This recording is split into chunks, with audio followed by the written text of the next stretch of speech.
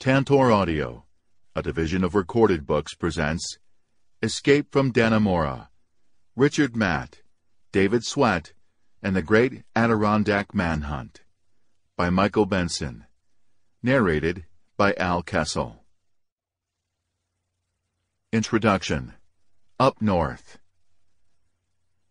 Claustrophobia had nothing to do with it. If you were tunneling into the side of a mountain or deep into the earth in search of ore, that might feel cramped.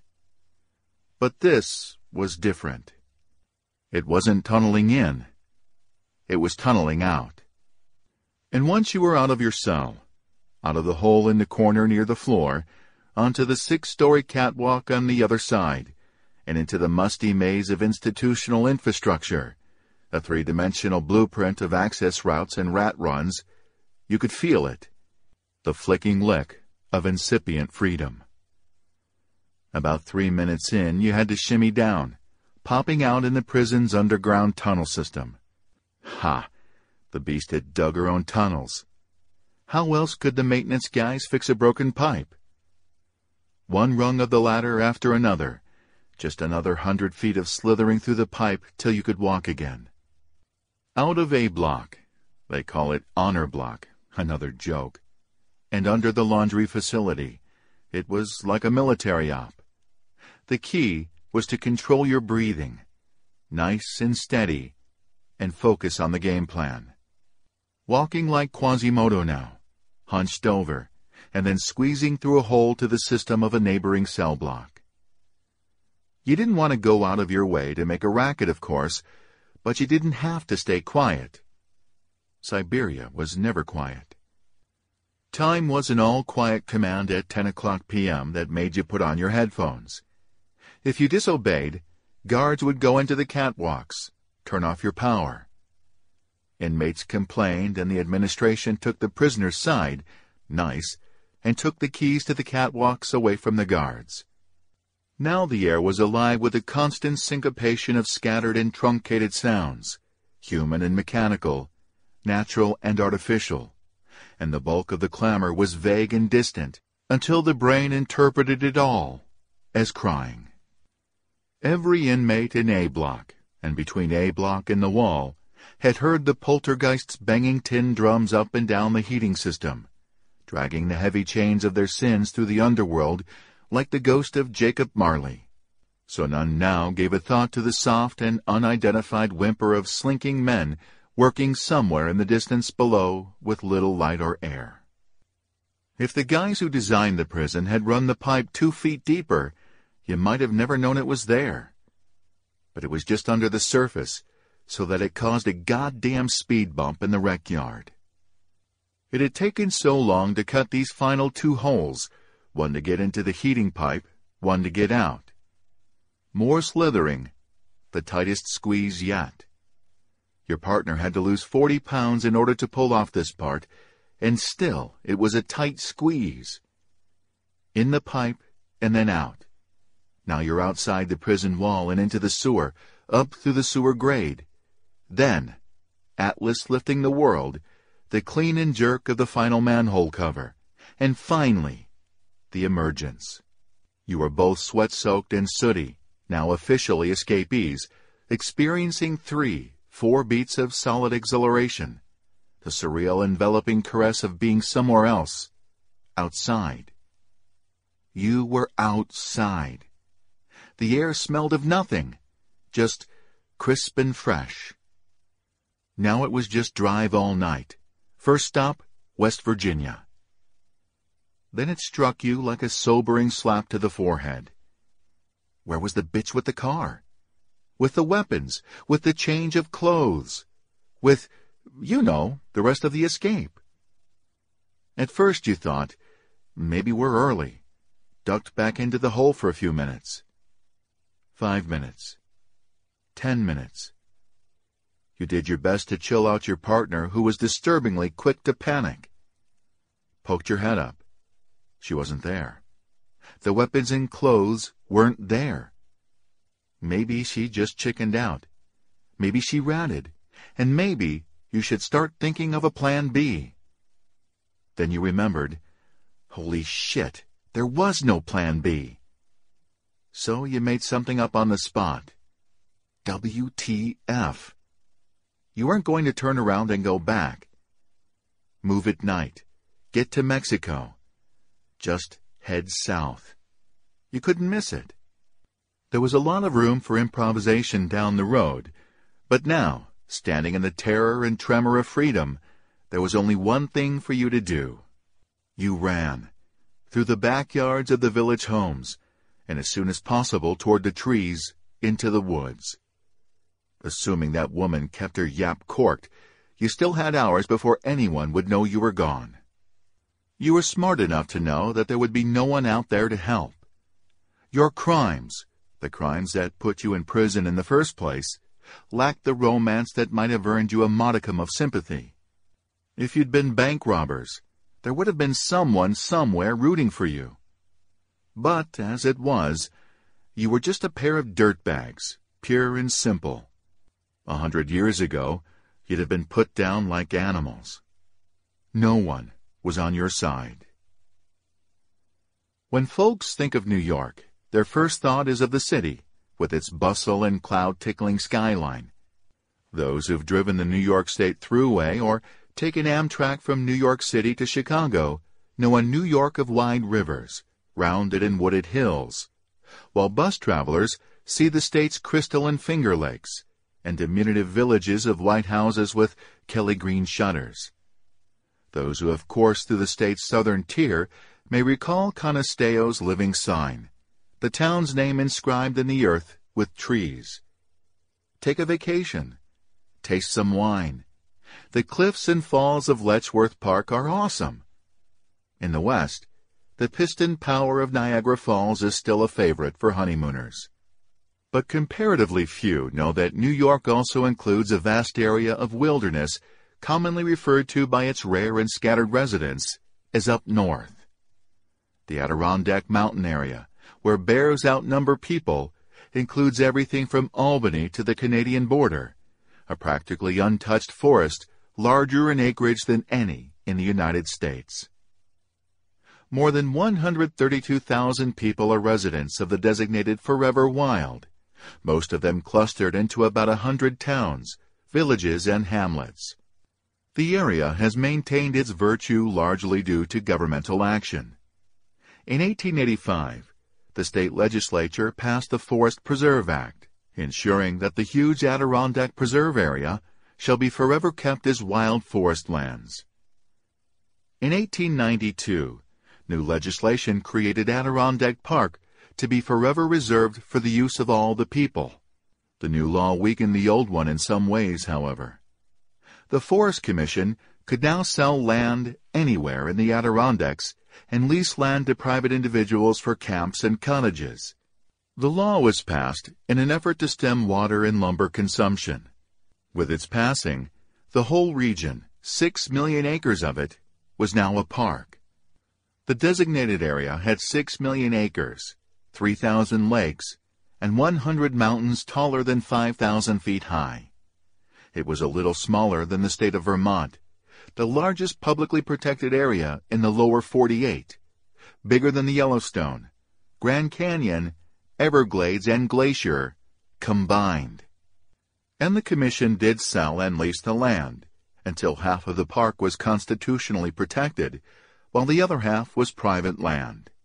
Private, yes, but hardly an industrial city. Development on the privately owned or leased land was restricted to minimize the impact on nature.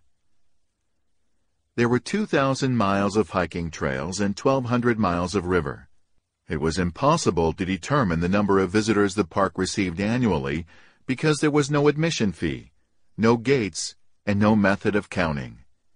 And so, a long time ago, because of that massive expanse of rough terrain, unchallenged by the parasitic development of man, the Adirondack area was correctly determined to be an excellent place to build a maximum security prison.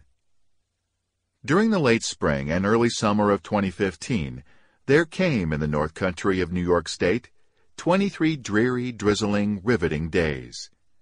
As Henry David Thoreau said, most men lead lives of quiet desperation. Well, here was the exception. Here was the story of two men whose desperation was noisy as hell, and it might have gotten noisier were it not for the vigilance of stalwart peacekeepers. It had been somewhere in the neighborhood of 150 years since an inmate had successfully escaped from Dannemora. They had gotten away from work farms and chain gangs, and they'd gotten out of the prison proper as well. But since the days when the prison was surrounded by a fence made of wood, all escapees were either captured and brought back, or died. Some simply vanished, and their death was assumed. It was enough to discourage a fellow from trying, but these guys were different.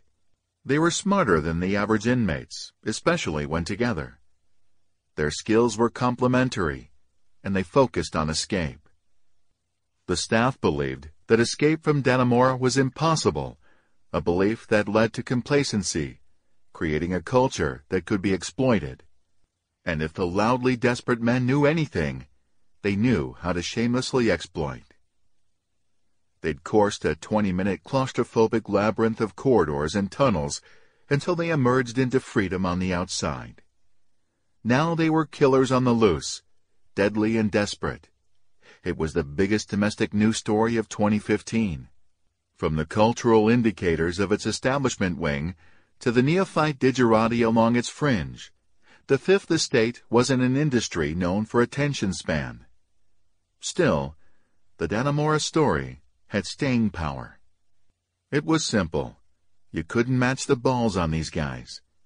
After months of planning and noisily cutting away barriers, on June 6, two convicted murderers crawled their way out of a maximum security prison and, in a manhunt worthy of Bonnie and Clyde, eluded police for three weeks. It was a page-turner of a story, because all of the pieces were in motion, and no one knew how it would end but there would probably be blood. It would turn out to be perhaps the most newsworthy thing ever to occur in the North Country, certainly the biggest story since the 1980 Winter Olympics were held in Lake Placid. The Boston Globe called it a bold escape for the ages. It also shone a bright light into the dark basement of the correctional system, illuminating some things prison officials would rather keep in the dark. The story that unfolded was one of adventure, psychology, sex, depravity, sociopathy, and brutality. The trouble was discovered at 5:17 a.m., June 6th. Corrections Officer Ronald Blair was conducting the morning standing count when he came to cell 23. The light in the cell was off. Hey, get up, Blair said. No movement. Come on, get your ass up. Nothing. Blair reached in, grabbed the bed, and shook it. He grabbed the sheet, and then he saw. There was no one in the bed. It was a dummy fashioned from old clothes. Blair ran over to cell 22. Same thing. He felt as if he were going to throw up. He took off on a full run and almost fell down the steps to report his finding. No alarm sounded. No siren. There had been an alarm system at CCF years back, with a speaker outside the big wall to alert the citizens of Dannemora. But no one knew if it still worked, and if it did, if it would be heated. Fear was, it had been so long since the alarm had gone off that no one would know what it signified. At 6.06 a.m., June 6th, State Police sent out word that the morning head count at the Dannemora prison had come up too short. Unaccounted for quickly became confirmed escape. That put into motion an annually practiced protocol. Notifications went out. Perimeters were put in place. The initial BOLO, be on the lookout, sent chills through the veins of some members of New York State law enforcement. A shivery no, no, no, no. The two convicted murderers that escaped from the Clinton Correctional Facility, CCF, in Dannemora, were a couple of bad, bad men named Richard Matt and David Sweat.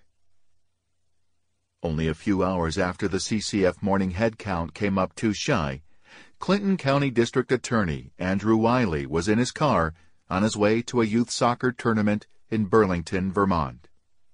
As he told Cara Chapman of the Press Republican, the weather was perfect, a sunny late spring day, a day that teased of summer pleasures to come.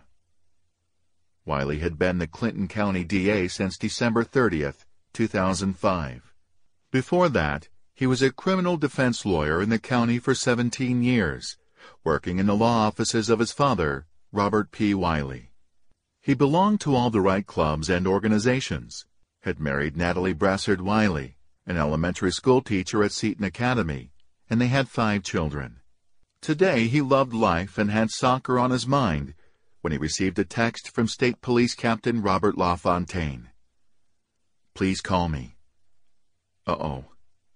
Wiley groaned, pulled over, and made the call. Two prisoners escaped, a cop killer and a mutilation murderer. Nice. Okay, so where are they now? Wiley said. We don't know. What do you mean, you don't know? LaFontaine said. We think they went out through an exit at the backs of their cells, went down into a tunnel system through a steam pipe and exiting out a manhole. We don't know if they are still in the vicinity or if they grabbed a car and are miles away. Wiley finished the trip to Burlington made sure his soccer team was okay without him, and then returned to Clinton County, which was already in full-fledged crisis mode. Clinton County Sheriff David Favro had seen the weather report. It was supposed to get rainy and stay rainy for weeks. But this Saturday was scheduled to be nice, the perfect day for a work bee. His sons were coming over. Friends were stopping by. Attendance was expected to be good considering that the work that needed to be done was the grueling installation of a stone patio, 360 16 by 16 blocks. So when Sheriff Favro received the first phone call, two prisoners missing from morning bed check, he was almost rooting for an opportunity to do police work rather than the manual labor waiting at home. My first reaction was that it was impossible for a prisoner to get past the walls. The missing prisoners, I believed, were still inside the walls somewhere, hiding in one of a million places. They just hadn't found them yet. Then came the second call. They'd found the place where the wall had been breached. The killers were back in society. That was it. The patio would have to be built without him. Sheriff Favro called his management people and mobilized his personnel. He listened to the descriptions of the escapees. Richard William Matt was a white male, six foot, 210, black hair, hazel eyes, a tattoo on his back that read Mexico Forever, a heart on his chest and left shoulder, and the Marine Corps insignia on his right shoulder. Date of birth, June 25, 1966. David Paul Sweat was white, 5'10", 165, brown and green, Date of birth June 14, 1980. Right hand fingers tattoo, IFB. Left arm tattoo, Rebel. One was a cop killer. The other, a torturer and a psychopath. Not an atom of conscience between them. And now, they were on the run. The sensationalized news went out, in screaming headlines and from shouting heads on high-definition flat screens, frightening everyone everywhere, but nowhere more intensely than those within a 30-mile circumference of Dannemora, New York.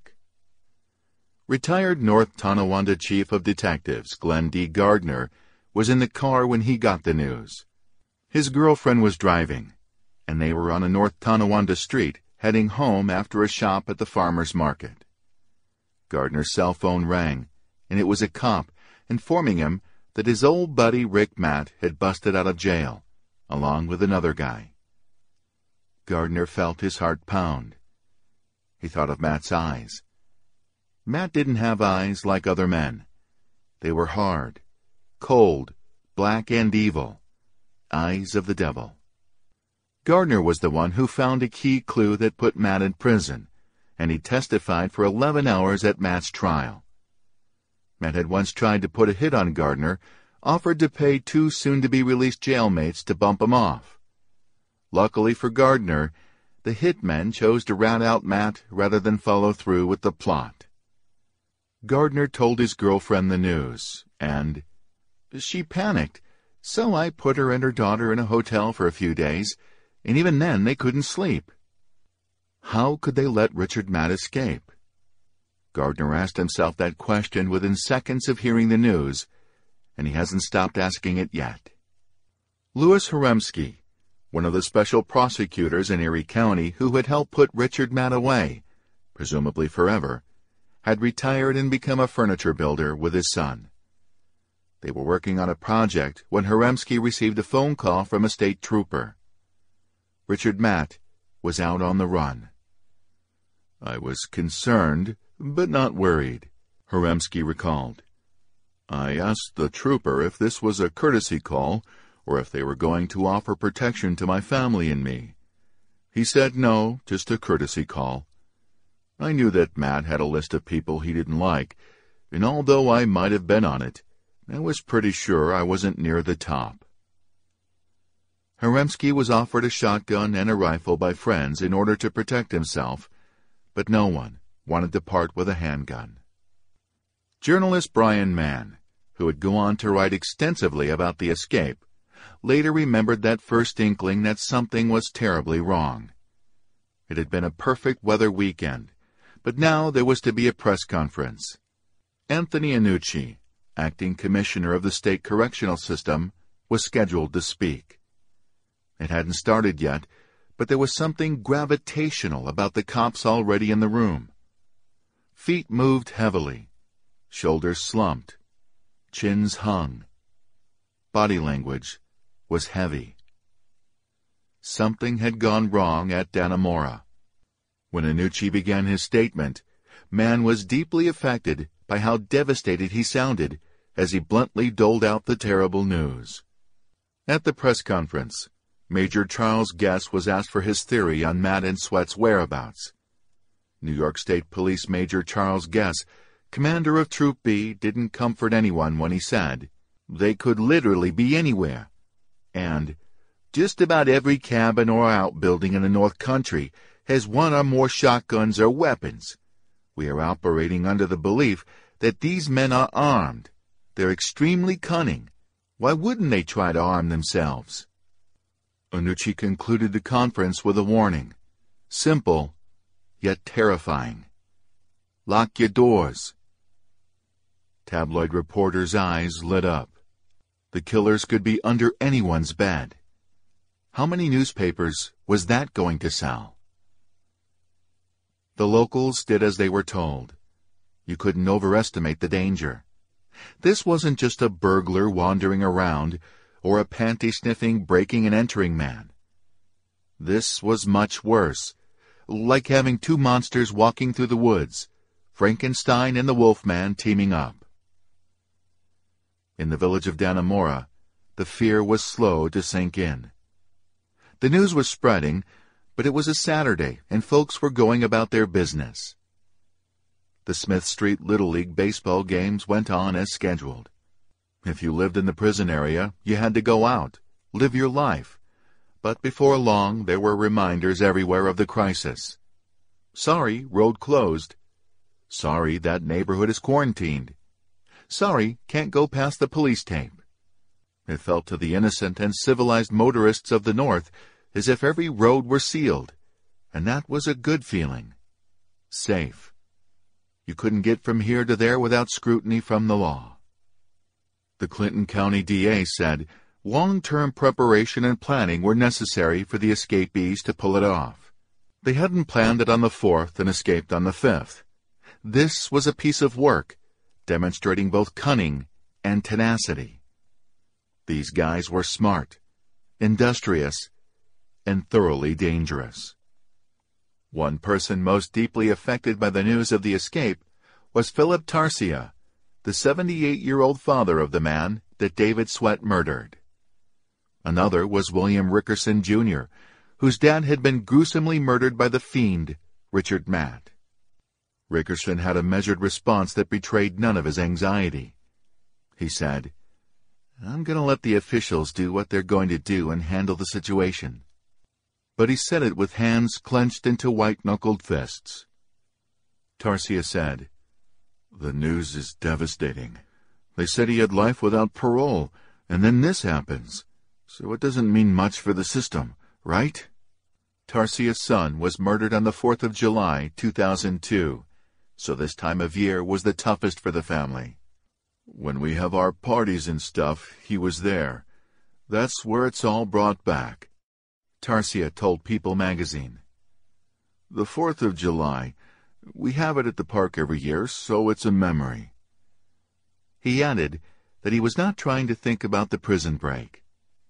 To think about it just brings up the worst things.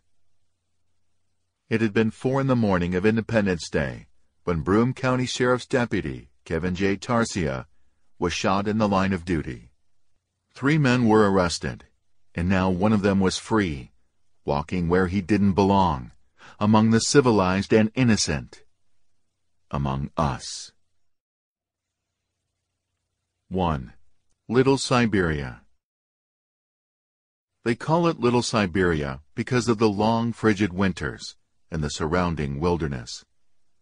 Back in winters of old, deliveries were made by horse-drawn sledges. The climate, wilderness, and isolation are natural deterrents to escape from Dannemora. The location was just as important as that concrete wall. The few who had made it out, and more on them later, have found themselves in the thick forests of the rolling Dannemora hills. Good luck. But its true name is the Clinton Correctional Facility, former Clinton Prison, because it's in Clinton County, New York. It is a maximum security state prison, and old, one of the oldest, built in 1844, as an outpost prison. According to Andrea Guynup of All Points North, a magazine dedicated to the North Country, the prison's location was considered prime because it was in a valley, close to iron mines and near the hills of Lyon Mountain. The first inmates lived in shacks heated by wood in the winter and were chained together and forced to construct the prison. As it turned out, doing construction work while wearing chains is a difficult task, even for the fittest prisoner. After a while, the chains were removed to hasten construction. In the beginning, iron mining was the main operation of the prison. There were three main mines within the prison walls with inmates, of course, doing the digging. Not only did the prison make labor at the mines very cheap, but also the operation was state-of-the-art. The mines were all within the stockade, and the iron ore was sent to the mills via a tram designed by inventor Ransom Cook, after whom Dannemora's main street is named. The iron ore was mechanically elevated, crushed, winnowed, and separated, all with equipment designed by Cook. The Fairbanks mine was at the current site of the corner of Fairbanks Avenue and North Emmons Street, where remnants of the old stockade can still be seen. Mining dwindled, iron value depreciated, and by 1877 the mines were closed. To provide employment for the inmates, they were assigned daily maintenance and repairs. Some made shoes or sewed uniforms to send to other state institutions. Shirts, sheets, and household goods were produced under sweathouse conditions, causing no doubt close conditions as each prisoner was only allowed one bath per fortnight. Many inmates were put on road detail, or on a detail building road beds for the railroad. That always led to a few escapes. Until December 14, 1854, the town of Dannemora was known as Beekmantown, made up of untamed, mountainous land with a sandy soil covered with trees. Then, as now, the only village was in the southeast corner of the township and existed almost exclusively to serve the prison. The 1860 edition of French's Gazetteer of the State of New York reported, The prison was located here in 1845 for the purpose of employing convicts in the mining and manufacture of iron, so that their labor would not come so directly in competition with the other mechanical trades. That article went on to say that the state legislature had only recently declared it permissible to use convict labor in the mining and smelting of iron ore. Long before Clinton inmate died in the electric chair, prisoners died in mining accidents. Iron had been a primary concern of the region since it was discovered there in 1831. The name Dannemora came from an iron ore mine in Sweden worked by Danish men. Dana comes from Danish, or Danes, and Mora, a Swedish fenny spruce, that is, a strong and tough spruce tree. Less than seven years spanned the arrival of the village's first settler, Thomas Hooker, in 1838, and the birth of the prison. The grand opening of Clinton Prison on June 3, 1845, began with a surreal parade, not of bands and clowns, floats and balloons, but of defeated men in lockstep dressed in zebra-striped uniforms. As villagers gazed upon the spectacle with open mouths, the incoming prisoners were marched up and down hills for the 17 miles from Plattsburgh to the prison's front gate. The prison was only weeks old when two inmates serving time for burglary climbed the stockade wall and disappeared into the dense nearby woods. The inmates apparently forgot their compass as they, while attempting to flee into Canada, inadvertently doubled back and were captured two days later, only a few hundred yards from where they'd escaped. In 1874, inmate John Filkins escaped. His method of exit remains unclear. When a skeleton was discovered in the prison sewer system in 1875, it was assumed to be Filkins, but that same year a witness in Canada claimed to have seen and talked with Filkins. The original prison was a cluster of wooden structures surrounded by a 20-foot-high wooden fence. Irregularly spaced around the circuit were nine tiny houses on tall stilts above the fence, each with a small one-man balcony. Each house was reached via stairs that came up through a trap door in the floor. The discouraging factor was the staff posted on each balcony with a repeating rifle. As is true in almost all civilized prisons, well-behaved prisoners were rewarded. How else to get them to behave? And very good long-term prisoners were rewarded greatly. In the 19th century, there were shanties at ground level, adjacent to the guard towers just inside the wall. One old-timer had been there for so long and had been so good that he was given his own shanty in which to live. Though that first fence was made of wood, it was well built, the pickets pressed together so tightly that you couldn't fit a pin between them. The fence enclosed the prison, creating what was perhaps a mile-long circuit. The fence failed to intimidate most inmates and encouraged some. It wasn't a physical issue. There were ways to get over the fence. There were mature trees growing in the recreation yard, tall enough for escapees to climb, jump over the fence and skedaddle into the woods. Dozens escaped, an uncounted number never to be seen again. Unless the escaped men were spotted by reliable witnesses, they were assumed to have fallen victim to the elements. Back then, when a prisoner escaped, the alarm was sounded by firing a cannon. In 1860, James the Gay Deceiver Whiting used disguise to escape. He acquired a set of civvies and walked out the front gate. Whiting remained free for close to a year and made it as far as Philadelphia, where he was arrested for selling bogus jewels at real jewels prices and a cop recognized his mugshot. As the number of prisoners grew, the prison had to grow to accommodate them. After 40 years of brutal weather, the fence showed signs of rot, and folks on the outside were complaining that it offered them inadequate protection from the animals inside. The fence was replaced in stages from 1884 to 1887 by a 40-foot high stone fence, with all of the stones cut from Lyon Mountain behind the prison. To pay for the new wall, New York State appropriated $20,000. When the money ran out, they stopped building, and for years the new wall did not go all the way around. There was still some stockade wooden fencing on the backside, the side furthest from Cook Street. In 1890, Fire destroyed the prison's main building, a three-story structure that contained the mess hall, offices, guard room, and kitchen. Dannemora didn't get its own fire department until 1894. But that loss was more than offset by much new construction, a state shop, a hospital, a 50 by 100 foot bathhouse, a factory building, and a new mess hall. Prisoners were lockstepped to the bathhouse in groups of 50, each prisoner bathing once every two weeks. A prisoner named Peter James, incarcerated for murder during a robbery, busted out of Dannemora in 1903. James' prison job was maintaining a basement engine for the prison tin shop. Working only a few minutes each day to avoid detection, he worked for years, chipping away at an escape route using smuggled pieces of tin as his tool.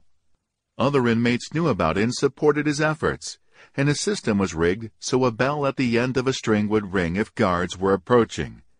His tunnel grew to be 20 feet long and connected to the sewer system.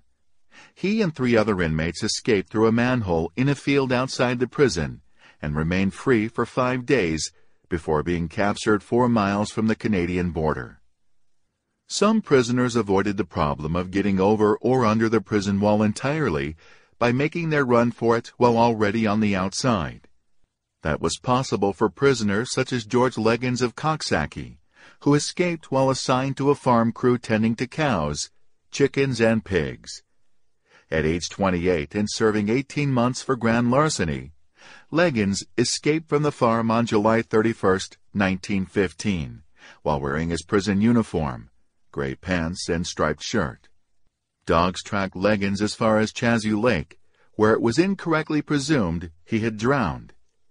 He was briefly recaptured in Coxsackie on November 19, 1915, but broke out of the Coxsackie jail that same day, remained free for four days, was recaptured, and was returned to Dannemora, where he remained. At the time, the Plattsburgh Sentinel reported, Warden Trombley was notified of the second capture of the prisoner, and he asked the Albany chief of police to guard the man carefully, and that he would send an officer from the prison after him on the first available train. The Albany police chief informed the warden that there was not a chance of Leggins making another getaway, and he would again sleep in a cell in Clinton Prison that night. Almost 70 prisoners escaped from Dannemora between 1914 and 1922 the great majority of them from road gangs and work farms. But twelve got loose from within the walls, exiting via the hospital, chapel, and boiler room. Almost every one was caught. Those that weren't were presumed dead of exposure trying to survive in the angry wild. And right there, that was the reason for complacency at Clinton Correctional Facility, CCF. If the walls didn't get 'em, the wilderness would. The rugged terrain was to Clinton what the choppy waters of San Francisco Bay were for Alcatraz Island.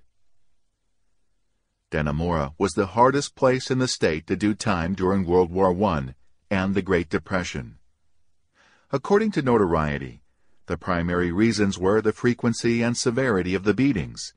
This may still be true today, but the prison's reputation was particularly violent from 1900 to 1930 In Dannemora, the stone wall was resurfaced and built up with concrete between 1933 and 1935, an effort that began the Big House era, when the prison population drastically increased. CCF's A Block, which will be a focus of this story, was built during that same construction period. The prison was originally designed to hold 500, but the inmate population grew to 2,700. During the early days of the prison, when transportation remained primitive, employees were required to live in the village of Dannemora to make sure all hands were only minutes away, in case there was a problem. The Dannemora prison has long been the go-to facility for prisoners with medical problems, either physical or mental. First, the physical. In the 19th century, one of the most common and serious physical ailments was the contagious lung disease tuberculosis, and Dannemora's fresh mountain air was thought to be kind to TB sufferers. Outside prisoners that contracted TB were transferred up north, an influx that continued for generations until it eventually, in 1941, necessitated an in-prison hospital with beds for 200 inmates. It served as a general doctor's office and TB hospital. Now the mental. On May 4, 1899, Governor Theodore Roosevelt signed an act that brought about the Dannemora State Hospital to confine and care for insane convicts.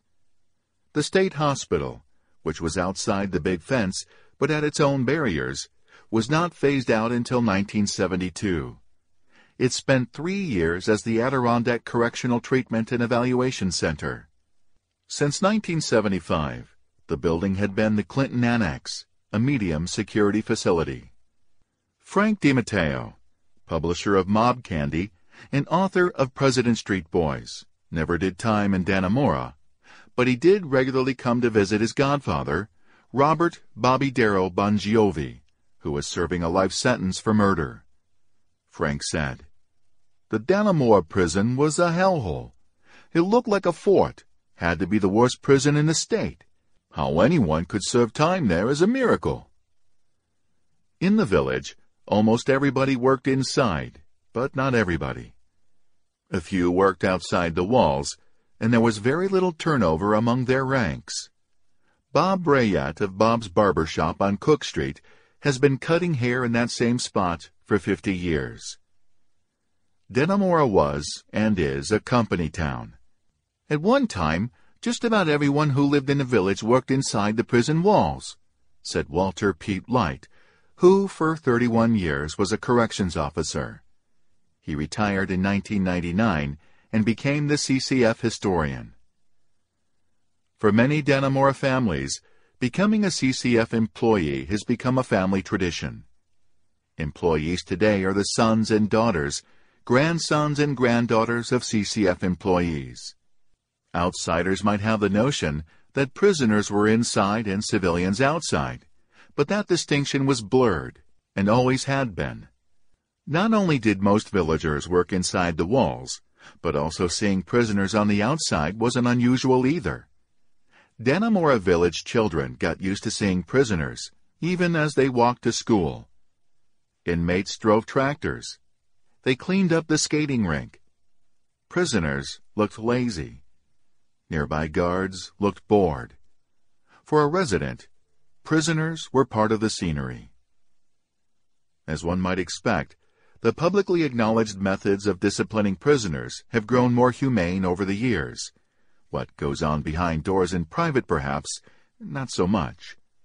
During the 19th century, there were no bathing facilities for prisoners, who wore striped uniforms at all times, were forced to walk in lockstep, and were required to remain silent. Into the 20th century, when prison life was supposed to be brutal, it was okay for guards to tie unruly prisoners to the floor and beat them with leather paddles. In 1892, one of New York State's first electric chairs was installed at Clinton, in the basement of the administration building. The first prisoner to take the longest walk was convicted murderer Joseph Cal Wood, who fried on August 2nd. Even as many formerly common disciplinary techniques were considered cruel and unusual over the first decades of the 20th century, a notable exception was the electric chair, which was seen as a civilized, high-tech alternative to the gallows.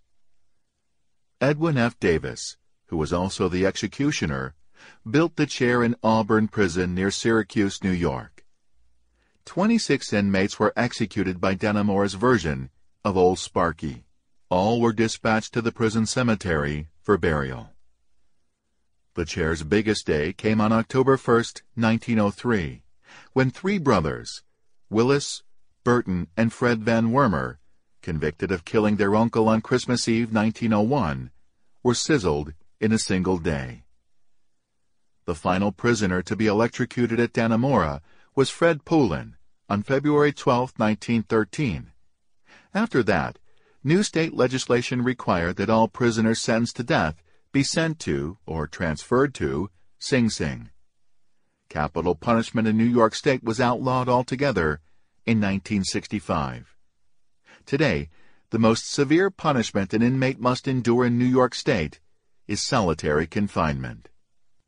In late 1927, a wooden box addressed to the prison's industrial department, with the return address of Warden Harry M. Kaiser, was intercepted following a tip from a snitch. The box was found to contain six automatic pistols, 400 rounds of ammunition, three bottles of liquor, and maps. Later, a second box with six more guns was intercepted.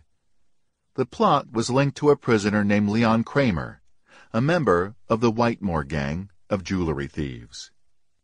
On the morning of July 22, 1929, a riot occurred within the Dannemora walls that exposed the prison's brutal conditions and led to prison reform. Trouble started after breakfast in the mess hall. An agitated pack of prisoners attacked guards with clubs and stones. A guard atop the wall shot a club-wielding prisoner, and a full-fledged riot ensued. An army of 1,300 prisoners set fire to the powerhouse and smashed the dynamo, an early form of electrical generator that produced direct current. They fed the fires with wood shavings from the carpenter shop. According to a contemporary report, the rioters stormed the walls despite withering gunfire. State police from Malone and Plattsburgh came to help, wearing bulletproof vests and carrying rifles. Game wardens and Border Patrol officers assisted.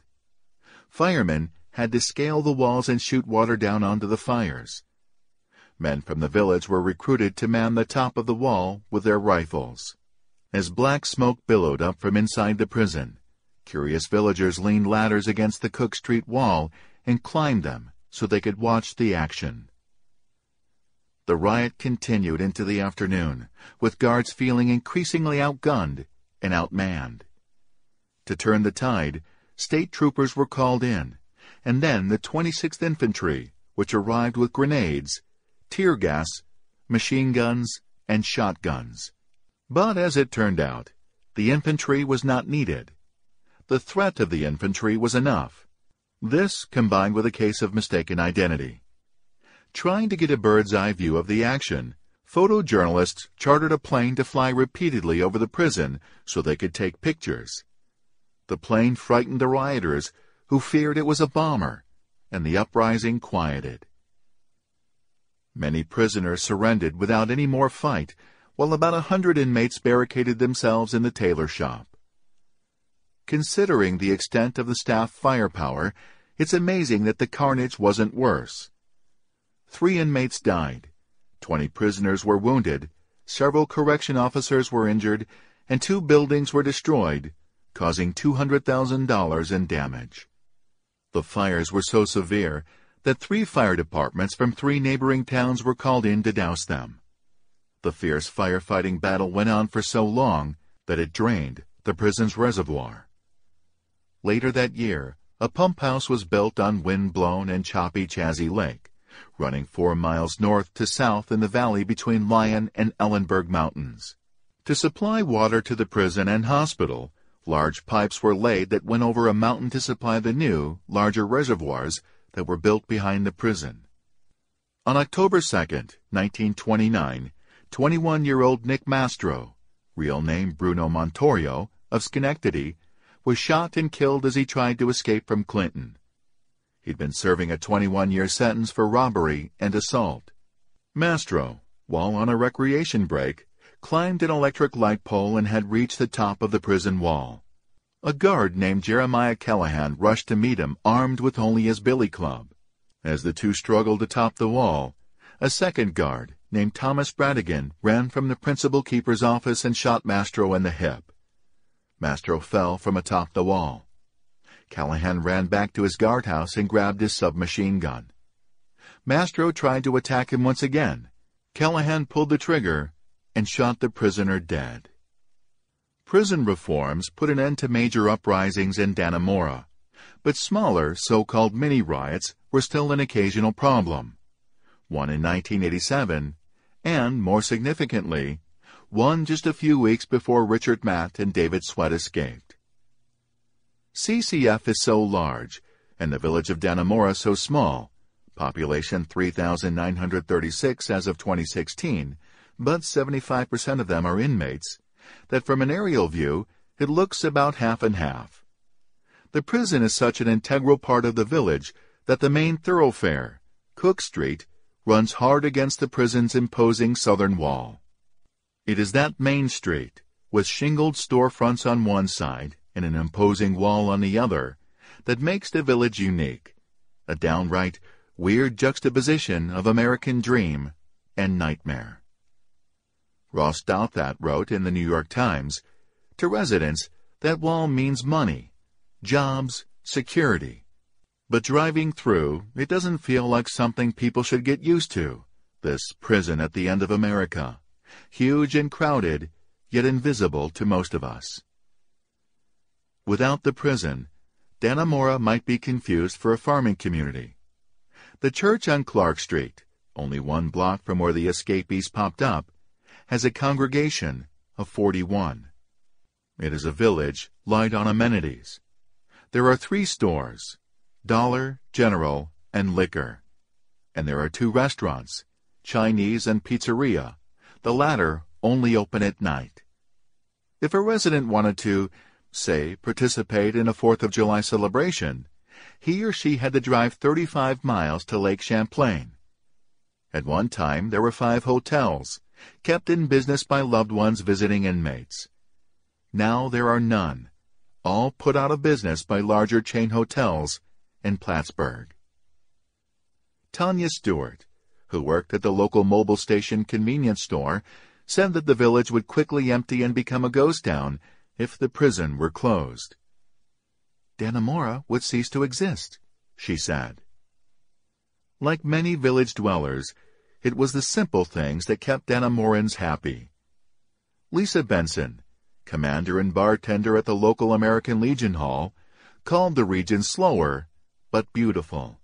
There were long winters when she considered moving to Florida, but they told her about the humidity, the tree frogs that made you sick, and big cockroaches that fell from the trees. So she was staying up north. Many notorious criminals had done time in misery within those 40-foot walls. These included Charles Lucky Luciano, the Sicilian-born mobster, considered by many to be the father of modern organized crime in America. It was Luciano who thought big and melded crime families across the nation into a powerful syndicate. Luciano went to Dannemora following convictions on dozens of counts of compulsory prostitution. He stayed for ten years before being deported to Italy prior to World War II. On March 25, 1990, 87 lives were extinguished by an arson fire at the Happy Land Social Club in the West Farm section of the Bronx.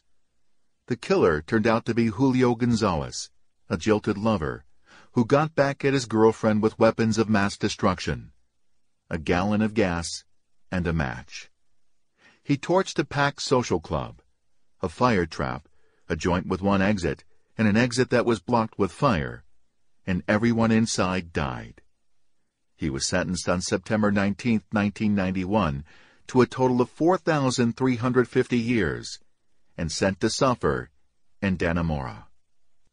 In the Hamptons, a rich vacation paradise on Long Island, Wall Street financier Ted Ammon was bludgeoned to death in the autumn of 2001 by Daniel Pelosi, an electrician who was working on the Ammon townhouse and having an affair with Pelosi's wife, Generosa, whom Pelosi married in 2002, a year before she died of breast cancer.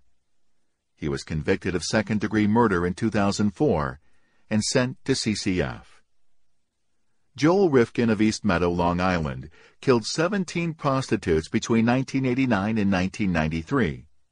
His reign of terror ended on June 28, 1993, when New York State troopers spotted Rifkin driving a pickup truck with no rear license plate. After a car chase, the troopers pulled back a tarpaulin in the trunk bed and discovered the naked and decomposing body of a woman.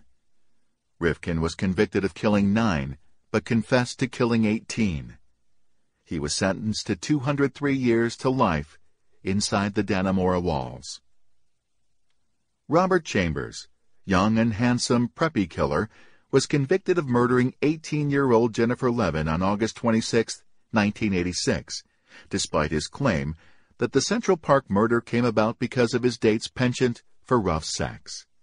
He was sentenced to 15 years in prison and served all of it because of his numerous infractions of the rules. He was released, but quickly returned following a drug arrest. Joel Steinberg was a disbarred New York State criminal defense attorney turned child abuse murderer. He was convicted of manslaughter in connection with the death of a six-year-old girl. Steinberg and his hideously abused live-in partner, Hedda Nussbaum, claimed the victim was their adopted daughter, but investigation revealed no adoption had ever taken place. He was sent to Dannemora for 17 years. And Marlon Legere, the Trinidad-born cop killer, convicted of killing NYPD detectives Robert Parker and Patrick Rafferty on September 10, 2004. He'd twice done time for sexual assault and was involved in drugs when his mom dropped a dime on him, resulting in the homicidal encounter. Perhaps the inmate whose story most resembled that of Matt and Sweat was Ralph Bucky Phillips, who escaped from the Erie County Holding Center in April 2006 using a can opener. His escape started a long and intense manhunt, unequaled in New York State, until June 2015. On June 10, 2006, Phillips shot and seriously wounded State Trooper Sean Brown with a 38 caliber handgun at a red light 10 miles north of Elmira, New York. On August 31st, Phillips used a high-powered rifle to shoot troopers Donald Baker and Joseph Longobardo who were staking out the house of one of Phillips' family members in Chautauqua County. Longobardo died from his wound. By this time, the reward for information leading to the capture of Phillips was close to $500,000. Phillips was taken by Pennsylvania State Police in Warren County without gunfire. Phillips was sent to Dannemora, where he is serving life without parole. LWP. Some guys committed notorious crimes to get to Dannemora, and some committed their dastardly acts after they were released from Little Siberia.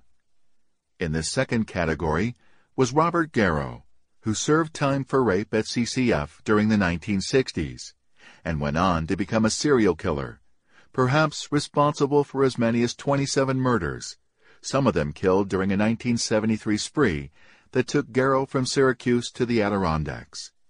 He was shot, wounded, and recaptured in Essex County, and was eventually convicted of four murders and sentenced to 25 years, four of which he spent at CCF before transferring to Fishkill. He escaped from Fishkill in 1978 and was free for three days before he died in a police shootout. Axe-wielding Christopher Porco murdered his father and tried to kill his mother in 2004. He is serving 50 years to life in Dannemora. Some of CCF's most famous residents only made a comparatively brief appearance. Tupac Shakur spent nine months in Dannemora after a 1995 sex abuse rap. The Beat Poets were a group that included author Jack Kerouac and poet Allen Ginsberg. Another one of the Beats was Gregory Corso, who'd been sent to Dannemora for three years when he was a teenager. His crime? he'd stolen a suit. Dannemora is usually a symbol of justice done, but has been the site of great injustice as well. On September 7, 1988, wealthy Seymour and Arlene Tankleff were murdered in their luxurious Belle Terre home on Long Island.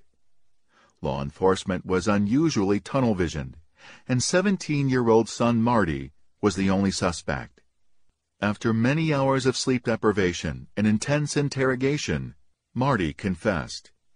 He was arrested and in 1990 tried and convicted of killing his parents, charges that, when well rested, he vehemently denied. Tankleff spent 17 years in prison, many of them in Dannemora, before a reinvestigation determined that there had been insufficient evidence to convict him in the first place. The adventures of Matt and Sweat in the Adirondack woods was not the first time that a newsworthy manhunt took place in that wilderness. During the late summer of 1881, an Adirondack guide, or someone impersonating an Adirondack guide, depending on whom you believe, named Charles Parker, became a rapist by forcing himself on the woman he was guiding through no man's land. Following his arrest, he somehow slipped his cuffs and disappeared into the backwoods. Parker remained free for three days, until he had the misfortune of encountering master boat builder Warren Cole of Long Lake. Cole single-handedly shot, wounded, and apprehended Parker. Another manhunt was for lifelong criminal Alvin Sam Pasco in the spring of 1918. A third was for Major James Call, a cop killer, in 1954. Both got their man. Dannemora has its own church, the Church of St. Dismas, the Good Thief, built on a 1.1 acre footprint by prisoners between 1939 and 1941. It was a neo-Gothic stone chapel, designed by Frederick Vernon Murphy and Thomas Locraft, and the first denominational church, Roman Catholic, built within prison walls. It was made of field stone salvaged from some of the prison's original buildings, dating back to the mid-19th century, including the prison's first cell block. The roof was of slate gable, and its spire peaked at 106 feet up. But perhaps its most impressive feature is its huge oak doors with metal, medieval-style strapwork. Inmates created the paintings and stained glass and built the pews that were constructed of Appalachian red oak, donated by former inmate Lucky Luciano. The altar reportedly dated back to 1521 and was brought to the New World by Ferdinand Magellan from the Philippines. The wooden panels framing the crucifix were said to have come from Magellan's ship. The priceless relics were donated to the prison by a wealthy New York woman. In 1991, the Church of St. Dismas was named to the National Register of Historic Places. There are some things about Dannemora that have not changed in the last 170 years, and one is the view. Beyond the walls, the hills and trees are still an artist's palette of ever-changing hue, morphing from lime to ochre and russet, depending on the time of day, the weather, and the season. 2. A chemical reaction. During the weeks, months, and even years before the Great Escape, Correction officers attended labor management meetings and expressed concern about security weaknesses at the prison. The predominant complaint was that officers were not allowed to frisk and search employees upon entering the prison. Specific concerns were raised before Superintendent Steven Racette about security weaknesses in the prison tailor shop. At one meeting, held in September 2014, officers told Deputy Superintendent Donald Quinn that there was confusion at the main gate regarding frisking employees and which items could be carried in. The rules were vague. When it was unclear, officers sought a clarification, which sometimes never came.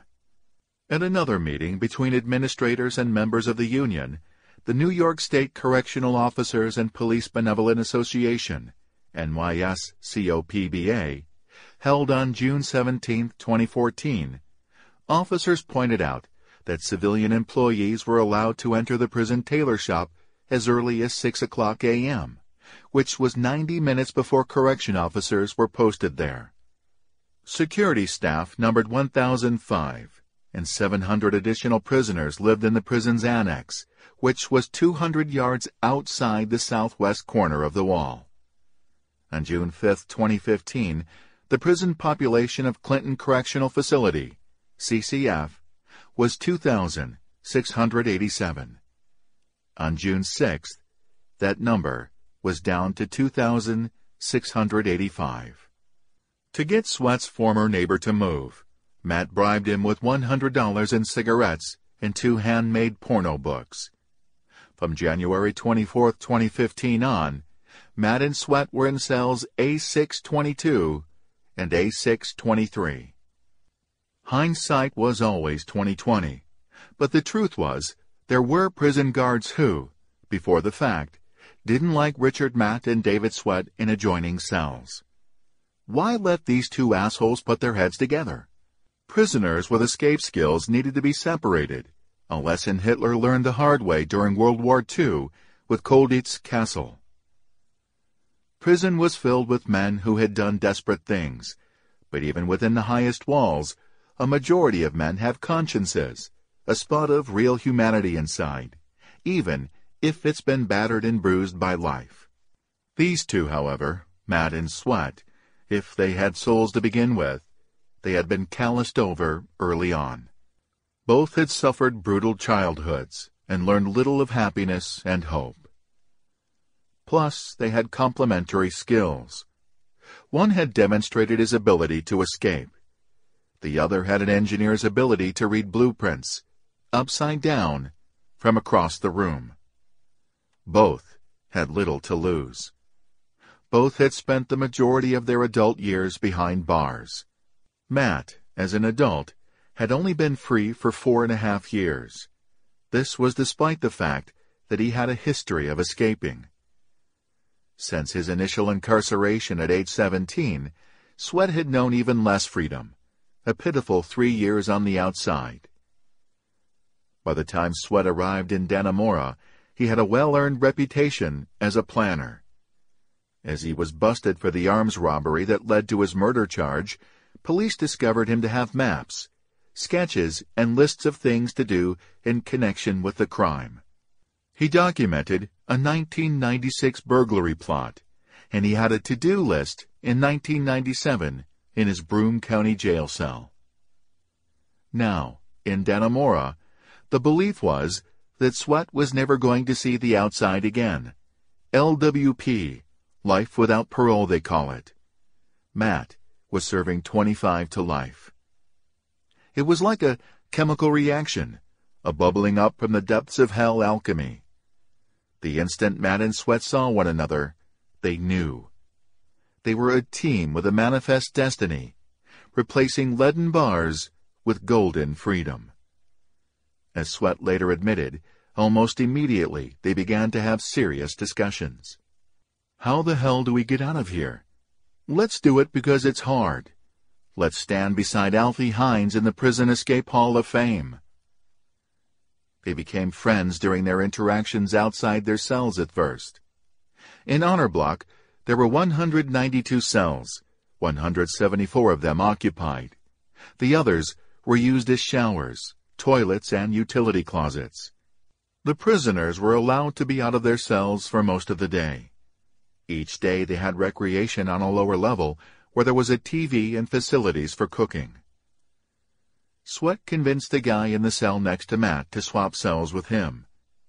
Always seeking to keep prisoners happy, administration allowed it, and that was how Matt and Sweat became next cell neighbors. A block, cells 22 and 23. Before long, Sweat was cutting a hole in the wall of his cell. During the next weeks and months, he would feel like a rubber-gloved doctor carefully fingering an alien skull, looking for soft spots.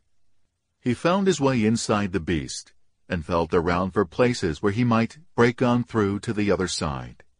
Sweat chipped away at the prison's outer wall for a while before realizing it was easier to gain access to the 18-inch diameter pipe that went through that wall. On the morning of June 6th, investigators knew very little about what had occurred. They didn't know how long the escape was planned, who was in on it, or where the escapees got the tools they needed to pull it off. Although the escape plan may have been in the works for many months, the labor could not have started until May 2015, it was assumed, after the prison's heating system was turned off for the summer. Most of the labor must have been done by Sweat, it was assumed. He was younger and in far better condition. Matt had to cut the hole in his own cell, however. It took him longer than it had Sweat, and his work was noticeably sloppier. The first step would have been to slice through a 3 8 inch thick steel wall around the 10 by 10 inch air vents at the head of their cots, enlarging the openings so that they could crawl through. The men had to scratch at a single spot in the wall until a hole was formed, and then insert a hacksaw blade and saw. Most of the in-cell work must have been done when the other inmates were in the mess hall or engaged in recreation. Recreation time would have been the best, as the noise from card games and the slamming of dominoes would help cover up the noise of cutting metal. The men could take turns, one looking out while the other worked. Metal shavings could be flushed down the toilet. The escape, investigators erroneously assumed, required power tools. Two convicts in a maximum security prison had used power tools in their cells, and no one had noticed. You had to understand Dannemora to get it.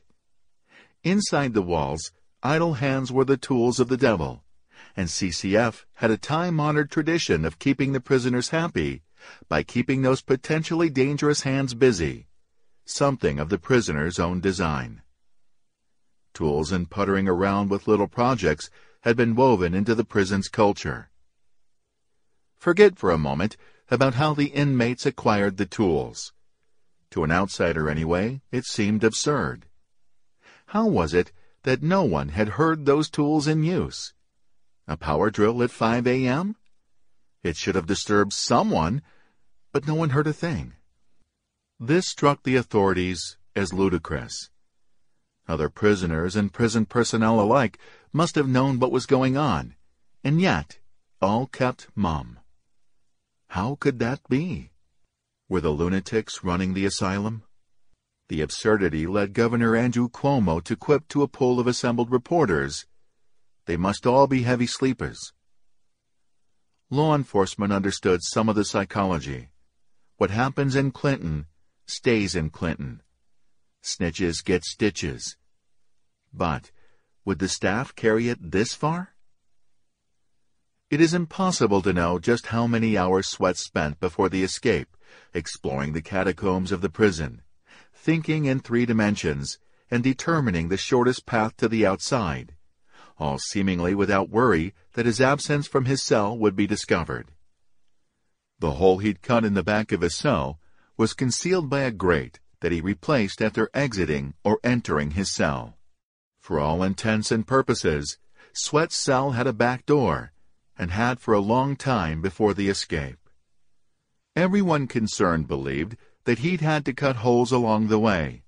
A hole through a thick brick wall, a hole to crawl inside a metal steam pipe, and another at the other end of the pipe so they could get out. Sweat demonstrated incredible tenacity. How many dead ends did he hit? How much trial and error was there? Psychologically, Sweat's nightly journey outside his cell into the belly of the beast must have empowered him, had his adrenaline squirting. It made him feel already partially free, a rogue prisoner moving unshackled in parts of the prison where there were no guards, where the hellish sights and sounds of a maximum security facility seemed far away. Escaping, Sweat would later say, was not a task for the impatient, for the weak. It took an iron constitution and what the New York Times called a MacGyver-like sense of ingenuity. As soon as the evening head count was completed, the escapees had sculpted a pile of clothes on their beds, so it looked from outside as if they were asleep in their cots, under the covers, wearing a hoodie. Although there were seven hours between the night and morning head count, there were supposed to be bed checks every two hours, and both escapees passed the bed checks test all night long. Like the all-quiet command, effective bed checks had gone away. It used to be that bed checks were done with a flashlight, and prisoners complained about the light in their eyes when they were trying to sleep. So, no more flashlights. It used to be that a bed check wasn't considered positive until the guard could see the prisoner's head, but prisoners complained that their incarcerated noggins got cold, so they were allowed to cover their heads with blankets or pillows. With the new rules, Sweat had been getting past the bed checks for months. Nobody was looking for skin, poking to verify. When procedure was followed at all, it was cursory, a quick glance and that was it. There's a man-shaped lump on the cot. Check. Prison officials had arrogantly believed that getting out was impossible. That had been the feeling for years. if there was a way out from the fourth floor of the honor block, they further believed, prisoners had no way of figuring out what it was. But that kind of thinking underestimated the intelligence of David Sweat and the patience of men doing nothing but time. Small pieces of intelligence had needed to be pieced together to envision the route to freedom. First of all, the prisoners would need to know that there were spaces between walls large enough for men to move around in, spaces designed for men to move around, to make maintenance and repair of the prison's internal systems convenient for workers. In Sweat and Matt's case, they knew that one of these spaces ran adjacent to the backs of their cells. Officials would later learn that, not only had the prisoners heard men working on the other side of their cell wall during recent renovations, but also a prison guard had actually given Matt a small tour of the space, so he knew the location of the electric box, of the ladder. Even without that knowledge, investigators could easily conclude that, before the escapees created square holes in the air vents at the backs of their cells, they would have needed to know that an inviting and unobserved space existed on the other side, one that offered a potential route to the outside.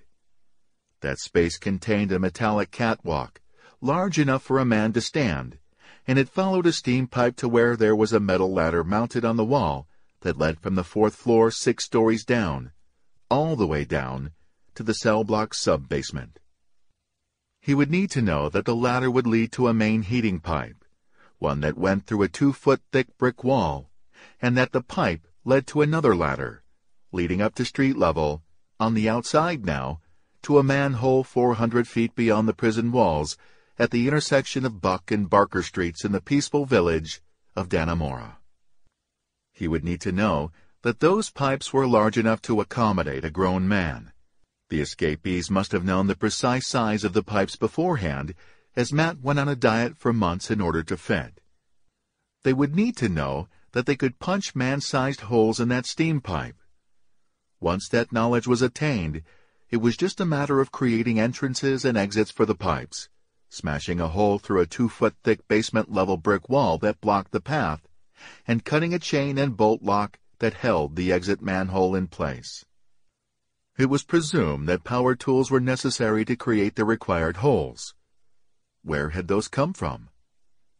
This was unknown, although one of the first things investigators did was interview contractors who'd been working within the building, searching for accomplices. The power tools would have needed power, which must have been acquired by opening the electrical box in the catwalk behind their cells and running wires all the way to the worksite. That's a lot of extension cord. Where had that come from? The escape had necessitated a genius level of planning combined with hours of agonizing labor.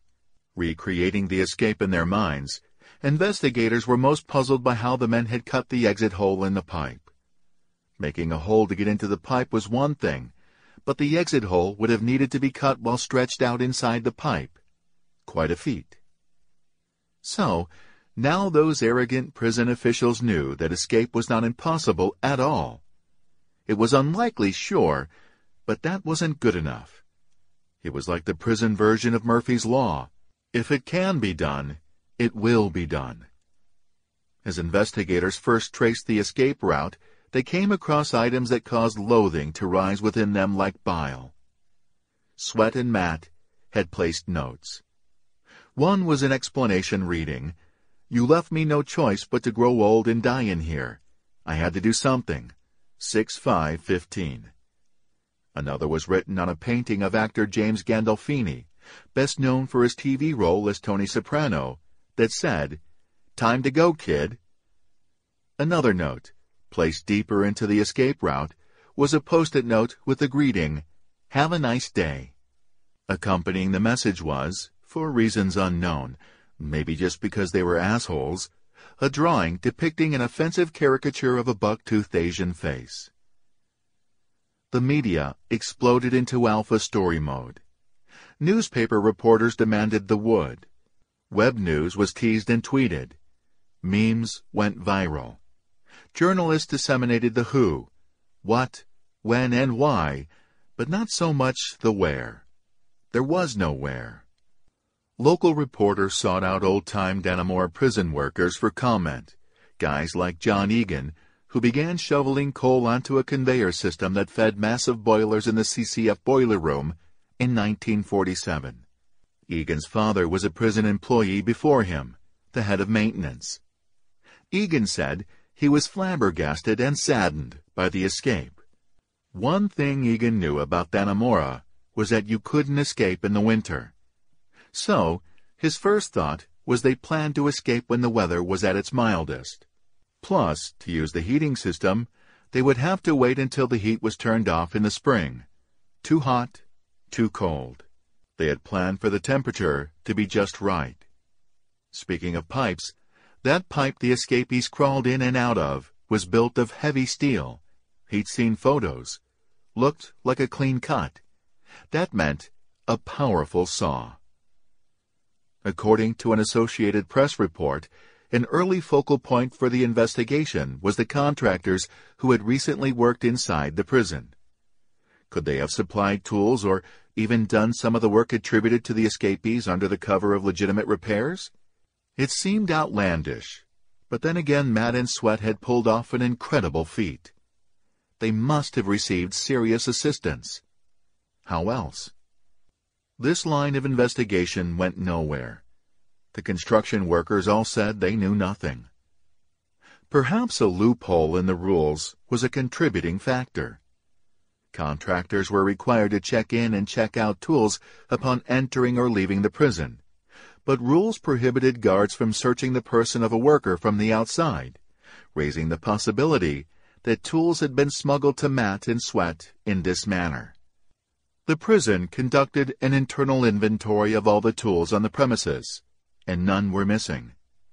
New York Prison Commissioner Anthony Annucci said that he had instructed all facilities to make sure they exercise the utmost vigilance and precaution in inventory control and other basic security protocols. This must never be allowed to happen again. Captain Gabriel DiBernardo, Chief of Detectives of the North Tonawanda Police Department, had had his fill of Ricky Matt, and had hoped never to hear that name again. He considered Matt a man with no heart, no soul. Only minutes after the escape, DiBernardo received his first call from a reporter. Had he heard the news? I'm well aware of it, he said. So are my detectives, yes. We are well aware and police officers are always armed. It is not a good feeling to know he's out there, but for him to come all the way here, but anything is possible with Ricky Matt. Anything is possible. I keep watching the news, and I hope they stop him before he does anything violent again, because he is full of violence. That's his life. DiBernardo couldn't imagine a peaceful outcome. There would be blood. Did Matt's escape surprise him? Heck no. He is one cunning individual. But how he did it, with power tools, that's mind-boggling to me. I don't understand that. DiBernardo recalled how he felt the last time Matt was free. I had a loaded weapon on every floor of my house. He was the most evil, cunning, sadistic person I ever investigated in 38 years. DiBernardo noted that Matt sometimes worked with accomplices, but opined that he was always the one in charge. Matt was very imposing, a big muscular man and very strong, so others would help him, out of fear. One of the first people to talk to reporters was Matt's son, who seemed eager to portray his dad as some sort of Superman who could escape from any prison, who could take a lickin' and keep on tickin'. During one prison escape, the son said, Richard Matt made it up to the roof of the prison and got shot in the shoulder. The son knew it to be true, too, because his dad had pulled down his shirt and showed the bullet wound. The guy had bullet holes on his body. The son concluded, He's been shot like nine times. It's like they can't kill him. Turns out the scars that Matt had proudly shown his son may not have come from gunshots at all, but from cigarette burns he'd endured while being tortured in Mexico. Matt also told his son that his scarred forearms came from climbing over razor wire, not mentioning that at least some of those scars came from a razor blade suicide attempt. Randy Szukala was a Middleport and then a North Tonawanda cop, rose up the ranks to become the youngest chief in North Tonawanda history, served 25 years, and retired in 2013. When the news of the Dannemora escape hit, Szukala had just been hired as the Assistant Director of Campus Security at Niagara University and was scheduled to begin work on June 10th. Now, however, he was in demand, but it had nothing to do with his sterling career. It had to do with the fact that, many years before, he knew Richard Matt. It wasn't a happy memory, but Szukala nonetheless remembered. Again and again, he was asked to feed the ravenous information machine. Before the day was through, New York Governor Andrew Cuomo received a guided tour of the prisoner's escape route, with film crew in tow, and investigators winced as they watched the governor stomp around crime scene areas that had yet to be fully processed. Cuomo learned power tools had been necessary. The escape must have been noisy as hell, so he asked prisoners straight out. If someone was inside the building using power tools, wouldn't they be heard? The guards heard it. They had to have heard it, the prisoners told Cuomo. Despite this, Cuomo said that he would be shocked if a guard was involved, and that's putting it mildly. But we're looking at the civilian employees now and the private contractors to see if possibly a civil employee or contractor was assisting the escape because the escapees wouldn't have had the equipment on their own, that's for sure. On June 7th, the U.S. Marshals Service issued federal arrest warrants for Matt and Sweat, charging them with unlawful flight to avoid prosecution, thus allowing federal agents to join the search. The Adirondack Park Rangers, all 43 of them, would both search and be on call in case the prisoners, or their pursuers for that matter, happened into an area of particularly cruel terrain and needed to be rescued. Governor Cuomo went on a conference call with New York State public safety officials and members of the press. He announced a $100,000 reward for information leading to Matt and Sweat's arrest. A written version of the statement read, They are convicted murderers and our first order of business is to ensure they don't inflict any more pain on the community. With the public's help, we will return these men to where they belong, behind bars.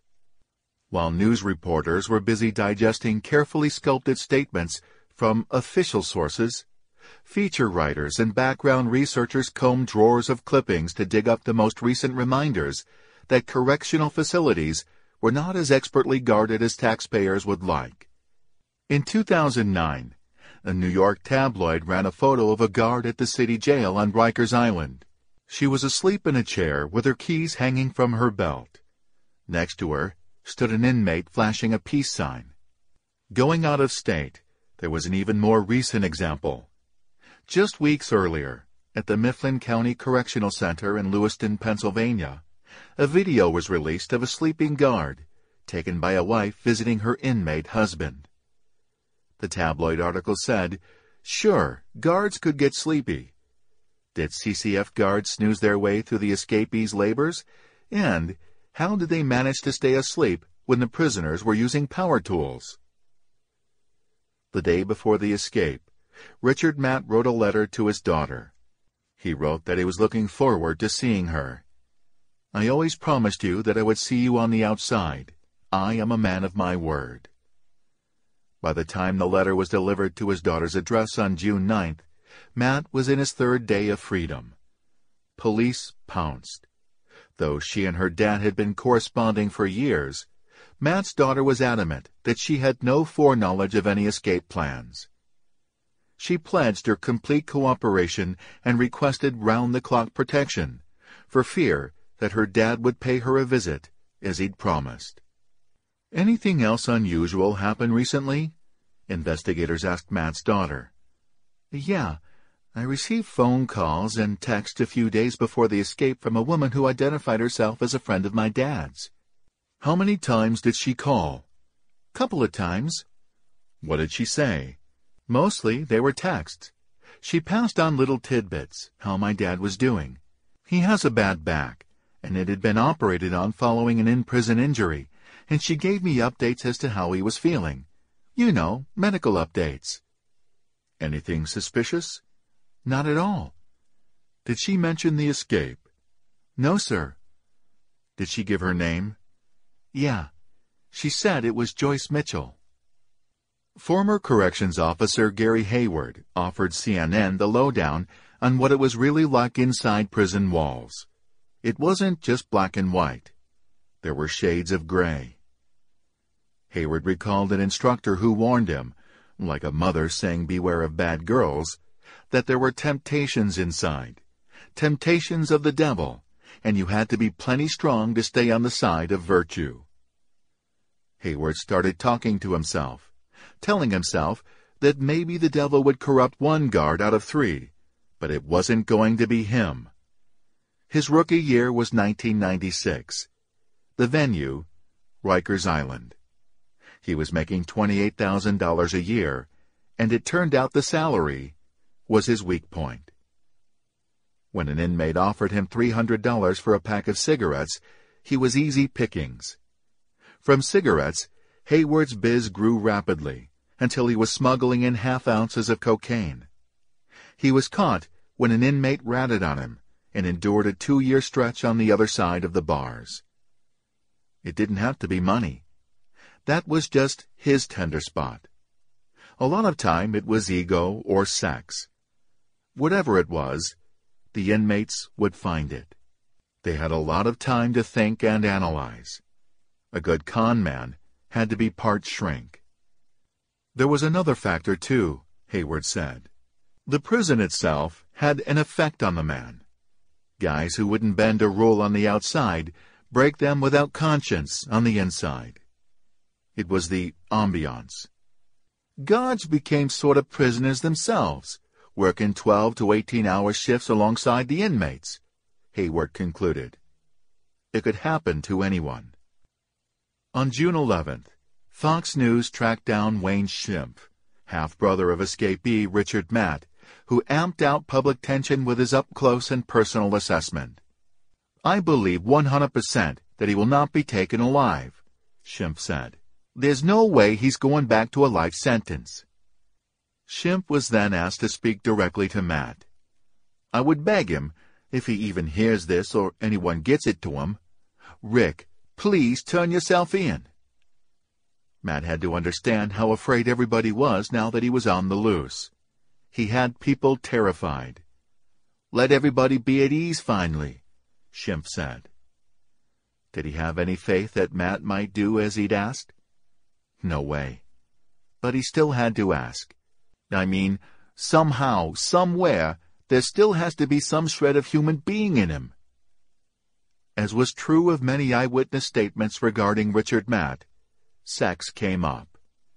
Schimpf said, He has a way of doing it. He's a thief, a con man. Any woman that comes across him, he will try to charm them, and he can do it. 3. David Sweat Born into Turmoil David Sweat was born on June 14, 1980, and grew up in the town of Deposit, New York, 30 miles east of Binghamton. Pamela Sweat, a single mom, raised him and his two sisters. His was an undisciplined home, a world devoid of a child's fun, where fun was for adults only, and even then, it was more like pseudo-fun. That is, kicks and self-medication was the only prescription for ailments from an ulcer to the blues. Patricia Desmond lived with the Sweats for a while, when David was about six. It was me, Dave's Uncle Bernie, his mom Pam, his sister Tilly and Dave's grandmother, Pam's mom, all living together in an apartment on 2nd Street in Deposit, New York. Desmond remembered the ambiance as David was growing up. There was a lot of drinking going on, she said. Mostly drinking, but some smoking too, every once in a while. Pot. The landlord lived across the street, but he came over to party with them too. David really wasn't raised into the best society. His life was into turmoil, she said. She thought Dave was a good kid. Pretty normal. A little rambunctious, a temper tantrum now and again, but not so often that you'd think there was something wrong with him. At that time, Carl Butts was the boyfriend of Pamela Sweat, David's mother. Butts remembered that, when given a toy, David would burn it or smash it with a hammer or rocks. Desmond explained that Dave had reasons to be frustrated when he was little. He was emotionally neglected, in her opinion, with a mom who cared more about her boyfriend Carl than her son. When he got older, he did become bad, Desmond said. But I blame that on drugs. As a nine-year-old boy, David Sweat took a liking to knives. He was an angry kid. He had been bullied at school for a whole year, and one day he decided he'd had enough. Sweat brought a butcher knife to school with him, smuggled it in in his backpack, but he was caught with it and suspended. According to his mother, it was around that time that he started throwing knives at her. In a fit of anger, he lifted a rocking chair and heaved it at his mother. David's attempts to injure his mom usually came up short. But, she said, the psychological damage he was doing to her with his attacks couldn't be measured. Pamela says she had two nervous breakdowns around this time that were David's fault, so she sent him down to Florida to live with his aunt and uncle. Once down there, David was anxious, adding a nervous tenacity to his rebellion. It was as if he couldn't wait to mess up. He promptly stole his aunt's car, wrecked it, and ended up in a foster home. He returned to deposit while still a teenager, and at that time he took a part-time job as a pot dealer. In 1996, Sweat and another teen put on ski masks, entered a Binghamton, New York youth group home, locked a woman in a closet, and stole computers and cash. The pair were caught and sentenced to five years of intensive supervision probation. Broome County, New York Judge Martin E. Smith referred to them as teenaged idiots. In retrospect, the chilling aspect of this crime was that Sweat was found to have written down, step by step, how the job was to be committed, including a hand-drawn map of near blueprint accuracy showing where the items to steal were and which route they should take to get them. Sweat liked to plan and plot, diagram and draw. Judge Smith was not the only official to question Sweat's intelligence. The boy didn't seem to be living in the real world. At a subsequent hearing, a parole board commissioner questioned Sweat. You had a plan to go there and tie up the lady who worked there and steal the stuff. Were you watching too much television or something? Yes, Sweat replied. The commissioner had seen cases like this before. Kids who thought the straight and narrow was sissy. That committing crimes was a way to look good in front of his troublemaker friends. In 1997, Sweat's cousin, Jeffrey Nabinger Jr., already in trouble for breaking the windows on a pickup truck, became Sweat's partner in crime. Sweat and Nabinger were the same age, first cousins, their moms were sisters, and inseparable. Though they did not facially resemble each other, they were both slight, two peas in a pod. A lot of neighborhoods have guys like Swett and Nabinger, guys that have trouble in common, who've lost touch with society, given up on getting ahead, and concentrated only on getting over. They didn't have jobs. They pulled jobs. Sometimes they didn't even have homes. Nabinger tried to make ends meet by selling pot, but it was hard because Sweat liked to smoke the profits. Both went through girlfriends like Kleenex. Sweat fathered a child with one of his girlfriends. According to court documents unsealed in 2003, the year after the attempted group home robbery, Sweat was convicted of second-degree burglary and appeared before Judge Smith, the same judge who had once called Sweat an idiot. This time, Sweat was convicted of second-degree burglary, and now, an adult, sentenced to two to four years in prison. While in prison, he was discovered by correction officers to be making a sort of a bucket list of crimes he hoped to commit one day, if a judge was kind enough to give him a furlough. In order to demonstrate his rehabilitation and fitness to return to society, he took a correspondence course and learned how to be an auto mechanic.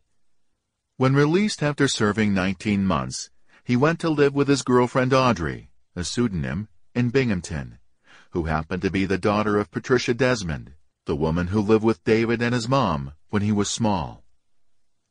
At age 22, David Sweat was once again enjoying freedom and hanging out with his cousin. He drove a gold 1990 Honda Accord with a moonroof. It was his pride and joy. He'd souped it up. He'd placed red APC decals on the windshield and side mirrors, and there was a yellow R decal on the rear windshield. As an adult, Sweat liked guns every bit as much as he enjoyed playing with knives as a child. And he had guns. On June 29, 2002, he told his mom's boyfriend, Roger M. Henry, that a fellow couldn't have enough firepower.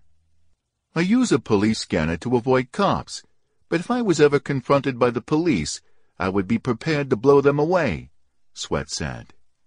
Sweat, Nabinger, and Sweat's mom were all there, in the house on Foley Road near Kirkwood that Henry rented. There was a card table, and on it were two unloaded semi-automatic handguns. Henry remembered Sweat explaining that he'd purchased the guns himself, but because he was a convicted felon, he wasn't allowed to legally buy or carry in New York State. Henry didn't like it one bit, and told Sweat in no uncertain terms that he wanted the guns out of his house. Sweat was a bit showy as he grabbed one gun in each fist and dramatically put one inside the waistband of his pants, the other into a holster. He went outside and put both guns in the trunk of his Honda. Henry knew for a fact that Sweat and Nabinger were always armed and had resumed their criminal careers. During the late spring and early summer, Kirkwood, along with the city of Binghamton and the nearby town of Fenton, underwent a rash of car thefts. Police saw a pattern. All of the vehicles were swiped from a parking lot. On July 2nd, a difficult-to-hide 1979 Winnebago was stolen from a Binghamton city lot.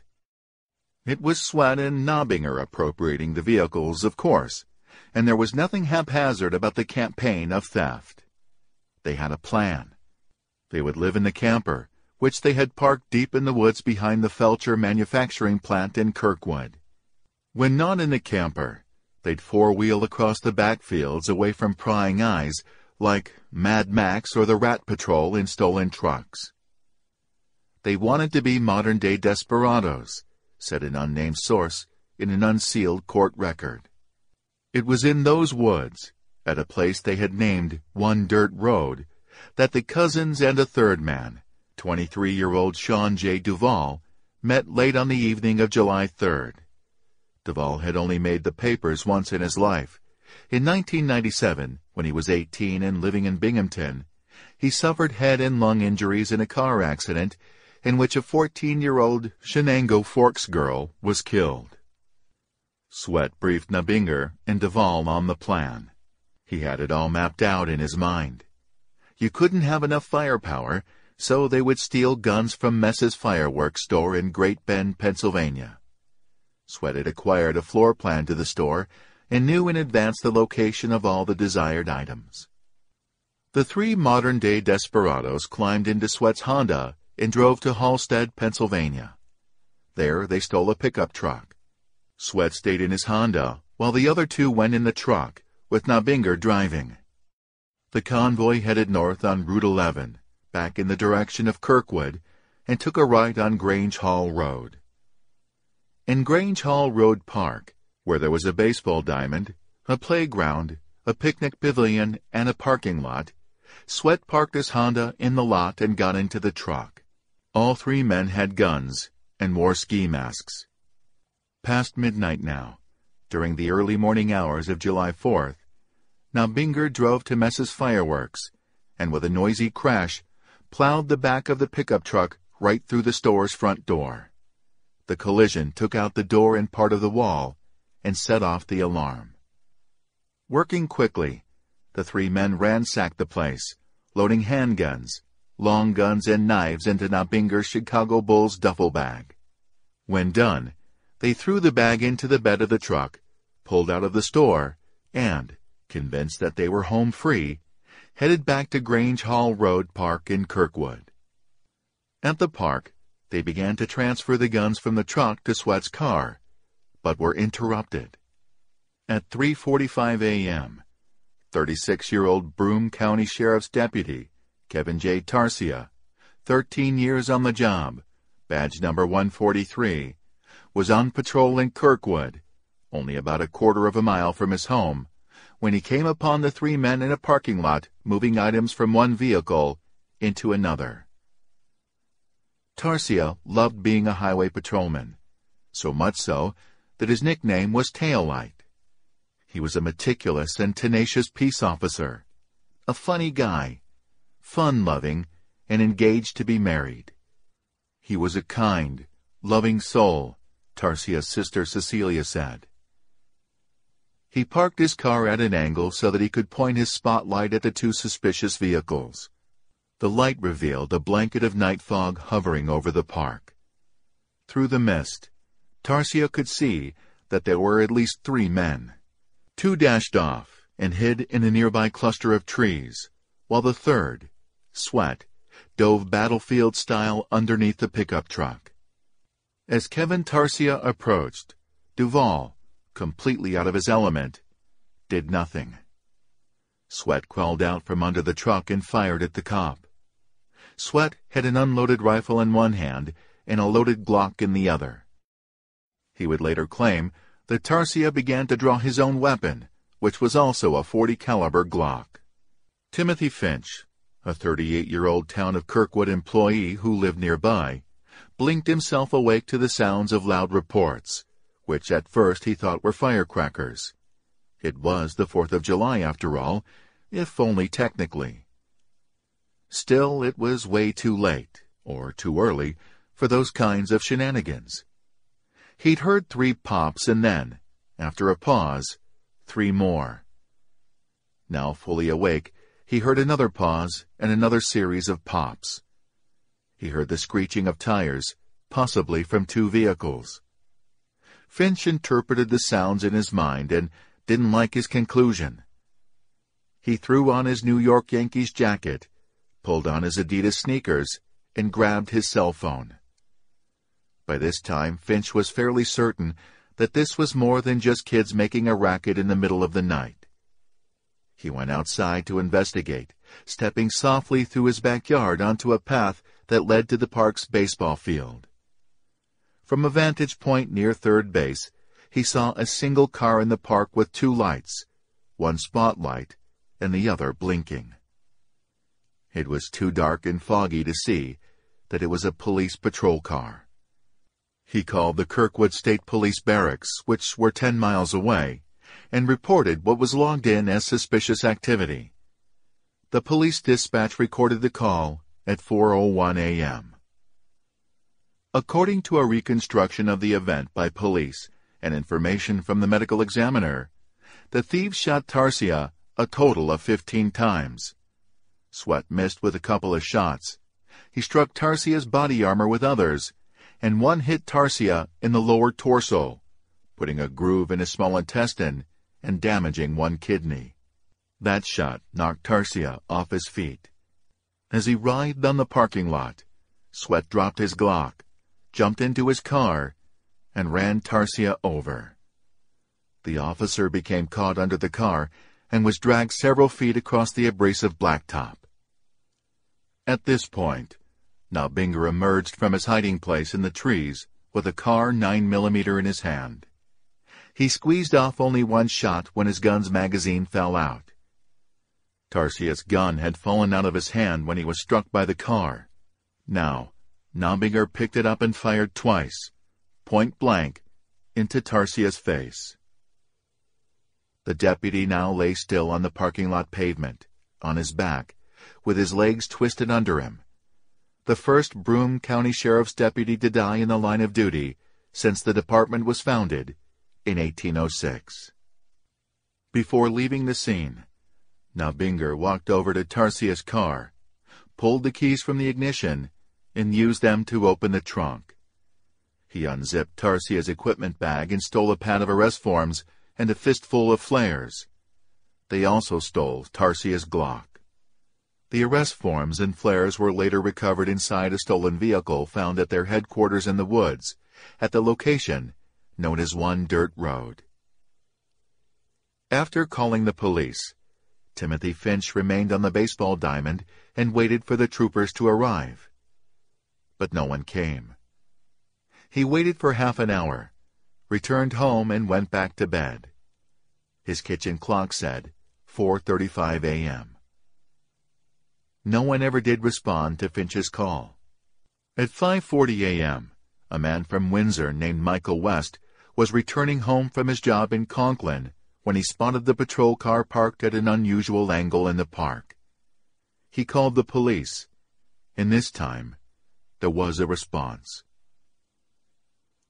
For the three men in attendance at the cop's murder, freedom was brief. On July 6th, Saturday, a little more than two days after, someone dropped a dime on them. Nabinger was walking down a street in Port Dickinson when the cop car pulled up. Sweat was in his car, driving in Kirkwood, when he was pulled over. Duval was caught and arrested in the village of Greene. Nabinger and Sweat were charged with murder one. Duval with possession of a weapon three, a felony. Police spoke with Sweat's girlfriend Audrey, and she was cooperative, telling the law the location of one dirt road. Police went there and recovered the stolen vehicles. Broome County Sheriff David E. Harder was an ex-Marine, 48th Rifle Company, and he had been with the Broome County Sheriff's Office since 1964. He had been the county's first warrant officer and first narcotics officer, and he was elected sheriff in 1998. He'd been a sheriff's detective for more than 25 years. Now, with three men under arrest following the killing of a cop, Sheriff Harder said, Duval was a non-active participant. He watched while in possession of a gun, Harder explained. Nabinger and Sweat killed the cop. On the day of the arrests, police searched the garbage cans on the back porch of an apartment at 15 Dickinson Street in Binghamton. In the garbage, they found soda bottles filled with urine and a hand-drawn map showing the layout of Mess's fireworks. On the map, they found David Sweat's fingerprint. Early details were scattered. The perpetrators might have stolen Tarsia's gun. It was uncertain if Tarsia's gun had been fired. Local newspapers couldn't find permanent addresses for Nabinger and Duval. Almost as a sidebar, it was reported the trio were also responsible for the burglary of Mess's fireworks in Great Bend, Pennsylvania. Law enforcement strutted a little. All three bad guys were in county jail. No bail. When you lost one of your own, swift justice sent a message.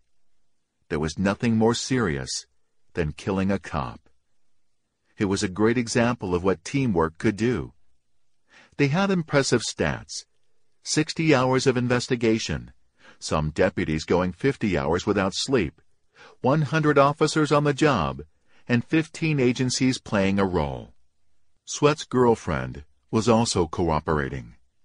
To avoid the death penalty, Sweat pleaded guilty to first-degree murder before Judge Patrick H. Matthews and was sentenced to life without parole, LWP. He was packed off to Dannemora on October 30th, 2003, where he wrote frequent letters in a cramped hand to his mother. In those letters, he described how much he was enjoying his new prison job sewing clothes. Not long after Tarsia's death, a plaque was installed, embedded in a large rock, located at Grange Hall Road Park in Kirkwood. And each year on the anniversary of his death, they would decorate the site with flowers, flags, and candles. On the 10th anniversary of the murder of Kevin Tarsia, on July 4, 2012, WBNG-TV ran a feature story, Remembering Deputy Tarsia. In it, Sheriff Harder said, It's important to remember any of our dead officers, no matter what agency it is. They do hard work. They put their lives out there every single day. If the residents of the county or city or town wherever they work, can sleep or rest at night, then they know they're doing their job. Sheriff Harder updated his Facebook status to pay respect to the Tarsia family and to ask the public to keep the family in their thoughts and prayers. 4. Richard Matt Twisted Richard, Ricky Matt, grew up in the Buffalo, New York area in the city of Tonawanda. Tonawanda and North Tonawanda are known in the area as the Twin Cities, separated only by the Erie Canal. Folks in Tonawanda knew early on that Ricky Matt was a bad egg. He was just like his old man, a chip off the good-for-nothing block and a twisted twig. But how twisted he was, none could imagine, at least not until body parts began washing ashore on Tonawanda Island in the Niagara River. Richard Matt was born on June 25, 1966. As an infant, he was abandoned in a car. He and his older brother Robert didn't have a real home and were fast-tracked into the foster care system. It looked for a time like the story might have a happy ending, as the brothers were both taken at an early age into the home of Mr. and Mrs. Vernon Eden, now deceased, who had previously given a good home to foster kids and were known to offer second chances to kids who'd messed up. The Edens made sure Ricky and Robert went to school and enrolled them in extracurricular activities such as scouts and youth baseball. Matt was considered a bright kid, played the trumpet, and grew into a good-looking teenager who was popular with girls. The trouble was, when it came to Matt's personality, Nature was beating out nurture. Ricky turned out to be a lot like his biological father, Robert Sr., who was a career criminal with a long record of assault, burglary, fraud, and theft charges. One police officer referred to Matt's father as a piece of garbage. Successes in Ricky's life were infrequent, but they existed. In December 1976, Richard Matt was Player of the Week in the Franklin Street Boys Club Indoor Soccer League and lauded for his goalkeeping that led his team to victory. He received a certificate and a photo of himself in action. He was a jock. At age 12, played Little League and Pop Warner football, but by age 14, he was in juvenile detention for trying to steal a houseboat. The facility couldn't hold him for long, however. In a harbinger of things to come, Matt stole a horse and rode away to freedom on it. Matt's son, Nicholas Harris, later said that running for freedom was the only kind of life his old man ever knew. Everybody is born innocent, Nicholas said, but he was raised around crime. It was in his blood. He wasn't born evil, he was just predisposed to it. Ah, the love of a son for his old man. North Tonawanda cop Randy Szukala recalled, Matt would terrorize kids on the school bus. He would just terrorize people, even in elementary school, junior high. He had issues. Even as a child, his reputation was fearsome. From 1985 to 1991, Matt terrorized the Broadway Fillmore neighborhood in which he lived on May 13, 1986, according to the Tonawanda News. Richard Matt, 19 of 28 Hill Place, was sentenced to one year for third-degree assault. It got to the point where, if a crime was committed in the area, the first question was, is Matt in or out? If he was out, police picked him up. Chances were good that he was the one who'd done it. He was arrested eight times. Tonawanda Police Captain Frederick Foles told the Rochester Democrat and Chronicle that Matt started out as a small-time thug, but one time he beat up a girl pretty bad. He got charged with assault in the second degree. That's a felony. We always knew him as Ricky. Ricky did this. Ricky Matt did that. Few knew Matt as well as David Bentley, who was a motorcycle cop when he first met Matt in 1979.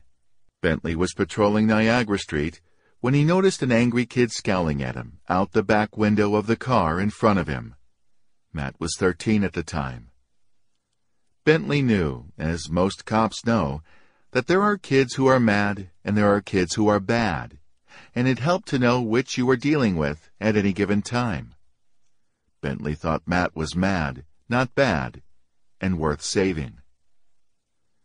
The officer later learned who the kid was and why he was so angry. Matt had been abandoned. Alcoholism ran in his family. These were things that Bentley understood from his own life. He learned that Matt only first met his biological father when he was 18 and in jail. A deputy called out the name Matt, and he and an older man both stepped forward. They looked at each other, realized that they were father and son, and the older man barely acknowledged the boy. It was around that time that Bentley, now a detective, tried to mentor Matt. But he didn't get very far. When Matt was cleaned up, he was very handsome, and in all frankness, very well endowed, Bentley said, unaware of the meme power of that statement. He gets girlfriends any place he goes. Trouble was, he was in and out of jail constantly. Burglary, they alleged he committed a horrific rape, but I think he beat the charge on that. Stolen cars, everything but drugs. Richard Matt's older brother Robert was also arrested multiple times during this stretch, but as far as police knew, the brothers were independent and did not do crimes together. Matt was married and had a couple of kids but never had a legitimate job of any consequence. For a time during the 1980s, Matt promoted a modicum of goodwill by ratting out other criminals to Bentley. In 1986, the 19-year-old Matt, already described as a repeat offender familiar with incarceration, was serving a year in the Erie County Correction Facility for assault. Instead of graduating from grammar school to middle school and high school, Matt graduated from foster homes to juvenile facilities to big boy prison. The prison was in Alden, New York, 20 miles east of Buffalo. A photo of Matt taken there reveals much about his playfully mischievous and thoroughly alpha personality. In the picture, Matt has a cigarette hanging off his lower lip. He's wearing a correction officer's shirt and holding a guard's billy club in his hand. Matt himself gave the photo its handwritten caption. Who said I can't escape this place? On June 15, 1986, Matt made good on that threat, taking advantage of a guard's mistake. He'd left the electronic lock on Matt's cell open. Matt left his cell and scaled a nine-foot brick and metal wall topped with razor wire in order to escape. Bleeding from razor cuts, he hopped a freight train. After a four-day manhunt that covered Tonawanda and Buffalo's west side, areas chosen because this was where many of Matt's relatives and his then-girlfriend lived. Police found him with an axe handle in his hand at his brother's apartment at 267 William Street.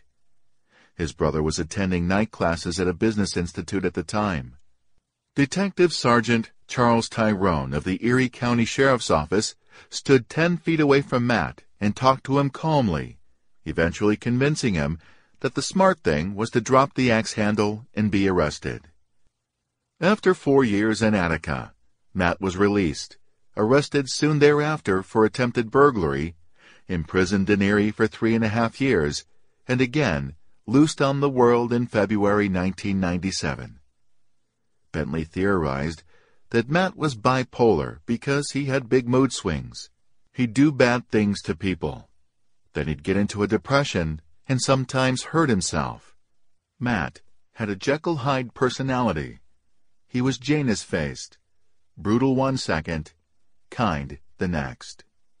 At least twice, Matt attempted suicide, but on both occasions, Bentley and others arrived in time to save him. The first attempt came when Matt was 20. Bentley recalled going to a Hill Street address after receiving a call that Matt was going to hurt himself. He went into the place and found blood smeared on the walls, going up three flights of stairs to Matt's apartment. In his apartment, Matt was holding a big knife in his hand and had inflicted maybe twenty cuts up and down his arms. Blood was spewing from the wounds. Four years later, now 24 years old, Matt was again suicidal, and again Bentley was called. This time, Matt was in a garage at an address on Tonawanda's Delaware Street. He was almost dead from carbon monoxide fumes in a car.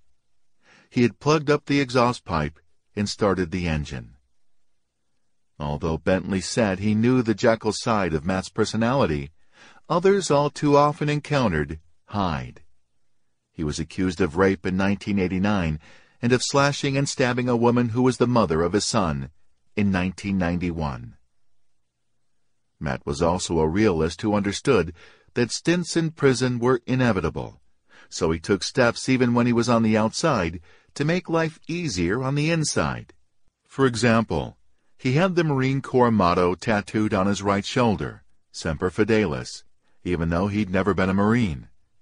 His thinking was that the tattoo would increase the chances that one day, sooner or later, potentially dangerous or amorous inmates would be intimidated by him. Auto plant worker Gregory Durandetto met Richard Matt when they were both eight years old. Back then, Durandetto said, Matt was a goofy, fun-loving kid. Matt's early years as a criminal were linked to a sense of abandonment, Durandetto said. The kid lived in a foster home and had nothing. He stole things so that he could have possessions like the other kids. One day in high school, Matt pulled up in a car and said to Durandetto, Get in my new Charger. Durandetto said, Hey, Rick, that's not a Charger. It's a Challenger. Matt was taken aback. You mean I stole the wrong car? Moping with disappointment, he returned the car. Another time, Matt stole dozens of pairs of shoes. Most of them didn't fit, so he placed them on the lawn in front of the Tonawanda Town Hall.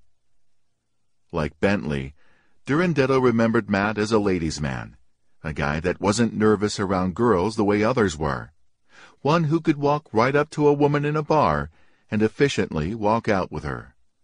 Durandetto liked hanging out with Matt during those years because he would attract more women than he could use, and was always introducing his friends to pretty girls.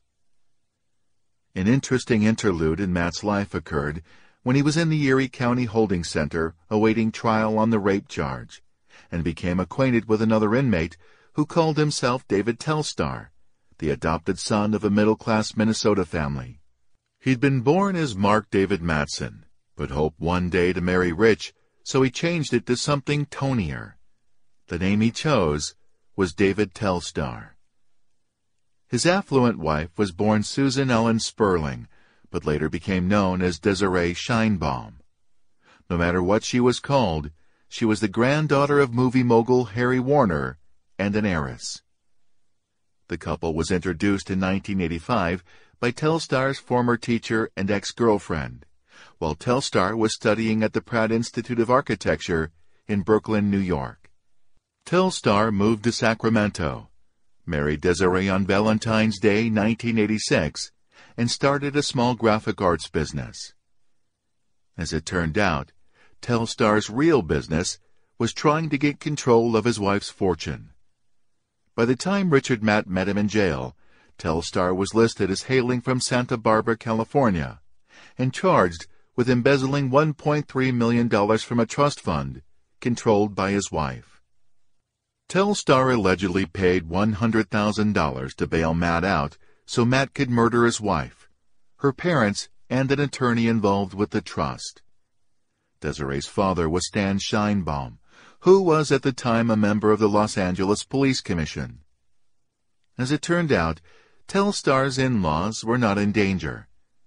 Once bailed out, Matt reneged on his promise and ratted on his co-conspirator. He informed Mrs. Telstar that Mr. Telstar wanted her dead and revealed the plot to the authorities in exchange for lenience regarding his legal woes. Matt at the time was under indictment for a 1989 rape and was facing possible charges for a separate assault on a former girlfriend. Telstar ended up pleading guilty to conspiracy. Matt later claimed he was attacked in a prison in Elmira, stabbed in the leg, as part of Telstar's retaliation. After Matt served as the star witness at Telstar's trial, he appeared on a television news magazine called Hard Copy, discussing his involvement with the case. Following his 1997 release from Erie Correctional, Matt found a place to live at 114 Minerva Street in the city of Tonawanda.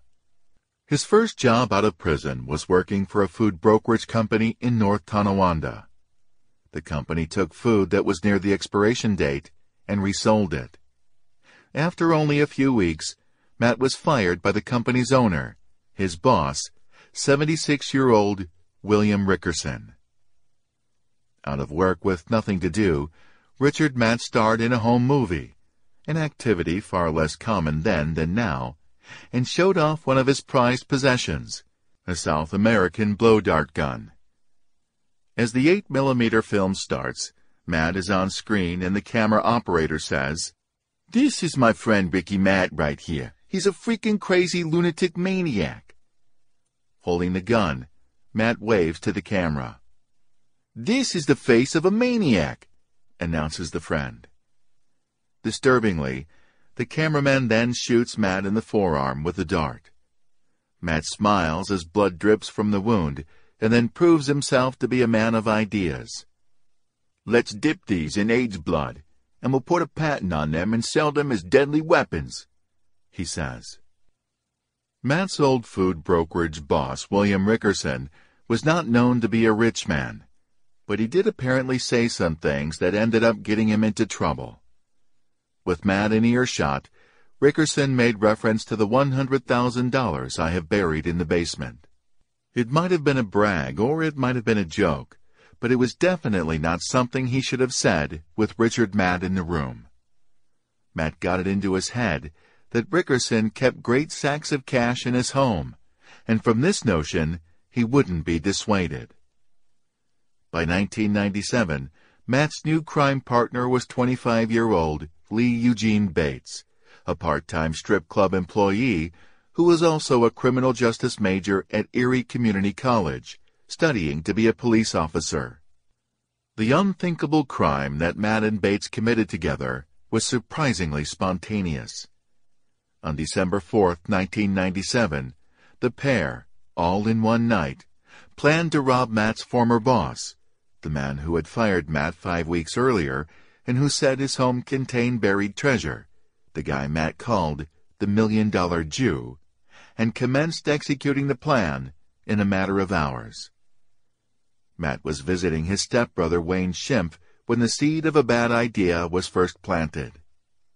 Schimpf overheard Matt on the phone having an argument with a former employer, who turned out to be Rickerson, about money Matt claimed he was owed. Matt got no satisfaction, hung up roughly, and immediately called his friend Bates. Come on over, Matt was overheard saying. He then asked for and received a pair of gloves from Schimpf. Matt and Bates drove to Rickerson's house and pounded on the door. When Rickerson answered, Matt and Bates barged in. Matt did the talking. Where's the fucking money? Matt asked. Rickerson gave him a bewildered look. You heard me. Where's the cash? Matt said. He grabbed Rickerson at the shoulders and roughly spun him around. Matt punched Rickerson in the face and pushed him again until Rickerson fell awkwardly down a set of stairs into the family room. Bates stood guard over Rickerson while Matt searched the house, turned the place upside down, the bedrooms, even the basement. Matt's mantra was bitten off, but steady. Where's the money? Where's the fucking money? The pair beat Rickerson, who wouldn't answer the question. It wasn't that there was money and he wasn't revealing where it was. It was that there was no money. Couldn't they get that through their heads? They could not. Then, just as Matt was about to start a fresh round of beating, there was a knock at the door. Matt put his finger to his lips. Everyone was quiet. The knock repeated. Eventually, the visitor went away, and the attack continued. Matt found the letter opener and held it menacingly, at one point prodding the sharp tip roughly inside Rickerson's ear. Rickerson didn't respond to the threat. With frustration, Matt hit Rickerson repeatedly over the head with the letter opener, which was kinder than stabbing him with it, but still hurt like hell. The crime was already tons messier than Matt and Bates had planned, so messy that the pair began to revel in it with porcine gusto. Matt opened a bottle of wine and poured it over Rickerson's head. It was kind of funny, if you were a sick fuck. But it was frustrating, too.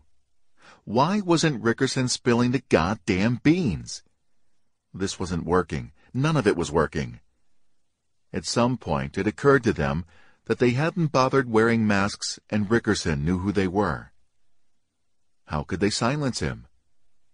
There was only one way, only one that didn't involve trust.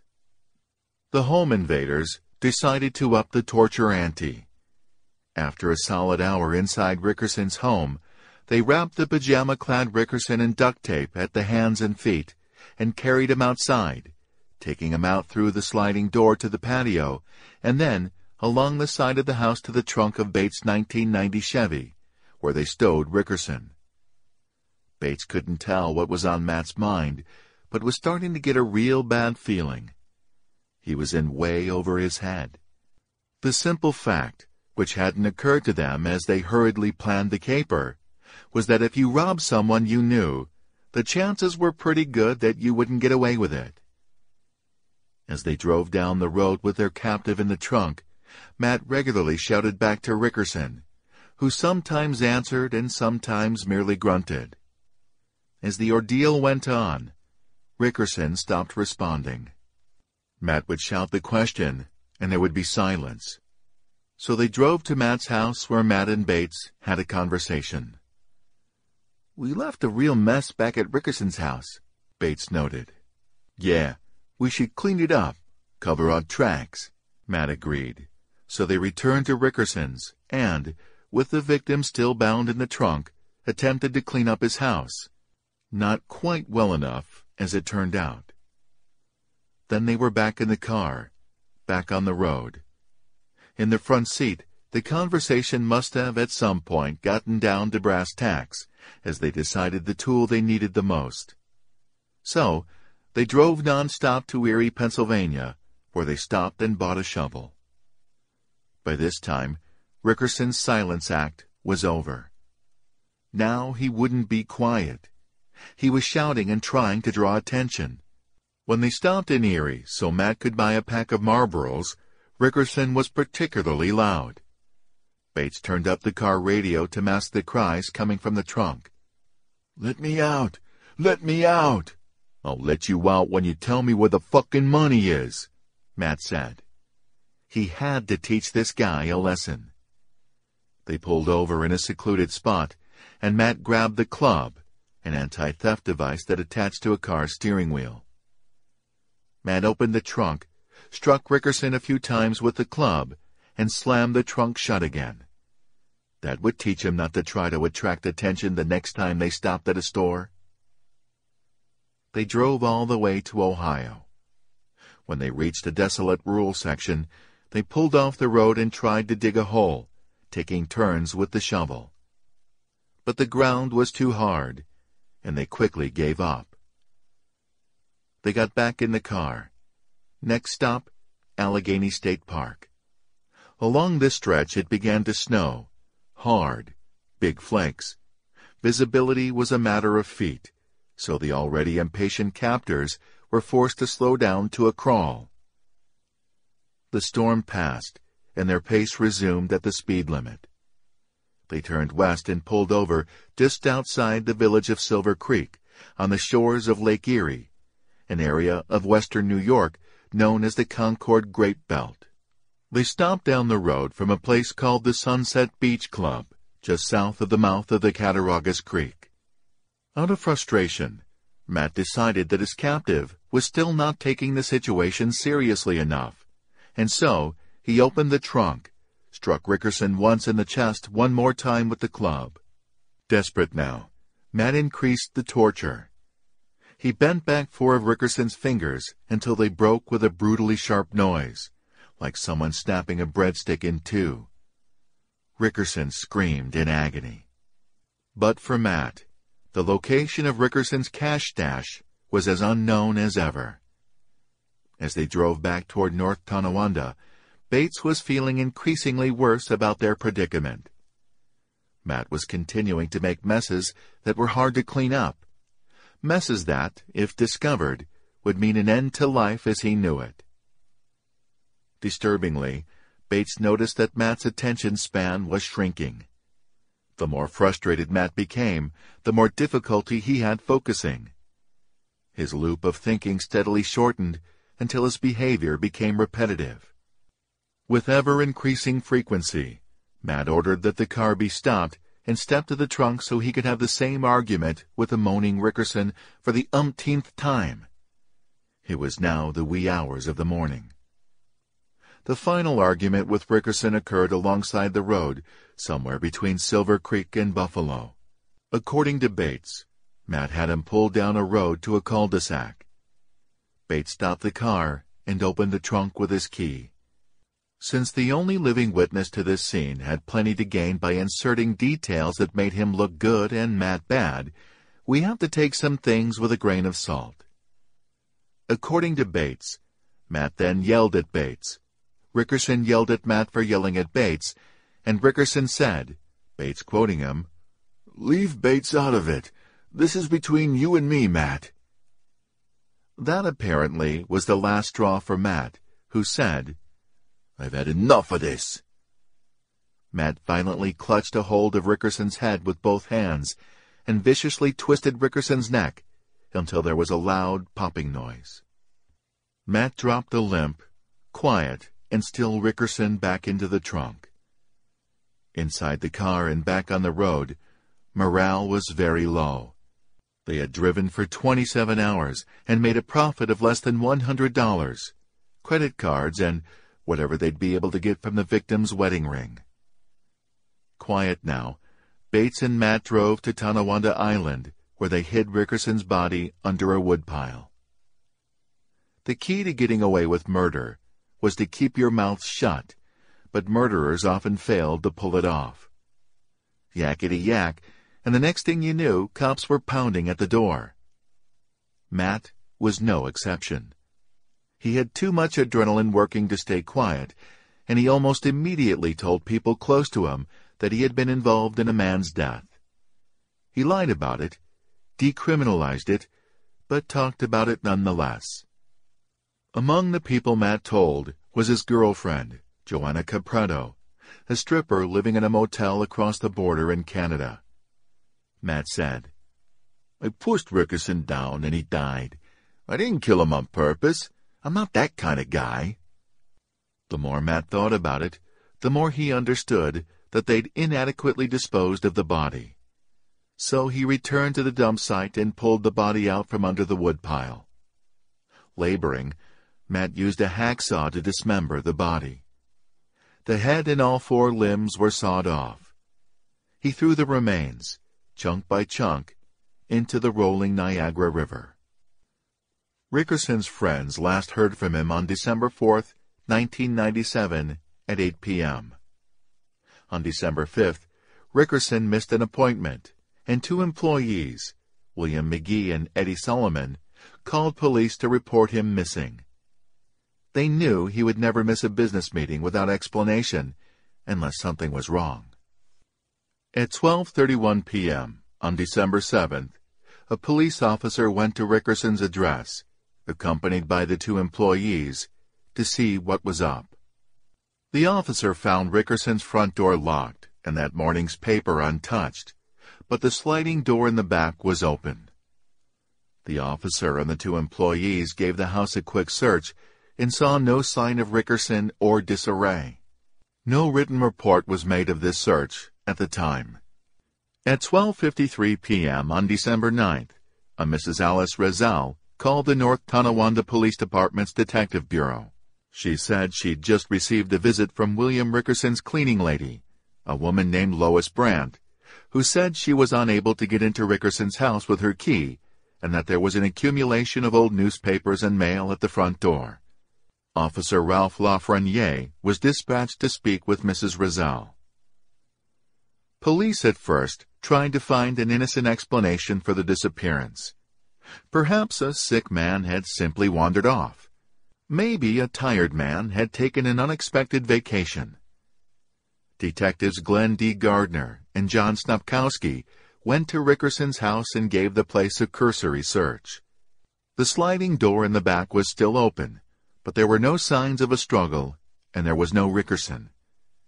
This time, a little investigation was deemed necessary. The detective spoke with the cleaning lady Lois Brandt and William Rickerson's daughter-in-law Catherine, who said that Rickerson would never leave the area without notifying his friends, family, and business.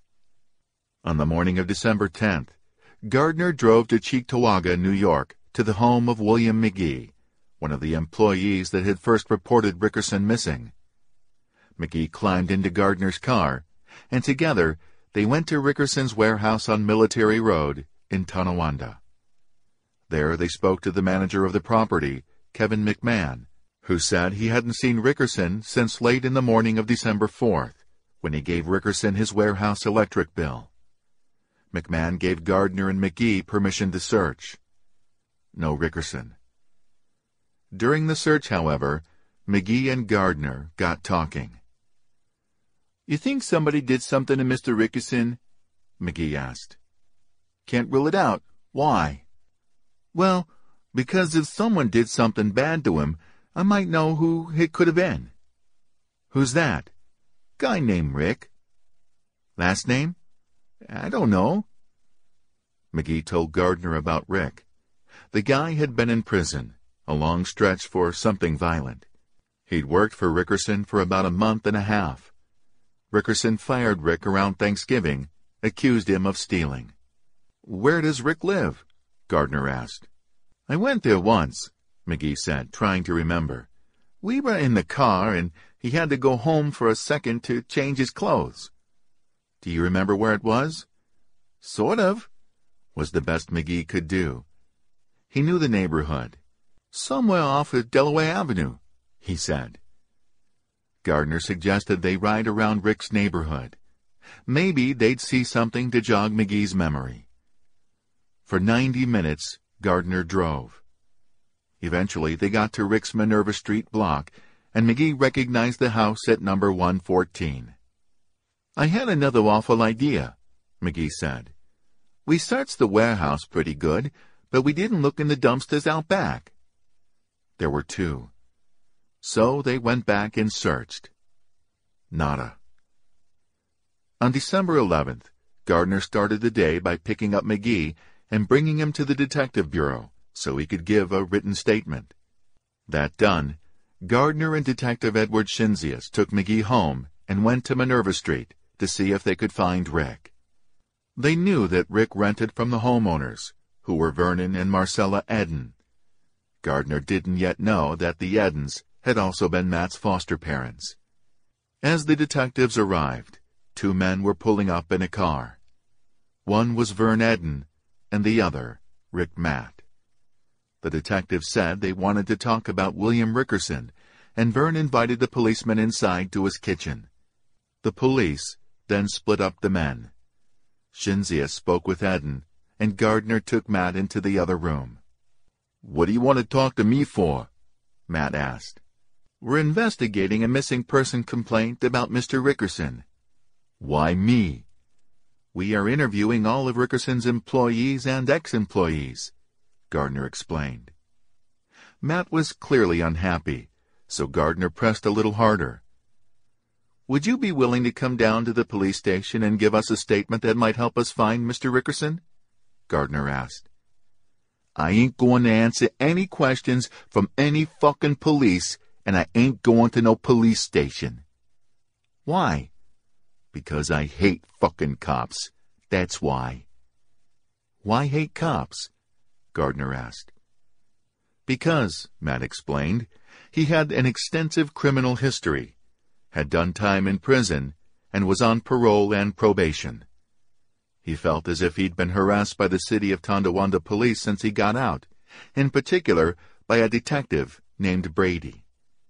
Matt told Gardner that it had been just the other day when Brady got his cop henchman to visit Matt's house first thing in the morning as he was transferring various meat products from his trunk to another car. He'd explained to the cops that he was a meat producer and that the items were not stolen. They called Mr. Rickerson, who told them he didn't want to get involved. Gardner gave Matt his card, told him to call if he heard anything about Mr. Rickerson, and left. He later learned that the meat products Matt was transferring had been stolen, and that although Rickerson refused to press charges against Matt for the theft, he did fire him. On Gardner's list of interesting persons, he drew an emphatic line under Richard Matt's name. He checked out Matt's extensive criminal record and spoke to cops who dealt with Matt in the past. The key word was violent. Matt once beat and raped a woman during a burglary. That afternoon, Gardner received a phone call from William Rickerson, Jr., who was in Toronto, Canada, on the fourth day of a business trip. Considering the circumstances, that his father was missing, he agreed to return to North Tonawanda immediately and be available for a police interview. That interview with both Rickerson and his wife took place at 9 a.m. on December 12th at the Detective Bureau. Rickerson Jr. gave Gardner the number to access his dad's voicemail. Gardner made a note of some of the messages and deemed others unworthy of consideration. Gardner and the Rickersons then drove to Rickerson Sr.'s house on Harvard Avenue and again searched the place, this time more carefully. While out on the patio, Gardner saw something, a droplet of something, and it interested him enough that he got down on his hands and knees to take a better look. A tiny brown speck, just one, and so small that a spray might have created it. Yet it was alone. Still on hands and knees, Gardner searched inside the house. He went down the stairs to the basement. At the base of the stairs, he once again got on all fours to look carefully and found two more brown specks. About a foot away from the specks was a discarded cigarette butt, a Marlboro Red. That butt would turn out to be key evidence, as it was later determined to be Matt's brand and coated at the filtered tip with Matt's DNA. He found suspicious stains elsewhere as well. A droplet near the family room door, and a smudge on the kitchen floor at the top of the stairs to the family room. He immediately secured the house and called Captain Gabriel Gabe DiBernardo and Sergeant Kevin LoCicero of the ID Bureau. Joined by Detective Snupkowski, Gardner, DiBernardo, and LoCicero re-entered the house using Rickerson Jr.'s key just before noon. During the search, Rickerson Jr. was instructed to stay in the family room, to stay out of the way of the investigation, and to not touch anything. LoCicero realized the crime scene was too big and too important to be handled by one man, so he called in help in the form of Mark Henderson of the Niagara County Forensics Lab and Inspector Joseph Taylor, crime scene specialist. Re-examining the home now with luminol, investigators found evidence of blood splatter in many places. There had been a bloody mess at one point, and someone had done a pretty decent job of cleaning it up. Not good enough to fool investigators, though. Possible blood was photographed, and samples taken as evidence from nine locations, including the first droplet Gardner had seen out on the patio, which turned out to be barbecue sauce. Gardner later recalled, I didn't think finding the droplet of barbecue sauce was worthless to the case at all.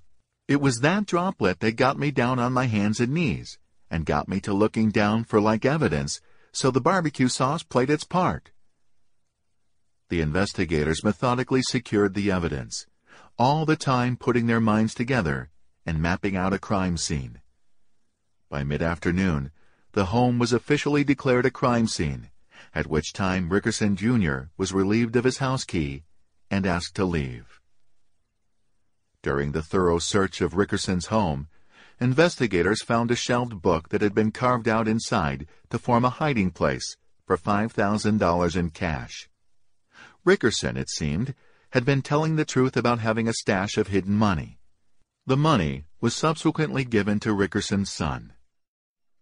On December 13, 1997, Detective Gardner learned more about the incident during which Rick Matt was hassled by City of Tonawanda police regarding the transfer of meat products from one car to another. It turned out that a fellow named Lee Bates accompanied Matt during this incident. That afternoon, police took a statement from Christopher Brick, part owner of Brick Brothers Pizzeria in Tonawanda. He'd been one of the guys whose voice had been on Rickerson's message machine. Brick said he knew Rickerson only professionally as he purchased food from him for his business. Detective Shinzius checked out Rickerson's credit card activity. He learned that Rickerson had purchased nothing using his Capital One card since October. The company agreed to call back if any transactions on the card occurred. They checked his bank accounts and saw no activity since November 25th. The bank immediately froze the account and followed the procedure to deny anyone using Rickerson's debit card. Police took another look at Rickerson's warehouse, inside and out, and made a careful check to make sure Rickerson hadn't booked any flights or otherwise made travel plans. At 6.30 p.m., Shinzius and Gardner went to Tonawanda Police Headquarters and spoke to Detective David Bentley, Matt's old mentor. Bentley explained in no uncertain terms that Matt was capable of anything, any crime, without feeling remorse. The thing about Matt, Bentley explained, was that he couldn't keep his mouth shut. If he'd had something to do with Rickerson's disappearance, he was bragging about it to his friends and family. The next morning, Captain DiBernardo briefed Rickerson Jr. and his wife Catherine on the status of the investigation. The Rickersons gave lengthy written statements. On the morning of December 17th, investigators once again took over Rickerson's home, this time accompanied by the K-9 search team, featuring Abby the Bloodhound. Abby was allowed a whiff of Rickerson's socks in the upstairs bedroom and went to work. The dog took investigators downstairs, out the sliding door onto the patio, and then along the side of the house to the driveway where the trail ended. It seemed that Rickerson had entered a car in the driveway and been taken away. They knew they had blood in the house, but was it Rickerson's blood? They struggled to find out Rickerson's blood type. The Veterans Administration had no record of him. In 1987, Rickerson had visited the emergency room at DeGraff Hospital, but folks there didn't know his blood type either. At Rickerson's warehouse, a different sort of emergency developed. The food stored there was decaying. Police called the Department of Agriculture and Markets, who seized the warehoused food for future destruction. A few weeks after Rickerson's disappearance, Matt arrived unexpectedly at his half-brother Wayne Schimpf's apartment. Ricky, what are you doing here? Schimpf said, not without concern. He knew Ricky well enough to know that he was always trouble, 100% of the time. I'm in a fucking jam, Matt said. Got a newspaper? Schimpf did, and Matt pointed out a story about Rickerson's disappearance. He said that he might have killed the missing man by accident. Then he panicked and cut the guy up for more convenient disposal. Schimpf stared at Matt. Part of him believed it. Part of him thought his half-sibling was full of crap. He didn't want to believe it, that was for sure. How'd you do it? Schimpf asked. Matt gave his half-brother a grin that Schimpf would never forget with a hacksaw, Matt said. No way! Schimpf felt his heart racing. This was a startling admission, even from the ne'er-do-well Richard Matt. Matt didn't have time for Schimpf's shock. Look, I've got to get out of town. Can I borrow your car? No, I need my car. You can't just... You're my brother. You're my blood. I love you, but I'll kill you.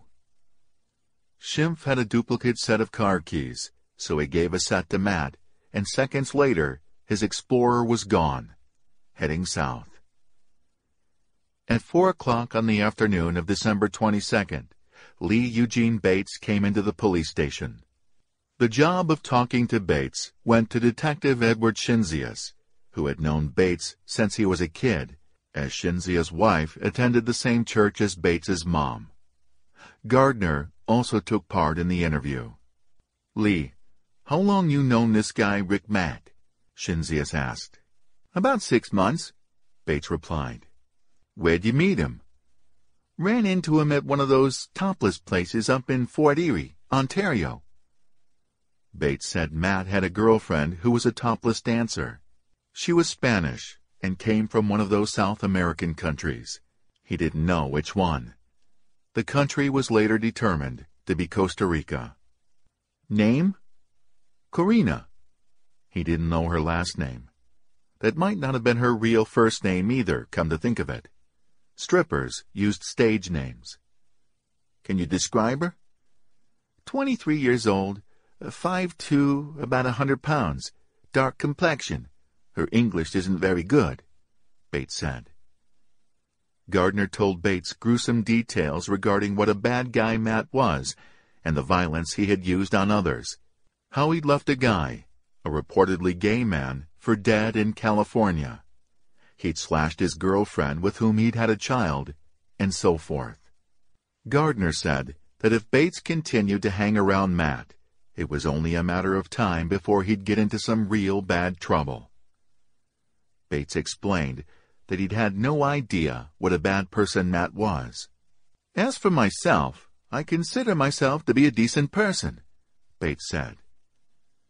Regarding this interview, Shinzius later recalled, he would launch into stories that had nothing to do with Matt or Rickerson. One such story that Bates started to tell involved giving a stranger a ride down toward Pennsylvania sometime during the winter. The hitchhiker said he was stranded and needed to get home. Bates dropped the guy off somewhere near the Pennsylvania border and then drove back, but it was snowing heavily and he ran out of gas. A truck driver picked him up and drove him to a gas station to fill a can of gas, enough for him to be able to drive to the gas station on his own. But he didn't have any money and had to call his mother and use her charge card to buy gas and a snack. It had been a miserable trip, but he had only taken it in the first place because he was a good Samaritan and always trying to help out his fellow citizens. At the time, the hitchhiker's story seemed completely irrelevant but later was interpreted by investigators as an indication that Bates thought police knew more than they did and had developed a cover story for evidence the police didn't yet have.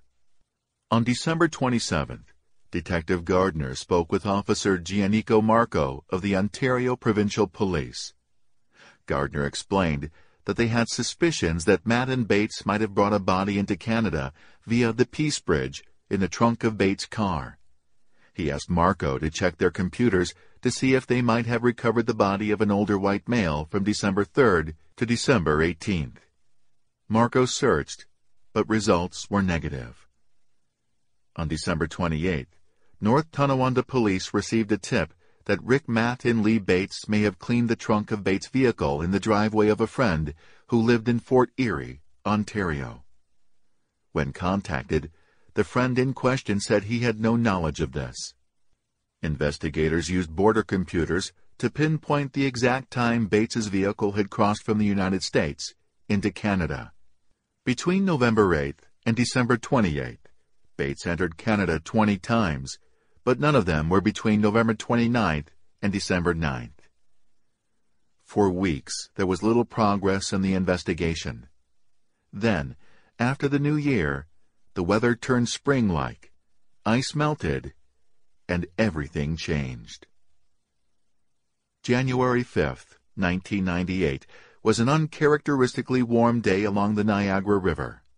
On an average early January day, the temperature might barely break the freezing point.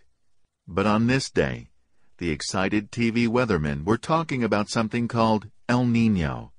The temperature had cracked 60 degrees, and whenever possible, folks were doing things outside. Winters in that area being what they were, almost no one was complaining. There were some who muttered that it just wasn't natural for there to be a whole day in January during which the temperature never fell below the freezing mark, bottoming out at 37 degrees just before dawn. Maybe it was a foreign power messing with the weather. So it was without winter coats that, on that day, a fisherman and his son were walking along the Niagara River when they spotted something bobbing like a pale dead fish in the water off Fisherman's Park, between the park and the wastewater treatment plant. Upon closer inspection, they realized that it wasn't a bleached and bloated fish at all, but a man's torso, from the belly button to the neck. No head, arms, or legs. The call came into North Tonawanda Police at 2.45 p.m. On Rickerson's missing person report, there was a note about a surgical scar he had. Sure enough, the torso had one too. Formal identification of the torso couldn't be done until after autopsy, but in the meantime, investigators operated under the assumption that this was Rickerson. By quarter to four, detectives Gardner and Shinzius were again double-teaming Lee Bates.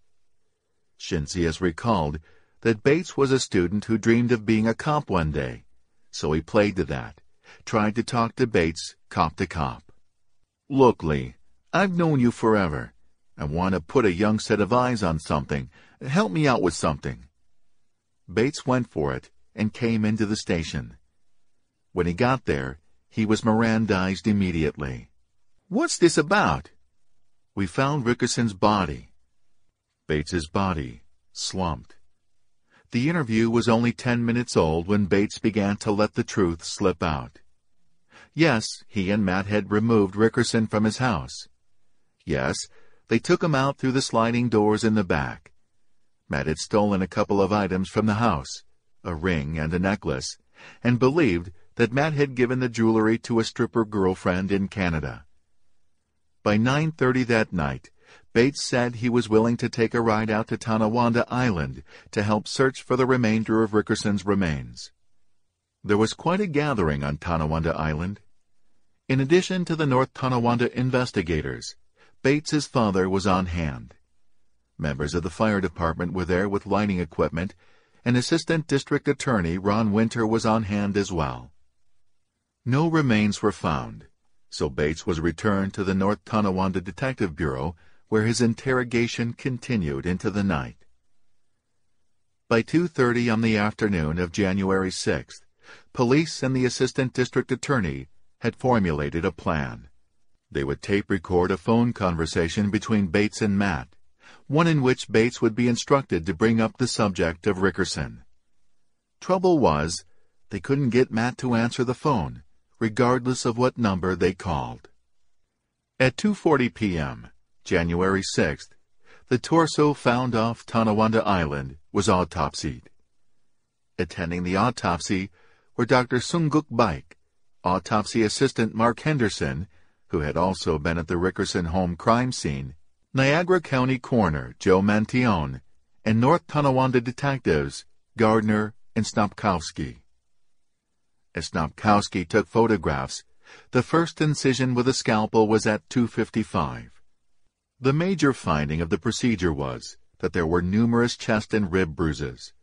Gardner was on the phone, arranging to have tissue specimens transported to the Niagara County lab and blood and hair samples to a DNA lab as soon as possible. By quarter to four, those samples were on their way to their respective laboratories.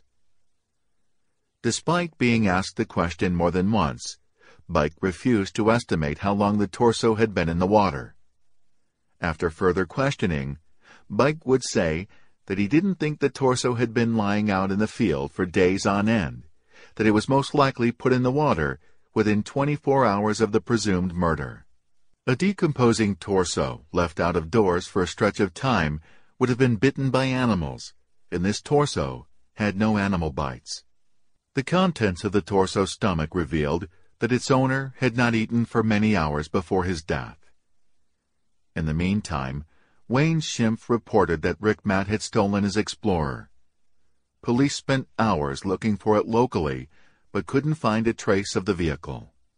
On January 7th, investigators, now armed with new info regarding the assault that had occurred at Rickerson's home, returned to the Harvard Avenue address, where they successfully dusted for prints on a five-liter wine box that Matt had reportedly pulled out of the refrigerator. That same morning, local newspaper reporter Tony Farina called Detective Gardner and reported that new body parts had been discovered in Welland Canal, the shipping canal that connects Lakes Ontario and Erie. By January 8th, Lee Bates had lawyered up. His attorney was Peter Todoro of Williamsville, New York, and he said that Bates was not to be asked any questions unless he was there. Todoro explained that he was going to need more time to review the case before such an interview could be granted. Also on the 8th, police set out to find Rick Matt's girlfriend.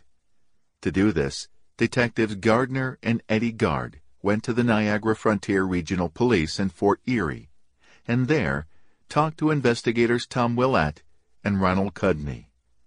They wanted to find out what the girlfriend knew, of course, but they were also interested in discovering if she was in possession of the ring and necklace that had been stolen from Rickerson's house. The men brought along policewoman Jackie Lee when they went to the Pure Platinum Gentlemen's Club to see the woman known as Karina. Once just outside the strip joint, Lee called the club and asked for Karina. When Karina answered the phone, the other officers entered the club and secured her. They explained the situation, and Karina took them to her room, which was right there above the club, on the third floor, room six. She allowed them to search her tiny room, but no ring or necklace was found.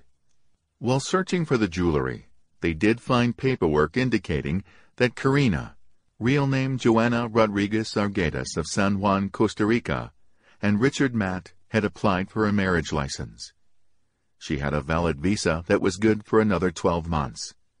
She said she knew nothing about a ring or a necklace, and nothing about Matt or Bates in connection with the disappearance of Mr. Rickerson. On January 9th, police attempted to find Wayne Schimpf's vehicle and located Rickerson's smashed cell phone. Phone records indicated that the phone had been used close to the time Rickerson disappeared, one call being to the Peppermill Lounge in Grand Island, New York. Police visited the club and found no one there who knew Rickerson, Bates, or Matt. A second trip to the club later in the day yielded results. An eyewitness placed Matt in the Peppermill Lounge two or three times, always in the company of the same guy. The woman bartender that had been working the night Rickerson disappeared said she didn't remember receiving any calls from Matt's friend, but that didn't mean anything. If the place got busy, anyone might have answered the phone. In the meantime, Matt's stripper girlfriend called Detective Gardner and complained that her boss might fire her or force her to leave the area and go to London, Ontario. Her boss, however, when contacted said that she was being taken care of and he was thinking of moving her, but only for her own safety, with a desperate Rick Matt on the loose and all. On January 17th, an aviation team joined the search for the remainder of William Rickerson. Pilot Phil Newsom and Sergeant Kevin LoCicero flew low along the east shore of the Niagara River and around Tonawanda Island. They were in the air for an hour and a half, but located no body parts. The Rick Matt trail heated up a bit when the Buffalo Police Department located a 43-year-old woman in that city who admitted to smoking crack with Rick Matt around the holidays. She said he'd been driving the Explorer. She knew because he drove her to do Christmas shopping around December 23rd. The focus of the search for Matt shifted to the big city. Detective Gardner spent January 18th driving around Buffalo in the vicinity of Matt's crack-smoking buddy's place, but didn't see him. Detective Gardner contacted William Rickerson's dentist and learned that, should Rickerson's head be located, it would not be difficult to ID. Rickerson's front two top teeth were fused together, and the tooth next to them was twice the size of a normal tooth, an anomaly that would be easy to spot. Gardner's next call was to Thomas Vaughn, the assistant superintendent of the Erie County Holding Center. Gardner notified Vaughn that Rick Matt's father Robert was currently incarcerated in that facility, so there was a chance that his much-wanted son might come to visit him there. Gardner subsequently learned that Robert Matt had been overheard expressing interest in his son's activities and had been discussing body parts that were spread out all over western New York. More importantly, the dad had been heard discussing places where his son might be laying low. In particular, a house on Broadway, a few houses from the market above a bar, with the tavern being below street level. On January 21st, police executed a search warrant for Matt's home on Minerva Street. Though they found nothing of interest indoors, they did confiscate two shovels that had been in the backyard. Investigators were still trying to determine Rickerson's blood type. The Department of Motor Vehicles was unhelpful. They found out where and when Rickerson had been married, July 26, 1947, Niagara Falls, but the record of Rickerson's then mandatory pre-wedding blood test didn't record his type. At 3.10 p.m. on January 28th, the North Tonawanda dive team discovered a leg in 20 feet of water in the Niagara River on the west side of Tonawanda Island. The other leg was found about 40 minutes later. Investigators took Bates for a ride, and with his help, located the spot where Matt and Bates bought the shovel, and the spot in the woods where they'd started to dig Rickerson's grave. On the 29th, while divers searched for parts still missing, two arms and a head, the legs were autopsied at the Erie County Medical Examiner's office. One leg was 19 inches in diameter, the other only 16. Their combined weight was 20 pounds. The divers didn't find parts, but they did pull out of the water a tartan men's pajama top. The search for the rest of Rickerson went into overdrive on February 1, 1998, as the dive teams from both Tonawanda and North Tonawanda were hard at work, along with the Western New York search dog teams. No new parts were located, but divers did pull up the PJ bottoms to match the tops they'd found on January 29th. None of this mattered much to Richard Matt. As investigators were building a case against him, Matt was living in the Mexican border town of Matamoros, just across the mouth of the Rio Grande from Brownsville, Texas, pretending to be his brother. He was, however, without Wayne Schimpf's car, which hadn't made it out of Texas. Matt could have minded his P's and Q's and been home free, but fat chance. Where Richard Matt went, trouble always followed. In February 1998, he encountered in Matamoros a 53-year-old American named Charles Perrault, a huge guy at six foot six. Matt and Perrault drank and watched brown women work the pole. But Matt wasn't thinking just about the naked breasts. As usual, he had profit on his mind as well. I'm a family man. Eight kids, Perrault said. What do you do for a living? Matt asked. I'm a rigger for an oil company in Texas. Oil. Ka-ching! Matt was now locked in on Perrault, on his story, and on the way he smelled. He smelled of money. As he was prone to do, Matt got it into his head that this guy was holding a wad of cash. Perrault got up to take a leak. Matt counted five Mississippis and followed him in. Perrault bellied up to the urinal. Matt came up on him from behind and repeatedly stabbed him in the back, killing him. What seemed to Matt to be such a good idea turned sour immediately. In fact, he was arrested within minutes of the killing while still running from the bar and, Despite his oft-repeated refrain that he'd stabbed a man in self-defense, he was put on Mexican Justice's express track. Authorities said this was a simple robbery murder. Matt was a bad guy with no feelings for human life, and Matt was almost instantly beginning a 20-year stretch in a deep Mexican prison. On February 4, 1998, Wayne Schimpf's vehicle was located, broken down and abandoned, near the border in Zapata County, Texas. Soon thereafter, North Tonawanda police received a call from the Texas Rangers. This was their first inkling that Matt was long gone, a cool breeze, safe and sound south of the border.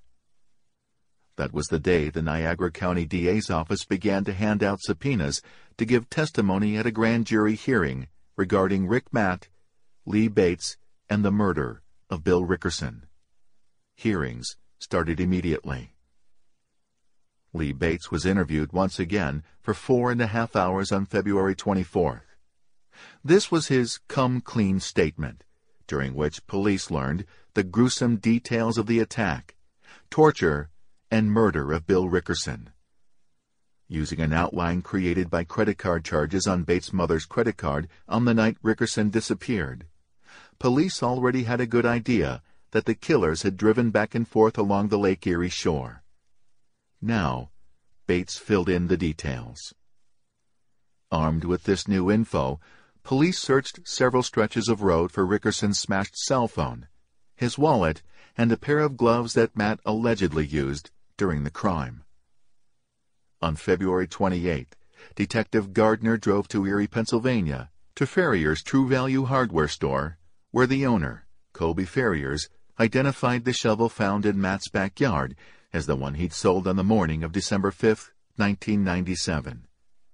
Records showed that the shovel had been Ferrier's first sale of the day, and the store opened at 7 a.m. By the time Wayne Schimpf's vehicle was returned from Texas to western New York, police there learned that Richard Matt had been found and was residing in a Mexican prison. The story gets a little sketchy here, as stories out of Mexican prisons often do, but Matt told his son Nicholas Harris that he was shot while trying to escape and was in a fight and had his teeth knocked out some time before his capture. We do know that soon after Matt was locked up, he was allowed a phone call. He called his old pal, Detective David Bentley, and complained about his captors, whining that Mexican prison officials had extorted money from him in exchange for a cell with a bed and a toilet. While in prison, Matt was interviewed by Channel 4 News out of Buffalo. How many times did you stab the man in the bar? They asked. I don't know. Until he stopped moving, Matt replied. During that same interview, Matt denied mutilating and dumping the body of William Rickerson. I didn't dump no torso, he said. Whether or not he ever took a bullet and how he lost his front teeth may always be a matter of conjecture. But what is known for sure is that Matt came out of Mexico with a tattoo, a tramp stamp reading, Mexico Forever, and metallic front teeth, giving his evil smile an extra chill. Matt had already been behind Mexican bars for years when authorities in Erie County received a communication from the military general who ran the prison. For $10,000, the general said, he would be glad to hand over Matt so he could face justice in New York State. NYS said thanks, but no thanks. You can keep him. Eventually, the Mexican prison gave him back anyway, and they did it for free. In 2007, Matt was extradited back to the United States along with the kingpin of a drug cartel. Detective Shinzius recalled that the prison down there was having a problem with Mexican drug cartel prisoners killing gringos. Matt's inclusion in the deal was a surprise to U.S. government officials, who not only hadn't negotiated for him, but also had refused to negotiate for him.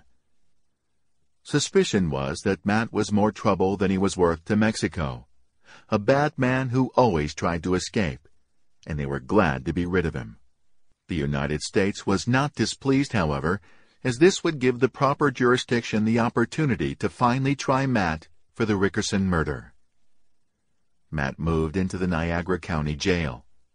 Compared to prison in Mexico, this was like the lap of luxury. There had been a Niagara County jail since 1810, a stone building on Washington Street in what was then known as the Village of Buffalo. But that one only lasted 15 years. New jails were built in 1825, 1842, and 1893.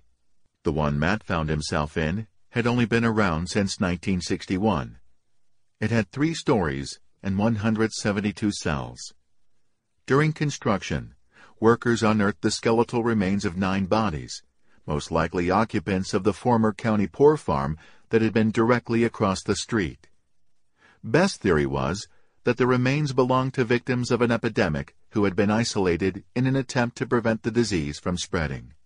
When it was new, the jail was known for its light and modern aura, its modern pod system design increasing the inmate-to-guard ratio, all in such sharp contrast to the dark, dank dungeon of a facility that it replaced.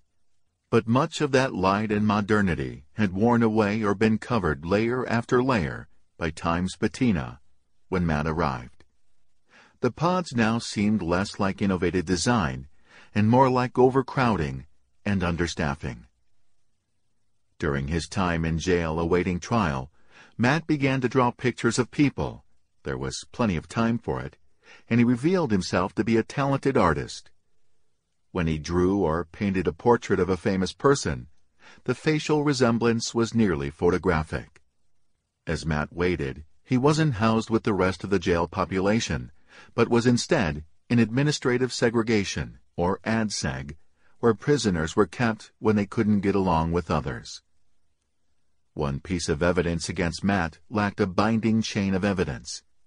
While in Mexico, Matt, it was believed, wrote a letter to Lee Bates, saying that in exchange for $10,000, he would take the rap for killing Rickerson, and Bates would be off the hook. Bates didn't pay the money, but he did keep the letter. The prosecution hoped that, if it could be proven that Matt really wrote the letter, a jury might interpret it as an admission from Matt that he'd killed Rickerson. In order to prove authorship, Detective Shinzia sat Matt down, with audio and video recording rolling, and asked Matt to write various phrases from the letter 19 times. The reason for the repetition was that most people can hide their real handwriting for a short period of time, but if asked to write the same passage again and again, the true handwriting would emerge. One of the phrases that Shinzius asked Matt to write 19 times was, I killed Bill Rickerson. Matt took great delight in, as he wrote, saying the phrase aloud over and over again, making eye contact with Shinzius. I killed Bill Rickerson. I killed Bill Rickerson. I killed Bill Rickerson. Because he knew that he could say it a thousand times, but these were statements that could not be used against him. Matt's trial was held in a large courtroom in Lockport, New York. He was represented by Assistant Public Defenders Christopher Privateer and Matthew P. Pinn. Pinn, for one, was wary of his client's charisma. Matt was a guy who was used to getting by on his charm, an act that could crash and burn in front of jurors with tombstones in their eyes. Pinn saw Matt as a guy who should have a lot of friends. He was a fun guy, but a dangerous guy. Too dangerous for most to hang around with. A juror at Matt's trial, Brett Sawyer, felt that charisma as well saying that the stylish suits Matt wore, donated to his cause by a friend, made him look like a cult leader. It seems he has a way of manipulating people to do things, Sawyer concluded. Even before jury selection began, there was fuss. Police received a tip out of the jail that Matt's accomplices were planning an escape, planning to bust him out. Precautions needed to be taken. Very, very expensive precautions. The protective layers of glass over the defense and prosecution tables were removed, so Matt would not be able to smash them and use a shard as a weapon. This was deemed necessary after a report that Matt had tried to obtain a diamond glass cutter to use in his escape. Snipers stood on the roof of the courthouse and neighboring buildings, in case the courthouse was invaded. At the insistence of the Niagara County Sheriff's Office, Matt wore a stun belt, along with his well-tailored suit, so, in case he acted up, he could be dropped instantly with taser electrodes that delivered a brutal 50,000-volt electric shock. When Matt was in the courtroom, there was never less than six deputies there also. If he couldn't escape, the report said, Matt was to be considered suicidal. He had been receiving weekly visits from an unnamed woman who had given him money, on one occasion two $50 bills, and the pair had been overheard having conversations that contained the phrases, during the escape, and help pay off a guard. Matt was quoted as saying that he'd been in touch with Mexican drug lords when he was in prison down there, and that he was heading straight for the Mexican border when he escaped from the Niagara County Jail. The report noted that Matt had recently purchased a pair of Adidas sneakers with a hard sole, one that wouldn't tear when he climbed the prison fence. Random courtroom searches were conducted during the trial to make sure no contraband or weapons had been left in the room. Spectators would walk through a magnetometer before entering the courtroom, but that machine was turned off at night, and there remained the thoroughly unpublicized possibility that something could be placed strategically in the courtroom at that time. Matt, of course, led on that he found the extra security silly. Escape? Him? And while he seemed to enjoy the fuss, he continued to deny that any of the report's allegations were true, and that they were the figment of the imaginations of two homosexual prisoners who were angry because Matt reported them for having a romantic interlude in front of his cell. 5. Throwing away the key. Presiding over Richard Matt's trial was the Honorable Sarah Sheldon. One of her first decisions was to order a special prosecution to take over for the people in this case, as the local prosecutors, she determined, would have faced a conflict of interest because the new district attorney, DA, Michael J. Violante, played a role in assigning Matt's defense lawyers while he served as the county's public defender in 2007. Matt was charged with four counts of second-degree murder in connection with Rickerson's murder, one for the murder itself, and three for committing the murder during the commission of other felonies, torture, robbery, and kidnapping, two counts of first-degree robbery, and three counts of first-degree kidnapping. The special prosecution team was made up of two former assistant Erie County District Attorneys, Joseph M. Mordino, Joe, and Louis Haremski, Lou. Mordino was a legend. The 65-year-old prosecutor had successfully prosecuted 250 murderers in the Erie County District Attorney's Office. He joined the DA's office after earning his law degree at the University of Buffalo Law School in 1969. He had served as chief of the Narcotics Bureau and the Felony Crimes Bureau, and was deputy district attorney before retiring in 2007. He entered private practice, but agreed to come out of prosecutorial retirement for a shot at Richard Matt.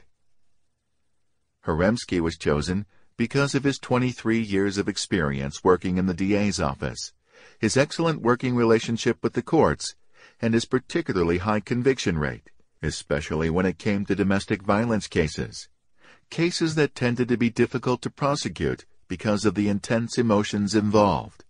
That is, victims remain loyal to their attackers. Before he retired amidst a political shakeup in his office, Haremski had a reputation for working quickly, which was good because he received the call from State Supreme Court Justice Richard C. Kloch Sr. asking him to take the case in December for a trial scheduled to begin in March. Preparation would need to be done efficiently, and it was. I am a type A when it comes to preparation, Haremski later explained. I make a list of ways in which we might lose, and then prevent those things from happening. Haremski did not come into the case bursting with overconfidence. He certainly thought the case was winnable, but there were issues that would need to be overcome. The case was ten years old, which presented difficulties, and two of the main prosecution witnesses were 1.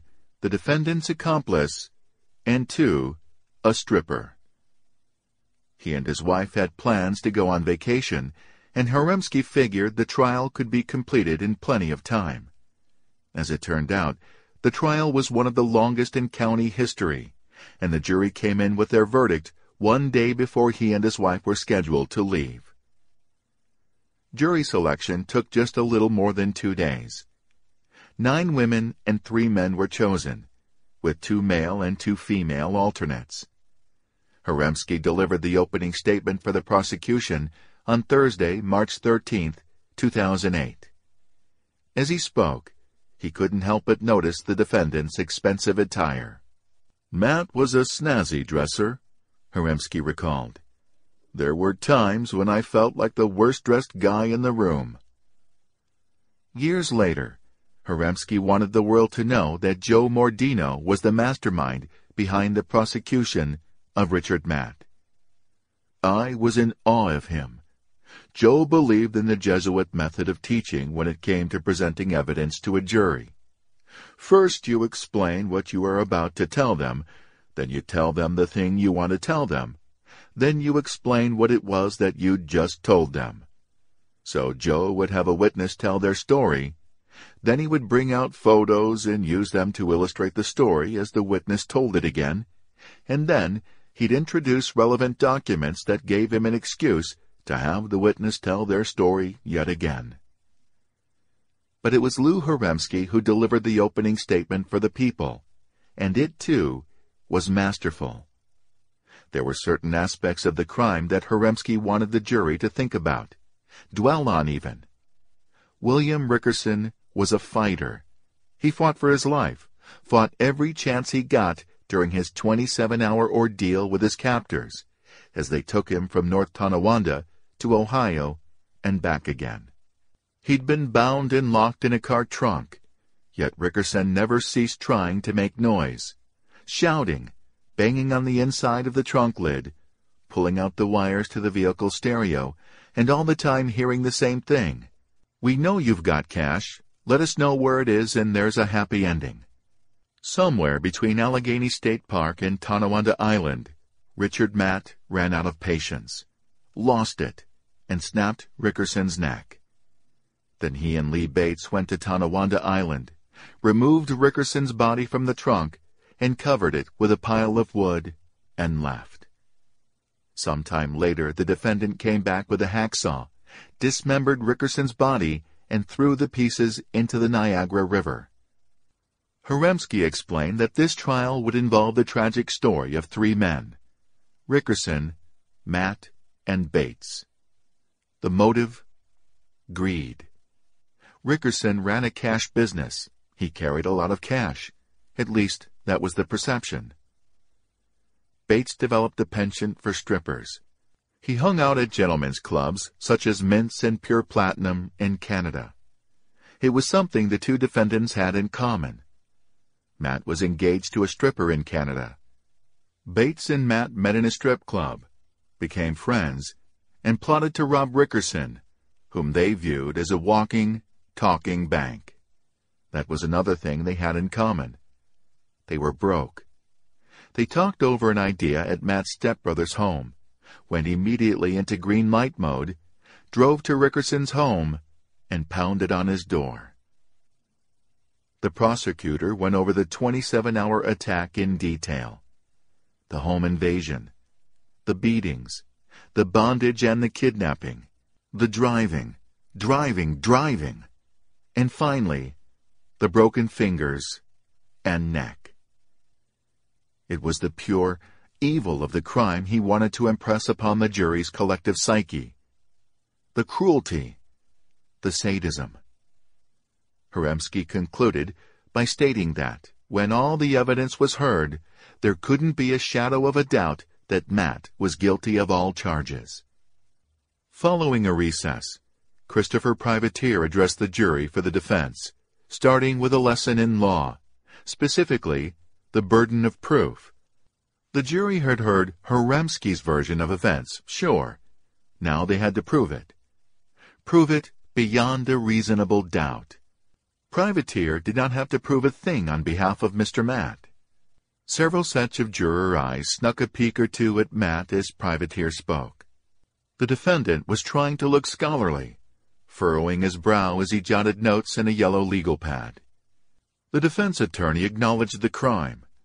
William Rickerson died in December 1997. He was murdered. That wasn't the question. The question was, who did it? Only one man had ever confessed, and his name was Lee Bates, the very man whose version of events the prosecution would present as fact. The prosecution's whole case depended on Bates. Take Bates out of the equation, and their case fell apart. And why not take Bates out of the equation? Is Bates a reliable witness? Privateer asked the jury. The defender promised to demonstrate that Bates had changed the details of his story many times. Matt, in fact, had nothing to do with the killing. The defendant wasn't even there. And that is why we are gathered in this courtroom on this day, because Richard Matt was not at the scene of the murder and had not been involved in the death of William Rickerson. Opening statements concluded, Judge Sheldon excused the jurors and adjourned for the day. Privateer had at least one thing right. The prosecution's star witness was indeed Lee Bates, who took the stand on Friday, March 14th, in prison khakis and manacles, his attire in sharp contrast to the defendant's dark blue suit, white shirt, and pink tie. Haremski later explained that the direct examination of Bates was another example of Joe Mordino's prosecutorial brilliance. Bates had a tendency, when being interrogated, to drift off the subject, and when he did, he frequently gave varying versions of the same events, little inconsistencies that defense lawyers lived for, because they could pick and pick at them, pointing out to the jury that the witness wasn't reliable. Since cross-examination can only touch upon issues that were first brought up during direct examination, Mordino kept his examination of Bates brief, about a half hour, thus all but eliminating the defense's ability to discredit the witness with his immaterial inconsistencies. The direct examination of the people's star witness was brief but stunningly effective. Bates gave the jury a vivid and horrifying blow-by-blow of the home invasion, beating, kidnapping, torture, and murder of William Rickerson. Regarding the moment of the murder, Bates said, Matt had me turn down a road that was a cul-de-sac. I opened the trunk with the key. Rick Matt said, You know, I've had enough of this. He reached in and twisted Rickerson's head. Now he heard a pop. Rickerson just dropped back into the trunk. After that, Bates testified, they hid the body on Tonawanda Island. Was that the last you heard about Rickerson from Rick Matt? Mordino asked. No, sir, Bates said. Later on, Matt told me that he returned to the island with a hacksaw and a shovel. He said he dismembered the body and threw the pieces in the Niagara River. No further questions. Mr. Privateer, will you be cross-examining this witness? Judge Sheldon asked. The defense table was caught off guard by the direct examination's brevity. Yes, Your Honor, Matt's lawyer replied. I have a somewhat lengthy cross-examination planned. In that case, Judge Sheldon tapped her gavel and declared a weekend recess, with the cross-examination of the witness to begin on Monday morning, March 17th. That Monday morning cross-examination started hot. Isn't it true that you lied to North Tonawanda Police? Christopher Privateer asked. It is, but I was only doing it to protect myself from Matt. He would have killed me if I ratted him out. You blatantly lied. Isn't that true? I blatantly lied to police. I was giving them something to get them off my back till they realized I was in danger. I would have told them that I shot JFK, and I wasn't even born then. Didn't you lie to protect yourself from being arrested? That too. You cut a deal with prosecutors to reduce your sentence, right? Part of your sentence was that you would testify at this trial and that's why you're here. Right? he asked. Bates admitted that he'd cut a deal, pleaded guilty to second-degree murder, and had received a sentence of 15 years to life. Bates was released from prison in 2014. But there was a part of his plea deal that the defense attorney was leaving out. I agreed to tell the truth, Bates concluded, and to correct all things you told the police and DA that weren't correct. True. And what you're telling us now is the true version? Yes. Privateer took Bates on a meticulous survey of all the false statements he'd made to police and to a Niagara County grand jury regarding the abduction and murder. The interviews with police were from December 1997 and January 1998. The grand jury testimony from February 1998. Inconsistencies in Bates's statements on other subjects were objected to and sustained as improper cross-examination. When you first spoke to police, did you mention anything about the kidnapping and murder? No. Why not? Because one, I was afraid of being arrested. Two, I was afraid of crossing Matt. And three, I was afraid of my family becoming victims of Richard Matt. Bates said that he finally confessed to his role in the crime in January 1998 during a subsequent interview with North Tonawanda Police. I went in and said, Your job is to protect and serve. Matt is coming to kill me. But you lied, didn't you? Matt said he would kill me. I saw him kill Bill Rickerson right in front of me, Bates replied. The other star witness for the prosecution was Matt's half-brother, Wayne Schimpf, who had, under duress, donated his car to Matt's escape cause. For his appearance on the witness stand, Special Prosecutor Joe Mordino took over the examination. Schimpf testified that the defendant and the murder were not easy subjects for him to talk about, that ten years had gone by and he'd done his best to forget about them. True, the plot to kill Rickerson had begun in his own apartment. True, Matt had called Rickerson on his phone and argued about money. Matt then called Bates and asked to borrow a pair of gloves, which the witness admitted he had ended up supplying. Bates arrived at Schimpf's place, and soon thereafter Bates and Matt left to visit Rickerson in person. The next Schimpf heard about it was many days later, about two weeks maybe, when Matt brought up the subject. What did he say? Mordino asked. He told me he was in trouble and didn't know what to do, that he thought he might have killed his boss. He said he accidentally broke Rickerson's neck when he hit him and he fell downstairs. On a subsequent visit, Schimpf testified, Matt was visiting when he saw a newspaper, the Tonawanda News, in which there was a photo of Rickerson and a story about the businessman's disappearance. That's the guy, Matt had said. During a third visit, Matt admitted to his half-brother that he had disposed of Rickerson's body by cutting it up with a hacksaw. Schimpf testified. He said he would kill me and my fiancée if we ever told anyone. He told me he needed to get out of town. What did you do? Mordino asked. I gave him a spare set of keys to my van. He left in the van. I then reported the vehicle stolen so my fiancée would not know what I had done. Mordino asked, Why not stop him from taking the van? He just killed a guy. You don't want to confront someone like that. Were you always afraid of your brother? No, just on that occasion. Other than threatening to kill you and your fiancée, did you have any other problems with your brother? Only once when I was setting him up with a job, and I couldn't get a hold of him. The prosecution's next witness was Schimpf's then fiancée, now wife, Jennifer. She said, Matt told me that he had confronted his ex-boss, and they got into a verbal fight. That escalated into a physical fight, and Rickerson was knocked down. Mordino asked, Did he tell you Rickerson was hurt?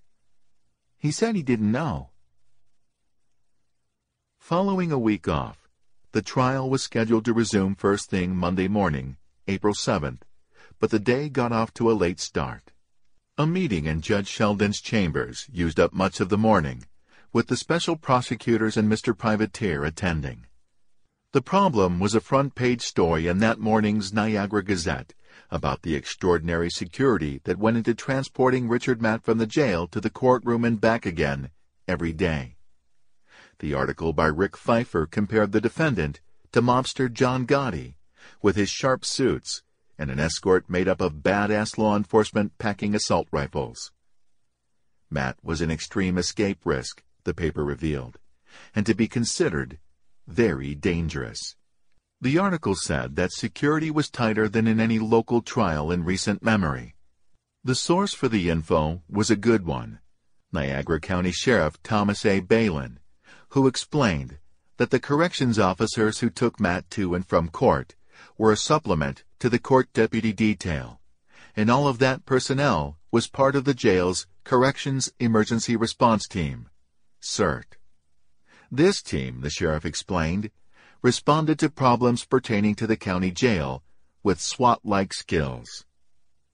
Beilein said, They are trained extensively in how to deal with disruptive, dangerous inmates. The precautions and weapons that they use is just another part of having a high-profile, high-security defendant. The story was everywhere as the lawyers came to work that morning, in people's hands and on morning radio. It was hard to miss, and Privateer wanted to make sure the jury hadn't seen it. The jurors were interviewed one by one that Monday morning and had already been admonished not to read, listen to, or watch the news. Each in turn said they hadn't seen the morning paper. That same day, a forensics document examiner from Rockville Centre, Long Island, Dennis Ryan, testified that Matt had written a note received by Lee Bates' parents from a Mexican prison. Ryan compared the note to known examples of Matt's handwriting. For example, I killed Bill Rickerson. I killed Bill Rickerson. I killed. He listed the characteristics, spacing between letters, letter height, etc., that formed the basis for his conclusion and led him to believe that Matt wrote it.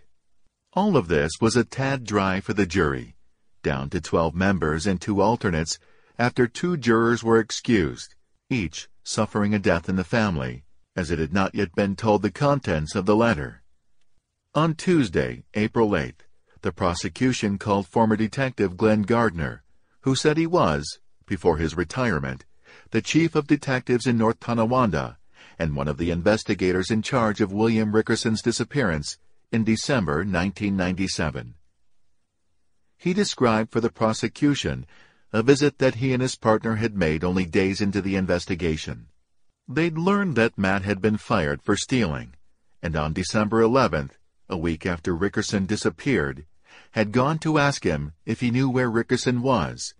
But Matt didn't answer any questions and instead cursed at them and told them that he hated cops.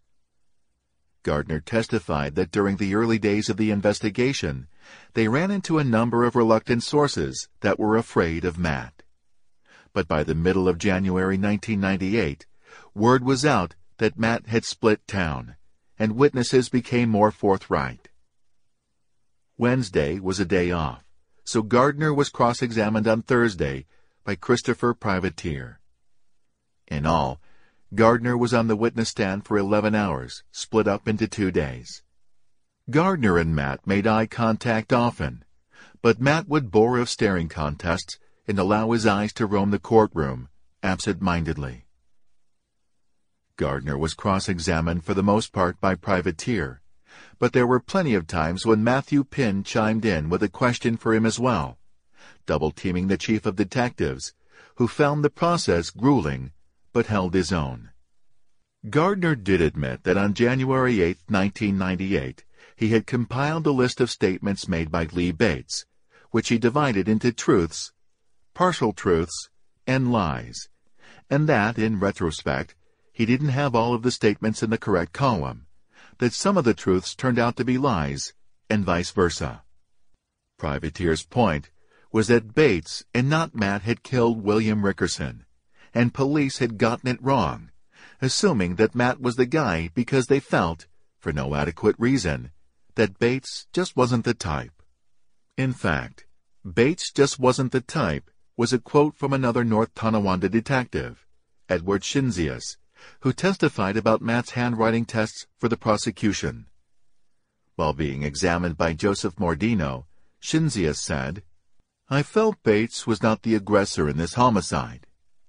Shinzius admitted not locking Bates up because he wasn't a flight risk. Bates seemed like a meek person, and the feeling was that it would be better to have him on the outside, possibly gathering more information, instead of in a jail cell where his capacity as an informant would be diminished. Gabe DiBernardo, the Rickerson murder detective, said there were reasons to believe certain aspects of Matt's story. Mexican prisons had a reputation for human rights violations, so everything he said was plausible. Plus, Matt's body really was covered with scars. Somebody tortured him with a cigarette. Matt claimed they held him down and tattooed Mexico Forever on his back. The tattoo was really there. DiBernardo said, It was our understanding that they don't like Americans down there in the prison where he was held. From everything we heard, we do believe he was abused down there. That part of the story might have been true, but the rest of it was B.S. DiBernardo said. From everything we heard from our contacts in Texas, the killing in the strip club was a cold-blooded murder. We were told that Matt saw this man with a wad of cash in his hand, followed him into the men's room, and killed him for his cash. DiBernardo said that he had been in law enforcement for almost forty years, and Matt was the most genuinely evil individual he had ever encountered. He said, The things he did to Mr. Rickerson a 76-year-old man who had given Rick Matt a job, were cruel and vicious beyond belief. Matt is a cunning and evil criminal, and also the ultimate manipulator and con man. The prosecution's penultimate witness was retired City of Tonawanda Police Captain David Bentley, who testified that late on the night of February 28, 1998, he received a collect phone call from the defendant who was being held in a Matamoros, Mexico jail and was apparently not having a very good time. He said he needed money for a better cell. Bentley testified, He told me he was in a small cell with four, his word, Mexicans, and there was a drain that they defecated in, a pail that they urinated in, and they used the urine to flush the feces. He said he could get a better cell with some money. I told him that he didn't deserve anything better because of what he'd done. Matt called Bentley twice more over the next two days and said the same thing. He thought I might give him money so he could get a better cell. He never flat out said that he wanted to exchange information for money, but he did tell me where he put Mr. Rickerson's head. The torso had been found floating in the river and the extremities were found in hacksawed pieces, but the location of the victim's head was still unknown at that point. Where did he say the head of William Rickerson was?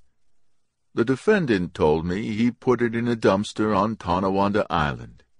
How long have you known the defendant, Captain Bentley? Since he first got into trouble, when he was sixteen years old, Bentley said. I've known him for twenty-five years. What was your relationship with Matt at the time? I befriended him. He had been in foster homes, as I had. I thought maybe I could bring him out of his negative ways. Did you succeed? I did not.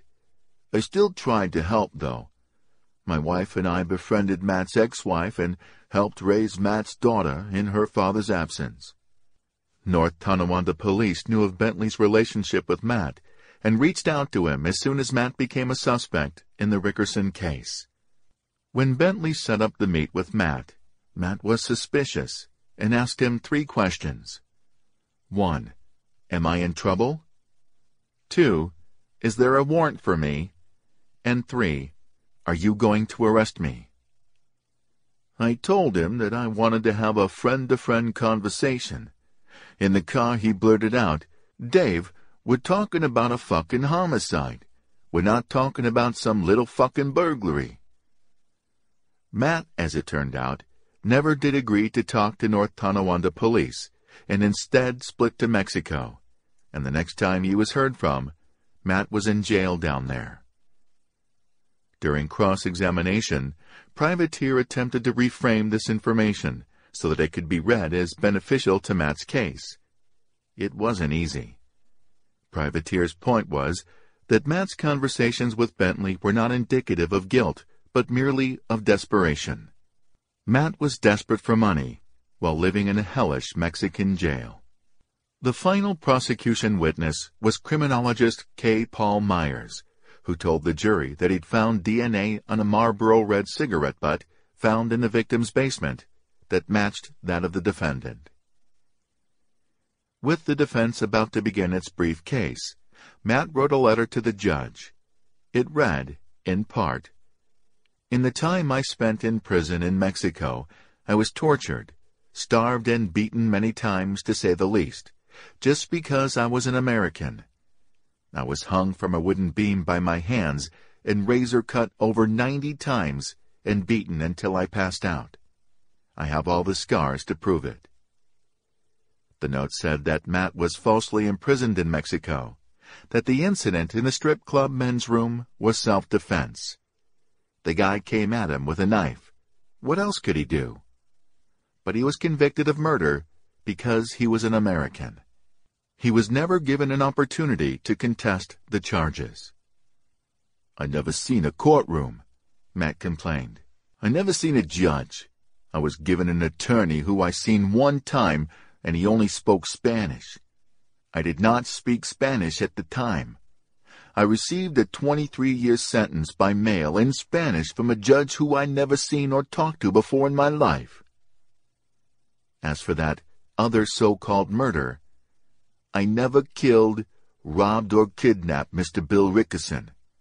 The person who did it made a deal with the DA's office, and they're going to let that killer out. Matt wrote that, at the time of the Rickerson murder, he was about to come into some money. He'd been planning to marry a stripper from Costa Rica, who needed to marry an American to stay in the United States, and she was willing to pay for his I do. Matt claimed that he was released from Mexican prison because authorities down there suddenly realized that he was innocent.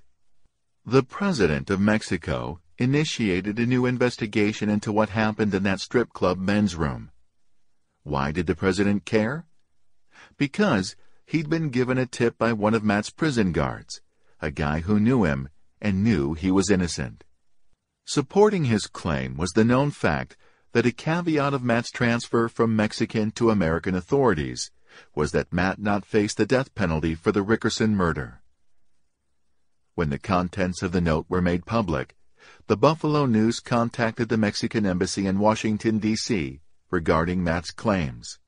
Ariel Moutsatsos Morales, Minister of Public Affairs at the embassy, declined to comment on the specifics, stating only Mexico has clear and effective legal institutional ways for any person to complain and start an investigation if he or she feels that his or her case was mishandled.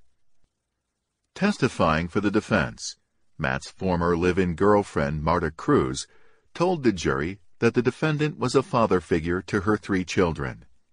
She said under oath that she had faith in Richard Matt's innocence. Honestly, I don't believe he did it, she said. I've known him for many years. After 30 witnesses and a month's time, testimony was over. In his closing statement on April 14th, Christopher Privateer told the jury that there was a reasonable doubt as to Matt's guilt, that the evidence supported their theory that Lee Bates had killed William Rickerson, while Matt had merely assisted in cutting up the remains and disposing of the parts in the river. In Mordino's closing statement, he said, Bentley knocked the pins out of the defense case. What does Matt tell Bentley? He cut up the body. He put Rickerson in the trunk. he drove through Pennsylvania and northeastern Ohio, 27 hours on the road. Rickerson ripped out the stereo wires. Not many people knew that. The defendant's own actions nailed him. How can you believe Bates killed Rickerson? You can't. Cold-blooded killers don't spill their guts to an investigation. Weaklings do. Bates was a wuss, a big baby, not a cold-blooded killer. Before I let you go and deliberate, I want you to finish the story of the Rickerson case. What you heard in this courtroom in the last month was a horror story. It was a real horror story written and produced by Richard Matt. But you can write the last chapter. You can find Matt guilty. Show him the same mercy he showed Bill Rickerson. Following closing statements and Judge Sheldon's instruction to the jury, the jury alternates were dismissed, and the twelve arbiters were sent off to the jury room to deliberate. While the jury was out, defense co-counsel Matthew Pinn told members of the press that Matt felt confident that he would be acquitted. Anyone could see that Lee Bates had framed him. It was clear and obvious. The jury, as it turned out, took only four hours to come up with a unanimous verdict. One ballot, and it was over. Matt had fooled no one, not even himself. As the jury forewoman read the jury's guilty verdict on all charges, Matt remained calm, stoic. Perhaps he hadn't been as confident as his attorney had said only hours before. Matt acted like a man who saw his fate coming. After all, he'd gotten his Marine Corps tattoo just for moments like this. Members of the Rickerson family burst into tears upon hearing the verdict and rushed forward to clutch at the hands and congratulate the members of the prosecution team. Judge Sheldon scheduled a sentencing hearing for May 30th and pounded her gavel. Only moments later, Pinn was again talking with reporters, saying he had no regrets. They had presented their case just the way they'd wanted to, and of course, there would be an appeal. Privateer said sure, he was disappointed by the result, and he was already running through his options as to how to see if there was anything that can be done about it. William Rickerson Jr. told a reporter that he couldn't imagine two more dedicated and qualified people than the special prosecutors, Mordino and Haremski, who'd handled the case. I'm grateful to see that Matt will be off the streets, Rickerson added. He added that he had every reason to believe that Matt would never see the outside of a prison again. While Mordino said he never had a doubt in his mind that Matt was guilty, Haremski added that you can never be sure what the jury is going to do regardless of what the proof is. Asked about the defense's scenario that Bates was the killer while Matt only aided in disposal, Mordino said it didn't make any sense. Why would you cut up a body if you're not the killer? Mordino said Bates was a crybaby, a mama's boy. He couldn't have cut up the body. He didn't have the stomach for it. The defense, Mordino added, wanted the world to believe that there was a conspiracy to make Matt look guilty. But if you made a list of the things that made Matt look guilty, you realized that they all came from Matt himself. The bottom line was that Matt couldn't keep his mouth shut. He was telling people things, and every time he spoke he was digging his own grave a little deeper, Mordino concluded. At the May 30th, 2008 sentencing hearing, seven of the twelve jurors returned in person voluntarily to see Richard Matt get his just desserts. They described their duty as jurors as emotionally draining and said they were on hand to get some closure. William Rickerson Jr. was allowed to address the court and his father's killer. He thanked the prosecution team and the returning jurors. Myself, I'm not a terribly vindictive man. But we all have to benefit from this, and the only way to benefit is for this person, Matt, to never do this again. He should never see the light of day. I know that I'll never be done with Matt. It will be my job to visit parole boards each and every time his name comes up and make sure they understand this guy shouldn't get out. Judge Sara Sheldon said, Before I sentence you, Mr. Matt, do you have anything you'd like to say to this court? No, ma'am, but thank you for the opportunity, Matt said, a last-ditch attempt to flash his superficial charm. She said, Quite frankly, this is not a difficult decision, and sentenced Matt to the maximum possible prison term of 25 years to life. Detective David Bentley said that the night after Matt's conviction, he received another written message from Matt, the youth he tried to mentor many years before. You lied in court to fuck me over for the DA, it read. You also make it clear that we are not friends I will remember both. That ellipse, Bentley assumed, represented a threat. Dot, dot, dot. Like there's more to come, Bentley said. Mordino said that the sentence still seemed too light to him. The facts speak for themselves. This defendant's record speaks for itself, and this case cried out for the maximum sentence. If New York had not abolished the death penalty, I'd have a lot more to say. Of all the cases I've tried, this would top my list for the death penalty. Under most circumstances, when prisoners in jail are convicted of a crime, there is a grace period before they are transferred to the prison where they will serve out their time. But in this case, the Erie County Holding Center could not get rid of Richard Matt fast enough. Matt had threatened police. He had talked to two other prisoners who were getting out about putting a hit on Detective Gardner and another officer. The sooner they got him out of town and on his way to Little Siberia, the better. Privateer was still convinced that the prosecution's heavy display of security influenced the jury. In addition, he felt, the media influenced the jury to no end. The jurors in attendance disagreed wholeheartedly. They thought the guards in the courtroom were there for the judge, and when Judge Sheldon told them to avoid newspapers and TV and radio news, they did as they were told.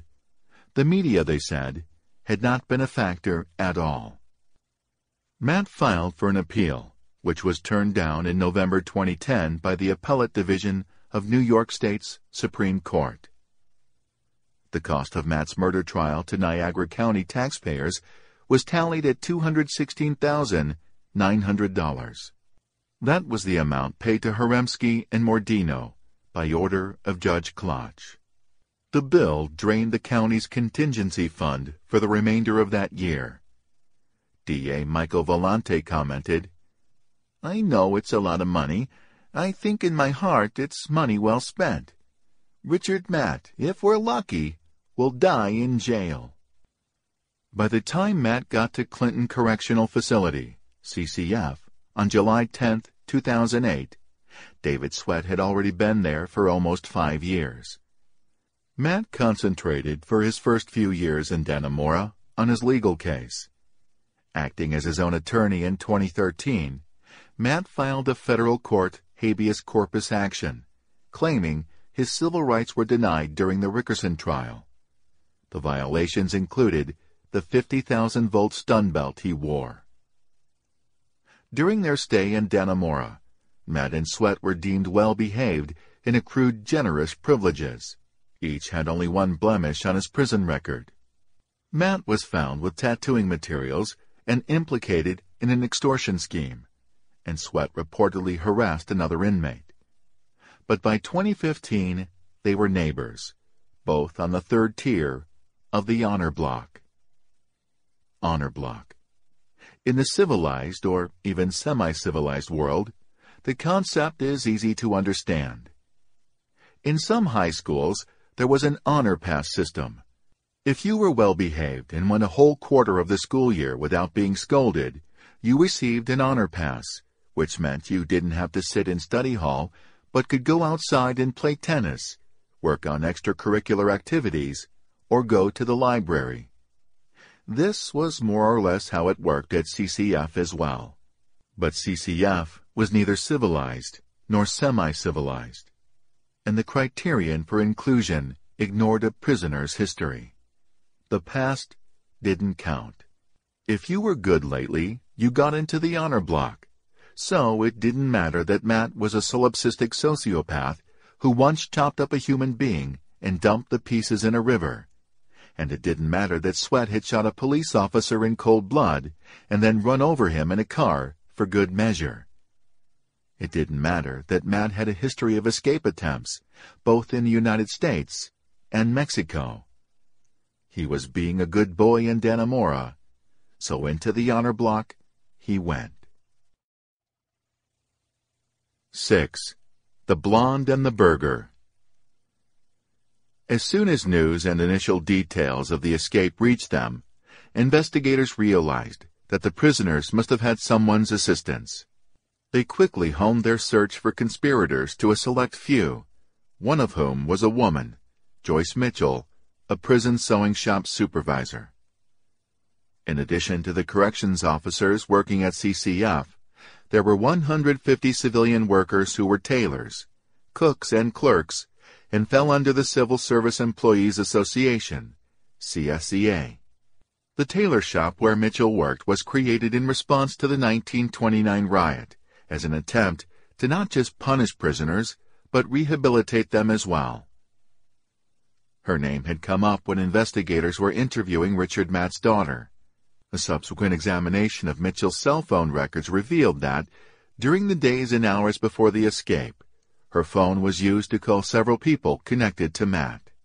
Mitchell, investigators quickly learned, was a plain and bespectacled middle-aged woman, blonde and a little heavy, who lived with her husband of 14 years, Lyle, also a Clinton Correctional Facility, CCF, civilian employee.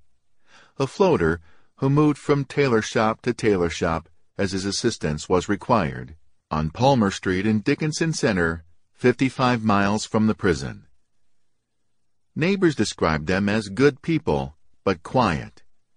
Joyce was friendly, but kept to herself. While canvassing the Mitchells' neighborhood, detectives learned some potentially illuminating information. Before working at the prison, Mitchell worked at the local school and had been the town tax collector for several years. She had been active at local churches and coached girls softball. Going back even further on her resume, Joyce demonstrated the sewing skills that got her hired at CCF while working at the True Stitch clothing factory in Bombay, New York. She had been working at the prison since March 13, 2008, and was making $57,697 per year. Mitchell made her first statement at the New York State Police Station in Malone, New York, on June 7th. She was read her Miranda rights and acknowledged that she understood them. She said her name was Joyce Tilly E. Mitchell, and she was 51 years old. She was employed at CCF as an industrial training supervisor. When she first arrived at the prison, she worked in all of the tailor shops. You have to work in all the shops before you get assigned to a specific shop, she explained. She said that she met Richard Matt soon after her arrival in 2008 or early 2009. She'd been assigned to Tailor Shop 1 in October 2013, and when she got there, David Sweat was already working there as an instructor. Sweat, she said, was a good worker and was always very nice to me.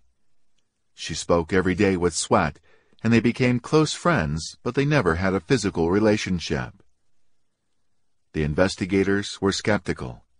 They'd looked up Mitchell's CCF disciplinary records and knew that in September 2014 there were allegations that Sweat and Mitchell were involved in an inappropriate relationship. So they asked about that. Those allegations, she said, were dropped. There had not been any sexual contact between her and Sweat, but she later admitted that, at his request, she'd sent him X-rated selfies. Investigators wanted to know specifically what was in those photos. She answered, I did take some naked photos of my breasts and vagina and gave them to Matt to give to Sweat. I do not know what they did with the photos. Because of the sexual misconduct allegations, Sweat was not allowed to return to her shop. He was reassigned to Tailor Shop 8, where he worked right up until the escape. Mitchell talked about the escapees. They were different from other inmates. For one thing, Matt and Sweat were a team. She thought them extraordinarily bonded for inmates. They were always together and shared everything, she said. The allegations of misconduct involved Sweat, she explained, but it was Matt that she liked. She and he got along well. They talked every day, and he treated her with respect and was nice to her. He made her feel special. As the relationship between Mitchell and Matt grew, which happened in a matter of weeks, the first favor Matt asked involved sending messages to his daughter Jamie. He gave Mitchell his daughter's phone number. Mitchell contacted the daughter on several occasions on his behalf, and they had casual conversations. Matt was known for his artistic abilities in Dannemora, and one thing he wanted Mitchell to find out for him was if his daughter had received a painting he'd sent her. Mitchell said, I know it was wrong, but I called his daughter Jamie and told her who I was, and that I was not supposed to be doing this, but I was doing it as a favor for her father. The daughter asked Mitchell to let her dad know that she got the painting and was doing fine. After that, whenever Matt wanted Mitchell to contact his daughter, Mitchell would text Jamie. They exchanged texts regarding everything from Matt's artwork to complaints about his sore back. In November 2014, Mitchell asked Matt to paint a portrait of her children, which she planned to give to Lyle. After the first time she spoke with Jamie, she went on the internet and looked at some of Matt's pictures. They were very good, Mitchell said. Matt, she discovered, could draw faces with photographic accuracy. To pay for the painting, Mitchell gave Matt, in advance, a pair of speed bag boxing gloves with the padding to protect the knuckles. To make sure she bought the correct gloves, Matt provided her with a prison-approved catalog. He next requested two pairs of glasses with lights on them, so he and Sweat would be able to paint at night. She ordered the glasses off eBay. The eBay account was under her husband's name, but Lyle did not know about it. Mitchell noticed that the gifts kept flowing in one direction. In addition to the boxing gloves and the eyeglasses, she also brought him brownies, cookies, and other food. But her wedding anniversary came and went, and she had still not received the painting of her children. She asked Matt what was up, and he told her he had accidentally spilled something on the painting and had had to start over. It was near the end of April 2015 when her relationship with Matt changed. They were together in Tailor Shop 9. They were there to get a part off a machine but Matt apparently had something else in mind. Matt grabbed me and kissed me, Mitchell told investigators. It startled me. He kissed me with an open-mouth kiss. I was scared shitless. Scared but excited? Yeah. I didn't say anything because I was scared for my husband, who also works in the facility. Shortly after that incident, also in April, Matt asked Mitchell to bring him a star-type screwdriver bit. He did not explain why he needed the bit, nor did she ask him. She purchased the bit at either Kmart or Walmart, she couldn't remember, and brought it to him. There came a time when they were again alone in Tailor Shop 9. Using the bluntest possible language, redacted in copies of the written statement released to the public, Matt commanded Mitchell to give him oral sex. She said she was frightened, and so complied. He pulled his, redacted, out, and I put my mouth on it for maybe a minute, she said. He did not ejaculate. Once the sex started, it became part of a routine. Matt would put on his large coat, in which he had cut a hole in the pocket. He inserted his penis through it, and would tell Mitchell that she should pretend she was going to give him a piece of hard candy. While doing so, she said, I should reach into his pocket and squeeze his, redacted, really hard. That happened three or four times, she said, adding, The only other physical contact I had with Matt was when he kissed me at the bottom of the first set of stairs. He never touched any of my private areas. At some point, Mitchell learned that Matt and Sweat had a project, and it involved getting out of their cell and into the cell block's infrastructure. Despite this knowledge, and here was a key legal point against her, she continued to provide them with tools. Around the beginning of May 2015, Matt asked me to get him two hacksaw blades, she said. This was after she bought the bit, so she was used to going to the tool department for Matt. She bought the blades at Walmart, brought them to work in her bag, and gave them to Matt. At first Matt told her that the project was perfectly innocent, that he and Sweat were making frames for Matt's paintings. Sometime around this time, she said, I also bought them batteries for the glasses I had given them. I found out about the hole because Matt was coming into work tired. I asked him about sleeping, and he said he was up all night. After a couple of days, he told me that he and Sweat had cut the holes and were going down in the pipes. She guessed without being told that they were visiting the pipes as part of a plan to escape. She wrote, Matt told me they had found a toolbox with power tools under the facility. They were using them to get out through the pipe system. Matt told me they were getting out and we were all going to be together. By this he meant Sweat, him, and I. Eventually, she got around to being an active participant in the escape plan. I was already bringing stuff into him, and I didn't really feel I could stop. Matt asked Mitchell to call a phone number and ask for Diane or Diana. When she had them on the phone, she was to act as if she was confirming an appointment.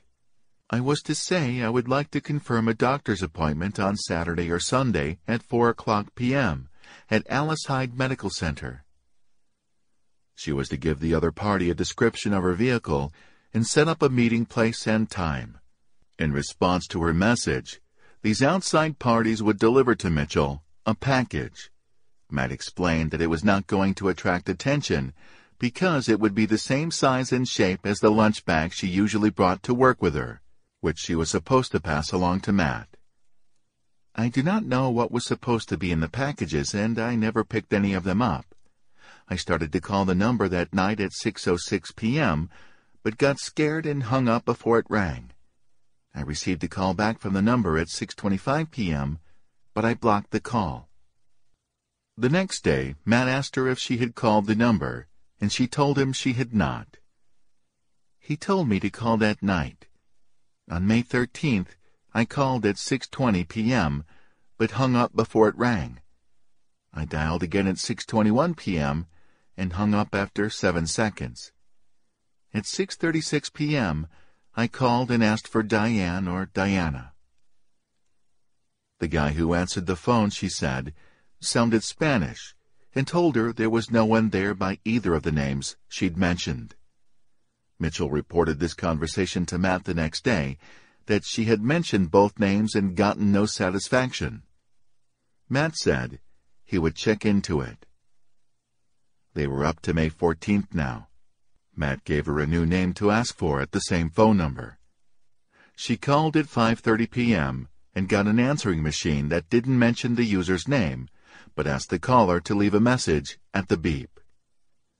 She hung up and called the number again two minutes later. This time, a live female answered. Mitchell asked for Bree, and the woman on the other end said, I am she. Mitchell gave her the message, using the guise of pretending to confirm an appointment. She said Sunday at 4 p.m., which Mitchell now knew meant the time she was to meet for a pickup. But, Mitchell admitted, she messed up she forgot to give the woman a description of her vehicle, as she had been instructed to do. On May 15th, she told Matt what happened, and he told her to call back that night. She said she wasn't comfortable doing that, so he said, okay, just let it go. State police later interviewed a woman who admitted that she had received crazy phone calls from a woman seeking to confirm a mysterious appointment. But she denied being part of the prison conspiracy. Mitchell's statement now skipped ahead to Wednesday, June 3rd, when again Matt insisted that she call the number that night. And this time she did, first at 7.58, getting the answering machine, and then on June 4th at 5.48 and 6.34. No answer either time. It went to voicemail, but she left no message. She called twice more that night, at 6.44 and 7.27. Again no answer, and again she left no message. She gave up. On Friday, June 5th, Mitchell said, she got up and went to work with her husband. They took the Jeep, as they almost always did, and got to work a few minutes after 7 a.m. She reported for duty that morning in her tailor shop. The inmates arrived between 7.45 and 8 o'clock, and Matt was among them. Matt said, We're getting out tonight. All of them, he added. Mitchell, Matt, and Sweat. Matt told Mitchell to pick them up in Dannemora, near the powerhouse, at midnight. He asked her to bring him a cell phone, a GPS, a hatchet, and a shotgun that he could saw off. The plan was that she was going to leave her husband and meet him there, and they would all quit Dannemora together. Matt did not say where they were going to go. That day she got into an argument with a correctional officer in the shop. He wanted to write up the inmates in her shop for standing around and griped that Mitchell was not giving them enough work to do. She ended up calling her boss and asking for the sergeant. Her supervisor called, and she ended up arguing with him also. So it had been a stressful day when she left the prison with her husband at 3.30 p.m. They stopped for an early supper at King's Walk Buffet, located across the street from the Malone police station. They arrived around 4.15 p.m. Joyce paid for the meal at 4.58 p.m. using her credit card. The bill came to $22.14. She left a $5 tip. So it wasn't a rushed meal. Joyce might have thought at first, as they went to the buffet, that this might be the last meal she would ever have with Lyle. Sad. It was the end of an era. She had reason to be nostalgic. It was her torrid affair with Lyle that broke up her first marriage. She realized she couldn't do it. She had what she referred to as a moment of clarity, and she knew. Running off with Matt in Sweat was a bad idea. The escape might not even work. Her mind was clear now, and she saw all. If the inmates did succeed in getting under the wall, and she joined them on the outside, it could be for her a fatal mistake. If the escapees themselves didn't turn on her, she might end up getting killed by the police who would pursue Matt and Sweat as if they were John Dillinger and Bonnie and Clyde combined. And when spotted, they would be gunned down mercilessly, thoroughly ventilated, in the name of justice. If she were standing next to them, well, she would be ventilated too. No, she had to back out. Then her brain raced in the other direction. Maybe not showing up for the rendezvous was just as dangerous as following through. Hell, she might end up getting killed anyway. She might end up getting killed no matter what she did. What if Matt and Sweat became so pissed off that they made a stop at the Mitchell home before desperately fleeing? By standing them up, she jeopardized the escape. Matt and Sweat would be super pissed. That was when her heart began to race. She told Lyle that she wasn't feeling well. Her heart was jackhammering out of her chest. She was on the verge of hyperventilating. Fearing cardiac arrest, she stretched out in bed and tried to control her breathing. The wave of anxiety proved unmanageable, and she had a full-fledged panic attack. After a while, she managed to relax a little bit, and maybe even dozed for a few minutes. But then she woke fully up and it started up again. she'd painted herself into a corner. Lyle was terribly concerned. He asked her if she wanted to go to the hospital, and she said yes. Sometime between 9 and 10 p.m., Lyle drove her to the emergency room at Alice Hyde Medical Center. She was in the ER until 2 a.m., at which time the hospital decided to admit her overnight. Lyle left her at that point, returning home to let the dog out. She was given a room around 2.30 and called Lyle. He said he would stay home as long as he was there and see if he could get some sleep. She shut off her phone until around 6 or 7 a.m., when she called her husband and asked that he bring her medication to the hospital. He got there around 8. The next time she looked at her phone, it was 11.30 a.m., and there was a bunch of messages from her family saying that the police were looking for her.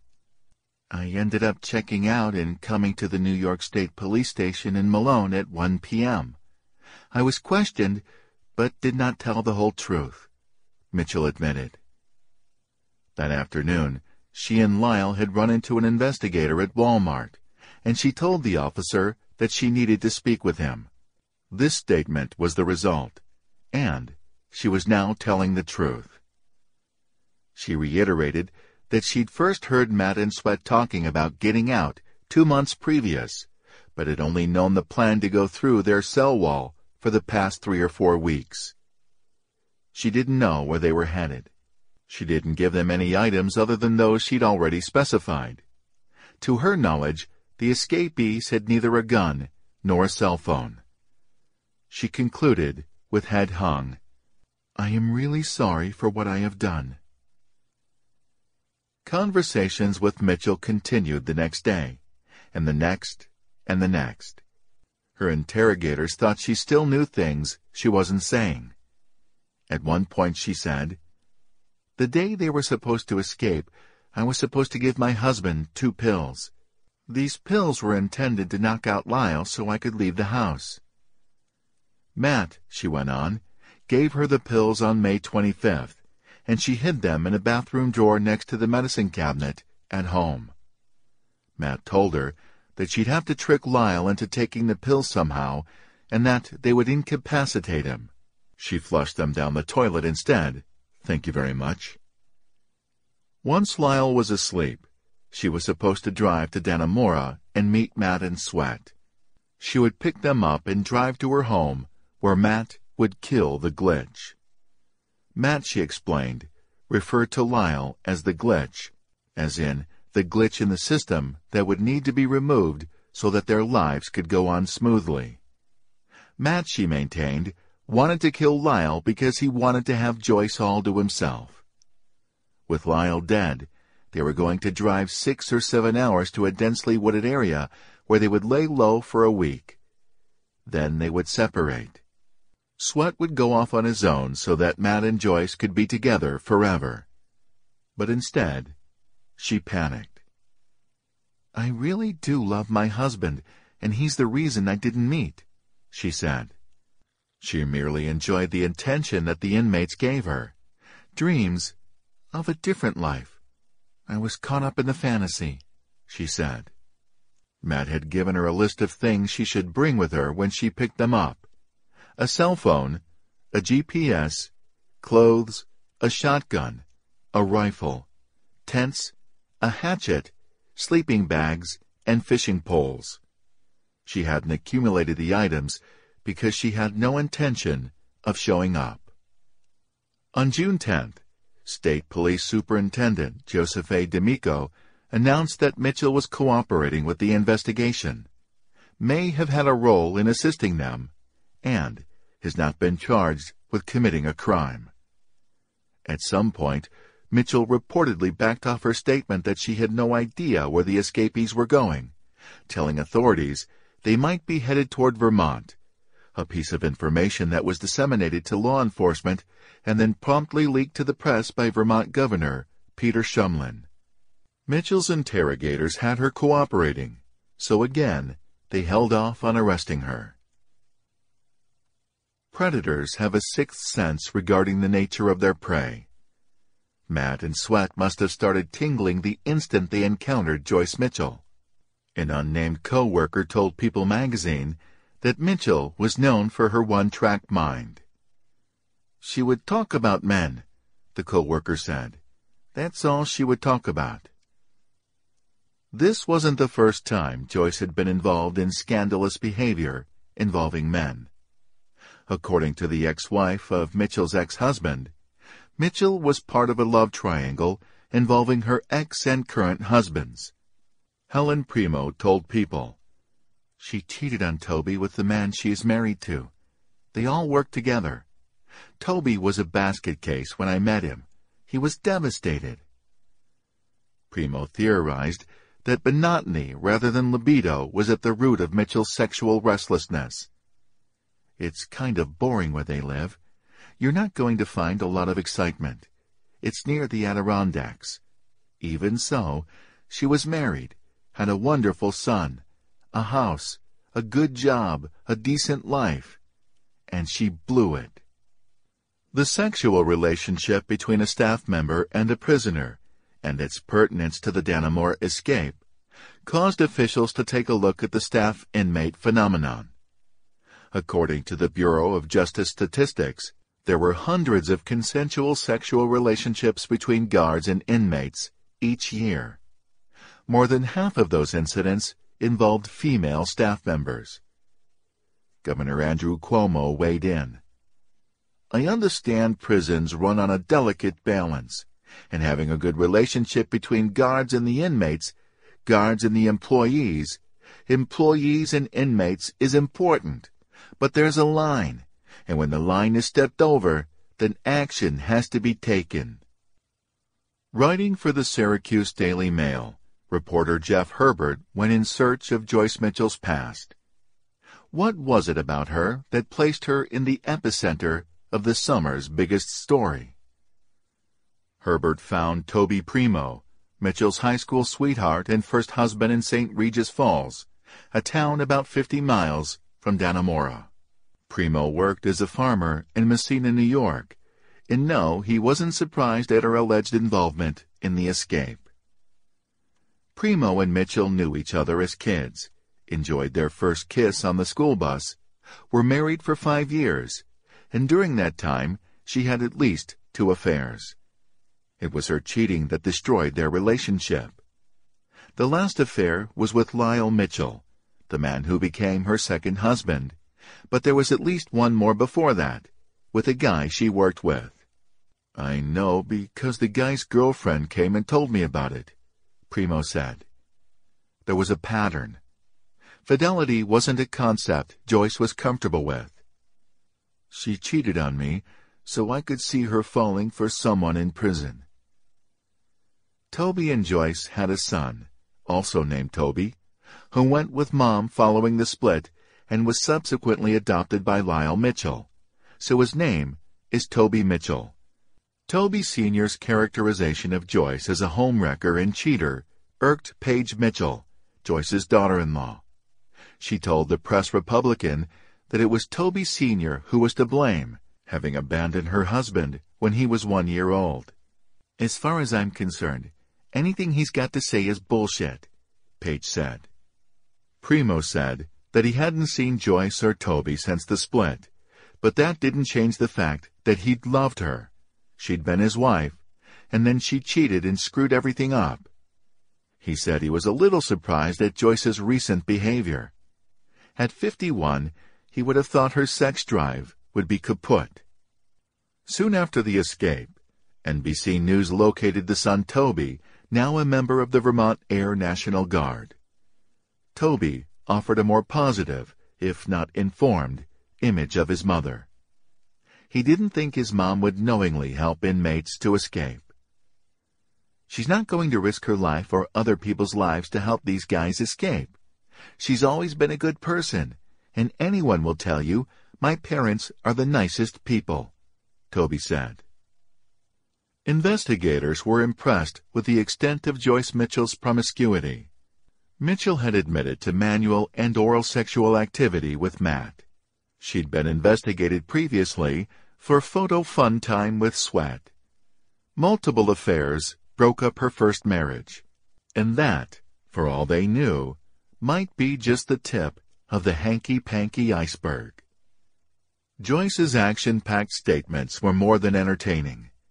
Investigators found them illuminating as well. She gave investigators insight into the prisoner's situation and made it easier for them to predict what Matt and Sweat might do. When the prisoners popped up out of the manhole and found that their getaway car was not there, they had to either ad-lib or revert to a plan B. And if there was a plan B, Mitchell knew nothing of it.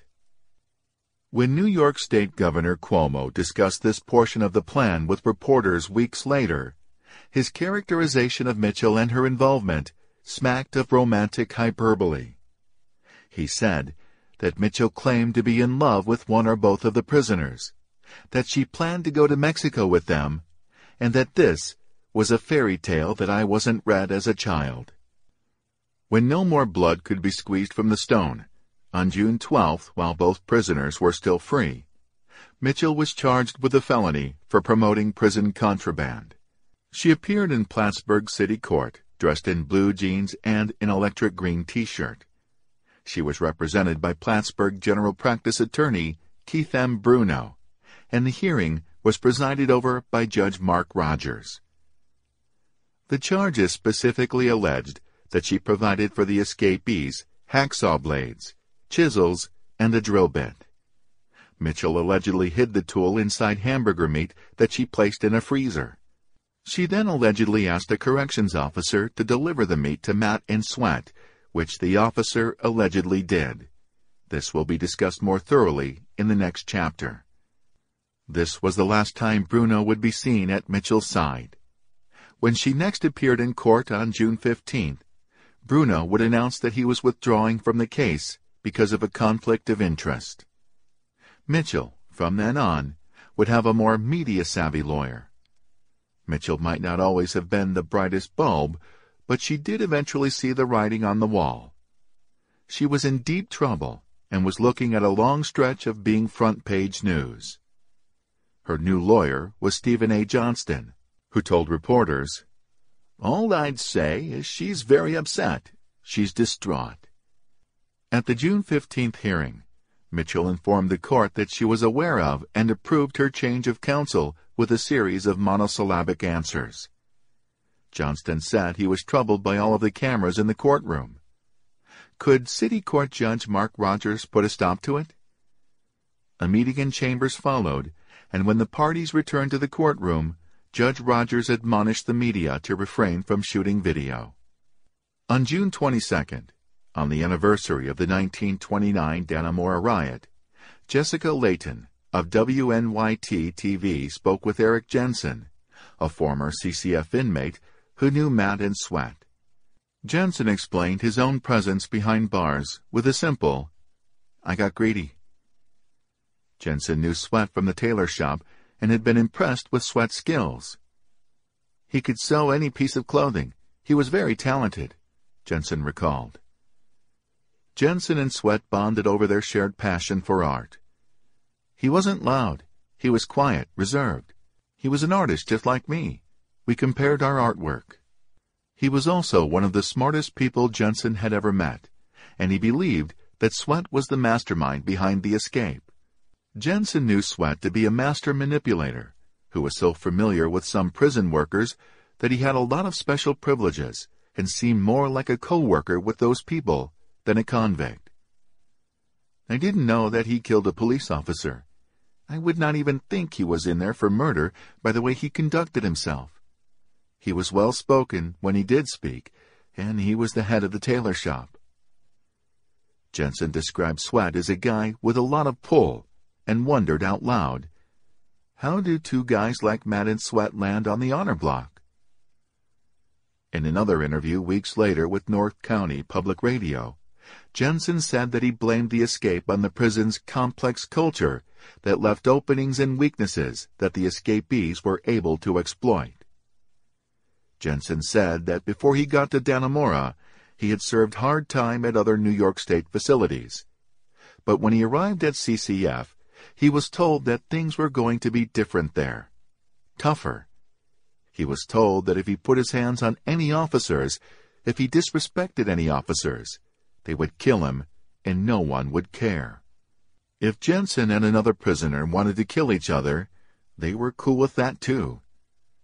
Like a saloon owner telling brawlers to take it outside, Jensen was told that if he wanted to commit violent acts against another inmate, he should take it to the North Yard. That area, Jensen recalled, was controlled by gang activity, which he, like prison employees, largely steered clear of. He avoided the gangs but did get caught up in an enforcement action, in which officers swept the yard. During that action, he was kicked in the back and had teeth knocked out. Jensen showed the interviewer his dentures, which still had his prison ID number on them. He recalled the first time he reported to Joyce Mitchell's tailor shop. She gave him paperwork to fill out. David Sweat was her right-hand man, in charge of all the other inmates in that shop. Jensen loved it there. It was a kinder and gentler place than anywhere else he'd been in CCF. Because the atmosphere was so relaxed, a lot of things were going on that shouldn't have. He recalled officers returning from hunting trips with photos to show the inmates, with pieces of venison for the prisoners to eat. The level of relationships and fraternization was extremely high. Jensen said he noticed that Mitchell and Sweat were particularly close, and knew that Mitchell routinely brought Sweat presents from the outside, things such as food and tattoo supplies. Jensen was aware that Mitchell admitted to having sex with Matt, but denied having sex with Sweat. He waxed skeptical. He'd seen Mitchell and Sweat sneaking off into storage rooms with the door closed for as long as forty minutes, to be alone to do something, and everyone assumed it was to have sex. When they re-emerged, the other inmates would crack jokes. Mitchell and Sweat would laugh, but neither confirmed nor denied that they'd been intimate. Mitchell told police that it was depression that led her into inappropriate behavior with the future escapees, but Jensen said it didn't look that way to him. It looked to him as if Mitchell was simply a flirt, the kind of woman who couldn't walk past you without bumping into you and giving you a little rub. It looked to Jensen as if Mitchell was having fun. Jensen told the public radio reporter that there was a system, simple exchange.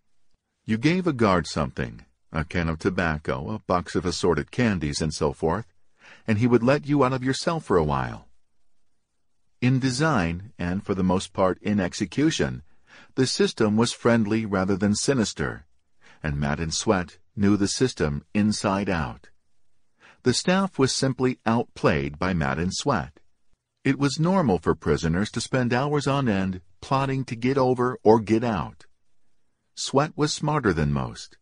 He figured out a way to do both. On Tuesday, July 28th, Mitchell appeared in court wearing for the first time in public a black and white prison jumpsuit. Her hands were shackled.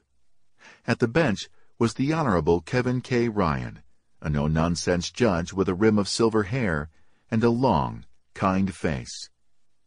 Judge Ryan asked for her plea. Mitchell practically whispered the word, guilty. The plea was Johnston's idea. He'd advised her that there was overwhelming evidence that she did what she had admitted to. Also, he was fearful that additional charges might be lumped upon those she'd already been charged with, and Johnston wanted to nip that in the bud. A deal was the way to go. Wiley liked the idea too. He said, I determined that although there were possible charges in which to charge Ms. Mitchell with, that the people were confident that the charges within the court information were charges that would be proven beyond a reasonable doubt. And in the interest of justice, I negotiated a plea and recommended a sentence. By cutting a deal, Mitchell waived her right to appeal and avoided the rape charges that Johnston was afraid of, in connection with her sexual activity with Matt and a murder conspiracy charge in the plan to murder her husband. The deal with the district attorney's office also meant that Mitchell agreed to cooperate with the ongoing inspector general's investigation, which had staffers in the courtroom. The Inspector General promptly released a statement. Nothing short of her full cooperation will be tolerated, and I am confident that when she fulfills that obligation, I will provide a thorough and complete accounting of all the factors contributing to this elaborate breakout, with an eye toward ensuring this never happens again. After the hearing, D.A. Andrew Wiley said, Because the evidence was so overwhelming, she wanted to expedite her case proceedings and move on with the matter. Sure, that was why she wanted to cut a deal. But why was the prosecution willing to bend? Wiley said that he wasn't 100% positive that he could convict her solely on her statements to investigators, so it was in the interest of justice to cut a deal. After the hearing, Johnston said he didn't believe his client conspired to murder her husband. He agreed to the deal on behalf of his client because he wanted to avoid a scenario in which the DA would charge Mitchell separately for each occasion in which she smuggled contraband into the prison.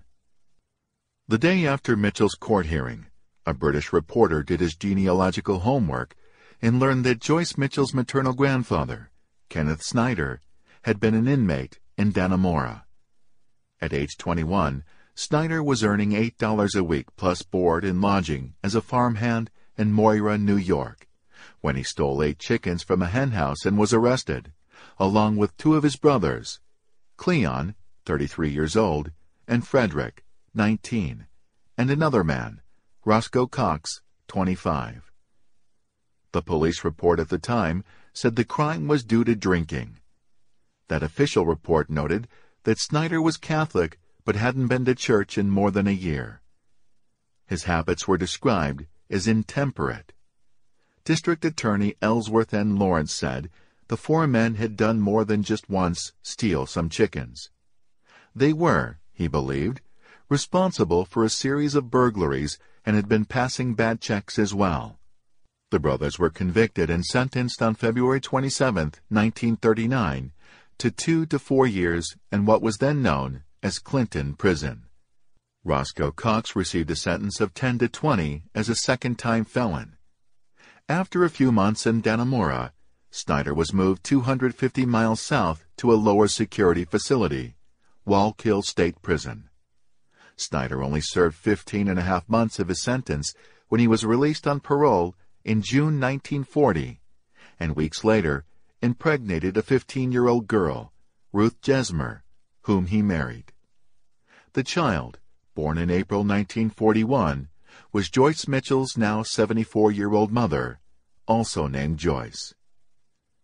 Snyder, by all accounts, went straight and raised a family. The couple had seven children, four girls and three boys, and remained married for almost half a century until Snyder died in 1989. Ruth Snyder died in 2012 at the age of 87. Kenneth and Ruth were buried beside one another in St. Mary's Cemetery in Brushton. Their gravestone read, If you listen with your heart, you will hear the music of the woods. Mitchell's mom, Joyce Snyder, lived in Brushton. Not everyone was happy about Mitchell's plea deal. Janet Duprey of the New York State Assembly said the deal frustrated her that it seemed a small penalty for the expensive and dangerous consequences of Mitchell's actions. There'd been no justice. Public commentary, Duprey opined, tended to express outrage at the process in favor of the criminal instead of public good. Mitchell's dalliance and infatuation endangered hundreds of law enforcement personnel, created physical and emotional stress for the residents of Clinton and Franklin counties, and cost taxpayers millions of dollars. Duprey hoped that this quick plea deal would encourage the Inspector General's office to finalize its investigation and issue results, that it was time to punish the accountable and vindicate the innocent and allow them to get back to work. Several correction officers were still on administrative leave, she noted, locked out of the prison. The majority of them were not involved in any way with the crime their professional and personal lives were turned upside down because of Joyce Mitchell's actions. Those actions, Duprey said, affected the inside of Clinton just as much as the outside, maybe more so. Additional stress had been dumped upon the shoulders of correction officers who already worked in a tense and anxious environment. During her last tour of CCF, Duprey had been pleased to see signs of improving morale. Still, uncertainty regarding the fates of their innocent co-workers made a tough job even harder. Short staffing was as bad as ever. Overtime, long, long hours, was the norm. It was a schedule detrimental to an officer's family life, tough on spouses and children. Everybody suffered. She was talking about pros that took pride in serving with dignity and ensuring community safety. It wasn't fair because, for the most part, they couldn't defend themselves. Rules bound them. Public comments about prison issues were forbidden. Duprey concluded, As I've done throughout my career, I will be the voice of those who are not given the opportunity to speak for themselves. Let's give them the courtesy of justice and closure, too. As a postscript, Duprey said she was also bothered by the fact that, according to present law, Mitchell was still set to collect on her pension. That was a subject that brought out the politicians, all bobbing their downward thumbs.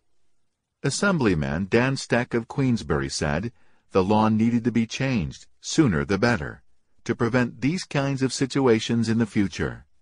Assembly Minority Leader Bob Kolb of Canandaigua blamed Assembly Democrats for their ineptitude as Mitchell cashed her pension checks. Kolb opined that it was the dang blasted Democrats who walked away from a bill, already passed by the Senate, which would have called for pension forfeiture for state employees who'd been found guilty of exploiting their positions. Duprey had a plan. The only option, she said, was to draw up a constitutional amendment, take it to the voters. To do that, she warned, they would have to pass the legislation in two consecutive legislative terms, and the first chance voters would have at the issue was November 2017. The state Senate, she added, was planning public hearings regarding the escape, but those wouldn't start until after the conclusion of the Inspector General's investigation. And who the heck knew when that was going to be? Another point of contention was that Mitchell had been given a public defender. That subject made legislator Mark Dame see red. As soon as the legislator received the bill, he was going to start a protest. Mitchell, he noted, was pulling in $58,000 in annual salary, also taxpayers' money. That the state was picking up her legal tab was adding insult to injury. Duprey's kvetching sat uneasy with the district attorney. Wiley said that he had rarely, if ever, heard the type of political demagoguery as in Duprey's statement. Mitchell, the prosecutor pointed out, had waived her right to a grand jury proceeding and pleaded guilty as charged to each count. She was scheduled to be sentenced, and he couldn't emphasize this enough, to the maximum sentence allowable in New York State. What more did Duprey want? She had apparently already determined that Mitchell should be prosecuted for unnamed crimes that she failed to cite. Wiley noted the irony a member of one of the most civilized legislative bodies in America, lecturing to those who worked tirelessly to bring justice to those involved. It was astonishing and insulting to all involved in law enforcement. I saved taxpayers thousands of dollars, Wiley said. He had no agenda, just the desire to represent the people. One day, he would like to have a sit-down with Duprey and explain to her a few points she was missing, like how prosecutors rarely used words such as closure because of the large number of victims they served. There is almost never closure, the DA said. Only a sense of justice delivered by prosecutors that fight for you, not politicians who try to exploit you. The sordid side of the story was what was keeping it on the front page. Talk about well-endowed inmates and prison sex was titillating and left the public hungry for details. Questions arose, such as where does one go to have a romantic interlude with a prison staffer when incarcerated in a maximum security prison? Such facilities weren't known for their hiding places. Were they? To get an answer to this question, Ian Mohr of the New York Post's gossipy Page 6 column posted the question to club killer Michael Alig, who had served 16 years in Dannemora for murdering his drug-dealing friend in 1996. Alig said that it was easier to have sex with a woman at the prison than with a man. Women who worked on staff had access to private rooms, such as the storage rooms or the meat freezer. Many things happened in the meat freezer because there was only one entrance. It could be locked, and there were no windows. There were other locations as well. Blind spots. Officers were positioned every approximately 100 feet, so there were in-between spots where the guards couldn't see you. Inmates know where all those spots are, Alig said. Regarding the escape itself, Alig noted that CCF was an old prison but one that was really hard to escape from. Just because Matt and Sweat had pulled it off did not mean that any inmate could do it again. The odds were remote of once again finding two inmates with the intelligence and complementary skills of Sweat and Matt. How did the prisoners break out without being heard? Alig said it wasn't that amazing. CCF was never quiet. In fact, the prison was louder than a nightclub, with music blaring at all hours. That accounted for the logistics of the tryst, but what about the psychology? Why would a female staffer at a maximum security prison risk her career to have sex with a prisoner who, in the final analysis, is probably a sociopathic dirtbag? ABC News asked that question to Robin K. Miller, a 53-year-old former prison employee who was writing a book about her prison experiences. Miller said, Inmates are con artists. They know how to play the game, and they know how to manipulate. During the summer of 2015, a North Carolina jailbreak also had a sex angle featuring a female staffer. 33-year-old Kendra Lynette Miller was charged with having sex with and aiding and abetting a fugitive in connection with the escape of Christopher McNeil, who'd been convicted of second-degree murder from Brown Creek Minimum Unit in Polkton, North Carolina. Just how common was this phenomenon? Not all the staff-prisoner relationships resulted in escape, of course, but how much sex was going on? The U.S. Department of Justice, Bureau of Justice Statistics, released a report in 2014 that revealed that almost half of the substantiated incidents of sexual victimization involved guards and inmates, 48% as opposed to the 52% that involved prisoners only. The majority of the staff involved cases involved female staffers, and these were far more consensual than male-on-male encounters. The study found that 84% of the female staffers who had sex with inmates appeared to be willing. That number was only 37% when male staffers were involved. Trying to put things in perspective, Glenard S. Middleton Sr., Vice President of the American Federation of State, County, and Municipal Employees, pointed out that the great majority of prison staffers did not have illicit relationships at work, and that those staffers were having their reputations strained by an irresponsible few. Mitchell may have seemed to some like supporting cast in this drama, but for the reactionary media, including tabloid and supermarket newspapers, it was Mitchell's involvement that made the story perfect. She could have been more photogenic, it was true, but she gave the story its sleaze. One typical headline from the National Enquirer read, Crooked Prison Workers Sex Behind Bars. The New York Post kept the story on their front page for weeks, routinely referring to Mitchell as Shawskank. During the first week in July, Lyle Mitchell's lawyer, Peter Dumas, spoke to WPTZ-TV with an update on his client's side of the story.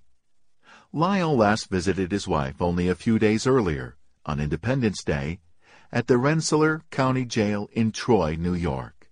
Lyle, Dumas said, was blown away when he first heard about the jam his wife had gotten herself into. Still, Lyle tended to give a rosy spin to recent events. He credited Joyce with saving his life. By not going through with her part of the escape plan, she had prevented his murder. Dumas said.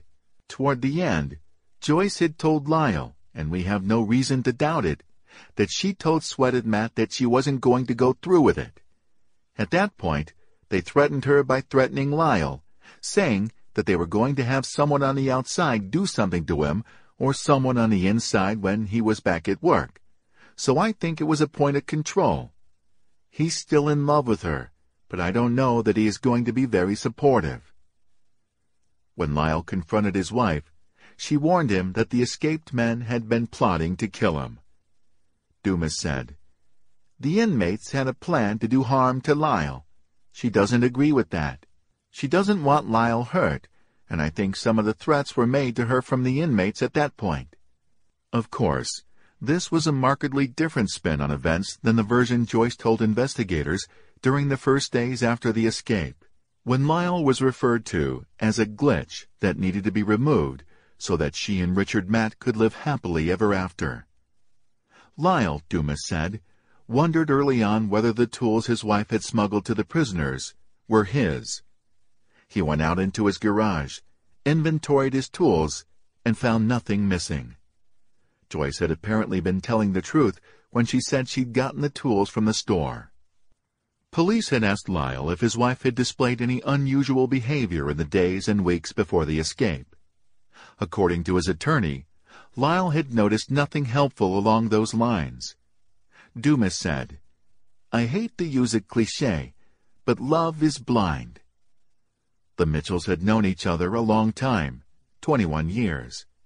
They'd been married for 14 of those. In addition to living together, they worked at the same place.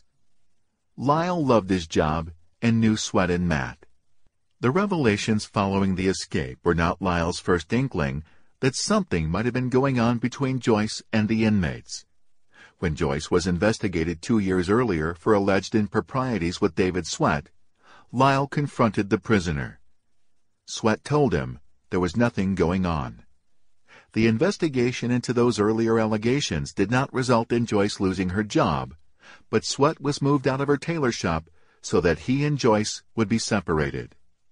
Dumas said that, although Lyle was not standing by his wife and was not supporting any allegations of her innocence, he was interested in making sure she wasn't hurt. There is a big part of his life that he is wondering if it was a lie all the time. There is a big part of his life that is gone now, pulled out from under him. Dumas also offered details of the first time Lyle and Joyce met face to face following her arrest. They spoke at that time, Tuesday, June 16th, for over an hour. Joyce's son Toby, whom Lyle had adopted, asked him if he was still going to be his father. Of course, Lyle reportedly said. I have been your father for twenty years, and I'm going to keep on being here for you. Joyce Mitchell was convinced that once the public heard her story, they would insist that she be treated with mercy. So, on August 14th, Mitchell granted her first interview as a celebrity, interviewed by her TV favorite, Matt Lauer of NBC, over several hours. The interview took place at the Clinton County Jail in Plattsburgh, where Mitchell was being held. Members of the media had been hounding Mitchell for cooperation from the moment they'd first heard of her. Her lawyer, Stephen Johnston, said there had been an onslaught of requests. Generally, my response has been it's essentially her decision and not mine, but my recommendation is she not give interviews until after sentencing, Johnston said perhaps realizing that his client was a gal who, as the song said, just couldn't say no. As it turned out, the interview was broadcast before her sentencing hearing. Johnston said that, to the best of his knowledge, Mitchell had not been paid by NBC. All interviews with jail inmates had to be approved by both the prisoner and Clinton County Sheriff David Favro. Favro said Mitchell had become a popular topic with reporters, but despite the intense demand, she insisted on speaking with Lauer exclusively. The sheriff also let slip that, on multiple occasions, Lauer and NBC people had been in touch with Lyle Mitchell's lawyer, and eventually sat down for a chat with the ex-husband as well. The Lauer interview was supposed to be strictly hush-hush, because the attorneys agreed it shouldn't become known until after Mitchell's sentencing. But it didn't stay hush-hush for long. News slipped out on August 20th. D.A. Wiley was holding a press conference and said, Are there any people here from NBC? I guess they got an interview with Joyce last week at the jail. Lauer did interview Lyle. Joyce's husband, it turned out, had his own version of his wife's confession that he wanted to share. Lyle told Lauer that he had been at the police station when an investigator approached him and said that his wife was involved. She was in it, maybe deep. He had asked Joyce what was going on, and she'd told him that she had done some things, that she'd gotten in over her head, and that she was terribly frightened. She told him that she didn't know what to do, that she was in shock, disbelief that the escapees had threatened her, that someone, from either inside or outside the facility, was going to do something to him, harm him, or kill him. Lyle said that his wife swore on her son's life that she never had sex with Matt or Sweat. She told him that Matt had tried to kiss her, and she might have just showed a little affection to him in return. Clearly, Lyle was uninformed regarding the hole Matt cut in his coat pocket. Asked about the future of his relationship with his wife, Lyle rattled off a string of questions. Do I love her? Yes. Am I mad? Yes. How could she do it? How could she do this to our kids? Sure, he was aware that his wife could be sent to prison for more than seven years, but he hoped it wouldn't be that long. I'm just hoping that she'll be home in less than two, he said dejectedly. Lyle divulged that the plan included slipping him sleeping pills so Joyce would be able to drive the getaway car and run away with Matt and Sweat. Joyce, he said, told him that it was her love for him that made her back out of that part of the plan. I love my husband. I am not going to hurt him, Lyle quoted his wife as saying. During the NBC interview, Lyle registered no shame, humiliation, or embarrassment. He couldn't wait for Joyce to get out of jail. He didn't see any reason he and Joyce shouldn't continue living in the same community where they'd always been. Lyle's attorney, Peter Dumas, was quick to point out his client's unadulterated innocence, that he had no advanced knowledge of the escape and was not planning to cover up for his wife. Dumas said.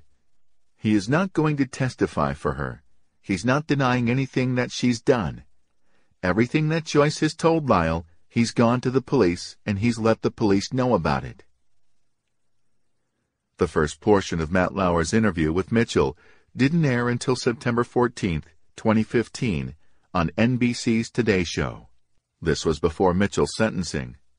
Her lawyers had originally agreed to air the interview only after the sentencing, but it had been apparently Mitchell herself who decided that it should air before. By her way of thinking, she was going to speak directly to the public, and they would see that she wasn't such a bad person, and they would see to it that the justice system went light on her. As it turned out, she greatly overestimated her charisma and the effect her blubbering roux would have on her TV audience. During the interview, Mitchell admitted lying to the police when she first spoke to them the day after the escape, but she corrected the lie quickly.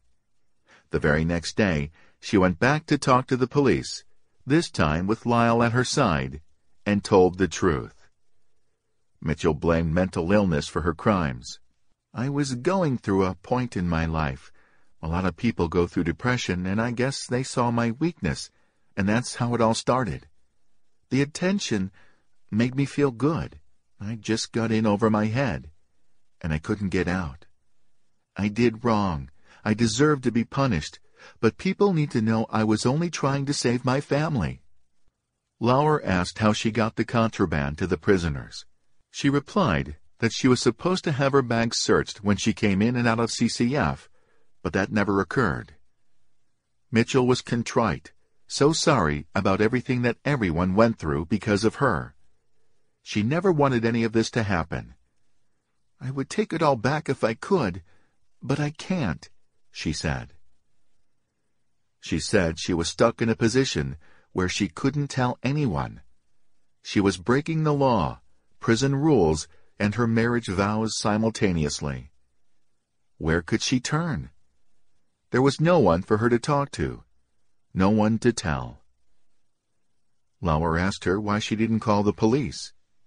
Mitchell replied that now, in 2020 retrospect, she could see that that would have been the right move, but not at the time. She was too scared. There was still an element of denial, she admitted. Part of her thought all of this was unreal, that it never happened. It was a bad dream. How, she asked, could it have happened when she always loved her husband? Lauer asked, Did Richard Matt have complete control over you? Mitchell replied, Yes, he was good at that. She understood that, because of the way certain things were reported by the media, many folks out there thought she was a nymphomaniac who'd had sex with both Matt and Sweat. Not true. She'd been brought up on charges regarding an improper relationship with Sweat, but those allegations were false. With Matt, it was more complicated. She never had consensual sex with Richard Matt. She understood that having sexual contact with a prisoner was a crime. In fact, it was considered a form of rape, with her being the rapist. But it wasn't that way at all. On the contrary. Her eyes filled with tears. Mr. Matt grabbed me a couple of times and kissed me. There was one point where he wanted me to perform oral sex on him. A tear rolled down her cheek. She paused to wipe it away. And I said no. And when I said no, he grabbed my head and pushed me down. She did as she was told because she was being terrorized. Matt once asked her where her mother lived, where her son lived, and then she knew he would hurt her family if she didn't do as he said. Matt used terror expertly, she explained. He wanted people to know what a bad man he was, why he was in prison, that he'd cut up a guy like bait and threw the gory pieces in a river. Should anyone question his credibility, he even went so far as to keep a newspaper clipping of the Rickerson murder on him, so he could verify his evil boasts. Lauer asked Mitchell how it started in the first place, her relationship with Matt, and eventual assistance with the escape. Well, she might have been flirting. No, she was flirting, and for her that was all it ever was. It started out so innocently. She brought in cookies and brownies for Matt and Sweat. She remembered feeling as if she were smuggling the baked goods in. Guards were supposed to check her bag when she entered the facility, but no one ever did. And it was fun and a little naughty, and she never wanted it to be anything more. They made each other feel a little special, she and her two favorite prisoners. They were making each other feel good, sure, but she was never in love with Matt. She recalled the conversation. You know, Joyce, I do love you. Richard Matt reportedly said. I love my husband, was her reply. It was a little while after that exchange that Matt decided to get rid of Lyle. Why was she flirting? To fill an emptiness she was feeling inside. There had been a time, she admitted, when she was starting to think her husband didn't love her anymore. So she perhaps became a tad restless. I guess they saw my weakness, and that's how it started. I'm not the monster that everyone thinks I am. It's just the opposite. I'm just somebody that got caught up in something that she couldn't get out of. Everybody tells me that I am way too nice. I guess I got a little too comfortable. She wanted America to know that she only gave in to the prisoner's demands. Sex, chisels, drill bits, hacksaws, and hats with lights attached to them, because she feared for her family's safety. Of course, there came a moment when it stopped being fun and games, just sex, consensual or otherwise, when she knew that there was more here than two guys painting and creating art, and when Matt first let her in on the fact that he and Sweat were planning to escape, and they needed her to help by supplying tools. She had said, No way. I can't get you that. When she did comply with Matt's requests, it no longer had anything to do with making him feel special or him making her feel special. It was pure extortion. He had threatened her husband. She had no choice but to do everything that he demanded. Why did she stand the prisoners up at the manhole? She said it was because she'd finally figured it out, how it would go. They would have killed me, she said. They would have had the vehicle, and they wouldn't have needed me. A preliminary analysis of events led investigators to a somewhat surprising conclusion.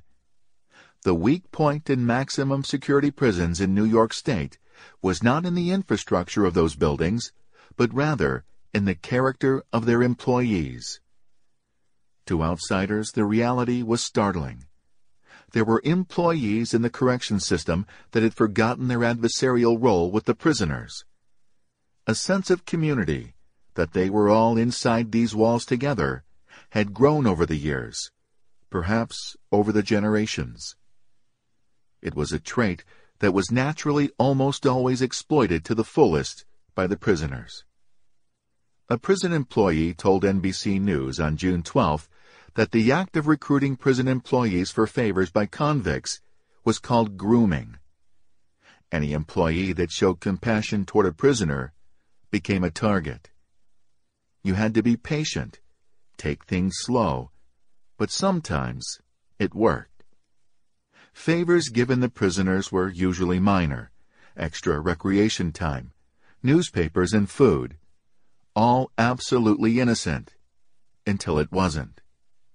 Employees became too comfortable with prisoners, turned the filter off when they said things, gave up too much personal information about themselves. And that was the first and most important ingredient in a recipe for disaster. Such had been the case with Joyce Mitchell, who apparently, using a combination of verbal and nonverbal communication, had conveyed to the escapees a notion of her unhappy marriage and sexual neediness. The source added that once a prison employee broke the rules on behalf of a prisoner, they were owned. If the employee failed to give in to escalating demands, the prisoner threatened to rat them out, a move that could cause the staffer his or her job, or even jail time. The problem was so real that corrections officers were trained in how to protect themselves from prisoner manipulation. Not an easy task as prisoners were smart and would always find a con game suited perfectly for the targeted staffer. Their mark. In Mitchell's case, she was made to feel sexy by the prisoners and responded with sexual favors, tools, and a promise of driving the getaway car. In convict speak, the successful manipulation of a guard was called downing the duck. The duck was the guard or staffer. Downing meant doing things in a manner that didn't raise suspicion. Inmates, because they are serving time, many of them great chunks of their lifespan, have an innate patience that serves them well when it comes to executing con games. You have to take it slow, was how they put it. They would first get an inkling of what the duck was willing to do before asking him or her to do it. Guards and civilian employees are not all alike. Some are bad. Some are good but gullible. Either one would do. It starts out with something simple, supplies above and beyond the ration, such as extra writing paper or toilet paper. It might seem an easy task for a guard to avoid manipulation, but guards and prisoners are together all day. Guards may see certain prisoners more frequently than they do members of their own family. The first step toward owning a guard was for the prisoner to get him or her to stop seeing him as a criminal, but rather seeing him as a person with problems, a basically good person who just needed help. That was the biggest psychological leap. The method sometimes worked to shockingly excessive degrees. In 2003, a gang member incarcerated in Baltimore pretty much took over the facility and impregnated several corrections officers. Mitchell's story was not a new one, and romance was common. Twenty years ago, a convicted killer escaped from an Oklahoma prison with the aid of a female warden who fell in love with him while they worked together in a prison pottery program. But the amount of TV time and newsprint inches dedicated to that story was a minute fraction of that given to Joyce Mitchell, who would remain the icon, at least in the foreseeable future, for illicit prison sex and betrayal of justice. Folks in the Buffalo and Binghamton areas who had worked so hard to get scum like Matt and Sweat behind bars could only shake their heads at the ease with which this self-deluded woman had handed those prisoners the key to get out. Although the investigation into the escape cast a large net, there would be only one other interviewee to admit culpability in the escape. On June 19th, prison officials, without mentioning names, announced that a corrections officer had been placed on administrative leave as a result of the probe into the escape.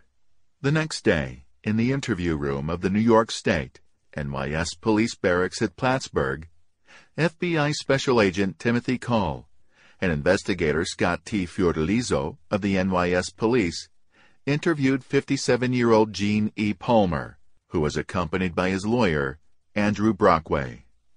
Palmer said that he had provided and Sweat with forbidden items for months and that he had a base salary of $72,644.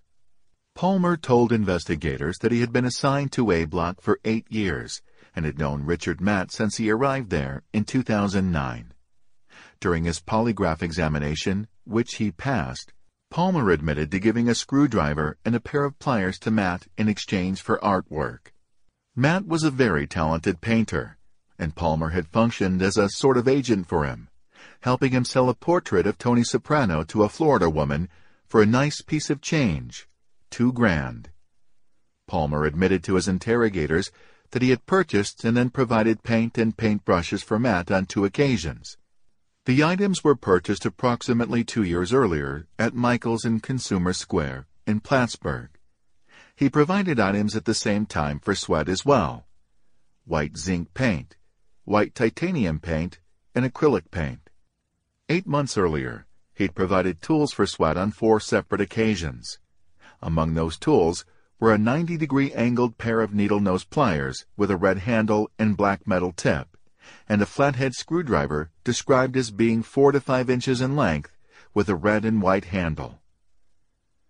Palmer admitted that back on May 29, 2015, about a week before the escape, Joyce Mitchell had left a package for him to give to inmate Matt. It was left in the freezer located in Tailor Shop 1. It was a green-colored, woven cloth bag containing two tubes of paint and more than one pound of frozen ground beef. How big was the package? Palmer said about a foot long, five inches wide, and two inches high. The beef was packaged with a white piece of styrofoam and plastic wrap. The plastic wrap did not have a price sticker on it. Did Mitchell say why she was giving Matt meat? An investigator asked. No. Did you ask her? No. Did this seem unusual? I knew we were in a gray area with the meat, Palmer said. Palmer said he approached Matt, who was locked in his cell at the time, and passed him the hamburger meat and the remaining items in the bag. That was the extent of the items he'd provided for the escapees, although he admitted that he did allow Sweat to change the electrical wiring in the cell electrical boxes, because he asked me to, and I was doing him a favor. He also allowed Sweat to access those boxes, which were located in the catwalk located in Company 3 and 6 to A Block. Palmer denied foreknowledge of the escape and intentionally assisting with the escape. In exchange for the favors, Palmer said, Matt provided him with paintings and information on the illegal acts that inmates were committing within the facility. Did they tell you why they wanted to change the wiring? Yes. They said it was to enhance their ability to cook in their cells. Not all of Palmer's indiscretions involved sneaking stuff to Matt and Sweat. After the escape, when he realized he might be in serious trouble, he destroyed evidence as well. Some of the paintings he'd received were allegedly burned sometime during the first two weeks of the manhunt, both in his own backyard and at a second location in Cadyville. He'd also, before the escape, taken measures to help Matt and Sweat from being caught with the contraband. During cell inspections, Palmer hid the painting supplies. I had inmate Matt bring the two oil-based paint tubes that I had previously purchased for him out of his cell. He followed me into catwalk 3 and 6. I took the paint tubes from him and hid them on top of the air vent, Palmer admitted. On June 24th, Palmer appeared in Plattsburgh Town Court, with Justice Kevin Patnode presiding. There he was charged with promoting prison contraband, first degree, a Class D felony, two counts of tampering with physical evidence, Class E felonies, and official misconduct, a Class A misdemeanor. His misconduct charge related to his receiving paintings from Matt in exchange for pliers and a screwdriver. The tampering charge stemmed from Palmer's alleged destruction of evidence. Palmer was scheduled to appear in court two days later, but didn't because he was changing lawyers. Andrew Brockway told Justice Patnode that he had been dismissed, and from that point on, Palmer would be represented by the Albany firm of Dreyer Boyajian. With his new counsel, Palmer waived his right to a preliminary hearing on June 29, and evidence in his case was initially scheduled to be heard by a grand jury. Palmer opted to waive the grand jury process as well. He was briefly jailed and then released when he posted $25,000 bail on his credit card. He was scheduled to have an arraignment hearing in Clinton County Court in November. Palmer's entire defense rested on the notion that he didn't know about the escape plans, didn't know there were hacksaw blades in the meat, and so forth. He knew he was breaking rules, of course, but was ignorant of anything egregious. There were solid indications that Palmer was not feigning naivete. Men who knew him vouched for his character. Former co-worker and CCF historian Walter Pete Light told me that he believed Palmer to be an honest guy, a straight shooter. There was such a culture of bribery, gift-giving or gift-exchanging some might call it, between prisoners and guards that Palmer's story was completely feasible. Light explained.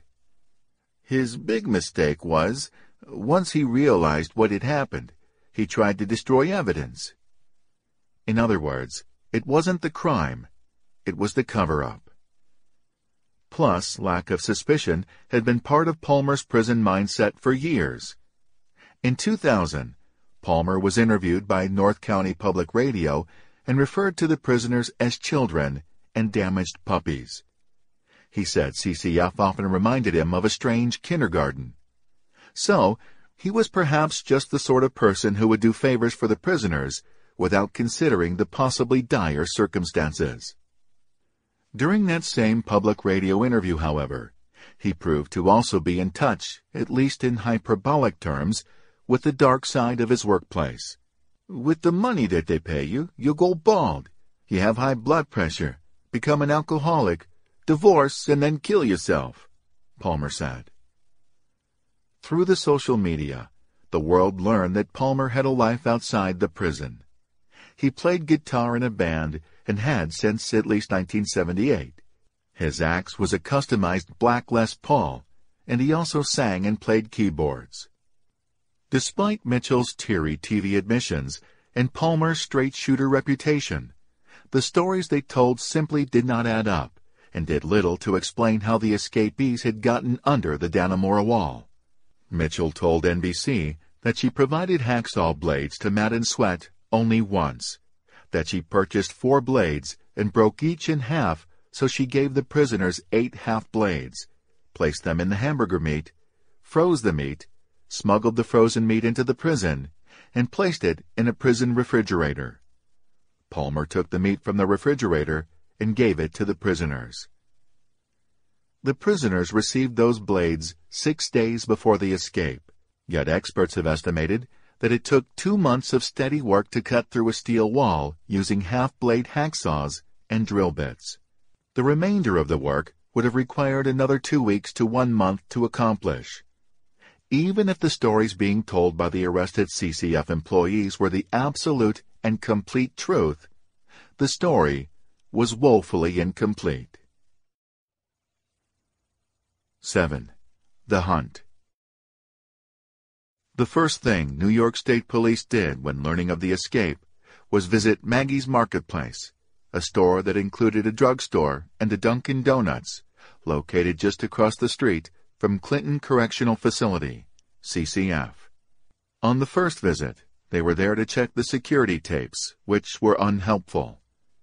On the next thousand visits, they were there for provisions, becoming such a constant presence that the owner Mickey Maggie set up an office in the store for them. The store was also noteworthy for the ample size of its parking lot, which became a home away from home for media vans and other news crew vehicles. During the first days of the hunt, authorities were fairly certain that the escapees were on foot. No cars were known to have been hijacked or stolen.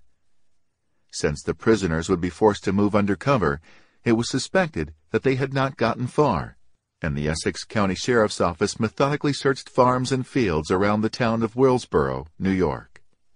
By June 7th, there were already multiple law enforcement agencies involved in the manhunt.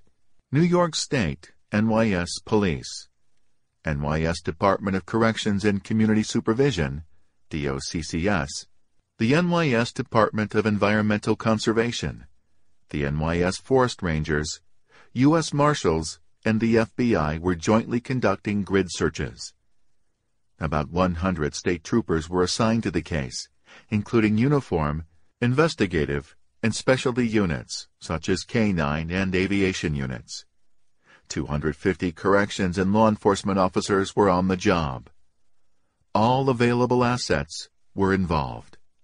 Governor Andrew Cuomo promised that law enforcement was going all out to recapture the bad, bad men. True, 250 able bodies were in on the search, but that was a number not as impressive as the governor had hoped considering the size of the forest that needed to be searched. There were miles and miles of harsh country, thick foliage, steep inclines and low valleys of thick mud that could pull a man's boot right off his foot. With only 250 personnel searching, the escapees felt like a pair of mobile needles in a lush green haystack. Luckily, that number was growing, and each day the escapees remained free, the number of manhunters grew larger. Cuomo called for the public's help. Anyone who saw the escapees or evidence of the escapees, anyone who knew anything that might assist their investigation, should report that info ASAP. On Monday, June 8th, the hunt got its first taste of frustration when an abandoned car and the sighting of two men near the woods in the Dannemora area both turned out to be unrelated to the escape. That same day, activity inadvertently picked up by a TV crew caused a bit of a furor. In a segment shown on the Fox News channel, anchor Greta Van Susteren was interviewing a reporter who was standing outside the prison with the big white wall in the background. As the reporter filed her report, in the background, a person could be seen crossing the road toward the prison while carrying something, a bundle, climbing a set of stairs next to the wall, attaching the bundle to a rope, and then, apparently using a pulley system, pulling the package up the wall, presumably to someone at the top who was waiting. A viewer who was videotaping his TV set captured the moment and put it online, claiming that they had witnessed contraband being smuggled into the facility right under everyone's noses. The video went viral, scoring 5 million hits, despite the fact that Dannemorian said that the system was routinely used for wives and other friends and loved ones to get supplies, food, and so forth to staff who were working long shifts on the other side of the wall. In the face of imminent danger, law enforcement approached its massive task with ultimate vigilance. The search for the escapees unfolded with an urgency just shy of frantic. The law was in a rush to finish this, convinced that it was only a matter of time before the escapees hurt or killed someone during their flight. Even though the early days of the search came with few encouraging events, Sheriff David Favro saw no signs of discouragement from his personnel or from other agencies. It was a methodical massive task, one that called for teamwork. His men were setting up checkpoints, sealing off areas, and holding down positions at the edges of woods in case the escapees were chased out by lines of searchers. Sheriff Favro said that if there were any interjurisdictional glitches in the manhunt, they came from on high. On the ground, the officers and agents worked shoulder to shoulder, and morale never flagged. Because of the man versus nature element of law enforcement up north, there was already complete cooperation between agencies. If you walked into a diner up north, you were apt to see a Clinton County Sheriff's deputy having coffee with an officer from the Border Patrol. It was an everyday occurrence. Chances were good that they had worked together many times, not necessarily busting crime, but just helping people. In that part of the world where the elements could be so terribly harsh, there was a strong sense of community in which people came together in times of crises. The big ice storm of 1999 came to mind, where the line between agencies and jurisdictions melted away. Everyone just did the best they could to save people. So it all came as second nature with Richard Matt and David Sweat on the run. They worked together. Every day those prisoners were on the loose, we had hope, Favro later explained. Energy was always at a very high level, because every day we thought this was the day we were going to catch those guys. The Border Patrol personnel assisting in the hunt were from the Swanton sector, an area that included all of Vermont, six counties in New York, and three counties in New Hampshire. All in all, 295 miles of border. That was too much border to be manned, and much of it was monitored electronically via sensors and cameras.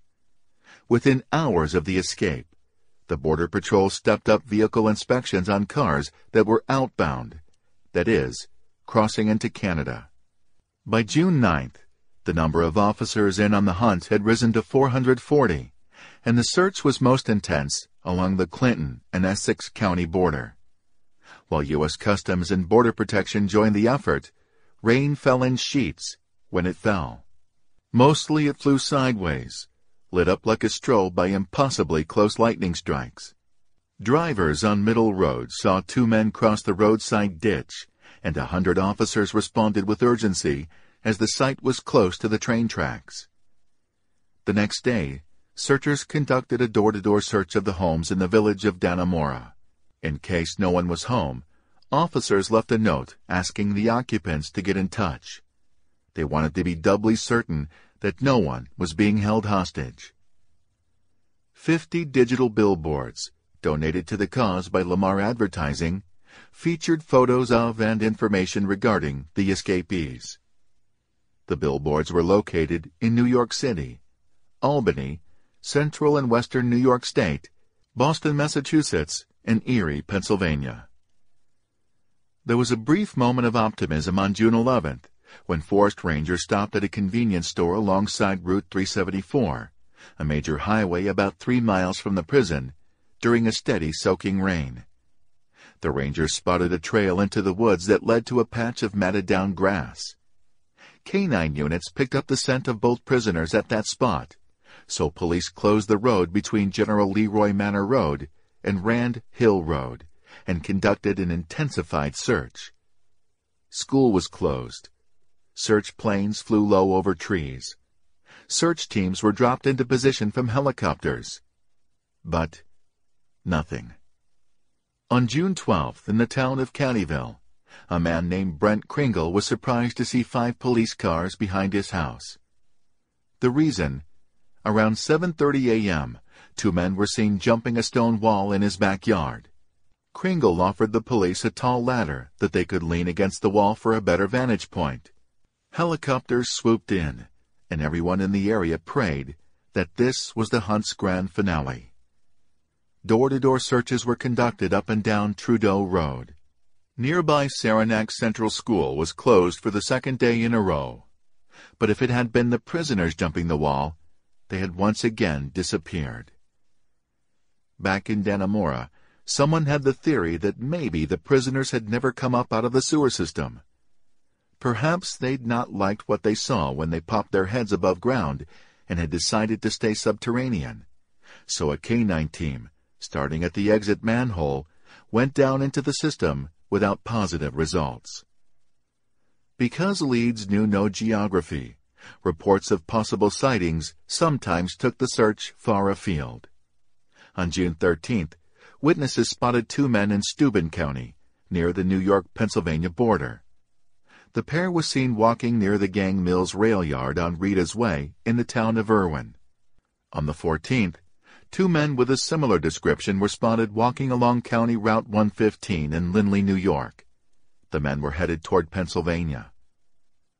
Back up north, joining the search by this time were the Department of Environmental Conservation, the Clinton and Essex County Sheriff Departments, and the Plattsburgh Police Department. The number of personnel involved in the search grew to 800.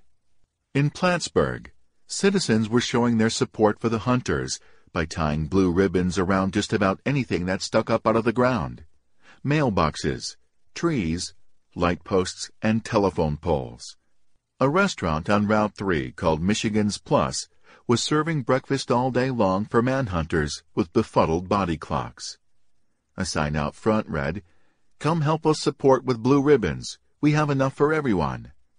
Back at CCF, the buses bringing visitors into the prison were searched meticulously, and before those buses were allowed to leave, a mirror on wheels was run underneath.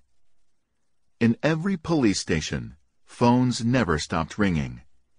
Every stranger was being reported as suspicious.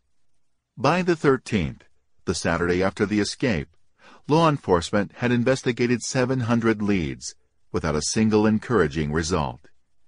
In the next 48 hours, 300 more leads were checked out. On Sunday, a door-to-door canvassing restarted, this time to both search for escapees and remind the locals to remain vigilant. There was discussion about whether the school of the Saranac Central School District should open the next morning. The schools did open, but with an enhanced law enforcement presence and no outdoor activities. It was estimated by the state police that the search thus far had covered approximately 8,300 acres, or 13 square miles. On June 14th, David Sweat turned 35 years old.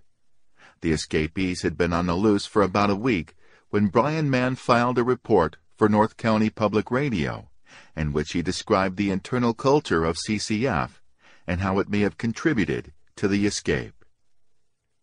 Mann had first gone inside the walls ten years earlier to write a story about the history of the prison. Looking back at his notes from that visit, he was struck by one comment. Everywhere we go, prisoners are handling knives and power tools. Lane Filler of Newsday commented, If you can operate power tools there, it's really not a prison. It's a Home Depot you got locked in by mistake. Mann noted that there was an element of outrage from people wondering how two prisoners, worst of the worst, could gain access to power tools. But Mann knew the truth. He'd seen it. CCF was like that. Prisoners were allowed to use tools, power and manual, on an everyday basis. He'd since learned that many correctional facilities were like that. Prisoners were routinely put in charge of maintenance and repairs, a cost-effective way to keep old prisons running. The trouble was, the use of prisoners in this capacity had another unintended effect. A bright prisoner, like Matt or Sweat, could use those experiences to learn a lot about the inner workings and design of the prison. And, Mann noted, if one prisoner learned something potentially useful about the prison, it wasn't long before everyone knew. The prisoners had ample opportunity to share secrets, such as which heating pipe passed through the outer wall to the outside. It was the one that headed toward the power plant on the other side of the wall. Information that could be used to hatch an escape plan. During one tour of the prison, Mann was guided by Gene Palmer, the same Gene Palmer who furnished and Sweat with hamburger meat that contained hacksaw blades, who showed the reporter the North Yard, which is a 7.5 acre section of the grounds that inmates mostly control. On the north yard were accommodations for recreation. There were ball fields. For years there was a ski jump. But also there was that same culture of tools. Inmates who stay out of trouble were given their own plot of land in the north yard, and that was their turf to do with as they wish. They built gardens, birdhouses, and other structures. They set up barbecue grills. Some built little white picket fences, like those in the American dream, to separate their turf from that of their neighbors. The idea appealed to prison management because it gave them a way to reward prisoners who behaved. Without that, there was no incentive to cooperate with prison rules. In light of the escape, however, everything looked differently. On the 14th, District Attorney Andrew Wylie said that he expected there would be more arrests, plural. Since only one additional arrest was made, there was speculation about who got off the hook. Best guess is that Lyle Mitchell was considered a possible accomplice at one point. Richard Matt's son, 23-year-old Nicholas Harris, continued to tell reporters of his dad's powers. Not only could he take a bullet and crawl over razor wire, but also, he told the Buffalo News, his dad had a genius IQ, which is why he was so good at escaping from prisons. He could outthink any effort to contain him. Harris said he first learned that his dad had escaped from Dannemora when his family's home in Angola was swarmed with a combination of state troopers and Homeland Security agents. I thought I had done something wrong and they were coming for me, Harris admitted. He had vague memories of his father from when he was a child. His clearest memories stemmed from a time a few years earlier when he visited his dad at the Niagara County Jail in Lockport. He makes an impression that lingers with you, Harris said. My father always wanted to have a relationship with me. Harris said that, during that visit, his father seemed weighed down from years behind bars. Harris had carefully considered having a continuing relationship with his biological father, but in the long run decided against it. I was raised by a stepfather. I was mature enough at that age to know I already had a father figure. Harris said. I decided a relationship with Richard Matt would not be healthy. Harris told the reporter how he came to be. His mother, V. Marie Harris, grew up in Tonawanda and knew Ricky Matt from when he was a kid. Matt, five years her junior, had a crush on V and would say to her, If I were older, would you be my girl? He'd act as if he was shy, lower his head and kick his toe against the ground. She said he was a baby. Come back when you grow up. And he did, when he was in his twenties and a good-looking guy. They started dating, and when she was thirty, she got pregnant with Nicholas. On Tuesday, June 16th, the section of State Route 374 between Leroy Manor Road and Rand Hill Road was finally reopened the grid search of the woods there complete.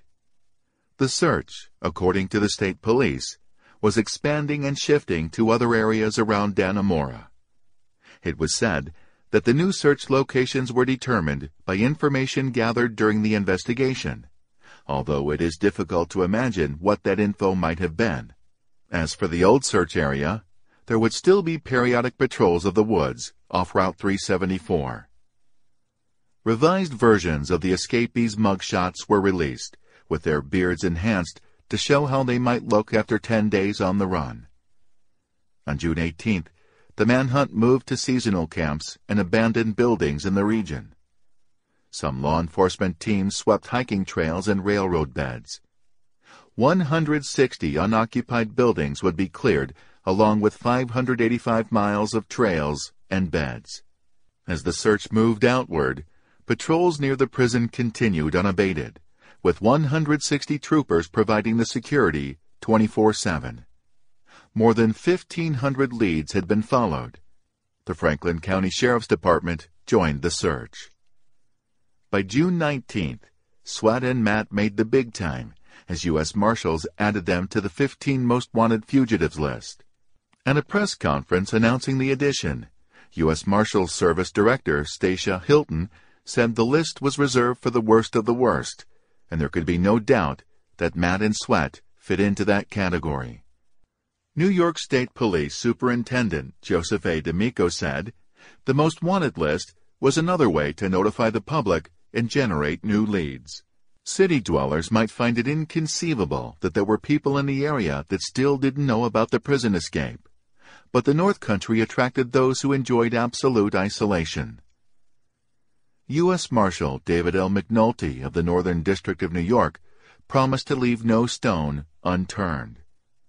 The marshals also announced that they were offering a reward, $25,000 per escapee, for information leading directly to his arrest. This was in addition to the $100,000 already offered by New York State. Also on June 19th, repairs of the holes the escapees had used to get out were completed, and CCF ceased being on lockdown. The manhunt forged on, vigilant but drastically overmatched by the vastness of the North Country. And in the meantime, the escapees were thinking less of putting miles between them and the prison, and more about the comforts of home. They broke into a series of desolate hunting camps and cabins. They stayed for two or three nights in a remote camp known as Twisted Horn, which was near Black Cat Mountain in the hamlet of Mountain View, about 25 miles due west of Dannemora. The pair squabbled and bickered. Should we stay or should we go? Matt felt that living in an unused cabin was the way to go. There was protection from the elements. Staying still was a lot easier on the legs than walking through woods for many hours at a time. And well, it was comfortable. Sweat strongly disagreed. He thought that moving from place to place was the best way to avoid capture, and comfort would mean nothing if they were caught and thrown back in prison. What will we do if someone comes to the cabin and we are here? Sweat asked. We have two choices. We kill them or take them hostage, Matt said. Sweat claimed that he argued against violence whenever Matt brought it up, and Matt was bringing it up with increasing frequency, especially when drinking. He was into violence and enjoyed thinking about hurting people and killing cops. Sweat became sick of it. Matt sounded as if he was at war. Sweat just wanted to be free and must have eventually gotten his way. When trouble did come to the cabin, the escapees didn't hurt and kill. They didn't fight. They fled. Each time they came upon a cabin in the woods, they would make sure the place was empty and then break in and ransack the place. They took items to facilitate their flight food, clothing, weapons, and a transistor radio, which they used to follow the news of the manhunt and avoid capture. Sweat would later say that he came very close to the men who were hunting him on a number of occasions. Once he climbed a tree and hid in the tree stand, constructed for deer hunters, while law enforcement officers walked past the tree directly below. Tree stands are designed to be good hiding places, so that deer would approach without realizing how close the hunter was. Unless the searchers had been looking specifically for a tree stand in that tree, Sweat would have been all but impossible to see. The search was not without its problems, especially during the first week. Interagency communications were poor, and sometimes police got their information from the news media, which was seemingly competing with the police for investigative leads. Sheriff Favro said. There was a lot of confusion at first. I would have expected more daily briefings with local executives. At one point, the team of U.S. Marshals threatened to pull out of the operation when they were relegated to checkpoints rather than frontline search areas. I later asked Sheriff Favro what the biggest difference was between the days of the Dannemora manhunt and an average day as Clinton County's top cop. He said it was the influx of media into his life. Dealing with reporters and becoming one of the voices and faces of the manhunt awakened in me a new sense of responsibility. It has always been, on a one-to-one basis, my job to make citizens feel safe and secure, that they are protected by able people who couldn't be working harder. Now I had to do that same thing, comforting the public, only on a larger scale, going on the air and letting people know that everything that could be done was being done to catch these guys and to make sure they didn't have a chance to hurt anyone. So I never said no to the media, and it made for a few long days. But the voice and face of comfort had to be there, even if it meant doing the Today Show at 5 o'clock in the morning and the Channel 5 News at 11 at night. On the afternoon of June 20th, a witness spotted two men walking along a railroad line that ran alongside Route 20 in the Allegany County town of Friendship, New York, 355 miles from CCF. An interagency search unit was dispatched to the area immediately. A portion of Interstate 86 and Route 20 were closed. Folks in the area were told to be alert. The media had to shift locations also to follow the new lead and were told by the state police to congregate for periodic briefings at the news briefing room known as SP Amity in Belmont, New York. Perhaps the one innocent civilian most inconvenienced by the escape was 31-year-old Joshua Lamity, born and raised in Malone, who, during the spring and summer of 2015, was working two jobs to support his kids. Lamity's first inkling that his life was about to become complicated came a few days after the escape, when a friend of his commented on a resemblance to David Sweat. Dude, you should probably shave, the friend said. But Lamity just thought it was funny.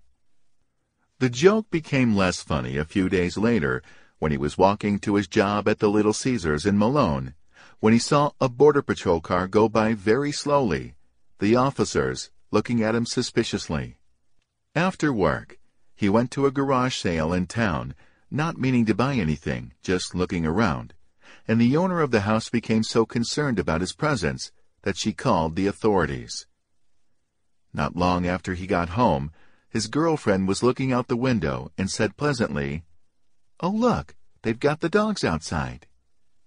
As it turned out, they were more than just dogs. Two U.S. Marshals were there in addition to the K-9 team. One Marshal talked through the window to the girlfriend first. You see anyone wearing a maroon hoodie? The officer asked. The girlfriend answered innocently. No, but my boyfriend has a red one. The marshals immediately knocked on the front door with their guns drawn. Now, Lamity was sympathetic to law enforcement up to a point. They were in a heightened state because of the crisis. On the other hand, he still didn't think he looked that much like Sweat. There was a big height difference, he later said to this investigation. I'm five three. Sweat was considerably taller. Nonetheless, the marshals made Lamity come out of the house, slowly. No sudden movements. Keep your hands in front of you where we can see them, they said, using their command voices. Lamity was starting to get nervous. First that one of them might get jumpy and pull the trigger on the M16s they held at the ready, and perhaps more reasonably, that he would be detained or arrested for criminal resemblance. Those guys scared the shit out of me, he later said. Instead, they asked to see identification, which Lamity had on him. That diffused the situation. The officers apologized for his inconvenience and went on their way. A few days later, Lamity was walking down Main Street in Malone when a cruising police car stopped. He pulled out his ID right away, and the officers were satisfied. He figured that had to be it, but it wasn't. The next day, he was on his way to work, wearing his full work uniform, and taking a shortcut, he walked through the parking lot of the local Burger King at the same moment that a Border Patrol car was pulling up to the drive-through for lunch. Lamity could feel the officer's stare burning the back of his neck, but he kept walking, trying to look as casual and innocent as he could. Then he heard a barking voice. Stop! He removed his hat and turned around. The officers were out of the car and heading toward him aggressively. Really? He said. This is the third time. Do I look that much like him? They said he did. The combination of the beard, light-skinned complexion, and haircut was striking. So no one wanted the manhunt to end more than Joshua Lamity. He yearned for a time when he could once again walk the streets of his hometown without feeling frightened and accused. An expert on all things Matt was now the 67-year-old David Bentley, retired Tonawanda detective and former Matt mentor.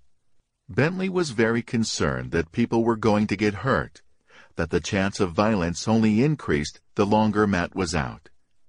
If he couldn't find someone to hurt, he might hurt himself. Bentley had seen him inflict wounds on himself, cut himself, break his collarbone, and not seek any treatment. He was fearless, or numb. He sure as hell didn't respond to pain. Bentley urged the public to be wary, not that he himself was afraid. If he were to come to my house, I am prepared to defend myself, and I think it would be a bad day for him. Major Charles Guest said at a press conference that he had a message for Sweat and Matt. We are coming for you, and we will not stop until you are caught. There was no conclusive evidence that either of the inmates had left the immediate area. But even if they had, searchers had nationwide resources, a coast-to-coast network dedicated to apprehending the escapees. The team, in fact, extended past national borders. They had international resources, looking at the path of this escape. Spin Master Guest said, We're getting closer with every step we take. An objective look at the situation didn't yield as rosy of a picture. During the early days of the hunt, the search bopped from place to place, responding to a seemingly never-ending series of false leads. Eyewitnesses were trying so hard to be helpful. The hunters couldn't afford to ignore any of the phoned-in leads. It was frustrating, but not as frustrating as what followed. As the search headed into its second week, the phone calls came further apart. The torrent of possibilities dwindled to a drizzle. The trail, never particularly warm to begin with, now completely cooled, becoming every bit as chilly as the June rain that fell day after day. The weather report said more of the same. Rain, rain, and more rain. Major Guest wasn't worried about inclement weather. It leveled the playing field. When searchers mucked it out, the escapees slogged also. Unless Matt and Sweat had found shelter, searchers figured they were cold, wet, tired, and hungry. That meant even more danger, more desperation.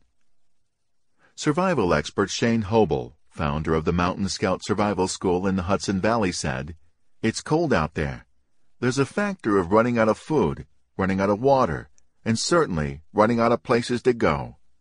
Hobel said a typical backpacker could hike between 10 and 15 miles per day in that terrain. The escapees would need to account for the seven cardinal rules of survival.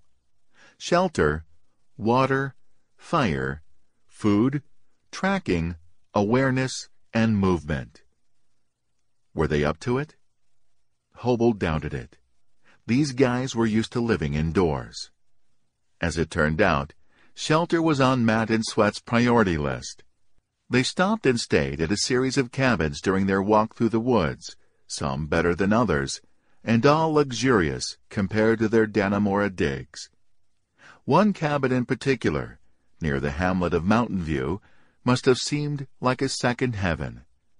They came upon it on June 18th and stayed three days. Everything was remote in those parts, but this cabin seemed particularly isolated, enveloped by trees and miles from anything else. It was well furnished and stocked with just the stuff necessary to soothe a couple of guys who'd been roughing it. In the rustic, wood-paneled room was an American flag, several buckheads mounted on the wall, one of them wearing sunglasses, a couch, indoor stove outdoor gas grill, a reclining chair, and bunk beds. They might have stayed longer, but it lacked one essential. There wasn't much food. The cabin was off a dirt trail known as Wolf Pond Road and leased by a group of corrections officers. One of them was 47-year-old John Stockwell, an officer at Upstate Correctional Facility, and previously an employee of Lyon Mountain Correctional in 2008 and 2009. On Saturday, June 20th, Stockwell kissed his wife Nancy goodbye. They were celebrating their 28th anniversary. She told him to be careful. He grabbed his gun and rode his all-terrain vehicle into the woods, his five-year-old black Labrador retriever, Dolly, running alongside, to check on his hunting cabin. As he approached the cabin, Dolly stopped. Her ears perked up, and the hair on her back bristled. Later, Stockwell would credit Dolly for saving his life. Seeing the dog's manner, he approached the cabin cautiously and saw movement in the window. Who's in here? Whoever you are, you better come out right now, Stockwell said. He couldn't tell if there was one man or two, and he couldn't be sure that they were the escapees. But whoever it was ran for it, heading out via the back deck. From his vantage point, Stockwell couldn't see anyone flee, but he heard the sounds of something crashing through the brush. With the intruder apparently gone, Stockwell tentatively entered his cabin and once inside saw further evidence of invasion. A jar of peanut butter and water jug were out. The coffee pot had been moved. The area map that Stockwell had tacked on the wall was gone. The intruder had also left some DNA-rich items behind. Toothbrush, razor, and a soiled pair of Cone-Craft brand prison-issue underwear, an indication that one of the escapees might be suffering from dysentery perhaps from drinking standing water. There was also a bloody sock, proof that the escapees' flight was taking a toll on them physically. And there was toothpastey foam in the sink, no doubt saliva-rich. Most disturbingly, the 20-gauge shotgun that he'd hidden between the mattress and the bed frame of one of the bunks was gone. Stockwell tried to call police from the cabin, but his cell phone couldn't get service, so he left his cabin and rode his ATV for 20 minutes before calling. Investigators arrived swiftly, and the items left behind were carefully processed and sent immediately to a lab. The evidence was given A1 top priority. Results were back lightning quick in less than a day. The DNA was a match to Richard Matt. News of the match was a much-needed morale boost for the hunters many felt renewed energy and a sharpened focus. The trail was now hot, and along it the hunters found discarded pepper shakers. Matt and Sweat knew at least one survival technique. The escapees were still attempting to pepper their trail and mask their scent from the canine teams. Along with renewed hope came fresh misery. A storm blew in, and the search took place in blinding rain bowling alley thunder, and brilliant flashes of lightning. The helicopter units were grounded. The number of law enforcement personnel participating in the hunt continued to grow to about 1,200. These now included conservation officers from the Department of Environmental Conservation, officers from the Vermont State Police, and the Franklin and Washington County Sheriff's Departments the number of pursued leads had grown to 2,400. While it was true that state troopers were investigating sightings in other parts of New York State, the great bulk of the search, as of June 21st, remained close to Dannemora. That all changed the next day. With DNA results just in, the whole kit and caboodle moved. On the 22nd, a media staging area was set up in the Owl's Head area of Franklin County now 30 miles west of the prison. Reporters were directed to park their cars in the Owl's Head United Methodist Church parking lot on Ragged Lake Road. Police urged those who had cabins in the woods to check on them, carefully of course, to see if there were any signs that they'd been broken into. By this time, the escapees were approaching a record-setting length of freedom. Only once in the previous 25 years had an escapee from a New York maximum security prison gone longer without capture. George Gatto, who broke out of Eastern Correctional Facility in Napanoch, New York, and ran for 20 days before being caught. Of course, the people up north were frightened that the desperados would one night knock on their door or crawl in their window. But the fear was just as rife in the hometowns of the escapees, where the pair had left behind friends and enemies. Now, everyone who'd known Sweated Matt thought they might get an unwanted visit. Some fears were unwarranted, some not. Among those who had plenty of reason to worry were Patricia Desmond and her daughter Audrey. The daughter was Sweat's live-in girlfriend at the time of the Tarsia murder.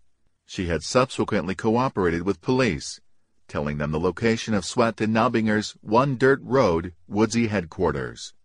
Patricia Desmond explained. She told them where the guns were and stuff. We were worried that coming after my daughter was on his to-do list. He didn't have a lot of friends when I knew him, he was kind of a loner. He didn't have that many places where he could go, so it seemed likely he'd visit Audrey. It was terrifying. Patricia had another reason to be worried. Her son was in Dannemora, and investigators were aware that he'd known Sweat on the outside. Sweat had lived with his sister, and the assumption was that he knew something about the escape. Don't get me wrong. Patricia Desmond later said. I think Sweat and Matt had a lot of help. A lot of help. But my son didn't know anything. He was in the annex. He had seen Sweat a few times in there, but not regularly. Still, investigators made his life hell. Patricia knew through her son that bad things happened inside the prison after the escape. They almost beat one kid to death, she said. On Tuesday, June 23rd, David Sweat's mom, Pamela Sweat, sat cross-legged on the couch in her Conklin, New York home, talking about her son with reporter Megan J. Brockett of the Binghamton Press and Sun Bulletin. The escape, she said, was surreal to her. She couldn't believe he did it. David had written her regularly, and she'd handed all of the letters to the police. Sorry, she had no photos of her son. She'd thrown them all away. I don't want nothing to do with him. He has tormented me since he was nine years old. Now he's thirty-four, and I feel like he's still doing it. I've always had trouble with David, even when he was growing up. I've always told my kids, you do the crime, you do the time. David's escape didn't just hurt her. It hurt her whole family, as well as her son's friends who were close to him. It really hurt Kevin Tarsia's family because he took their son away from them. Sweat's sister, Tilly Tuttle, was asked how she felt when she heard of the escape. She said that she was shocked, that David had been in that prison for 15 years. He had a certain status there. Why would he want to leave? She had no idea. She didn't know what went through his mind. Ever since the escape, an unmarked police car had been parked across the street. Only hours after the escapees were chased from their home away from home, on Monday night, June 22nd, a resident on Fayette Road on Titus Mountain saw two men sneaking through the woods behind his house. Alicia Monette of Mountain View told WCAX-TV that the eyewitness was her uncle, who had been sitting on his back porch and was certain he saw the men. Reacting to the influx of law enforcement, Monette said, It's very quiet up here normally, and this is crazy. It's very scary. Our kids can't go outside and play. We've got to keep everybody in. It's horrible. On Tuesday, which featured more torrential rain and gusty wind, the search focused even more sharply now upon the seasonal camps in the forested land surrounding Studley Hill. When the manhunters arrived in the area, they realized their daunting task. The area was full of hiding places, not just hunting camps, but abandoned buildings along Johnson Road as well. The Titus Mountain Family Ski Center was transformed into a police command center. The new search area, was even more rugged and mountainous than earlier search areas. The thickness of the undergrowth made mobility a challenge. What was needed was a search team of men and women who were part goat and armed with machetes. Dean Savage at the ski center said that when he heard the manhunt was coming to northern Franklin County, it was a no-brainer that their upper lodge should be used as manhunt control. The law agreed. Folks at the ski center said they would do whatever they could to be helpful. Community members and businesses likewise pledged support. It was everyone versus Matt and Sweat. All of that law enforcement needed to be fed, so the ski center's food and beverage manager called local vendors, Moe's Pub and Grill, Glazier's, Freyhofer's, and KFC, and they all kicked in with food. Titus Mountain staffers worked double and triple shifts, making sure every hungry cop returning from the field was fed. No one complained. No one questioned whether or not they were on the clock.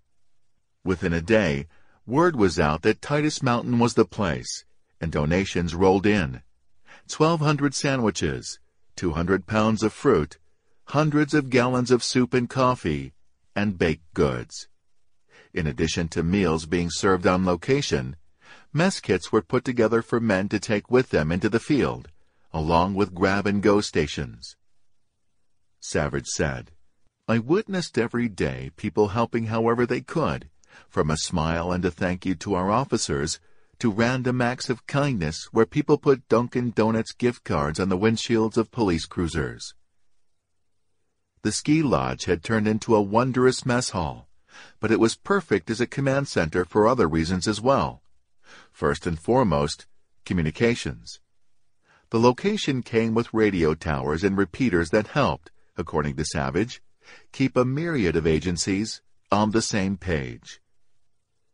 The only problem with the location was that, as was true of much of the North Country, cell phone service was spotty.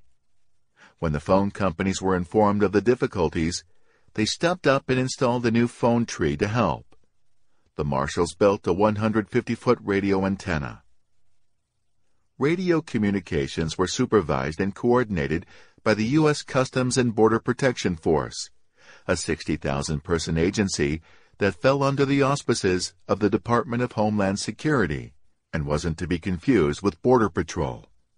The Plattsburgh edition of the agency flew a Cessna and Citation jet and had prevented approximately 1,400 people from illegally crossing the U.S.-Canadian border during the previous five years.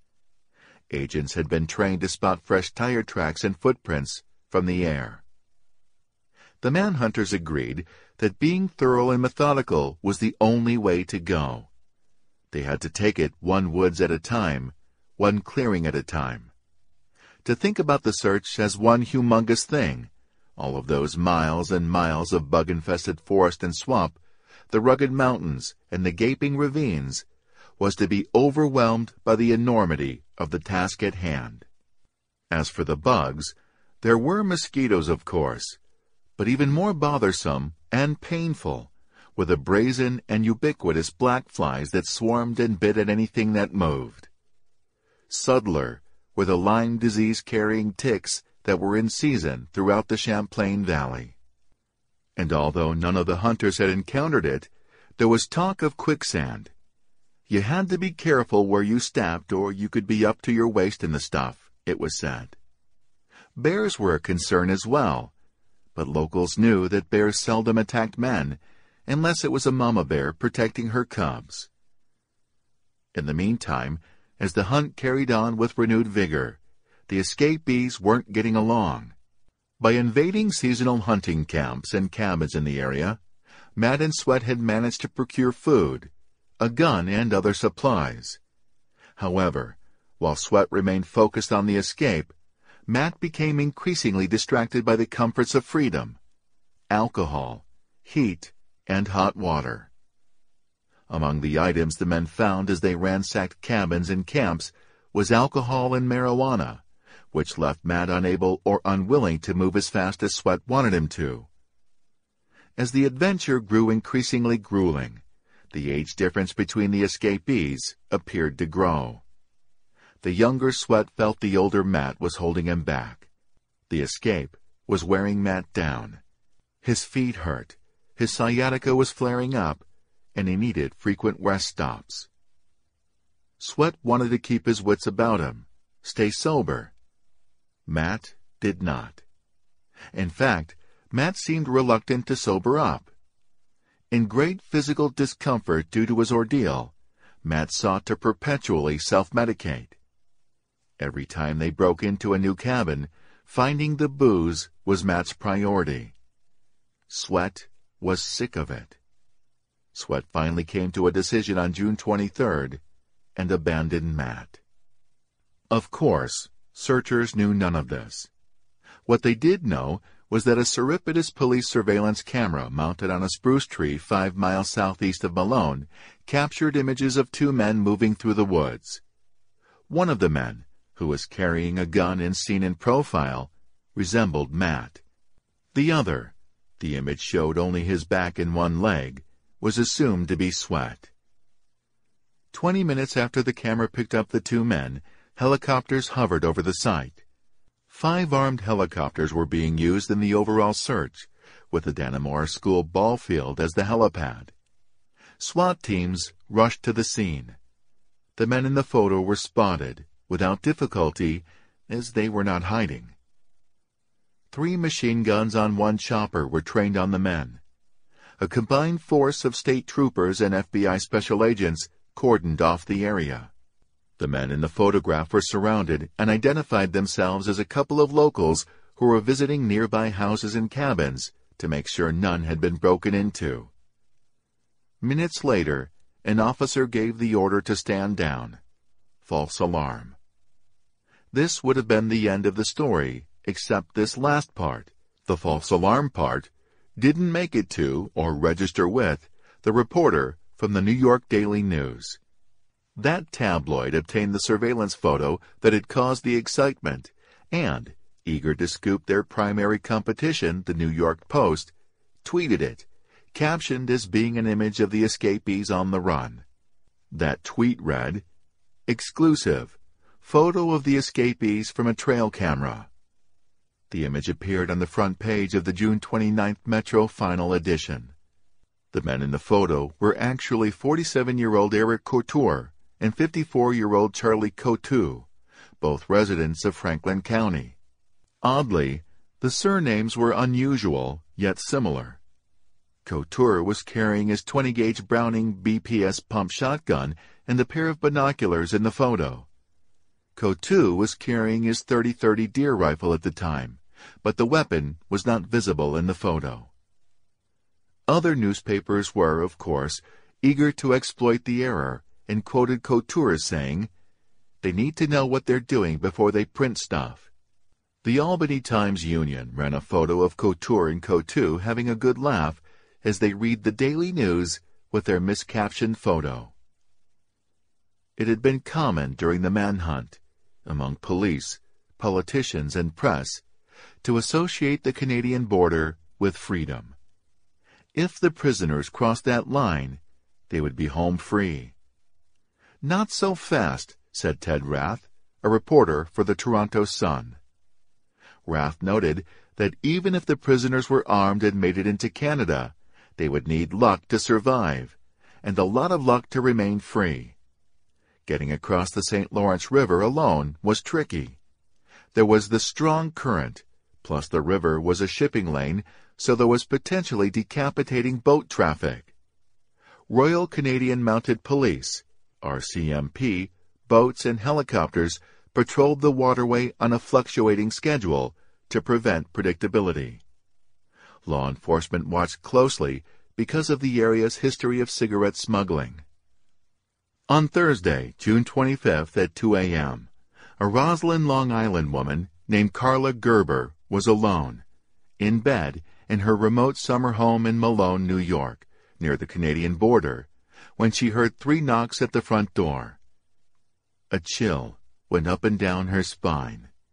She was near paralyzed by fear. By this time, Everyone within 50 miles of Malone was on the lookout for the desperados who were somewhere out there, desperate for freedom and dangerous as any wild animal. She later came to believe that her fear saved her life. If she had answered the door, she was convinced, she would have been taken hostage or simply killed. The other thing that saved her was the light from a passing police car, which apparently scared her visitor away. She called the police, and in minutes her property was teeming with official vehicles. Fingerprints and a bloodstain were found on her door. The quality of this information was not released to the public. It was acknowledged, however, that communities north of the village of Malone, toward the Canadian border, were to be the primary focus of the investigation. People in those areas were told to expect a strong and visible law enforcement presence. 8. One down.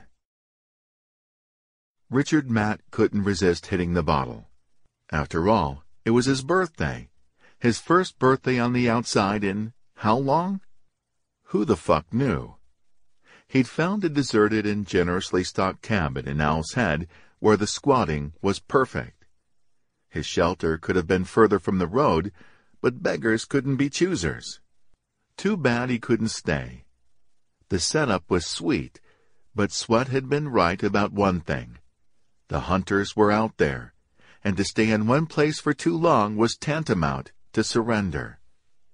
This on-foot stuff, however, was bullshit. He needed a car.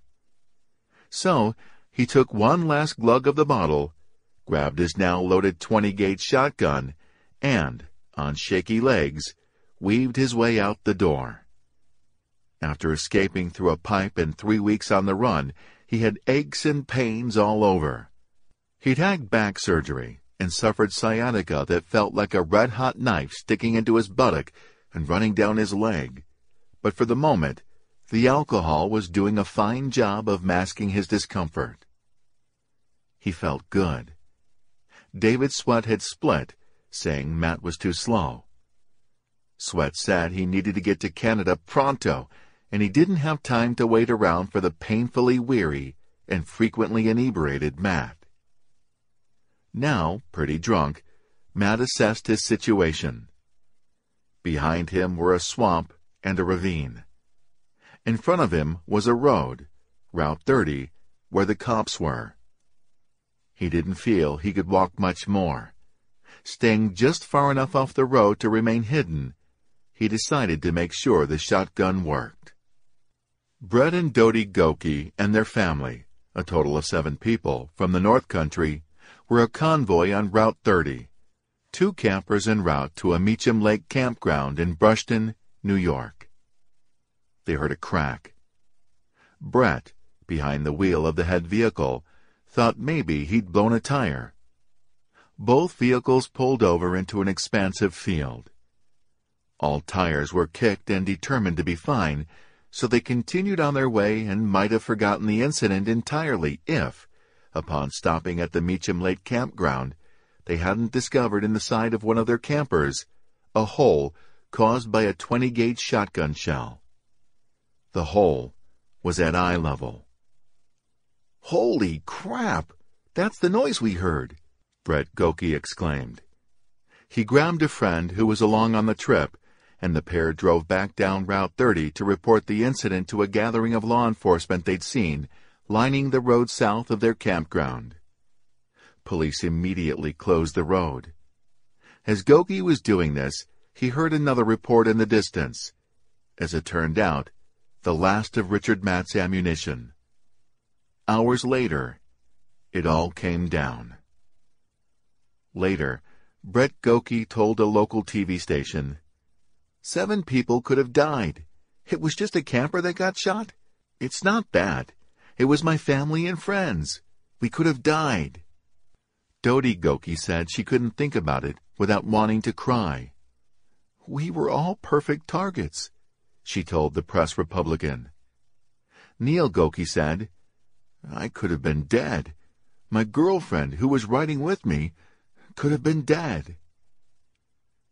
Robert J. Willett and Leland Paul Marlowe, Jr., owned a camp called Humbug Hunting Club off Route 30 near Humbug Mountain in Malone. Both worked for the State Department of Corrections and Community Supervision.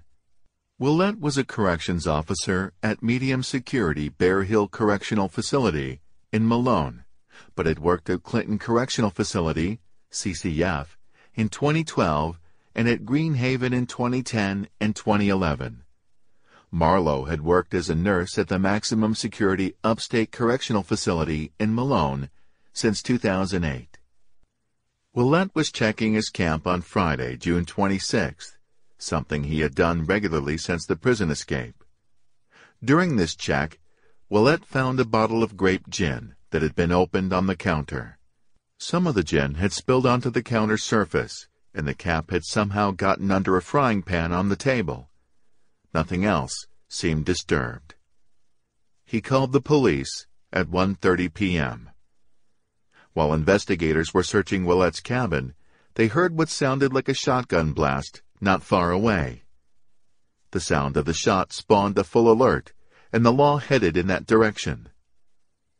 Photographer John Chodat, whose house was very near this scene, grabbed his camera and went out to see. What he saw, he later recalled, was a myriad of trucks and vehicles and helicopters flying over, a whole bunch of trucks came up with dogs and teams of soldiers in camouflage.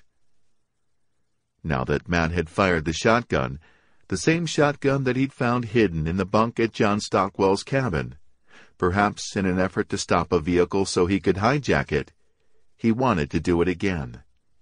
It was experience to have one shot under his belt, gauge the kick. He couldn't be hesitant and uncertain during a gunfight. Maybe that's what he wanted most, to turn the hunters into the hunted. The thought might have appealed to his inebriated mind. The report of the shotgun shot into the side of the trailer brought the helicopter units into the area, but Charles Guess ordered them away, which turned out to be a very smart thing to do, as the hunter's ears turned out to be even more important than their eyes. Matt was only a short distance from the cabin with the spilled grape gin, and close enough to the road that he could see men with guns. He lay down on the ground near Elephant Head Trail and aimed the gun. Then Matt made his final mistake. He coughed. Christopher Voss was a clean-cut former Army Ranger, a current agent of the Texas Border Patrol based in El Paso. It was not unusual for Voss's squad to travel and join in large manhunts. His squad went, but they weren't always happy about it. Voss was strictly a draftee when it came to participating in the search for escaped prisoners. He'd been there for weeks, searching through foliage much thicker than anything found in El Paso. Voss heard the call. Gunshot in the woods. At first, he thought it was just another false alarm. There had been so many. It was always teenagers or hunters. The thing this report had over many others was immediacy. When did you hear the shots?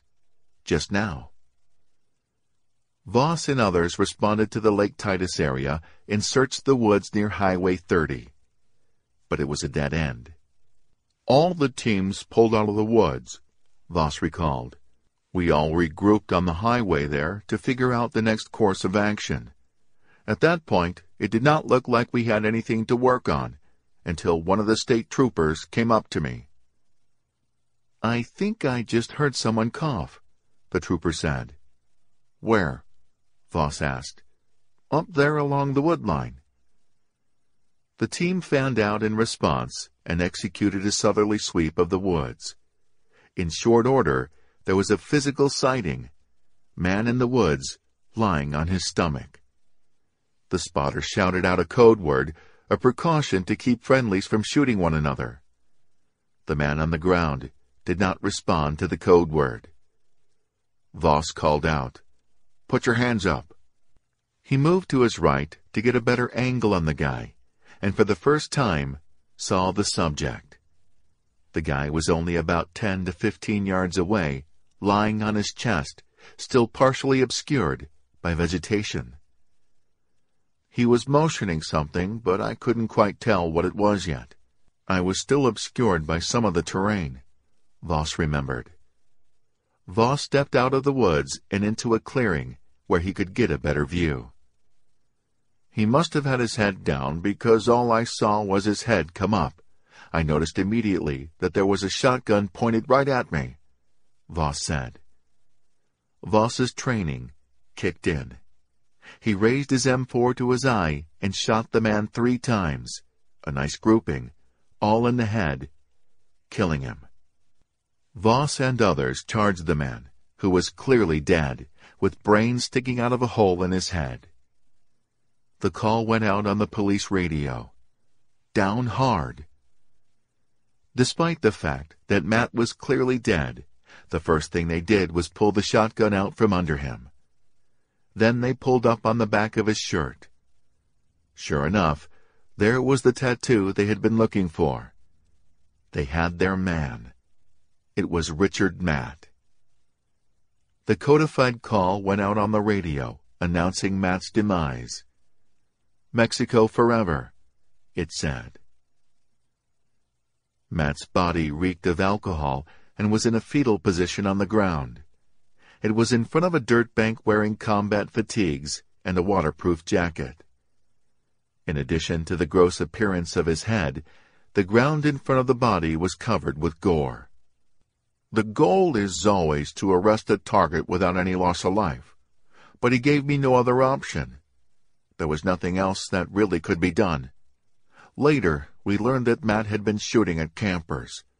I'm pretty confident that somebody could have been hurt or killed if we didn't encounter him that day. Any loss of life is regrettable, Voss said. Voss's mind would not change even when he learned that Matt had not brought extra shells with him. His gun was not loaded. He'd used up all of his ammunition. The men at the scene did not allow themselves a moment to relax. They didn't know that the escapees had split up. For all they knew, an armed sweat was still nearby, perhaps putting a crosshairs on someone's temple.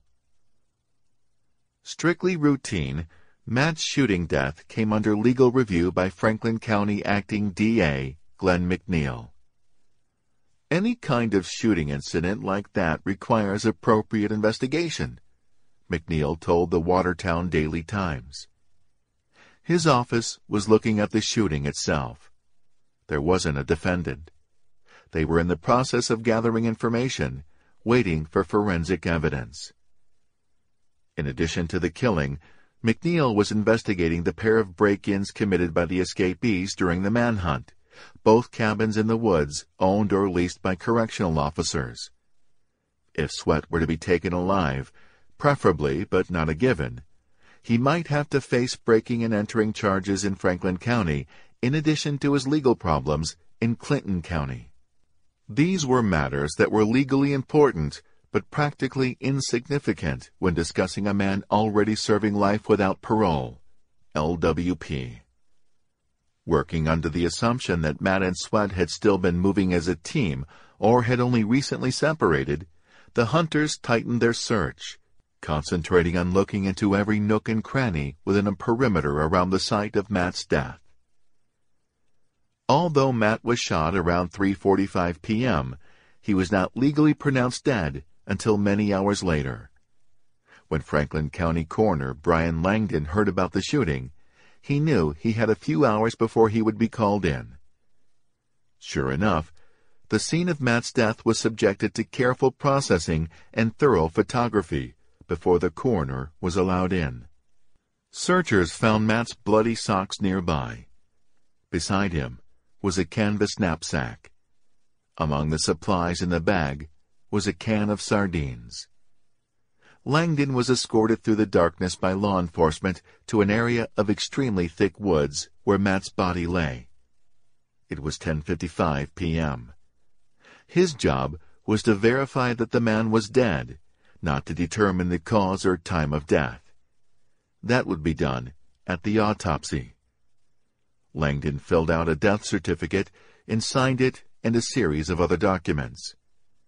A seven-hour delay between a man's death and the signing of his death certificate might seem like a long time, but not when a crime scene was involved.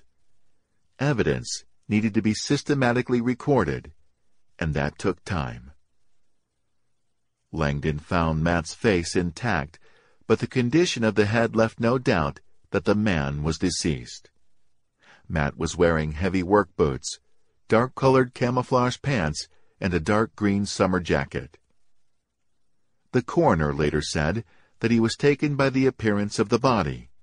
Matt had been showering and had picked up sturdy protective clothes. He looked clean and well kept, Langdon said. He wasn't sleeping in any cave or anything like that for three weeks, that's for sure. From the moment Langdon declared the body dead to the commencement of the autopsy, it was his job to protect the remains, a duty he took very seriously. It was more important to protect the remains than to pass judgment on the person. He oversaw the lifting of the body into a body bag, sealing it up, carrying it to the highway, and placing it in a hearse. Following a stop at the Spaulding Funeral Home in Malone, the body was transported with a police escort to the Adirondack Medical Center in Saranac Lake, taken to that facility's morgue, and placed in a double-locked compartment. It was a formal process, everything recorded and photographed, and Langdon maintained a solid chain of evidence by witnessing every step. Langdon was then allowed to return home for the night, but first thing on Saturday morning, he was back at the morgue to witness the transfer by funeral parlor hearse of the body from Adirondack Medical to the Albany Medical Center for autopsy, which he also witnessed. The autopsy was performed by Dr. Michael Sikirica, the Rensselaer County Medical Examiner. Sikirica's only public comment on the procedure was that he was doing the autopsy on behalf of the Franklin County coroner. At autopsy, blisters were found on Matt's feet and multiple bug bites throughout the body it was confirmed that Matt had been eating and drinking while on the run. His blood alcohol level was 0.18%, more than twice the drink driving limit. He had been fittingly dressed for the outdoors.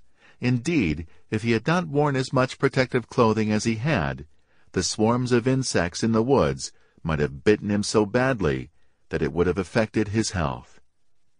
No surprise, the cause of death was gunshot wounds to the head. The post-mortem procedure lasted four hours, during which evidence was carefully gathered and logged in. When it was complete, Langdon again took charge of the body as it was transported back to the proper jurisdiction, that is, to the Alice Hyde Medical Center where it would remain until burial decisions were made. Barring some unknown circumstances, Police now knew Sweat was alone. From a hunting perspective, this could work both ways. Make him easier to find because he no longer had someone to watch his back, and harder to find because he alone could blend in easier than two escapees together. He could look like just another guy. Bonnie J. Sherman, a pseudonym, was a woman who lived about a mile from the scene of Matt's shooting, a proximity that made her life exciting for a while. She didn't know what was going on at first, gunfire in the distance. She didn't think much of it. You heard gunfire all the time in that neck of the woods. She first learned about Matt's death at five in the morning on Saturday, when she had to get past five roadblocks in order to help set up a garage sale in Malone. She was alone in the house. Her husband was away, but that didn't frighten her. Police had searched her property thoroughly. She had three dogs, and they would give her a heads up in case someone was creepy crawling in her window. Sherman also had a loaded gun at her bedside, so no, she wasn't nervous. Louis Haremski, the special prosecutor who helped put Matt away, told Lohr McKinstry of the Press Republican that he felt better after hearing the news. Matt had sworn back then during his Niagara County trial that if he ever got free, he would gut a cop and never again be taken alive. I wasn't surprised he'd been killed, Haremski said. I felt relieved. It's unfortunate that it ended that way. The fact that Matt had repeatedly drawn attention to himself, fatal mistakes it turned out, gave Sweat an advantage. As the police perimeter closed on Matt, Sweat managed to get outside of it, and he was already six miles north of Malone, heading for the town of Constable. Without Matt weighing him down like a ball and chain, Sweat moved easily and with great stealth until he was fifteen miles north of Owl's Head. There would be no more breaking into cabins. He avoided all signs of civilization, shaved so that he wouldn't look like his own wanted poster, hid during the daytime, and traveled at night. He wasn't precisely sure where he was, but he knew he had to be getting very close to Canada. On Saturday, June 27th, law enforcement came up empty with their circumference around the scene of Matt's death. With a new round of bad weather approaching, they established new lines, casting a larger net. The search area, once condensed to three square miles, grew to 22 square miles. The area, located between Malone and Duane, about 15 miles from the Canadian border, encompassed a vast forest, swampy and hard to navigate because of the thick brush. K-9, aviation, and tactical units were all on duty. There was urgency that Saturday because the weather forecast was for severe storms that night, with rain hard enough to wash away the scent of a man and render the bloodhounds useless. There had been a sense of excitement that the end was near after Matt's death, but that had subsided. Clinton County Sheriff David Favro was blunt about it to a New York City reporter. Any developments? Not a heck of a lot, Favro said. They're still kind of holding out in that area and hoping for the best. Roadblocks were set up throughout Franklin County, large and small arteries alike. At one of those roadblocks, state troopers built fires to stay warm in the frigid air near Lake Titus. In the dark corners of the towns, floodlights were installed, illuminating sidewalks and doorways with artificial day. Franklin County Sheriff Kevin Mulverhill had a more positive take. He said the end was near. Anyone in the woods and on the run from the law is not getting a full eight hours sleep. He's not eating well, and he has to keep moving. He is fatigued, and he is going to make a mistake. The hunters assumed that Sweat was heading toward the Canadian border. They started there and moved south. During this time, Sweat found a tree stand, such as those used by deer hunters, and stayed in it for a couple of days. He would later recall that hunters passed directly under him. The spot was so good, he said, that he spent two nights there. 9. The Capture of Sweat It was 2 a.m. on Sunday, June 28, and Evan King, Alicia Howard, and brothers Patrick and Connor Gordon were in a car making a fast food run to the McDonald's in Malone. As they drove, their headlights picked up an incongruous sight. Pushing himself along the edge of the road was a visibly fatigued man on a child's kick scooter. Their first thought had nothing to do with escaped prisoners. They thought that this was a man who'd perhaps had a roadside emergency and was trying to get help. So they stopped. Are you all right? The man replied. I need a ride. For a moment, they considered letting the man and his scooter in the car, but there was something about him. Something off. A bad feeling made them change their mind. They pulled away, and King watched the man recede in the rearview mirror. Soon thereafter, they figured it out. That might have been that escaped guy, David Sweat. So at 2.33 a.m., they called the police tip line. Only 12 hours later, at approximately 3.20 p.m. on Sunday, Sergeant J. Cook was supervising a search team at Coveytown Road near the town of Constable.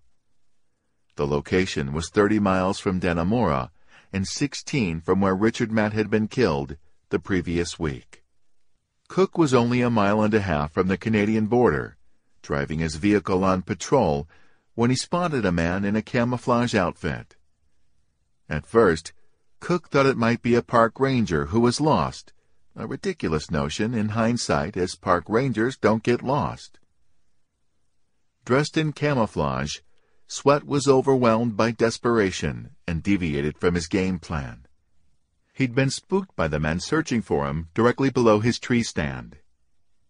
He let it get to him, and he abandoned what was clearly a superior position. Then he'd tried and failed to secure himself a vehicle during the night. That hadn't gone well. Those kids had seen his face and driven off. He had to move now, and thus abandon his rule of moving only under the cover of darkness. Cook stopped the car and watched as the man in fatigues walked into a newly cut alfalfa field belonging to Tom McDonald and Denise Yondo, who shared a farmstead there, with their dog Shasta. Neither McDonald nor Yondo heard Sergeant Cook stop his vehicle on the road outside. Yondo was watching TV, and McDonald was taking a nap in a reclining chair. From about twenty-five yards away, Cook called out to the man in the alfalfa field. Hey, you! Stop! The man replied, no, I'm good. He made a gesture with his hand that Cook interpreted to mean, You've got the wrong guy. But Cook had a strong visual on the subject and recognized the man as Sweat. He later recalled thinking, I've got the right guy. This is Sweat. It's on. When Sweat realized he had been recognized, he made a run for it, heading for a line of trees. The officer knew that if the prisoner made it to the trees, he would likely evade capture and quickly cross the border into Canada. Stop or I'll shoot, Cook called out. Sweat did not stop. But Cook did. A marksman, Cook stopped to take aim. He took a deep breath and squeezed off the first shot. The bullet struck Sweat but did not bring him down. Cook fired again, again striking his mark, and this time Sweat fell to the ground. The officer found Sweat to be unarmed and seriously injured. He'd been shot twice in the upper torso and had suffered a collapsed lung. By this time, Tom McDonald was awake and looking out the window. We saw police cars going by like crazy, he recalled. Just then, one of his neighbors pulled in and shouted, Hey, Tom, you know your hayfield is full of police? There were state troopers at the scene that had spent the last three weeks hunting Matt and Sweat, who are now working just as diligently to make sure David Sweat survived. He was the last survivor able to tell the world what happened, so his survival was essential to the historical record. Sweat was administered first aid at the scene and found to be carrying a bag that contained maps, tools, bug repellent, Pop-Tarts, water, and a can of Vienna sausages. He was taken by ambulance to the Alice Hyde Medical Center in Malone, where he remained for several hours before being flown to Albany International Airport, and then driven by ambulance to the Albany Medical Center, where he was listed in critical condition. Law enforcement would have preferred that Sweat's destination stay secret, at least for a little while, but that was not to be. The same press corps that had gone into alpha story mode hours after the escape had, displaying an unusual attention span, remained tenacious for the duration. With Sweat still in transit, a CNN reporter called the Albany Medical Center and spoke to Tanya Allard, the hospital's vice president of communications. She said yes, it was true that Sweat was on his way to the facility, but she refused to say when he was expected to arrive. At the Albany Hospital, Sweat was placed in a locked ward. He couldn't talk because of heavy sedation, and, because of his chest wound, was only able to make what investigators termed mumbling and gurgling noises. Soon enough, however, he regained his ability to speak, and over the next few hours laid out many of the missing pieces as to how Matt and Sweat managed to escape and stay on the run for three weeks. Among other things, Sweat told his questioners that he had had a troubled childhood, and as part of efforts to keep him on the straight and narrow, he was trained in how to survive in the wilderness, knowledge that came in handy during his flight. During his stay at the hospital, a joint team of security from the Department of Corrections and the Albany Medical Center guarded Sweat. Governor Andrew Cuomo traveled to the Titus Mountain Ski Center, where police had set up a command center in the center's upper lodge, and from there he held a press conference during which he noted Sergeant Cook's courageous actions and proclaimed him a hero. As the law enforcement officers left Titus Mountain, their home away from home during the manhunt, and returned to their actual homes and headquarters, they witnessed a heartwarming thing. Citizens standing on their front lawns holding handmade signs that simply read, Thank you.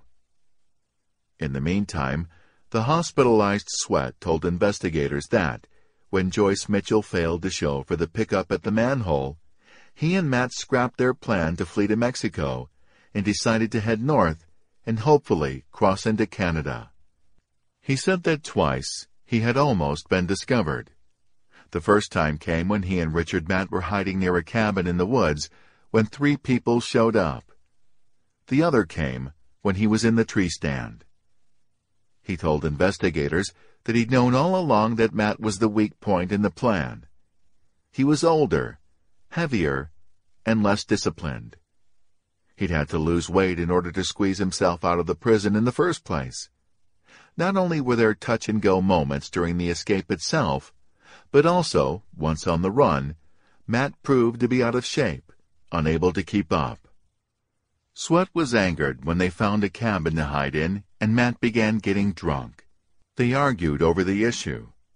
Sweat had reached his breaking point, and the convicts split up, every man for himself. Sweat gave investigators, from the state police to the Department of Corrections and the Inspector General's office, details of the escape plan. The idea was his, he bragged, stating that he'd been considering ways to get out of Clinton Correctional Facility CCF, long before he became next cell neighbors with Richard Matt in January 2015. The notion that they could not have started their escape plan before this prison's heating system was turned off was wrong, he said. They began before that, and when the heat next to the steam pipe became too intense, he'd made like MacGyver and rigged his own air conditioning system using a fan he had in his cell and electricity from the lights in the catwalk. Investigators suspected he was telling the truth as all of his statements matched the physical evidence. Each night, Sweat said, work began at 11.30 p.m., right after the evening head count. He would crawl through the hole in his wall, through a catwalk and down a ladder, and then roam the tunnels. He became intimately familiar with the tunnel system. He said he used a hacksaw blade to cut through the wall of his own cell.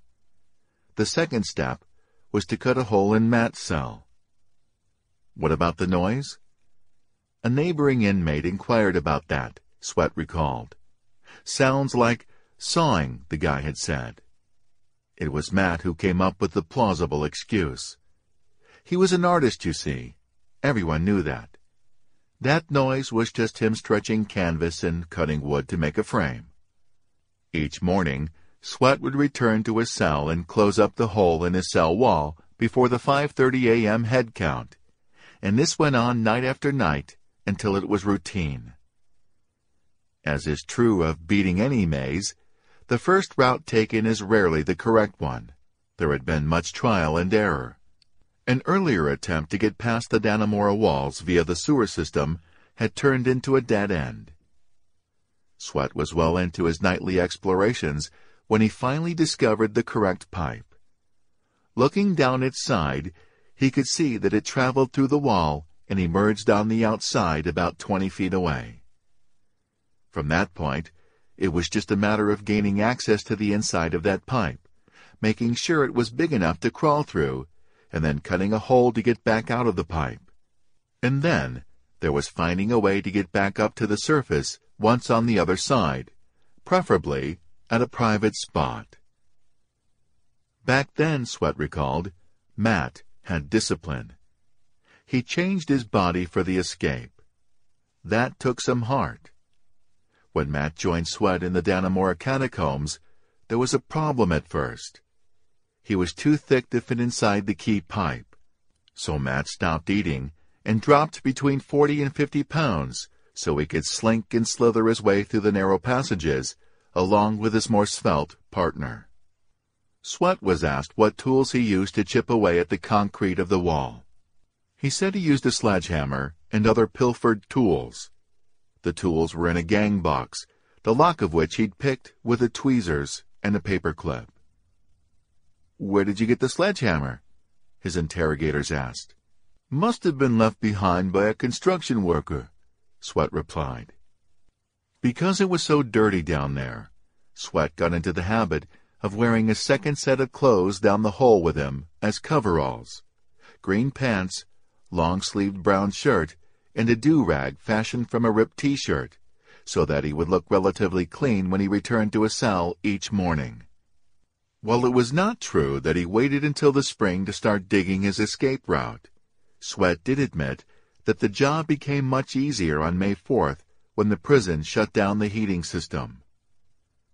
The second to last step was to cut an entrance and exit hole in the pipe that passed through the prison wall, only possible when the metal wasn't blistering hot from steam and full of water. Hacksaw blades were again called into use. He tied rags around the end to be used as a handle, so the work could proceed without damage to his hands. It took four weeks to cut the holes in the pipe. The exit hole in the pipe was the hardest work of all. Because of the cramped circumstances, Sweat had to cut with his left hand despite being right-handed. After that, the final step was to cut the lock on the manhole on the outside and climb up to freedom. They conducted one dry run, coming up out of a different manhole from the one they eventually escaped through. Sweat admitted that far more thought went into how to get out of the prison than toward what to do after they were out. They had assumed that Joyce Mitchell was under Matt's thumb.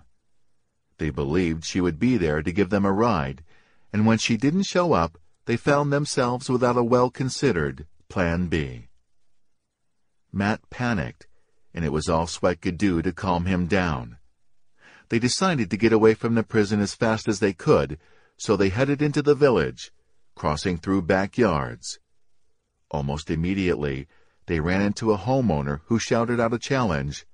Hey, get off my property! Sweat apologized and said, We were just lost. We don't know where we are. We're on the wrong street. At that point, fresh out of the hatch, they were wearing a combination of civilian clothes and prison clothes. Sweat was carrying a guitar case that he'd packed with items he had squirreled away.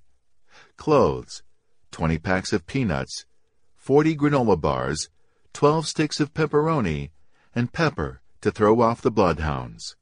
Sweat thought the guitar case was a brilliant touch on his part, far less apt to attract scrutiny than a prison duffel bag. Chased out of the backyard, they ran to the village's main drag and took Route 374 up the side of Dannemora Mountain, which was tough on Matt's legs, and they turned onto Hugh Heron Road. At first, they were both willing to rough it, go into the woods, deeper and deeper, and further from civilization, walking through swamps and streams to confuse the dogs. Sweat remembered coming across a road and a sign that read Saranac. They couldn't see lights in the distance, so they switched directions. After that, he couldn't be specific about where they were at any given time.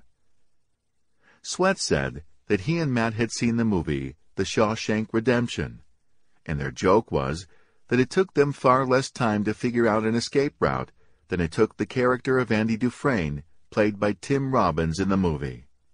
Sweat had two nicknames for Matt. He called him Hacksaw to his face, a reference to William Rickerson's dismemberment, and Fatso, behind his back. Interrogators wanted to know how he camouflaged the noise from the power tools. Weren't no power tools, Sweat said. How did you cut your way out of your cells and through the steam pipes? Just hacksaws, man. Well, not just hacksaws.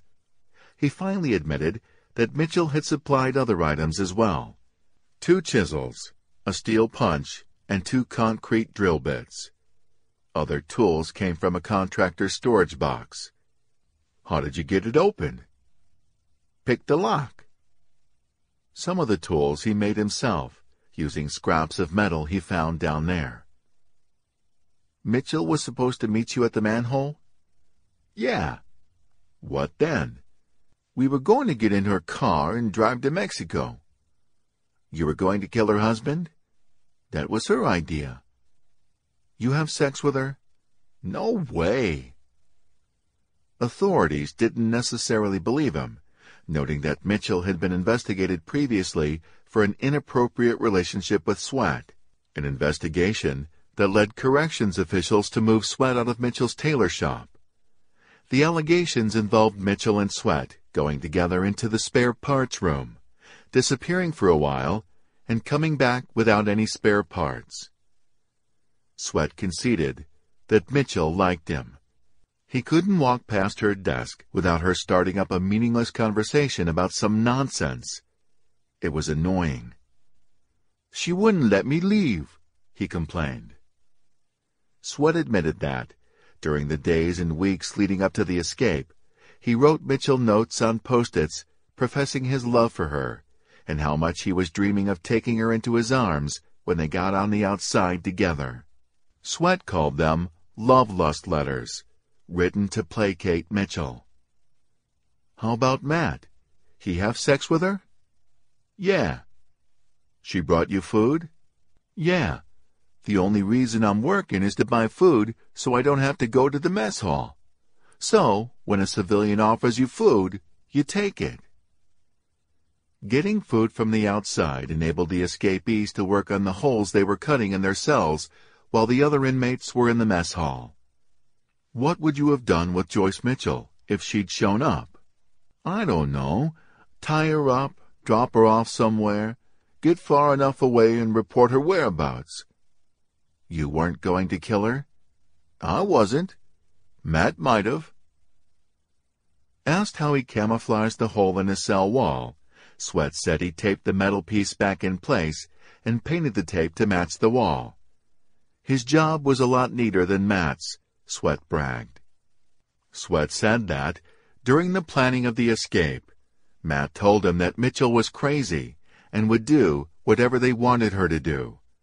He should just make a list of things they wanted her to do, and she would do them and that was what happened.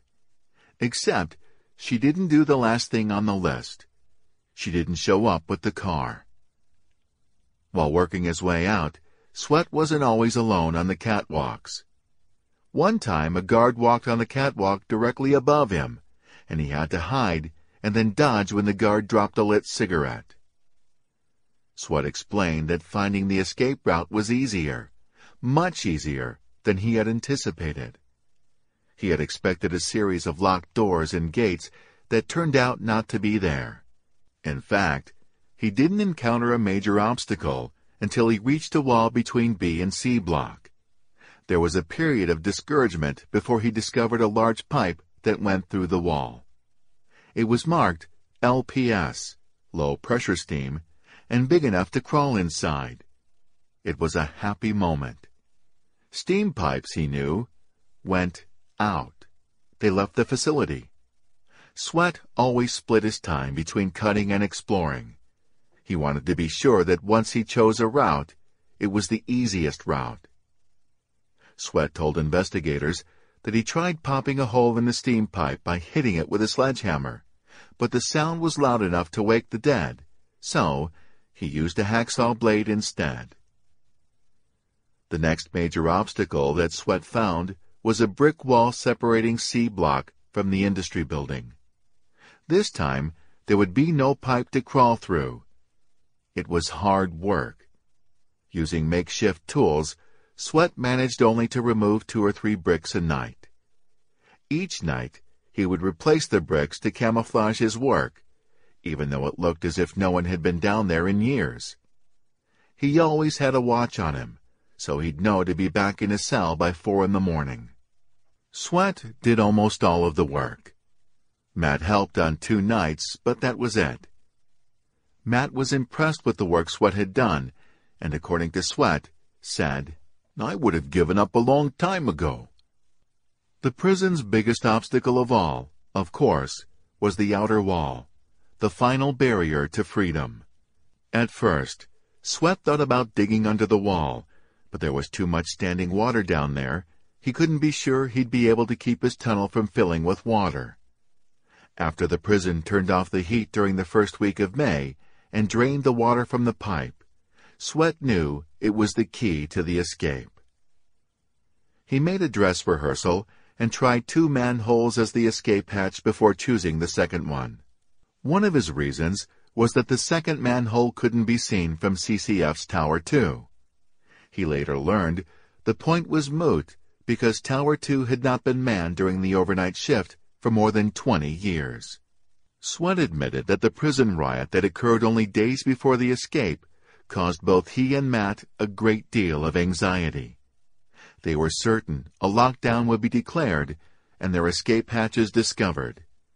It never occurred to them that Albany would tell Department of Corrections and Community Supervision, DOCCS, Deputy Commissioner for Correctional Facilities, Joseph Rissette, to nix a lockdown because of budget concerns. He said he realized that, at the end of his dress rehearsal for the escape, he could have escaped alone and might have done a better job of it. But he was a man of his word and went back to get Matt. The second time through the escape route, with Matt in tow, was much more difficult. Matt was claustrophobic and still too heavy. At one point, inside the pipe, Sweat had to tie them together with a bedsheet and pull Matt along. When Matt finally made it out of the pipe, his pants came halfway down, prompting Matt to say, I didn't know you cared. What was up with the have a nice day posted. Sweat said another inmate gave him that a couple of days before the escape. Interrogators wanted to know how Matt and Sweat split up. Sweat explained his frustration with Matt, who was old and liked to drink. It was after they were chased out of John Stockwell's cabin that Sweat decided he'd had enough. They knew there were people nearby, and moving stealthy was essential, but Matt didn't get the concept. The final straw came when Matt, who'd been drinking heavily, fell loudly and stayed down. Sweat took the opportunity to run away from him and never saw him again. Sweat headed east and north. Matt, Sweat learned, headed west to his demise. How was it that Matt was armed and Sweat not? Sweat said he had been armed. They each had carried a shotgun for a while. Matt wanted to shoot people with his, but Sweat only wanted to shoot things they could eat. After a while on his own, he decided he didn't need it anymore because he was finding adequate quantities of food in camps along his route. What did you do with the gun? I broke it down and threw it into some deep running water. Why did you do that? I didn't want any hikers or, you know, children to find it, Sweat said, trying his best to sound angelic. His interrogators raised an eyebrow of skepticism at that. As Sweat gabbed, his health rapidly improved. On June 30th, doctors announced that his condition had been upgraded to fair. He would not need surgery. Police said it was doubtful Sweat would be returned to Dannemora, that he would be sent to a maximum security prison, the inner workings with which he was unfamiliar, perhaps Sing Sing. Obviously, the privileges that he enjoyed at CCF would no longer be available to him. No more honor block, ever. Sweat had proven himself, again, to be a man devoid of honor. He would, police said, most likely be under 24-7 lockdown for the rest of his life. Among those most happy about Sweat's capture was the family of Kevin Tarsia, which issued a statement thanking Cook for his vigilance. When Cook saw something out of whack, he was a total pro and went with his gut. The Tarsia family thanked the thousands of law enforcement officers who'd worked tirelessly over the past three weeks to catch the killer. The statement read, On June 6th, the day of the escape, our lives were once again turned upside down, and one of our worst nightmares became reality. We were back to July 4th, 2002, reliving Kevin's death all over again. To lose a loved one is always difficult, but to have someone you loved be ambushed, shot 15 times and then run over with a car simply for stopping to check unusual activity in a town park, just doing his job, is a pain that no one can understand if you have not been through it firsthand. On July 4, 2015, Fred LeBrun of the Albany Times Union compared the Dannemora story to a really great episode of Law and Order with its shifting angles and riveting support cast. And the story was not over, LeBrun pointed out. The public had the penalty phase to look forward to. The finger pointing, the accounting, multiple recreations by various investigators, some of whom have agendas of their own, looking into who screwed this up and why and how it happened. LeBrun envisioned lengthy and multiple trials before all was said and done. He pointed out that the version of the story that would be respected most the one most apt to become the historical version, was that of David Sweat himself. Perhaps not the best source, he being a convicted murderer with a history of manipulating the people and systems around him. So, what should they believe? Perhaps the actual truth would never be completely known. It appeared, from information leaked out so far, that Sweat planned to inform on only himself, Matt, and Joyce Mitchell. Other than that, he was mum, an understandable silence, being that he would be under the supervision of corrections officers for the rest of his life. LeBrun noted that great aspects of Sweat's stories didn't survive scrutiny. Indeed, he believed that without the cooperation of at least some corrections officers, the escape would have been impossible. Power tools were necessary to do the job, yet Sweat denied using any. This was extremely unlikely, unless somehow the holes were cut by someone else and had already been there. That was another possibility, but one fraught with conspiratorial mystery. Investigators preferred closing doors to opening them. Sweat said that he and Matt worked seven hours a night in the bowels of the prison's infrastructure, night after night, without anyone realizing it all because they were good at balling up laundry under the covers to make it look as if they were in their cots. How could this be true? Were bed checks that cursory? Or, a better question, did they exist at all? LeBrun voiced what many were feeling, that stalwart peace officers had gotten very lucky, bringing these two brutal killers to justice without anyone being injured except the escapees themselves. He called for the FBI to go hard at this case, to seek out the money trail and the unanswered complaints from within the New York State prison system that budget cuts were making it impossible to keep inmates, staff, or for that matter, the public safe. The police killing of Richard Matt and shooting of David Sweat took place against a backdrop in which the use of undue force in particular fatal force, by policemen, predominantly against black males, had been heavily criticized, in particular events in Missouri and New York City. Michael J. Palladino, president of the Detectives Endowment Association, grabbed at the irony of the situation on July 9th. Politics is amazing. Last week, law enforcement shot and wounded an unarmed prison escapee. David Sweat, and Governor Cuomo labeled the trooper a hero. This week, under the governor's new policy, had prisoner David Sweat succumbed to his wounds, the same trooper would be stripped of his hero label and introduced to the special prosecutor. Major Charles Guess, commander of Troop B, made a few concluding remarks from his barracks in Ray Brook. Everyone would agree, even us in law enforcement, you can't make this stuff up. He said he had been a troop leader for about seven months when Matt and Sweat escaped. It was like being thrown into the Super Bowl on day one of your football career. The manhunt was the first big mission of Troop B under his command. He could not be more proud of his team or of the excellent interagency communication throughout the process.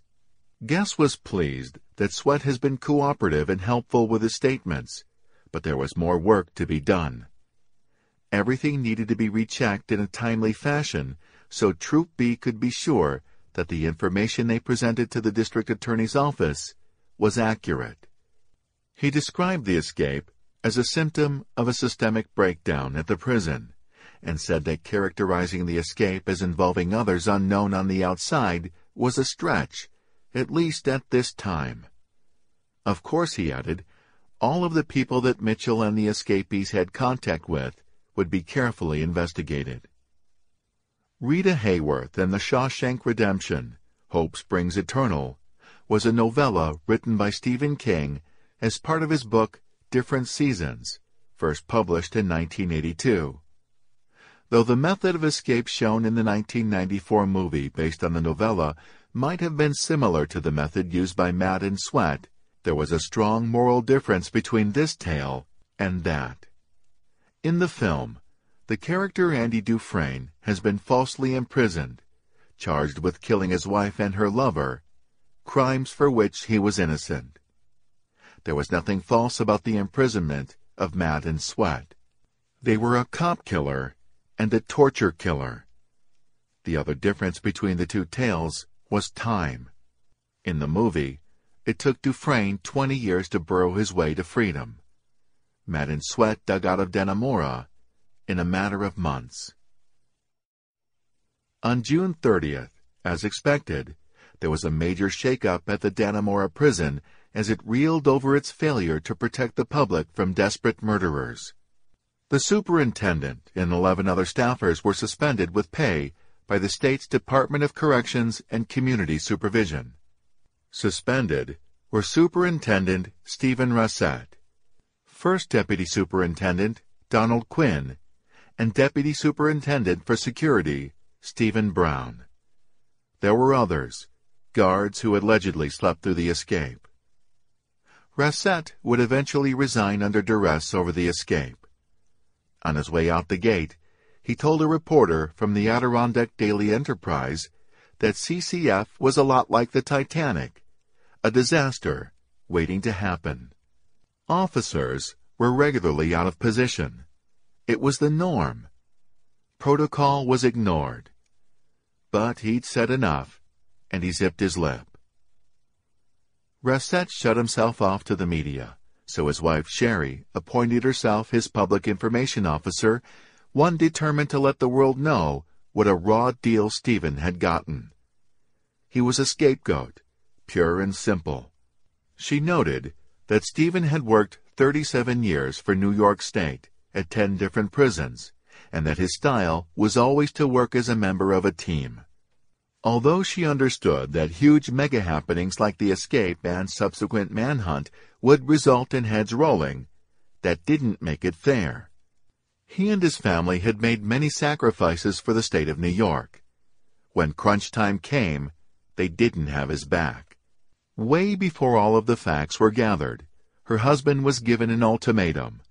Resign or be demoted. It also irked her that the press knew Steven was to be ousted before he did. That was a show of disrespect. Tell a man to his face that he's got to quit if he knows what's good for him. Steven didn't then or now feel that he'd done anything wrong. He had requested better security systems at CCF, but those requests had been denied in budget-conscious Albany. Too expensive. On the other side of the coin, Sherry was counting her blessings. Steven and she now had more time to spend with their elderly parents. She worked in a doctor's office, and Steven had taken a new low-stress, part-time job at a tractor supply store. Life was good, she concluded. During the suspensions, the state's Assistant Commissioner for Correctional Facilities, James O'Gorman, ran the Dannemora prison. The CCF workforce held its collective breath. Who would be given the boot? On June 26th, insecurity flourished when state officials confirmed that scheduled 2% raises for the dozen CCF supervisors were being withheld pending the outcome of the State Inspector General's investigation. The escape was not Dannemora's only problem. The New York Post, piling on and loving it, reported on June 29th that the FBI was investigating CCF for drug trafficking, in particular, heroin. According to a source close to the federal investigation, the subject of drug trafficking inside CCF first came up during the state's investigation, but was not followed up on. The Post reported that in addition to drugs, other possible criminal activity was being investigated. Buffalo TV station WIVB released the grisly photo it had acquired of the body of Richard Matt, taken in situ. The photo showed blood and brain matter protruding from a gaping hole in Matt's head. Other TV news and newspapers published the photo over the next few days, but almost all showed it with the offensive area electronically blurred. That same day, the New York State Department of Corrections, NYSDOC, announced that there would be a series of changes at the CCF in light of the escape. First and foremost was the elimination of the so-called honor block, in which maximum security was loosened to reward inmates' good behavior. The perks, such as cooking facilities, telephone usage, and extended recreation, had been taken advantage of by the escapees. Two prisoners had abused the privileges, and the entire cell block had to pay the price. Every cell in the prison would be checked at least once per week. A senior security staff member would supervise these searches. The existing tunnels in the prison's infrastructure would be blocked with security gates and searched monthly. Previously, searches were biannual. If private contractors working on the building used power tools, those tools would be kept in a secure trailer where they would be inaccessible to inmates and inspected daily. A high-ranking corrections officer on the overnight shift would supervise bed checks to make sure they were done properly. That is, at varying and unpredictable intervals. These checks, it was hoped, would signal an end to nocturnal tunneling. The number of cells searched daily and randomly for contraband would be tripled, with each cell searched at least once every two months. Whenever an infamous outlaw is killed, there is hesitance and confusion regarding the disposal of the remains. Lee Harvey Oswald had to be buried in secret, with members of the press as his pallbearers. He had zero friends, and only three relatives attended. The story of Richard Matt's body was equally bleak. According to Franklin County Coroner Brian Langdon, Matt stopped being a ward of the state at the time of his death and became the responsibility of Franklin County. The county's deadline for claiming the body, midday on June 30th, passed without action. On Wednesday, July 1st, Franklin County officials announced that, because no one from Matt's family had claimed his body, the remains would be buried in an unmarked grave. Another county coroner, Bert Wilcox, said the county didn't have a potter's field and so would have to purchase a plot in a local cemetery. Wilcox added, They'll probably go to the least expensive one they can find. The county won't pay for a marker.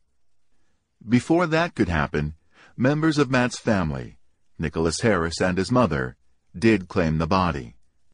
On Thursday, July 2nd, Langdon released Matt's body to the Heald Funeral Home in the Plattsburgh area. According to owner Jay Heald, the body stayed in Plattsburgh only briefly before it was transferred to an undisclosed funeral parlor in Tonawanda, New York, for private burial. Harris spoke with Lou Michael, a reporter from the Buffalo News. Michael noted that Nicholas Harris was only 23 years old, but looked younger dressed for the playground in t-shirt and gym shorts to his knees, the jock look betrayed only by the cigarette he held in his right hand. Harris said that if he hadn't claimed his old man's body, it would just be rotting up there. The funeral, he explained, was not going to be public. Certain people who had contacted him would be invited. They were having this funeral in honor of his biological dad's memory. The only reason he was making a public statement was to thank those who'd help in defraying the costs. A lady whose husband was a corrections officer and knew his father came by and asked, Are you Nicholas? He said yes, and she handed him an envelope with a donation. Another person sent him a money order and signed it a complete stranger. That was really, really nice. But he wanted it known that he was not going out of his way to seek contributions. Among those expected at the funeral was a daughter of Matt's that Nicholas would be meeting for the first time. Harris, always Richard Matt's best public relations man, said that his father's IQ had been 180, well into the genius range, and that high IQs ran in the family. As he spoke, he was on his mother's front lawn fixing his off-road bike. He described himself as a student whose life was placed on hold by circumstances beyond his control. He spent his tuition money on transporting and cremating his dad's corpse. At first, Harris had wanted an open casket, but the condition of the remains nixed that. Harris planned to keep some of Matt's ashes. Most of the ashes would be scattered at a secret location, a spot that was special to Richard Matt. Harris remembered talking to the same reporter a few weeks earlier when Matt was still on the run and the escape was fresh. Harris said back then that he'd keep in touch with Matt by writing letters, even when he was in prison, which was most of the time. Having his biological father so prominent in the news had been overwhelming, Harris said. The worst of it was when several media outlets chose to publish photos of Matt's corpse at the site of his killing, showing his ruined head. Harris felt ambushed by the image. It was not something I would have chosen to see, Harris said. Harris liked Lou Michael, liked the way the Buffalo paper had treated him, but some of the media had been brutal. He said the media had been on him relentlessly. He'd been harassed. He'd had opportunities to cash in, too. Calls came in from lots of film companies who wanted to make movies about the whole thing. He was considering offers, with a strong caveat. Harris said, Only if Italian Americans are portrayed in a favorable light. My father was proud of his Italian ancestry. Harris was particularly embarrassed by the show Jersey Shore, which he felt made Italian Americans look particularly bad. He admitted that he'd backed off of life for a while, while Matt's daring escape bred a wide variety of distractions, but he planned on getting back on track soon enough. Truth be known, it wasn't just Matt and the prison escape. It was his mother, too. She was disabled and needed a lot of attention. She had been physically attacked by Matt, who broke into her house when Nicholas was an infant and they were living in Tonawanda. The game plan was to go back to school in the fall, Harris said, and eventually earn a degree in environmental science and forestry. Not all of Matt's relatives were as kind as Nicholas to Matt's memory. Matt's brother, Wayne Schimpf, he of the stolen getaway vehicle, said he knew it sounded bad when he said it aloud, but this was the outcome he'd been hoping for. He felt relieved. He could no longer think of his brother as the Rick he knew. All he could think of was the asshole who tortured a man to death who'd threatened him personally with violent death, and who'd escaped and was scaring the crap out of people everywhere. He's in hell where he deserves to be, Schimpf said, I've been living in fear for 20 years that Matt would escape and make good on a threat to kill me for cooperating with North Tonawanda detectives in the Rickerson slaying investigation. During the manhunt, Schimpf predicted for publication that Matt would not be taken alive. When he learned his prognostication had come true, his first thought was, Thank God this can finally end for me and my family. Only then did he think, That's my brother. On July 12, 2015, James T. Conway, Superintendent of the Attica Correctional Facility, 2002 through 2010, published in Newsday his recommendations for how to improve security problems in Dannemora. First, he said, a task force should be created to analyze how best to shore up security, thus allowing the newly installed executive team to do their job and run the day-to-day operation of the prison. Second, change the culture. There was not just too much fraternization between staff and inmates, but there was staff slacking and ineffectiveness as well. Critical posts should now always be manned. Last, staff should be moved from place to place in the prison to avoid long-term relationships between the workers and the inmates. Staff should be regularly audited to make sure everyone can and is doing the job they were assigned to do. Labor would be upset, but it needed to be done.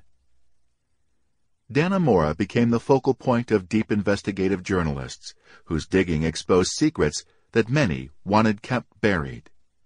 While the weeks-long manhunt was underway outside CCF, inside there was, according to the New York Times, a campaign of retribution. The prison had been embarrassed, and inmates in Matt and Sweat's block, the honor block, were subject to violence that included beatings while handcuffed, chokings, and head slams. Guards trying to determine where Matt and Sweat went allegedly committed the first beatings. Prisoners were told that, if they didn't spill everything they knew, they would disappear. Anyone with extended proximity to the escapees was transferred out of the honor block and placed in solitary confinement. Some were transferred to other prisons, despite no evidence of a prisoner conspiracy. As of August 1st, 60 inmates had filed grievances to the prisoners' legal services, and the Department of Corrections Office of Special Investigations, OSI, was also looking into the claims of unjust retributions. Managing attorney at the Prisoners' Legal Services of New York, James Boggin, said prisoners were threatened with waterboarding. Asked about this, OSI said it was looking into the allegations, and any guard found breaking the rules would be punished accordingly. Patrick Alexander lived in a cell adjacent to Matt's. The night after the escape, Alexander said three guards took him into a broom closet and punched him out. He had a plastic bag placed over his head. Men shouted questions at him, even as the beating continued.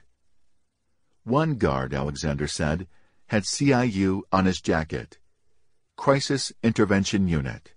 That officer jumped up and grabbed him by the throat, lifted his ass right out of his chair, slammed his head into the pipe along the wall, and repeatedly punched him in the face. Two more officers joined in the fun, and the three beat Alexander in the ribs and stomach. The Times reported that the new prisoners at CCF were given a warning. Cross the guards and bad things can happen. Prisoners beaten in the face were placed into the secrecy of solitary confinement to give the wounds a chance to heal. Of course, in the world of corrections, one man's abuse is another man's tighter ship. The complaints from prisoners coincided with a new security policy put in place by state officials to regain control of a prison that they felt was on the verge of running amok. Any story that featured the word retribution came from the prisoner's side. According to corrections officers, the prison population went wild when they heard Matt and Sweat had made it out safely. On the first Monday after the escape, three officers were attacked by the inmates they were attempting to frisk. One guard told the Press Republican, We lost a lot of credibility because of this escape, and the inmates are dissing us. We are going to have to fight like hell to get it back. Looking at a list of incidents in the prison during the spring of 2015, one could interpret CCF as a place working its way up to a major incident. In the six months before the escape, there had been an uptick in assaults and contraband, especially drugs. It was believed that the great bulk of the drugs inside the prison were smuggled in, either inside of packages or by visitors. Staff members, it was believed, were bringing in only a small percentage of the narcotics. Not all reporting of the retribution punishments was as measured as that from the Times or the Press Republican. Most, in fact, leaned toward the hysterical. None more so than on the World Socialist website, where the fact that Governor Cuomo had personally questioned one inmate only hours before he was beaten became the headline, while that same article compared the scene at Dannemora to the torture chambers of Abu Ghraib and Guantanamo Bay. Not any of this was new. A man who sold real estate in New York City in 2015 but served time in Dannemora for drugs during the late 1970s recalled for NPR his intro to Little Siberia. When his bus arrived at the prison, the guards demonstrated how things were going to be. They arbitrarily pulled one incoming inmate from the bus and beat the shit out of him as the others watched. They held him down and kicked him it was the most frightening thing the future real estate salesman had ever seen. He thought to himself, My God, I'm in another world. It was, he learned, a world in which the code of silence was absolute. What was the big deal? After all, prison wasn't supposed to be nice. In answer to that attitude, the Times searched the recent past at CCF for incidents that upped the brutality ante. 44-year-old Leonard Strickland, a schizophrenic prisoner off his meds, who claimed to have given birth to a baby, to be God, and to be a billionaire married to Beyonce, argued with guards in 2010 and ended up dead. According to inmates interviewed by the Times, guards shouted racial slurs and pushed Strickland down a flight of stairs. Strickland's head cracked with a sickening noise on the concrete steps several times on the way down. Guards then ganged up on him at the base of the stairs and beat him until he was immobile. When the incident was investigated, guards said they only used the force necessary to protect themselves from injury. Inmates said guards continued to beat a still Strickland, shouting, Stop resisting! as they did so. Strickland died. The Strickland deal seemed destined to remain a he said, she said case until definitive proof of hideous abuse emerged. A CCF security video showing Strickland, barely conscious and in handcuffs, being dragged across the floor, followed by the stop resisting moment that inmates had reported. A prison nurse stood nearby, but made no move to offer aid to the beaten prisoner. The video showed the final 45 minutes of Strickland's life in real time. By the time an ambulance arrived at CCF, Strickland was cold to the touch, covered in cuts and bruises, and bleeding from the ears. On the tape, an emergency responder noted the injury to Strickland's head and asked if a blow from an officer caused it. A voice off screen replied, Yup, an injury to the head. I don't know how it occurred, but there's an injury to the head. Despite this evidence, Police and the district attorney brought no charges. Going further back, to 2008, 52-year-old CCF prisoner Bradley Caesar had a confrontation with guards, was beaten mercilessly, and then placed back in his cell where his pitiful pleas for medical attention went unheeded. Caesar died because his broken ribs wouldn't allow his lungs to inflate, and he suffocated. The only punishment in that case was to a prison nurse, fined $500. That nurse still worked at CCF. The Times also noted the strong racial component in CCF's surreptitious methods. There were 950 guards, mostly Dannemora locals who were used to the forested wilderness, and all but a few of them were white. The inmate population was predominantly black, fishes out of water. Many of them were former residents of New York City, their wilderness an urban scape of charred and crumbling brick. The Times said that, during the campaign of retribution, one of the worst offenders was a CCF officer nicknamed Captain America. The guards who dished out the punishment, inmates said, wore no name badges, but one was distinguishable because of a large American flag tattoo he had on his left arm. While it became common for guards to punch and rough up inmates in areas where there were no surveillance cameras, Cap went the extra mile. He was the one who mentioned waterboarding and tied a plastic bag over a prisoner's head. Research showed that Cap had been sued three times for alleged assault and harassment. Two of those suits were still active. The third terminated when the prisoner in question died. There had been a riot on May 31st. Two gangs, Bloods versus Muslims, going at it, only a week before Matt and Sweat broke out. Forty inmates brawled in the recreation yard for about a half hour until tear gas broke it up. No officers were hurt, but seven inmates sustained injuries, the worst being a broken leg. Dannemora was a powder keg, its walls containing a turf war for the inner prison drug trade. Matt and Sweat must have been hip to this. It was like a built-in diversion. They lived in a prison that was on high alert for trouble, but that trouble was elsewhere. No one was looking at them. During the May 31st crisis, Superintendent Steven Racette asked officials in Albany for permission to lock down and thoroughly search the entire prison.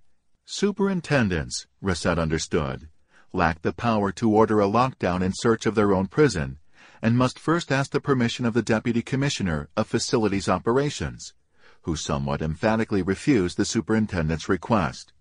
The DOCCS wasn't impressed with the riot. It couldn't afford the overtime. And now, weeks later, with his head among those rolling, Racette understood that such a lockdown and search would have discovered the escapee's secret. There was why none of this was Racette's fault, in a nutshell. The DOCC's response was based on budget, of course. Locking down and thoroughly searching cost money, but it would have been a drop in the bucket compared to the money spent in the aftermath of the escape. The Times article received criticism, notably from Richard Steier in The Chief Leader, a weekly newspaper for civil employees, and Michael Powers, head of the New York State Correctional Officers and Police Benevolent Association, NYSCOPBA, saying that quoting felons constituted irresponsible reporting. From outsiders, faith in the NYSDOC was at an all-time low, low enough to provoke federal response. The FBI knew that the Department of Corrections, DOC, Narcotics Unit, and Internal Affairs were already investigating the drug problem in Dannemora, but they launched their own investigation anyway, only days after the escape. Narcotics and Internal Affairs operated out of Albany as part of the Office of Special Investigations. The previous director of operations for that office was arrested in January for sexual harassment. The office has been in disarray since. The new department head had just moved into the job when the escape occurred. His previous background was in white-collar crimes, not prison operations. On July 5th, Sweat's medical condition had improved to the point where he could be discharged from the Albany Medical Center and moved to the Five Points Correctional Facility in Romulus, New York, in Seneca County. The transfer took place at 3.05 a.m. and was not announced in advance. For security reasons, the Department of Corrections and Community Supervision, DOCCS, wouldn't discuss the details of the transportation. Sweat would spend his first 24 hours at Five Points in the infirmary receiving a full medical evaluation before being moved to a solitary confinement cell equipped with a bed, a writing platform, a toilet, and a facility-controlled shower that would limit movement. He was put on suicide watch, that is, under constant observation from close enough to intervene should he try to harm himself. He would not be given items that could be used to cut or stab, as well as items that could form an impromptu noose. Sweat's new home was what was called by prisoners the box, a 14 by 8 foot prefabricated single housing unit, shoe, made of precast concrete 5 inches thick and reinforced by steel. The shoes, like everything else at Five Points, was 15 years old. The units were built elsewhere and carried two at a time by flatbed truck to the prison. At the prison site, the shoes were bolted together end to end to form a cell block. This was considered super maximum security, or supermax. Every shoe was perpetually monitored with security cameras. Interaction between Sweat and prison employees was minimized. He would be allowed to leave the shoe only for reasons of severe illness or for visitation with an approved visitor. All activities, including eating and showering, were carefully observed. Sweat would be ordered to face the exterior wall at the back of his cell or lie face down on the bed while a two-inch thick steel door at the back of the shoe opened for one hour a day. During that hour, Sweat could step out onto a 9 by 7 foot concrete balcony caged in heavy wire for some fresh air, all the time observed by a console officer who sat in front of TV screens. In the steel door was a slot, which could only be opened from the outside. Through the slot, the prisoner received his meals on a tray. Sweat's new bed was five feet long and 32 inches wide, a slab of steel bolted to the wall. His mattress was thin, and he had one small pillow, a pillowcase, and two sheets. Once a week Sweat's prison garb was washed and his linen changed. His stainless steel toilet had no seat or cover and was flushed by pushing a button on the side of the sink. That sink had no faucet handles, just a push-button spigot. The shower was in the shoe, but had no faucet handles or curtain. The console officer controlled the quantity and temperature of the shower water. Sweat, if he chose, could shower as many as three times a week. Showers were each about five minutes long. Sweat would be allowed to use a disposable razor that would be given to him just before he shaved and returned intact immediately after he finished. He would not be allowed to wear a watch or talk on the telephone. He was allowed to write letters. Visitors were allowed once a week, only on Saturdays or Sundays. To see visitors, guards would lead Sweat to the visiting room in handcuffs and waist chains. During visits, Sweat would sit in a confined cage area, separated from his visitor by wire mesh. Visits were limited to five hours. Sweat was required by the rules to clean his cell three times a week. Come cleaning time, he would be issued a sponge, a toilet brush, mini broom dusting cloth, and a mop, all of which had to be returned when cleaning was through. After 30 days without disciplinary action, Sweat would be rewarded by being allowed to wear earphones. Another 30 trouble-free days, and he would be given library privileges. And a month after that, he received sneakers, a pair of shorts, and one additional shower per week. In the shoe, Sweat's most famous neighbor was serial killer Lemuel Smith, another argument for the death penalty. He was a rapist murderer who earned historic infamy when he became the first prisoner to kill a female corrections officer. 10. Back to normal?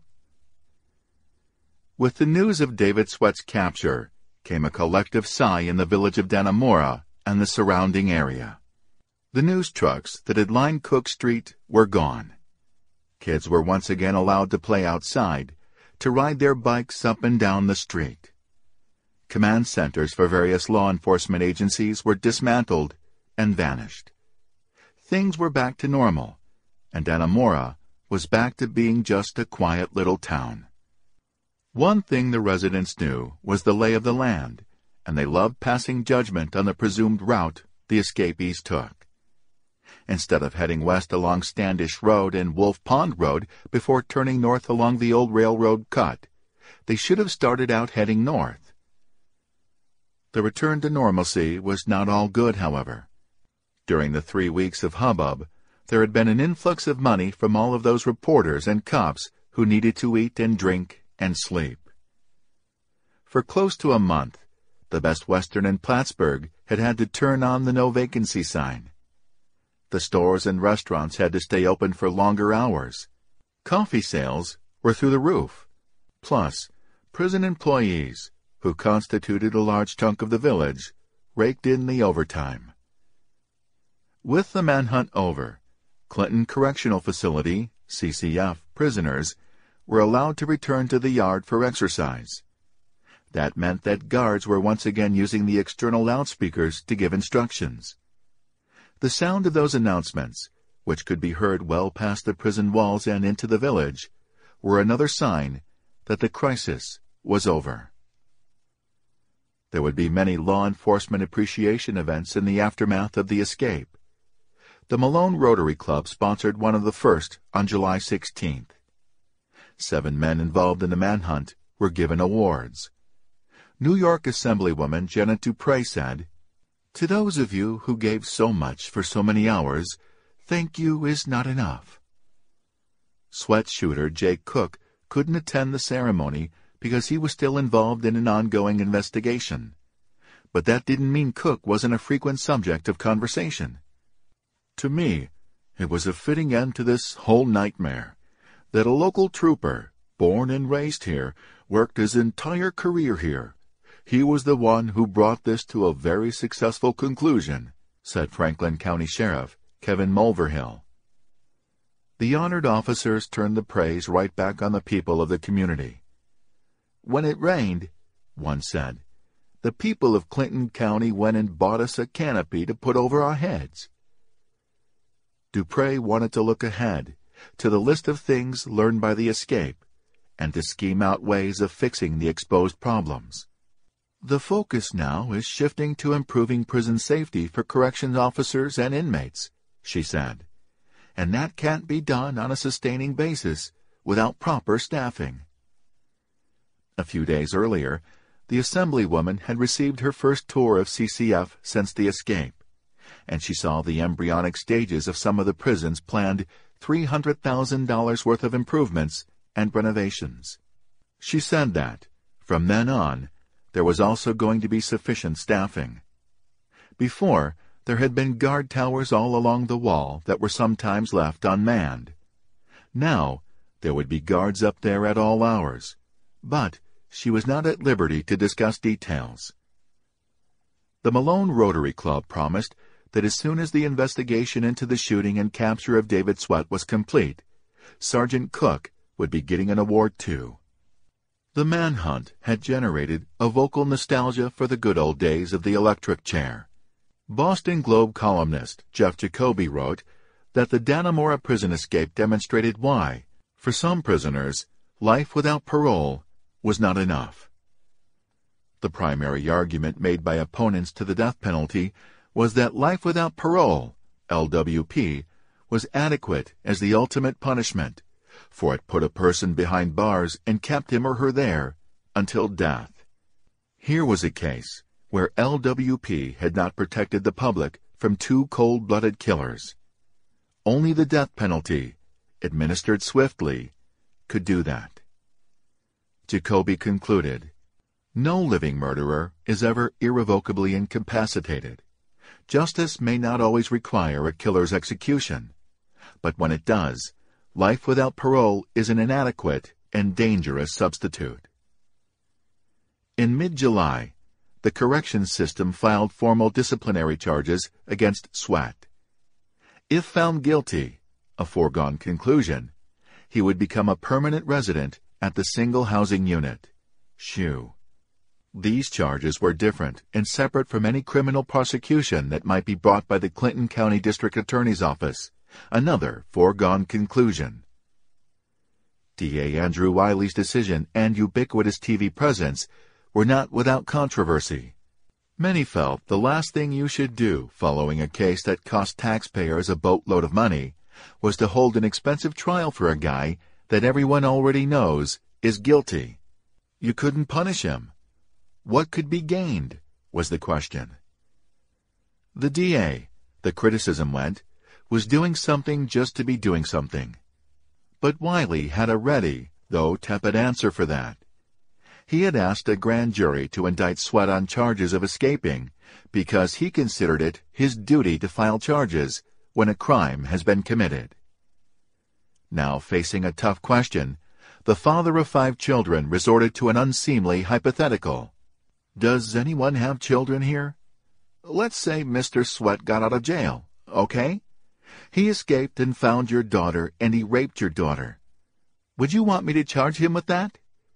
Whether it's escape first degree, whether it's any other charge, he needs to be charged. That's how my office always proceeds. All of that argument missed the point. You could charge him and you could convict him, but there was no way to punish him. Wylie had at least one supporter in Colin Read, who told the Wall Street Journal, If somebody commits a crime, I think you have to go through the motions. It's part of the cost of the judicial system to go through this due process. Read was a member of Clinton County Legislature, chair of the County Operations Committee, and a member of the Rotary Club from 2005 through 2012. He chaired the Finance and Economics faculty at State University of New York, SUNY Plattsburgh, and had published a dozen books on local and global finance and economics. He wrote a Sunday column for the Press Republican entitled Everybody's Business, served on the board of directors of Glens Falls National Bank and Trust Company, and he and his wife Natalie owned North Star Vineyard in Mooers, New York. To this investigation, Read added, the Dannemora prison break cost our county and our state millions of dollars to catch these notorious criminals and displaced thousands of residents for weeks on end. In the end, a ruthless and intoxicated escapee died and another was shot. Numerous families were broken by this terrible experience, and an entire county was frustrated. We are all grateful that, in the end, the escapees were caught and prison reforms have been initiated. One could argue that it is simply good money after bad to bring the surviving escapee to justice. However, these court costs will likely not be formidable, as there are few cases as obvious and as unchallenged as this one. We must insist that those who break the law are properly adjudicated, though. It is true that there is likely little deterrence on a lifer, but the process is not only put in place for those who get caught, it is also to demonstrate to the community and to other possible future offenders that we will always pursue justice, even if it is inconvenient. Our district attorney is following the procedures we should all expect.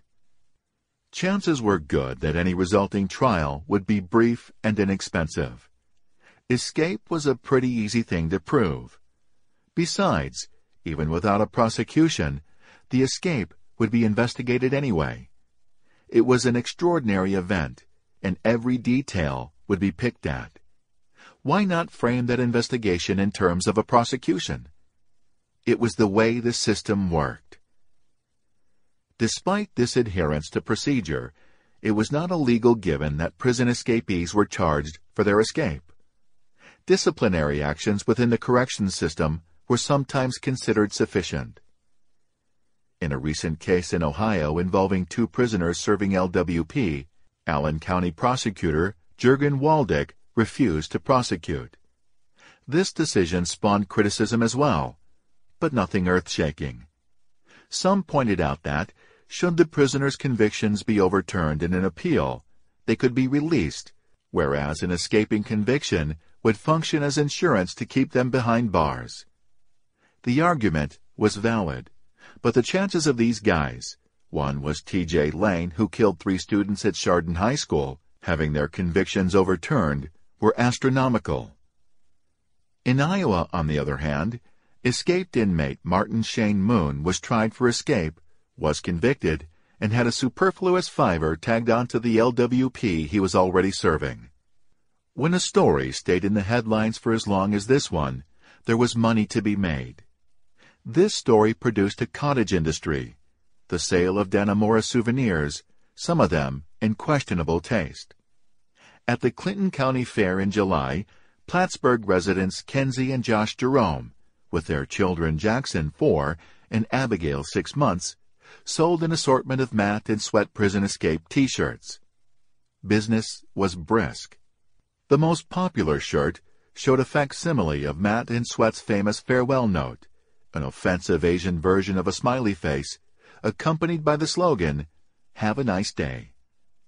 Also in demand were shirts showing Matt and Sweat's most famous mugshots with the word killed over Richard Matt's photo and captured over David Sweat's. For those who didn't feel like wearing their souvenir, there were coffee mugs and posters as well. For out-of-towners, items were available on eBay. Most found the merchandise funny, but there were schoolmarms in every crowd who thought it disgusting that people would try to profit from the situation. In the aftermath of the Great Escape and Manhunt, the New York State Department of Corrections, NYSDOC, was experiencing anxiety at all levels. The escape and long manhunt had put an unprecedented and unfavorable spotlight on New York State's prison workers. The labor union that represented the state corrections officers, fighting back a collective urge to panic, became completely occupied with damage control. The fear was that, if public opinion was left unchecked, prison guards across the state would suffer for the failures at CCF.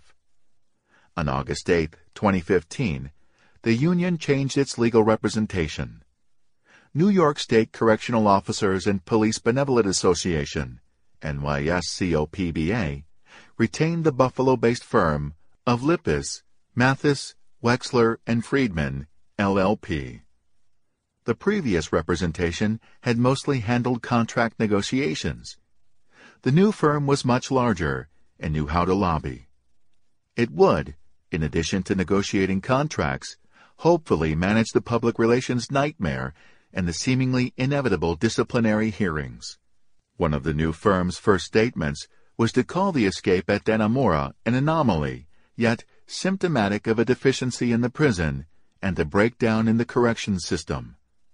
The firm explained that this was why the Inspector General's office was now focused on what happened, what was wrong, and how to fix it. They concluded on a warm and fuzzy note that it was the firm's hope that once the analysis of the escape was completed, NYSCOPBA would share a seat at the table when new policies and procedures were drafted. On Thursday, August 20th, David Sweat, in shackles, handcuffs, and a dark green prison jumpsuit, was escorted by six officers in bulletproof vests, with CERT written on the flap above the left breast, from the Special Housing Unit at Five Points for five hours to the Plattsburgh courtroom, where he was arraigned on new escape charges. One of those officers at all times kept a firm grip on the chain and padlock around Sweat's waist. Sweat was formally charged with two counts of first-degree escape and one count of promoting prison contraband, hacksaw blades, all felonies. Each count could result in an extraneous seven-year prison sentence. The prisoner was well groomed, his goatee recently trimmed. He wore a splint and brace on his injured arm, which was held in place by a blue sling, and remained silent during the hearing, with the exception of acknowledging that his court-appointed attorney, Joe Musha, was representing him. Musha stood. Sweat remained seated. Musha said to the court, We would like to waive the reading of the indictment.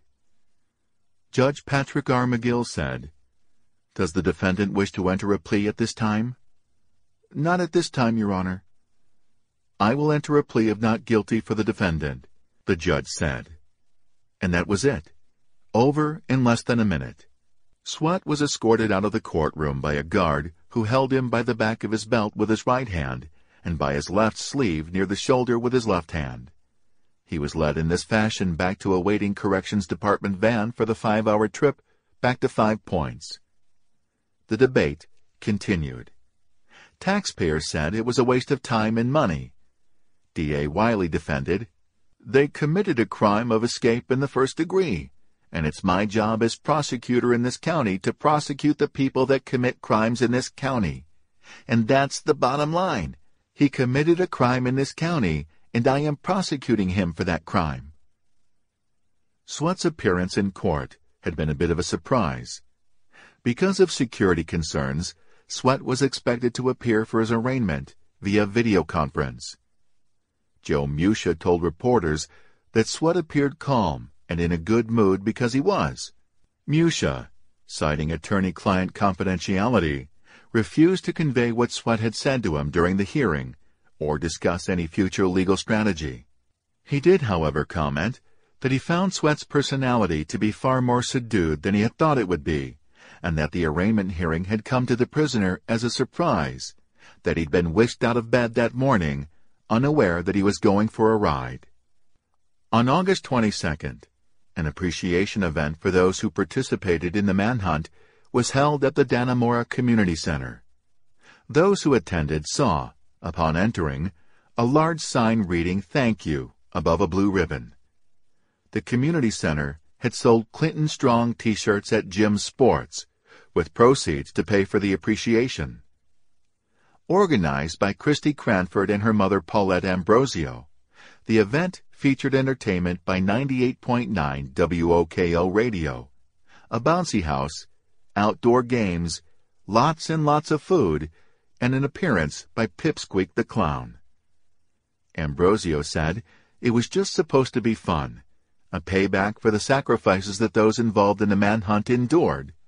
Sacrifices such as missing the birth of their children, weddings, and graduations. There were a lot of dads out there in the woods who couldn't be home for Father's Day. Celebrants were arriving by the vanful and then taken back when their shift came up. In attendance were veterans of the Great Manhunt in a variety of uniforms local, county, state, and federal, Corrections Emergency Response Team, CERT teams, and CCF staffers.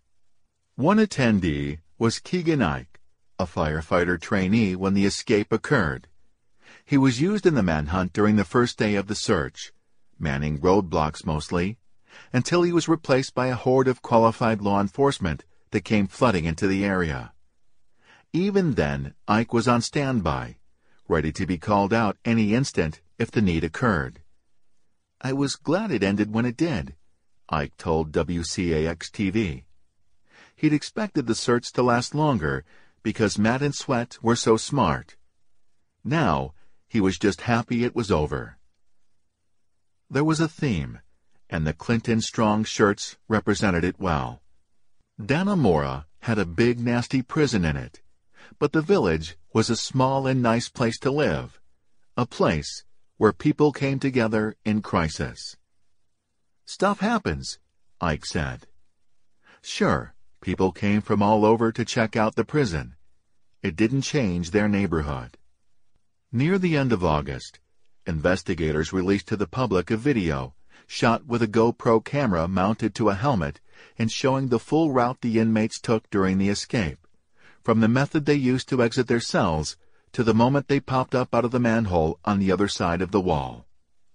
For the first time, the public realized how complex the escape route was, involving climbing down ladders, wading in standing water filled with cigarette butts and other items discarded by guards or by prisoners through the air vents, navigating catwalks, squeezing through tight openings, and shimmying through the steam pipe. The trip from cell to fresh air in the village of Dannemora, the video revealed, took 20 minutes. An itemized accounting of state spending during the manhunt by the New York State Comptroller's Office revealed that the Department of Corrections and Community Supervision, DOCCS, spent $12.6 million to protect the public and hunt down the escapees. The bulk of that money went toward paying prison personnel overtime. The state doled out more than $1 million for meals, travel, and related costs. These numbers were made public only after a Freedom of Information law request from the Gannett chain of newspapers. Politicians refused to look at the number as controversial. One was dead, one was back behind bars, and no civilians or law enforcement were injured. That was a very happy ending and worth every penny, and they were certain taxpayers would agree. But of course, this wasn't the entire bottom line. State troopers accrued plenty of overtime. The itemized accounting also didn't include federal expenses in FBI and U.S. Border Patrol and Customs overtime, Even the bean count from the prison system was probably a partial, as there was still a strong chance that additional invoices may be received at a later date, according to Danielle Barone, the Corrections Department's Associate Counsel. In September 2015, the New York State Comptroller Tom DiNapoli announced that overtime costs alone for the approximate 250,000 state employees was headed for a record high, somewhere in the neighborhood of $700 million. DiNapoli said that the numbers were partially, but not entirely due to the unexpected costs of the June prison break. Ah, troubles inside the Dannemora prison were not over. On August 31st, just when the news of the escape and its aftermath was dying down to a daily trickle, the CCF thrust itself back into the headlines. Prison officials confirmed to WPTZ News that the prison was again in lockdown. Why? They didn't want to talk about it. Their statement was as much tap dancing as information. The prison had taken proactive steps to ensure the safety of staff and others. The facility is expected to return to normal sometime next week. It was up to the Press Republican to dig out the reason. There had been two brawls in the prison yard on August 27th and 28th. The fights resulted in what is called a facility-wide frisk, at which time a cache of weapons and drugs were uncovered. CCF officials must have felt they'd seen this movie before. There had been a prison riot just before the escape as well. Was something larger brewing this time as well? The news was particularly unsettling to the traumatized citizens who lived near the prison and had just managed to feel safe again. One Dannemora resident, Beverly Clark, told WPZ, It's very scary because you never know if they, the prisoners, will take over, jump the guards, or get out. Authorities continued to keep mum on the state of the prison, but it did say during the first week in September that the lockdown was being eased. Assemblywoman Janet Duprey offered further details. She said the reason for the CCF lockdown was gang-related violence, the most serious of which involved more than 60 inmates and tear gas. Prison gang fights had been a problem across the state. When fights broke out, it was the corrections officers who were responsible for ending them. Her concern was that, if they couldn't get the situation under control, there would be corrections officers getting hurt. On Tuesday, September 1, 2015, Central New York corrections officers returned to Chateaugay Central School to give back to the community for the hospitality they demonstrated during the manhunt. The CERT team from Rome, New York, brought school supplies and a $500 check. The NYS COPBA and the Prison Guards Union donated soft-sided book sacks to hold the supplies.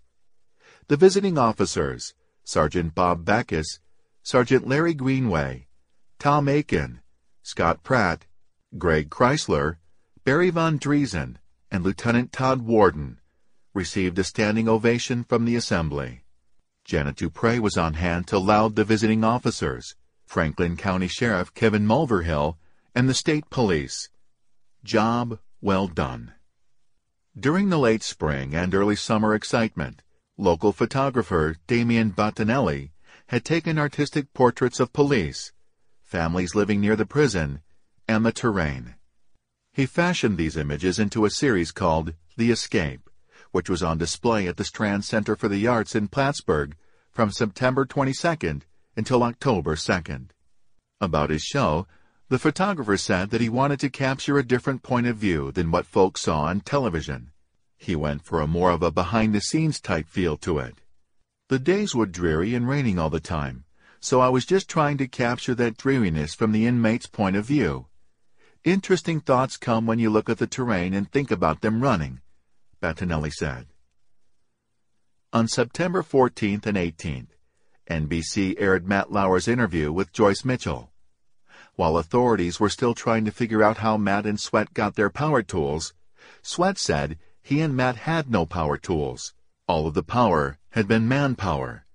Mitchell told Matt Lauer that there was a time when Matt admitted to there being power tools and that they fell into the escapee's hands serendipitously. Mitchell said, Matt actually told me at one point, in one spot they had found a toolbox, and Mr. Sweat picked the lock and they found power tools in it. During the manhunt, she prayed and prayed that there would be no violence. She couldn't explain how much she wanted the men to be recaptured without anyone getting hurt. During that time, she of course had been terrified that getting rid of Lyle was still part of the plan, so she kept her husband on a short leash. I didn't let my husband out of my sight, she said. Regarding Lyle's behavior during the aftermath of the escape, she couldn't praise him strongly enough. He is a very amazing man, she said, and he is a blessing from God for me. He's a terrific husband, a very, very loving father. NBC News did not allow its audience to take Mitchell's explanation of events at face value. She had misbehaved in a shockingly reckless way, and some dissembling was to be expected. To get the critical psychological perspective on Mitchell's tale, NBC went to Dr. Phil McGraw of The Dr. Phil Show. He said not only was there dissembling, but also he took exception to her story. It wasn't that he didn't believe potentially sociopathic maximum security prisoners were capable of the type of manipulation, con artistry, and violence that Mitchell described. He simply didn't believe that this was what happened to her. Mitchell, he said, demonstrated a psychological tactic called talking yourself out of a situation that you behaved yourself into. Mitchell wasn't describing a spur-of-the-moment decision that she later regretted. She was rather trying to explain away a pattern of behavior over a period of time. Mitchell wanted us to believe that her troubles were such that she had no one to turn to. Dr. Phil didn't buy it. She was presenting herself as easy prey. He said it was rare for people not to have safety zones where they could reach out for help and not feel isolated, although Mitchell did face a difficult problem, having misbehaved in a way that could lose her both her job and her husband. He suspected that, had she wanted to, she could have prevented the hopelessness of isolation. Dr. Phil said, The number one tool of the abuser, the manipulator, is isolation. They cut you off from family, friends, church, and resources but she was not cut off from any of those things. Matt Lauer was more willing than Dr. Phil to take Mitchell's statements at face value. In an interview with WPTZ's Stephanie Gorin, Lauer said that he agreed with Mitchell's characterization that she had painted herself into a corner. She is in a situation right now that I'm sure she never dreamed she'd be in, but it is because of her own actions that she's there, Lauer said. She did have a friendship with the escapees, and she admitted that she was wrong. She became too close with them, crossed the lines, and crossed the boundaries. It started small, the smuggling of cookies and brownies, and escalated. She talked about seeing the warning signs, realizing that she was crossing the line, but she was, for whatever reason, unable to do what she should have done to end it. The plan, she said, was for her to show up in her Jeep and park by the manhole cover with a change of clothing, a tent, a shotgun, and fishing poles in the car. She would pretend that she was on the phone as they popped up like gophers from the manhole. They were supposed to get changed into clean clothes and then head back to Mitchell's house where they would find Lyle, already unconscious from the pills she'd given him, and kill him. But there was no way she was going to take part in any of that. She certainly didn't want her husband killed, and allowing the escapees use of her jeep was tantamount to suicide. So even though her actions may have helped the men get out of prison, her inactions did much to keep the escape from being successful. Did she feel remorse? Very much so, if you can believe her, Lauer said. Asked what surprised him most about Mitchell, Lauer guessed it was that despite the training civilian employees were supposed to get when they went to work in a prison.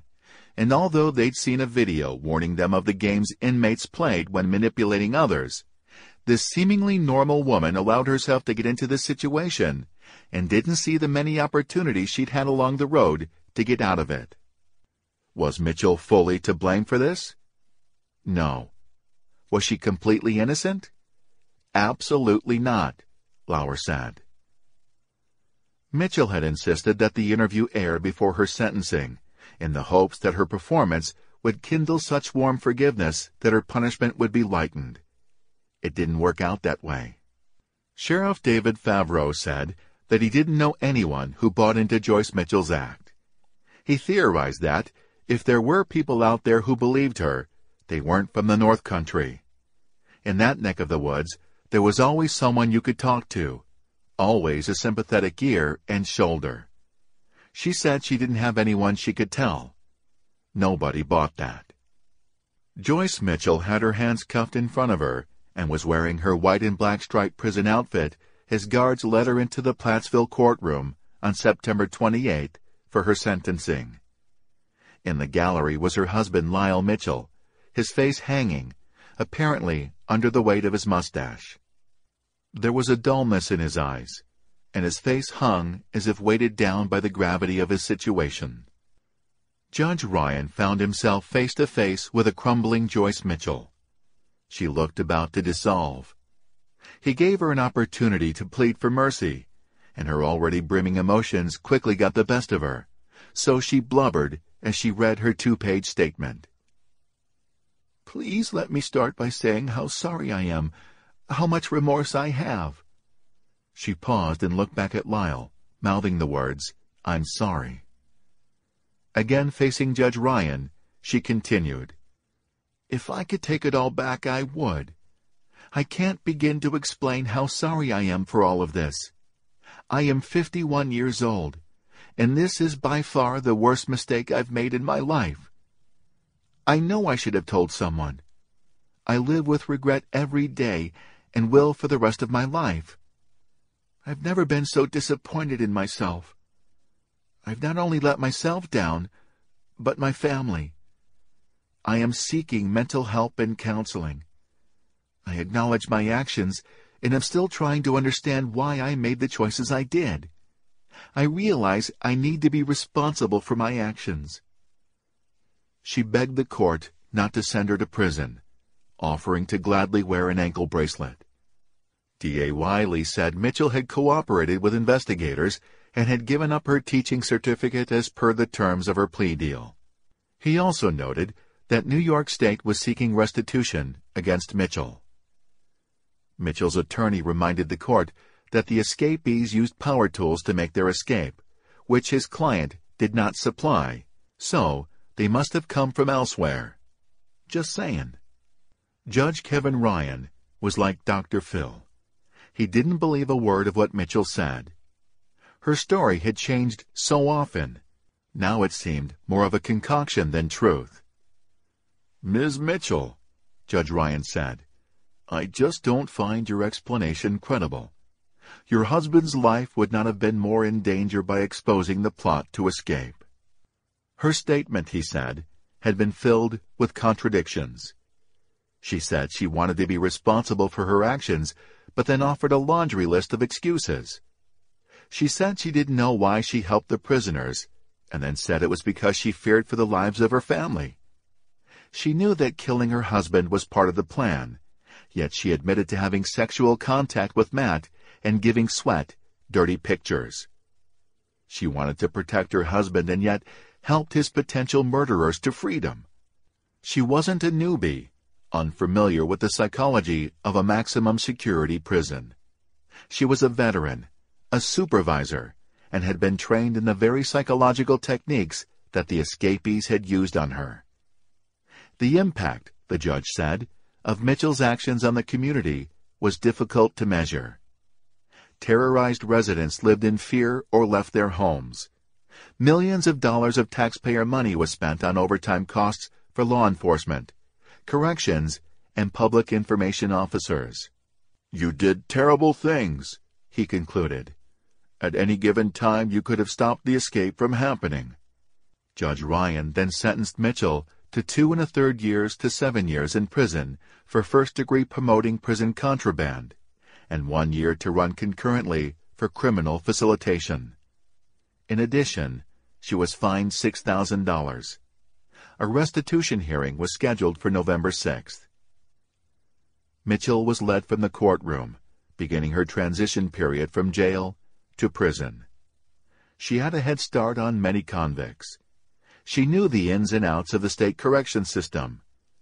As she departed, the star of the show, she turned and mouthed the words, I love you, to her husband, who looked gloomier than ever. Afterward, the district attorney told reporters he had hoped the penalty would be even worse. Mitchell's actions were an insult to the families of murder victims William Rickerson and Kevin Tarsia. Asked what he thought of Mitchell's performance, he noted that once again she was making excuses, still doling out truth as if it were a precious commodity. When she did tell the truth, it was only begrudgingly, when she was presented with certain details she couldn't circumvent with lies. After each interview, she'd said she had provided the whole truth, and every time she later admitted to leaving out details. The DA would have liked additional charges, enhanced charges, because of her criminal culpability. He complained that his hands were tied by what the state allowed us to prosecute her with. The DA would have liked to prosecute Mitchell for conspiracy to commit murder, regarding the plot on her husband, and sexual abuse of an inmate, regarding sexual activity with Matt, since an inmate cannot give consent, but did not think he would be able to prove those charges beyond a reasonable doubt. He felt he had an ethical obligation not to prosecute on charges he didn't think he could prove. If you want to talk about wasting money, that would have been a complete waste of money. Therefore, his best bet was to offer Mitchell a deal, one that she accepted. Justice had been accomplished swiftly and economically. Inspector General Catherine Leahy Scott agreed, stating that her office's investigation, conducted by more than a dozen investigators with state and national experience, including county, state and federal police, certified fraud examiners, and computer forensic specialists, would make it clear that Mitchell was not a victim, but a convicted felon. The eventual report on that probe would, she promised, detail how Mitchell spent months assisting two cold-blooded killers. With criminal intent, Scott concluded, Mitchell used her position to abuse and manipulate systemic prison security lapses. The DA was asked how long Mitchell would actually spend behind bars. He replied that she would be eligible for merit release after serving five-sixths of her minimum sentence and eligible for parole after completing the minimum sentence. Reporters scoured the area looking to civilians for comment. How did the person on the street feel about Mitchell's sentencing? Opinions, predictably, widely varied. One lady was sympathetic to Mitchell. I've made mistakes in my life. Nothing of that caliber, of course. I hope her life isn't ruined only because she's a fellow human being. Another woman said, I believe she feels sorry and she regrets what she did, but she did it. A third saw Mitchell as a phony. Her apologies, the tears, that was all just a play role, just like she did getting them out.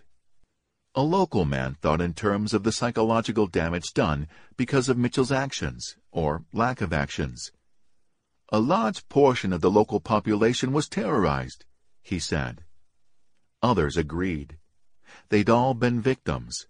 Folks locked themselves in, feeling vulnerable, afraid, especially at night. Another villager said that the real problem was that, once the threat was over, the fear didn't go away. Post-traumatic stress was involved. My two kids are still scared. They can't stop thinking about killers on the loose. They don't want to be alone in their room. They're sleeping on the floor of my room. The Adirondack Daily Enterprise editorialized that Mitchell's plea for mercy fell apart in a couple of key ways. Mitchell claimed her fear for her own safety and the safety of her family drove her to do what she did. Except that was the revised version of the story. She'd already admitted to interrogators that she started her relationship with the escapees because she was lonesome and starved for attention. In her first statement to police, She told a story in which she was a willing co-conspirator with Matt and Sweat, until the very last moment when she decided she couldn't go through with it and stood up the escapees at the manhole. Back then, she had described Matt and Sweat as something akin to sideline boyfriends. There wasn't a single mention of coercion. If she was afraid of the escapees, she failed to mention it. She hadn't mentioned fear. She was scared of punishment, perhaps, but not scared of Matt and Sweat. She promised them not only that she would help them escape, but also that she would run away with them to Mexico. She was a bored and horny woman who'd let things get out of hand. That version of the story was long gone by the time she sobbed at her sentencing. Her revised edition didn't make sense. She knew the rules. She knew what would have happened had she reported the escape plan. Matt and Sweat would have been placed in solitary confinement, and it was doubtful they had the juice outside the facility to put a hit on someone who ratted them out. We don't believe Ms. Mitchell was a victim in this case. We think she enjoyed flirting with danger, the editorial read. Even though things did not turn out as Mitchell had planned, she still did the things she did with criminal intent. Yes, terror, sometimes traumatizing terror, was Joyce Mitchell's product, and she should never walk free again. And that was from locals where you'd figure Mitchell would be most apt to catch a break. Many were glad the court business was through. It was all they showed on TV, and people were getting sick of her face. Boo-hoo-hoo. The next day, Mitchell was committed to the Bedford Hills Correctional Facility, an all-female maximum security state prison in Westchester County, just north of and adjacent to New York City. Soon after Mitchell's sentencing, the D.A. Wylie was addressing the Plattsburgh Noon Rotary Club and was asked if here wasn't a large portion of the puzzle still missing, that the escapees had to have had a lot more help than was known in order to escape. How could they have known which manhole to come up out of? They must have had a blueprint of the prison and a detailed map of the area surrounding the prison. Wylie discouraged that kind of talk. He said that there was of course a possibility that Matt and Sweat had help that authorities knew nothing about. The DA said that actual drawn blueprints were not prerequisites for the escape. A clear observer, he said, who spent a lot of time inside the Dannemora walls, might find visual above-ground clues as to how the internal infrastructure was designed. Much could be seen from the third-floor tailor shops, which had windows higher than the prison's outer wall. The escapees could look over the wall and see the outside world. Plus, they had probably noticed the bump in the courtyard and correctly assumed that it was where the steam pipe traveled from the prison blocks to the tailor shop and out through the wall. Wylie concluded. So after years of being there, they could identify that as a source of exit from the facility. There really had been a lot of construction going on in the prison's inner workings, and the story that the prisoners found power tools laying around or abandoned down there was not implausible, nor was the notion that they might have found blueprints or maps down there as well, left behind by a working crew. Still, he conceded, those were maybes and could have beens. The bottom line is that it was an impressive and completely unlikely thing that Matt and Sweat had pulled off. It's amazing to me that they were able to do that, Wylie said. Wylie was asked about the cost and who was going to pay it. He started by applauding the law enforcement officers, corrections officers, and family members who collaborated to bring this story to a happy ending, and then noted that the governor's office would pick up the bill. Down in Elmira, at the site of another maximum security prison, one only a few miles from the New York-Pennsylvania border. Training sessions were using the escape in Dannemora as a teaching point for future corrections officers. A recent corrections school graduate said the CCF escape taught him a big lesson, not to let his guard down. He had learned to take his job seriously, every day, every minute. Because you never knew. Anything could happen at any time. Never get lax. Do your inspections properly. Be firm, fair, and consistent at all times. Shane Hobel was one of the nation's five most elite trackers, an expert in both wilderness and urban survival skills, and he ran the Mountain Scout Survival School in the Hudson Valley. Hobel was raised by his mother and his grandfather to be a tracker. He studied under a native elder and attended Tom Brown Jr.'s tracker school. He didn't understand why law enforcement agencies, when pursuing outlaws, didn't employ forensic trackers.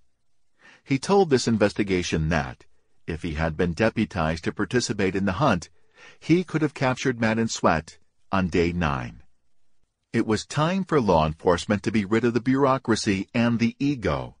Time for them to admit that as trackers, even the most skilled detectives were amateurs.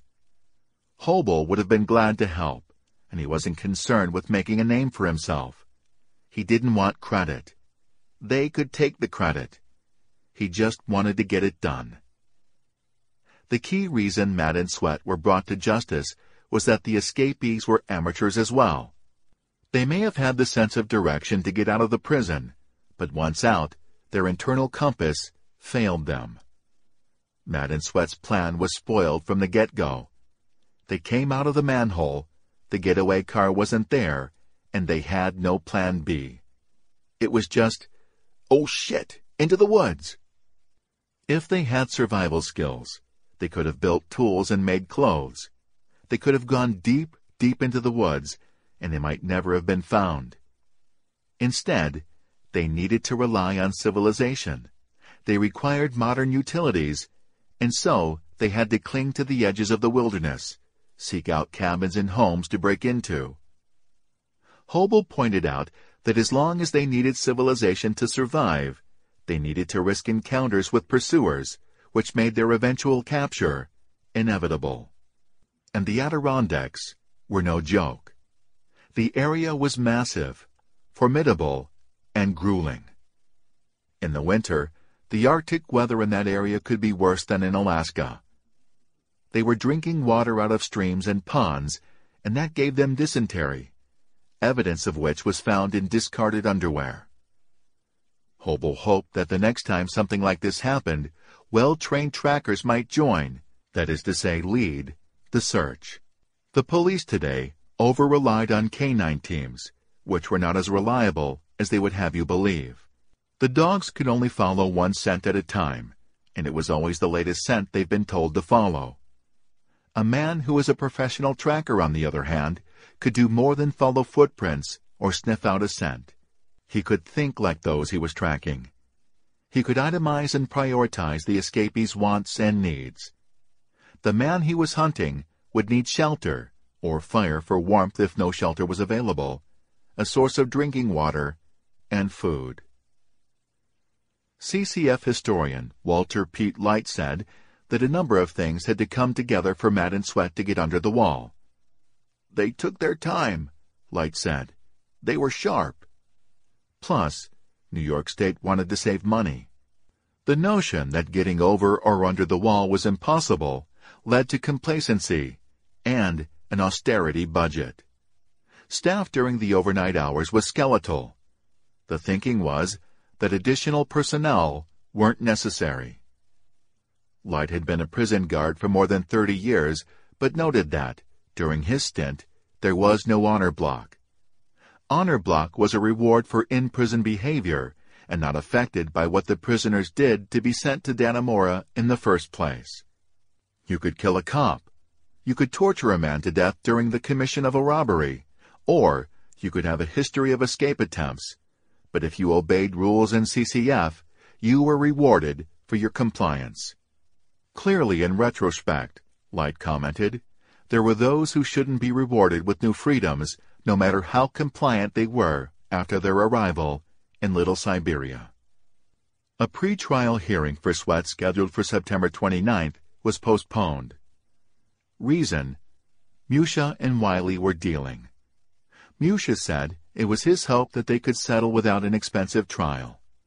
If there was any uncertainty as to whether Matt and Sweat had exceeded their 15 minutes of fame and had become a lasting part of popular culture, it was erased on Tuesday, October 6th, when the following clue appeared on the nightly TV game show, Jeopardy!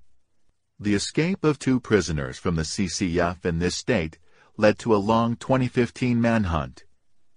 Answer, what is New York? The category was State of Emergency. Political cartoonists were lampooning the more absurd aspects of the case as well. In one example, Dana Summers of the Tribune Content Agency drew a surprisingly forgiving caricature of Joyce Mitchell. Wearing a yellow apron over her black and white striped prison suit, she was on a TV set, like the French chef or the frugal gourmet, and standing in front of a sign that read, Joyce Mitchell's Cooking for Inmates Show. In the red polka-dotted oven mitts that covered her hands, she held a tray of something fresh from the oven, and she was saying, And voila! You have my famous bribery baked goods. Next, we'll be making my mouth-watering beef burgundy a la hacksaw. 11. Autumn and Winter By October 2015, there were three separate investigations underway regarding the escape but none of them were cooperating with the media. The Inspector General, the Department of Corrections, and the FBI were all probing away. They didn't get much cooperation, so they didn't give any. Prison employees will tell you, what happens in prison stays in prison. So good luck to investigators trying to get employees to squeal. Sure, stuff happens off the book. It was nobody's business, nobody on the outside. Prisoners will talk, sure, but who could believe them? Who should believe them? It was frustrating for investigators. But they forged on into the autumn. How could they give up? There was such a disconnect between what happened and the known facts that it drove them nuts. Also in October, a Texas-based psychic sued New York State for the $100,000 reward money. The psychic, Eric Drake, said in the suit that he called the governor's office back in June and provided him with information that led to the apprehension of Matt and Sweat. The suit read in part, Plaintiff foresaw the following concerning David Sweat and Richard Matt. 1. The two inmates separated for some reason. 2 that the police were walking right by or over them when they were hiding. 3. That Joyce Mitchell had more information than had appeared, and that the police should play bad cop, bad cop to get more information. And 4. That one of them was heading for mountains and clear rivers. These predictions, Drake claimed, were right on point. The lawsuit went on to say, the odds of someone without the gifts of the Spirit of God guessing on the information that the plaintiff provided to the authorities is probably less than 1 out of 25 billion. Drake claimed that when he later called to claim the reward money, he found that no one would tell him how to file for payment. Drake said he planned to use the reward money to publish a book of prophecies regarding the United States of America, which are a thousand times greater than the suffering of the Great Depression.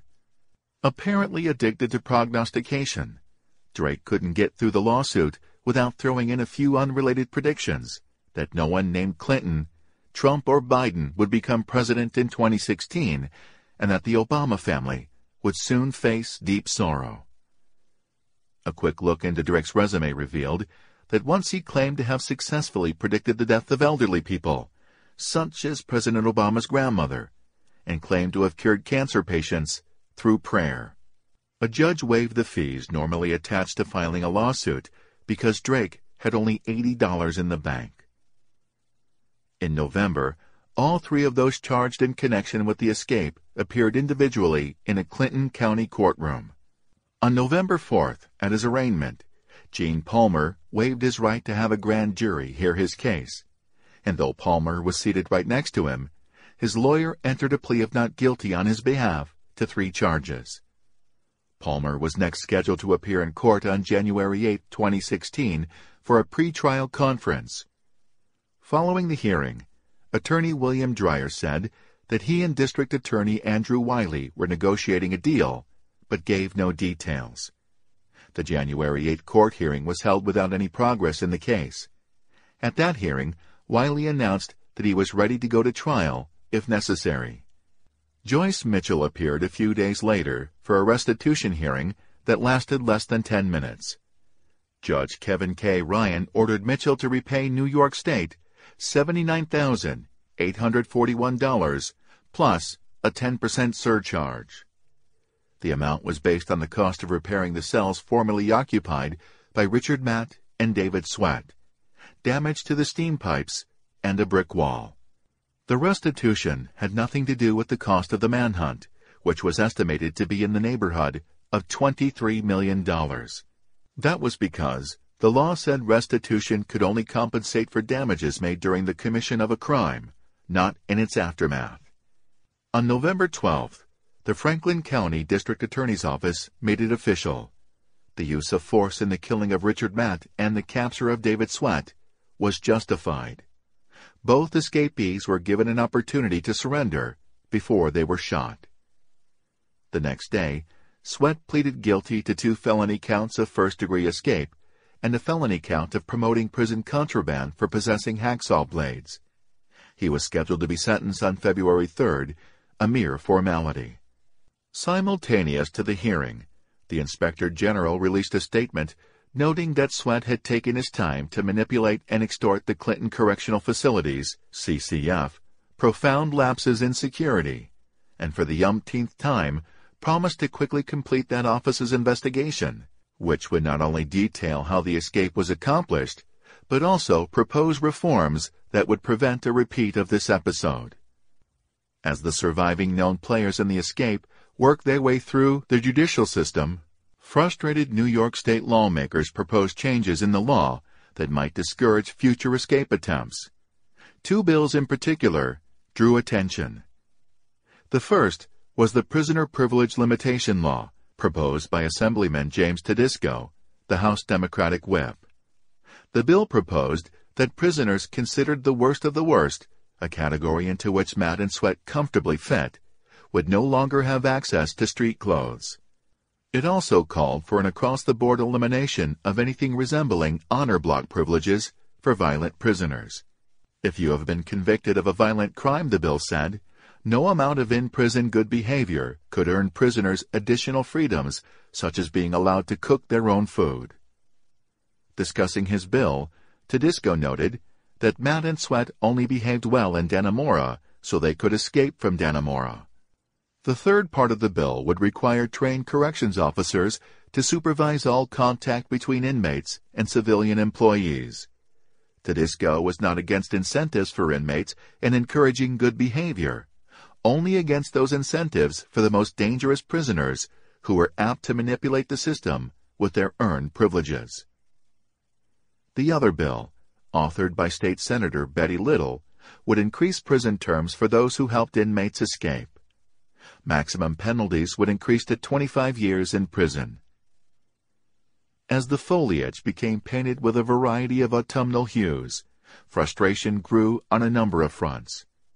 It had now been five months since the governor ordered the Inspector General, IG, report on the escape, and there was still no report, no release date.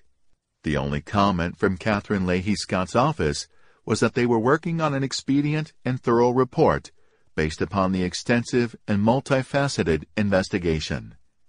On December 21st, Scott finally got around to interviewing Gene Palmer, who remained the only prison guard to face charges in connection with the escape. There was still no indication when the report would be finished and ready to be issued. James Tedisco likened waiting for the IG report to waiting for Halley's Comet. It was frustrating. No real reforms could be put in place until after the report was released with its anticipated recommendations. He noted the proximity between the IGs and the governor's offices, down the hall, and hoped that it didn't signal collusion. James Miller, a spokesperson for the Prison Guards Union, the New York State Correctional Officers and Police Benevolent Association, NYS COPBA, said he was concerned about employee safety in light of future reforms. Too many corrections officers, he said, were suffering injuries such as broken jaws and multiple concussions. From 2011 to 2015, the number of prisoners in the state system had stayed the same, but the number of violent prisoners had gone up by 6%, with a corresponding rise in attacks on corrections officers and inmate-on-inmate crime. Miller hoped the controversy over the escape would stimulate much-needed changes, and he was aware that to get the government to make changes all too often, something drastic had to happen as a catalyst, which of course it had. On November 19th, the National Law Enforcement Officers Memorial Fund named Sergeant Jay Cook as their Officer of the Month for the month of November. Craig Floyd, chairman and CEO of the Memorial Fund, said, Sergeant Cook's recognition and his quick response in apprehending the suspect were integral to capturing a cop killer and securing a community that had been on high alert. In December, the New York State Assembly Correction Committee and committee chairman Daniel O'Donnell, a Democrat representing Manhattan, launched a probe of New York's prison system, designed to examine prison system operations and recent instances of inmate abuse. Karen Murtagh, Executive Director of Prisoners Legal Services of New York, testified regarding the many letters she had received following the prison escape from inmates remaining in CCF's honor block complaining that they had been taken by interrogators to rooms without cameras to be beaten and threatened. Some were transferred to other prisons or placed in solitary confinement. Murtagh suggested that there could be a change in policy regarding how violent incidents were handled. She said reform should include training on de-escalation techniques, annual psychological screening of correction staff, replacement of upper-level staff in institutions with high levels of brutality, and mandating severe consequences for abusive staff. Professor Michael Mushlin of Pace Law School, co-chair of the American Bar Association Subcommittee on Prison Oversight, was asked to rate New York's prison oversight on a scale of 1 to 10 and gave it a 0.5. He pointed out what most understood instinctively that because prisons are a closed-off part of society, without transparency and public accountability, there were bound to be horrible things happening. Also testifying was a lawyer representing the family of a 31-year-old Fishkill Correctional Facility inmate who was beaten to death by guards in April 2015. The Prison Guards Union refused to participate in the hearing, and testimony regarding shoring up security at New York's prisoners was postponed until after the release of the Inspector General's report. No one held their breath. By year's end, the Inspector General's office told the Press Republican that hundreds of interviews with staff and inmates at CCF had been completed, but they were still piecing together what happened. Some changes had already taken place at the prison, of course. The guard towers were now manned at all times, and there had been added to the schedule 30 eight-hour shifts, mostly during the afternoon and at night. At CCF anyway, honor block was a distant memory. On December 7th, Sergeant Cook told the Today Show that he was extremely thankful to the people from all over the United States and Canada who'd written him cards and letters of thanks and praise. The manhunt, he recalled, was the most stressful and tiring detail of his career. He thanked everyone involved in the manhunt, everyone who worked tirelessly and put his or her own safety at risk on a daily basis. He talked about how miserable the manhunt would have been if it weren't for the members of the local communities who offered food, drink, and supplies, and the fire departments who never failed to provide shelter when it rained. He didn't understand why he was the one who'd encountered Sweat, but he was glad that his training helped him do the right thing and that the whole detail came to such a satisfactory conclusion. He didn't feel special, as anyone with his training and his position would have done the same thing under the same circumstances. He didn't think the events of that fateful day had changed him. He still enjoyed his job as much as ever and hadn't given any thought to retirement. His two daughters had college plans, and he and his wife wanted to support that effort the best they could. People presumed he was traumatized to a degree by what happened, but he didn't think so. He slept fine. He didn't even think much any more about the manhunt unless someone brought it up. And of course, people were still frequently bringing it up. He ended his statement with a bit of philosophy, a look at the big picture. I hope our nation can come together to fight our enemies and not fight ourselves. We face pure evil, and law enforcement needs help, not distraction. A motif of the escape's aftermath was thank goodness that no one was hurt. The feared carnage hadn't come to pass. The only injuries were to the escapees themselves. This slogan ignored the death of 35-year-old Platzman man, James Cole, who was shot accidentally with a gun that was kept loaded and handy because of the fear caused by the escape. The incident also occurred during the early morning hours of July 5th, after a solid night of 4th of July drinking, so the escape happily shared the blame. It was lucky that more incidents like this hadn't occurred. The area was locked and loaded, and there were frequent tales of families taking turns with armed guard duty. On December 8th, District Attorney Wylie sent letters to some Clinton County residents saying, Please take notice that eavesdropping warrants authorizing the interception of telephone communications were issued by Honorable John Leighton on June 7, 2015, with extensions were granted on several dates as required by law. All interceptions of telephone communications terminated on June 13, 2015. During the period of authorized interceptions, your conversations were intercepted. The letter concluded by asking the recipient to please not respond. Say what? In explanation, Wylie told WPTZ TV 19 that the telephone taps were put in place to listen in on the phone calls to and from David Sweat, Richard Matt, Joyce Mitchell, and Gene Palmer and their family members. The DA refused further comment on the eavesdropping. That story didn't wash with Kathy Phillips, a Malone woman who received one of the letters. She told WPTZ that she'd never broken the law, knew none of the principals in the escape, and yet her phone was tapped. I'm just so angry, she said. You tell me why they did, why they started tapping my line the very next day after the escape. I feel violated that they can do this. Under state law, the district attorney had to inform Phillips of the tap within 90 days. Phillips' letter was dated December 8, 2015, but did not arrive until January 5, 2016. In December, the State Assembly passed a law requiring all prison guards and other staff members with direct inmate contact to sit through eight hours of training annually in how to recognize signs of poor mental health. The previous rule required eight hours of training in the subject when employees were brand new to the job, and that was it. Now there would be a yearly refresher course.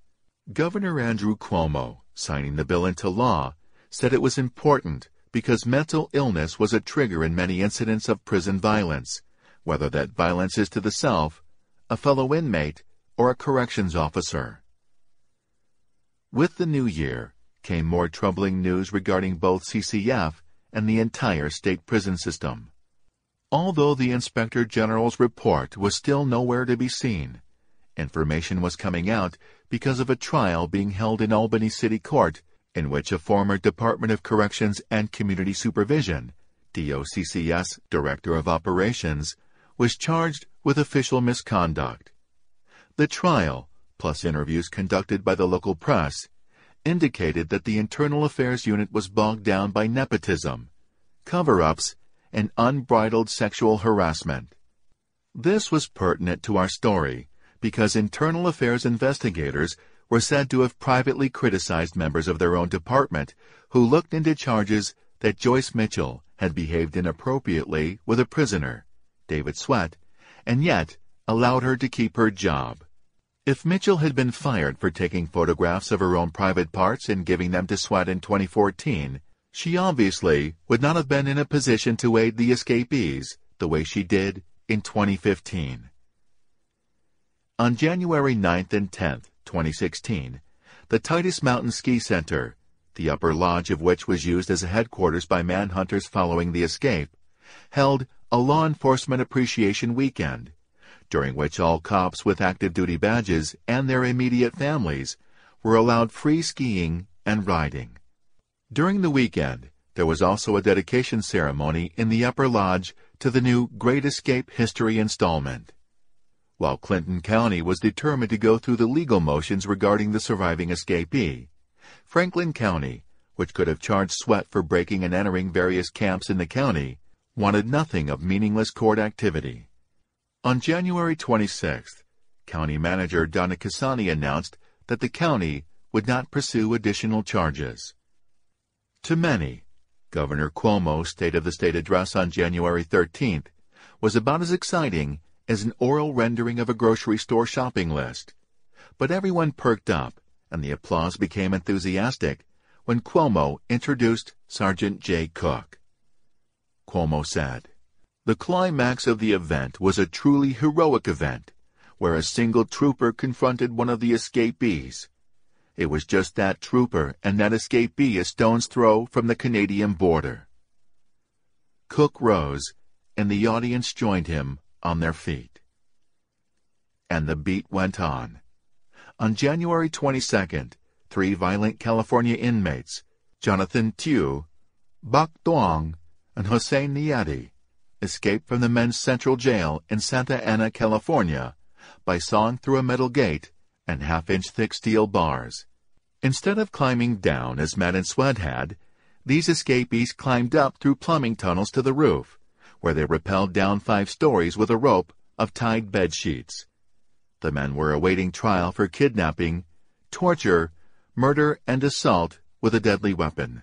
Authorities said that it was impossible for the men to have escaped without help from inside the jail. Six days later, a female civilian employee at the jail was arrested. She was an English teacher at the local community college who, for the previous six months, had taught English as a second language at the jail and had developed some type of relationship with one of the escapees. Among the items she had allegedly supplied to the men were maps. In a week, all three were captured and back behind bars, but shit, it all sounded so familiar. During the first week of February 2016, Sweat appeared in Clinton County Court regarding his escape from Dannemora.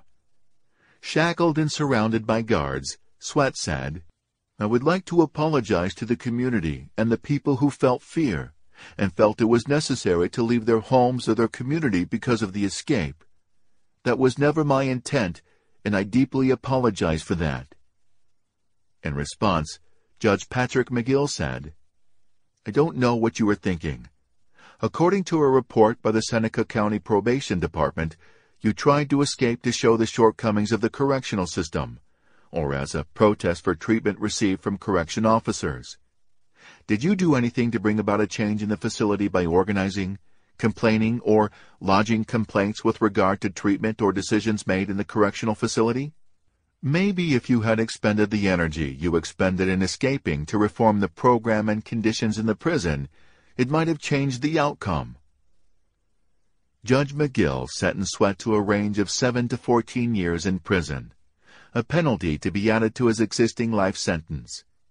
Sweat was also ordered to pay $79,841 in restitution.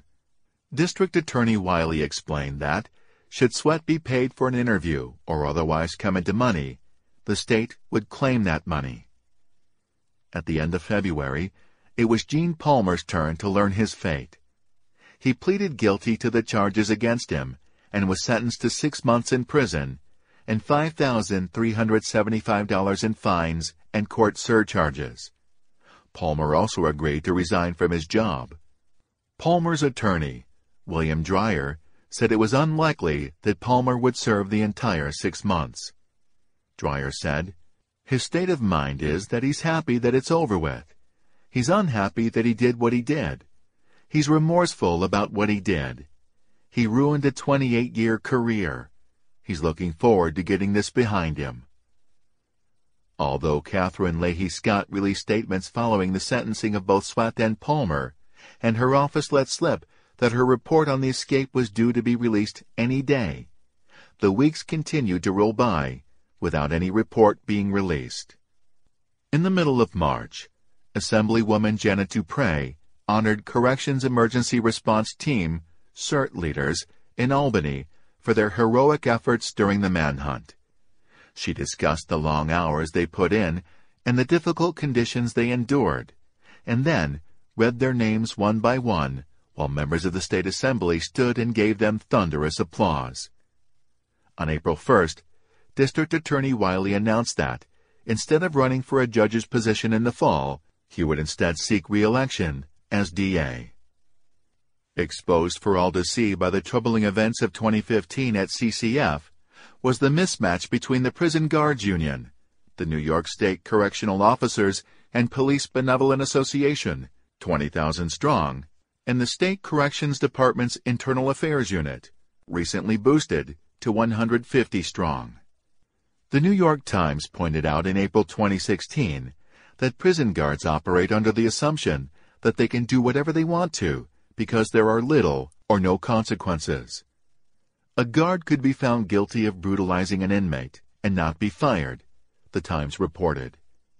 It was embarrassing and frustrating for those assigned to keep guards on the straight and narrow. That month, the Corrections Department announced that it was fed up and determined to be more effective when battling the Guards Union. But it wasn't going to be easy.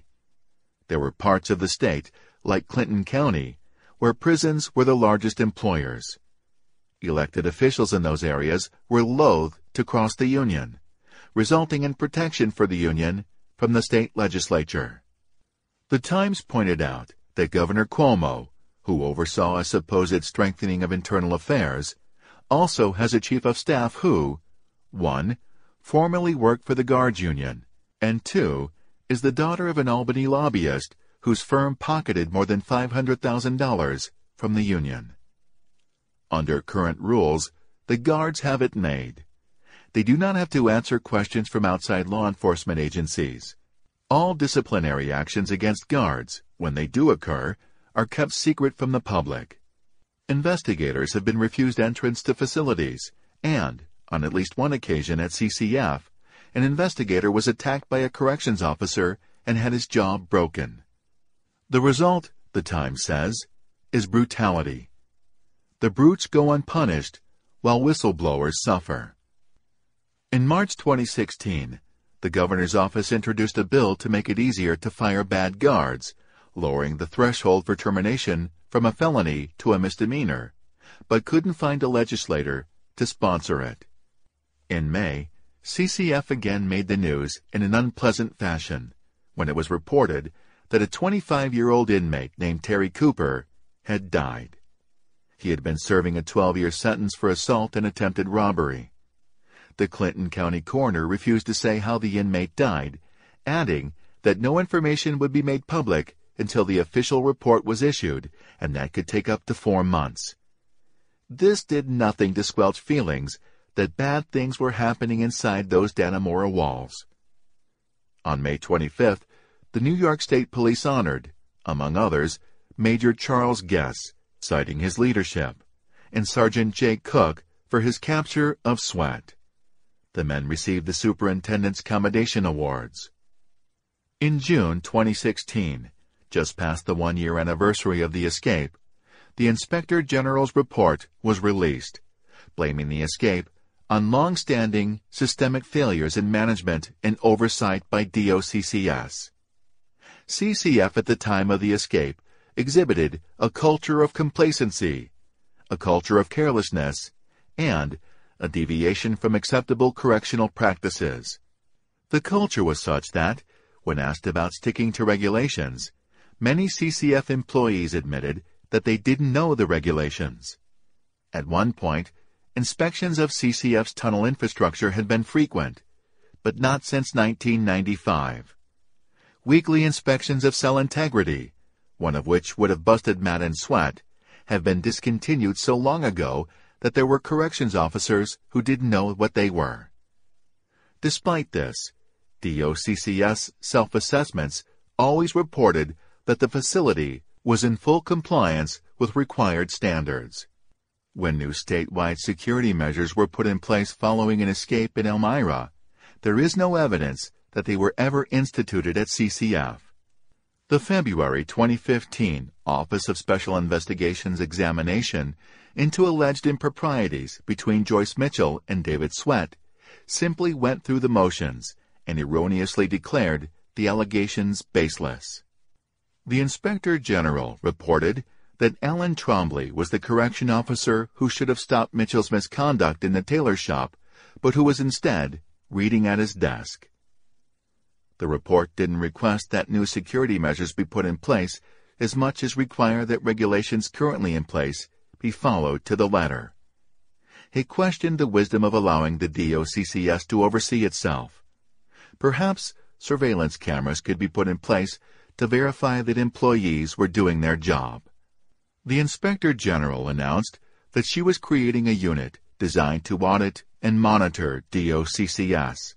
She complained that the investigation was made more lengthy and difficult than it needed to be by the lack of cooperation from CCF staff, which, as a group, either lied or suffered from selective amnesia.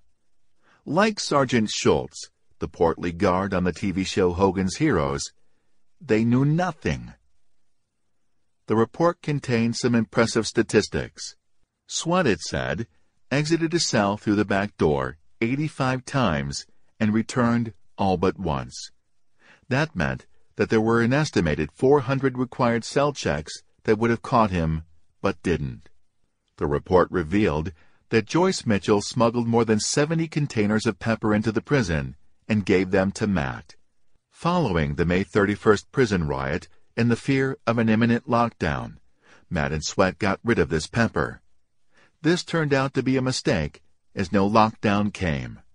Sweat told the Inspector General's investigators that his original escape plan was to go over the wall rather than under. He would use a vulnerability in his cell door's locking mechanism to exit his cell and a rope and hook to scale the wall while guards were watching a movie or something. The plan was abandoned when Matt became involved. No way Fatso could scale a wall. One of the key items the prisoners acquired while planning their escape was a tape measure.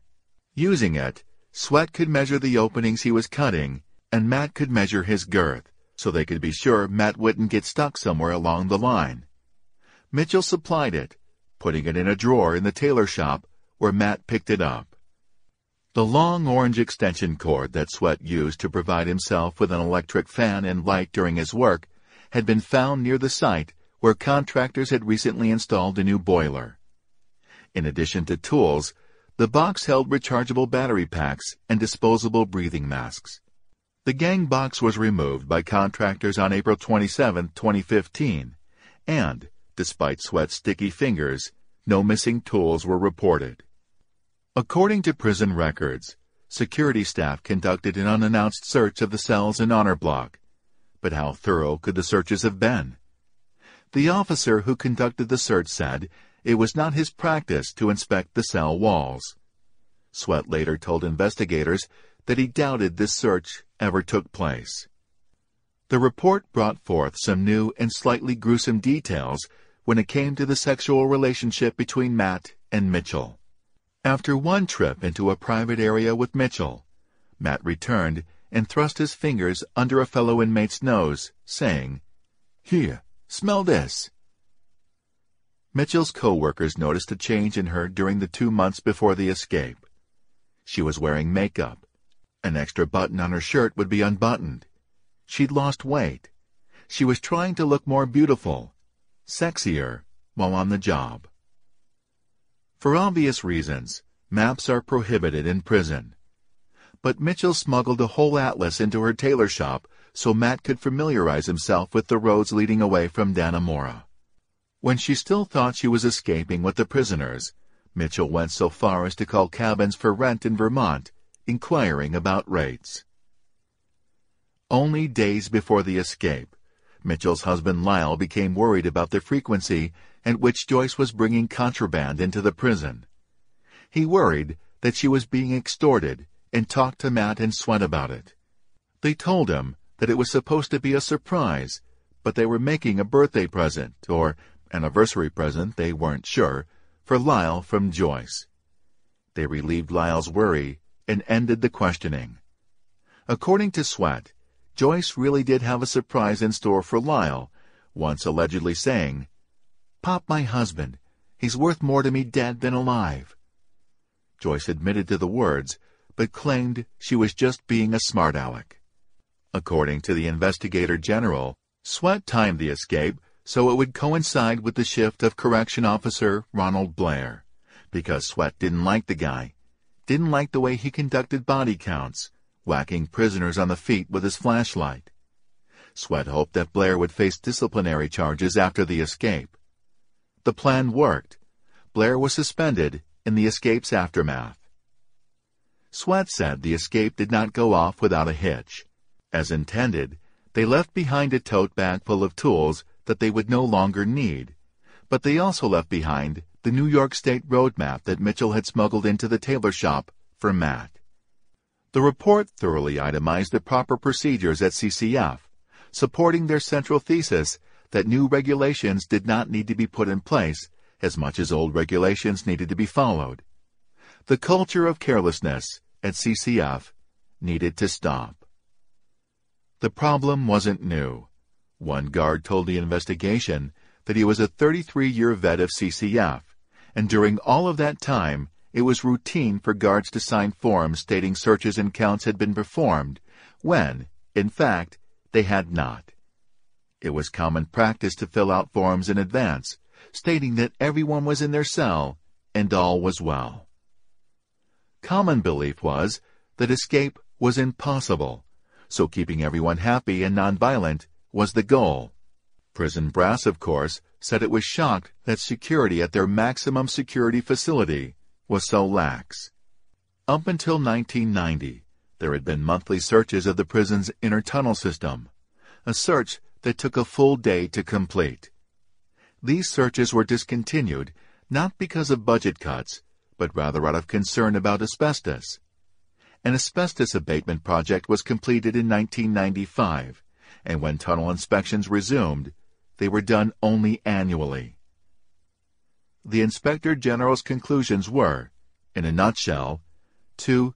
1. Train staff better. 2. Increase camera surveillance. 3. Stringently follow regulations already in place. Prisoner counts, cell inspections, perhaps using thermal imaging sensors to distinguish prisoners from dummies. Gate security, metal detectors, random frisking of employees, and so forth. 4. Inspect the catwalk and tunnel system more than once a year, hopefully monthly. 5. Supply oversight of DOCCS to ensure the integrity of the system. 6. Use canines to detect contraband. 7. Keep a closer eye on tools left behind by contractors and maintenance people. 8. Better oversee tailor shops. 9. Revamp the honor system. And 10. More severely discipline and effectively counsel officers and civilian employees who break the rules. The Inspector General's report received immediate criticism. Franklin County Sheriff Kevin Mulverhill said that the report seemed to indict all CCF employees as abusive, lazy, and bumbling when he knew this not to be so. I absolutely believe that the majority of officers do an outstanding job, he said. I think you're dealing with a very small percentage of officers. One person who agreed with Sheriff Mulverhill was Assemblywoman Janet Duprey, who said, These correction officers work very difficult jobs under really tough circumstances every day. I don't agree with a lot of the things that are in that report. She felt the report downplayed the blame the state should have received, such as when it refused to declare a lockdown following the May 2015 riot, a lockdown that would have certainly discovered the holes in Matt and Sweat's cells. Preceding the IG report by a few days was another report, this one issued by the prisoner advocacy group known as Correctional Association of New York, which, using mostly anonymous statements from inmates, stated that there had been an uptick in abusive behavior by CCF employees in the aftermath of the escape. The charges included beatings, excessive use of solitary confinement, and rampant racism. A few months earlier, during April, in a cell at the Bedford Hills Correctional Facility, Joyce Mitchell quietly penned a sad letter to Department of Corrections Acting Commissioner Anthony J. Annucci. She wrote, I was wondering if there was anything you could do to help me to possibly getting clemency. I realize what I did was very wrong. No one will ever know the remorse I feel for everything that happened due to my part in the Clinton escape. I turned myself in. I tried to help with any information I could to try and bring these men back to prison. They threatened to kill my husband, Lyle, as well as my son and mother. I could not let them harm my family. I love my family very much, and they mean everything to me. No one knows how scared I was. I know I did wrong.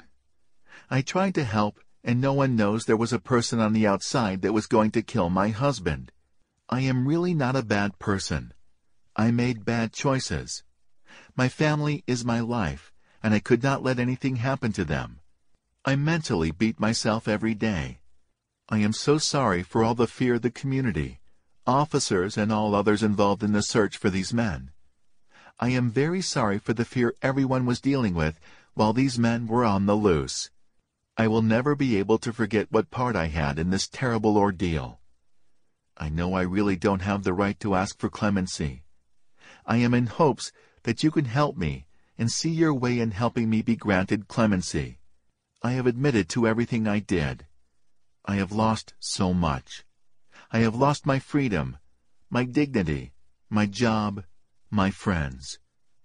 Luckily, I still have what is most important to me, my husband and family. Please understand the person I was at the time was someone very scared for their family. Unfortunately, I got in over my head and I didn't know what to do. I am 52 years old. I was 51 when this happened. I have never been in trouble with the law. I cry for all the pain my family is going through. This will never go away. In response, District Attorney Andrew Wylie noted that the recipient of Mitchell's letter would not be able to grant clemency. That could only be done by the governor. Wylie, for his part, said he would strongly urge that Mitchell's letter be disregarded. Annucci was not nearly as surprised that Mitchell was begging for freedom as he was that he himself still had a job. Despite the deluge of fallout following the escape, Annucci remained dutifully employed. He said, Ultimately, the commissioner is accountable for everything in the system. I serve at the pleasure of the governor. Any time he wants to make a change, it is up to him. In the long run, it became clear that the story of the escaping prisoners was so popular because we could so easily identify with the escapees. Along with our fear that, while Matt and Sweat were out, innocent people would be victimized, there was an undeniable sense of envy. We are all prisoners, men and women who have, like Joyce Mitchell long before she was locked up, forged our own chains and bars, and perpetually seek release. This concludes Escape from Dannemora by Michael Benson. Narrated by Al Kessel. Copyright 2017 by Michael Benson. This unabridged audiobook is published by arrangement with University Press of New England and was produced in the year 2018 by Tantor Media Incorporated, a division of Recorded Books, which holds the copyright thereto. Please visit Tantor.com for more information on our growing library.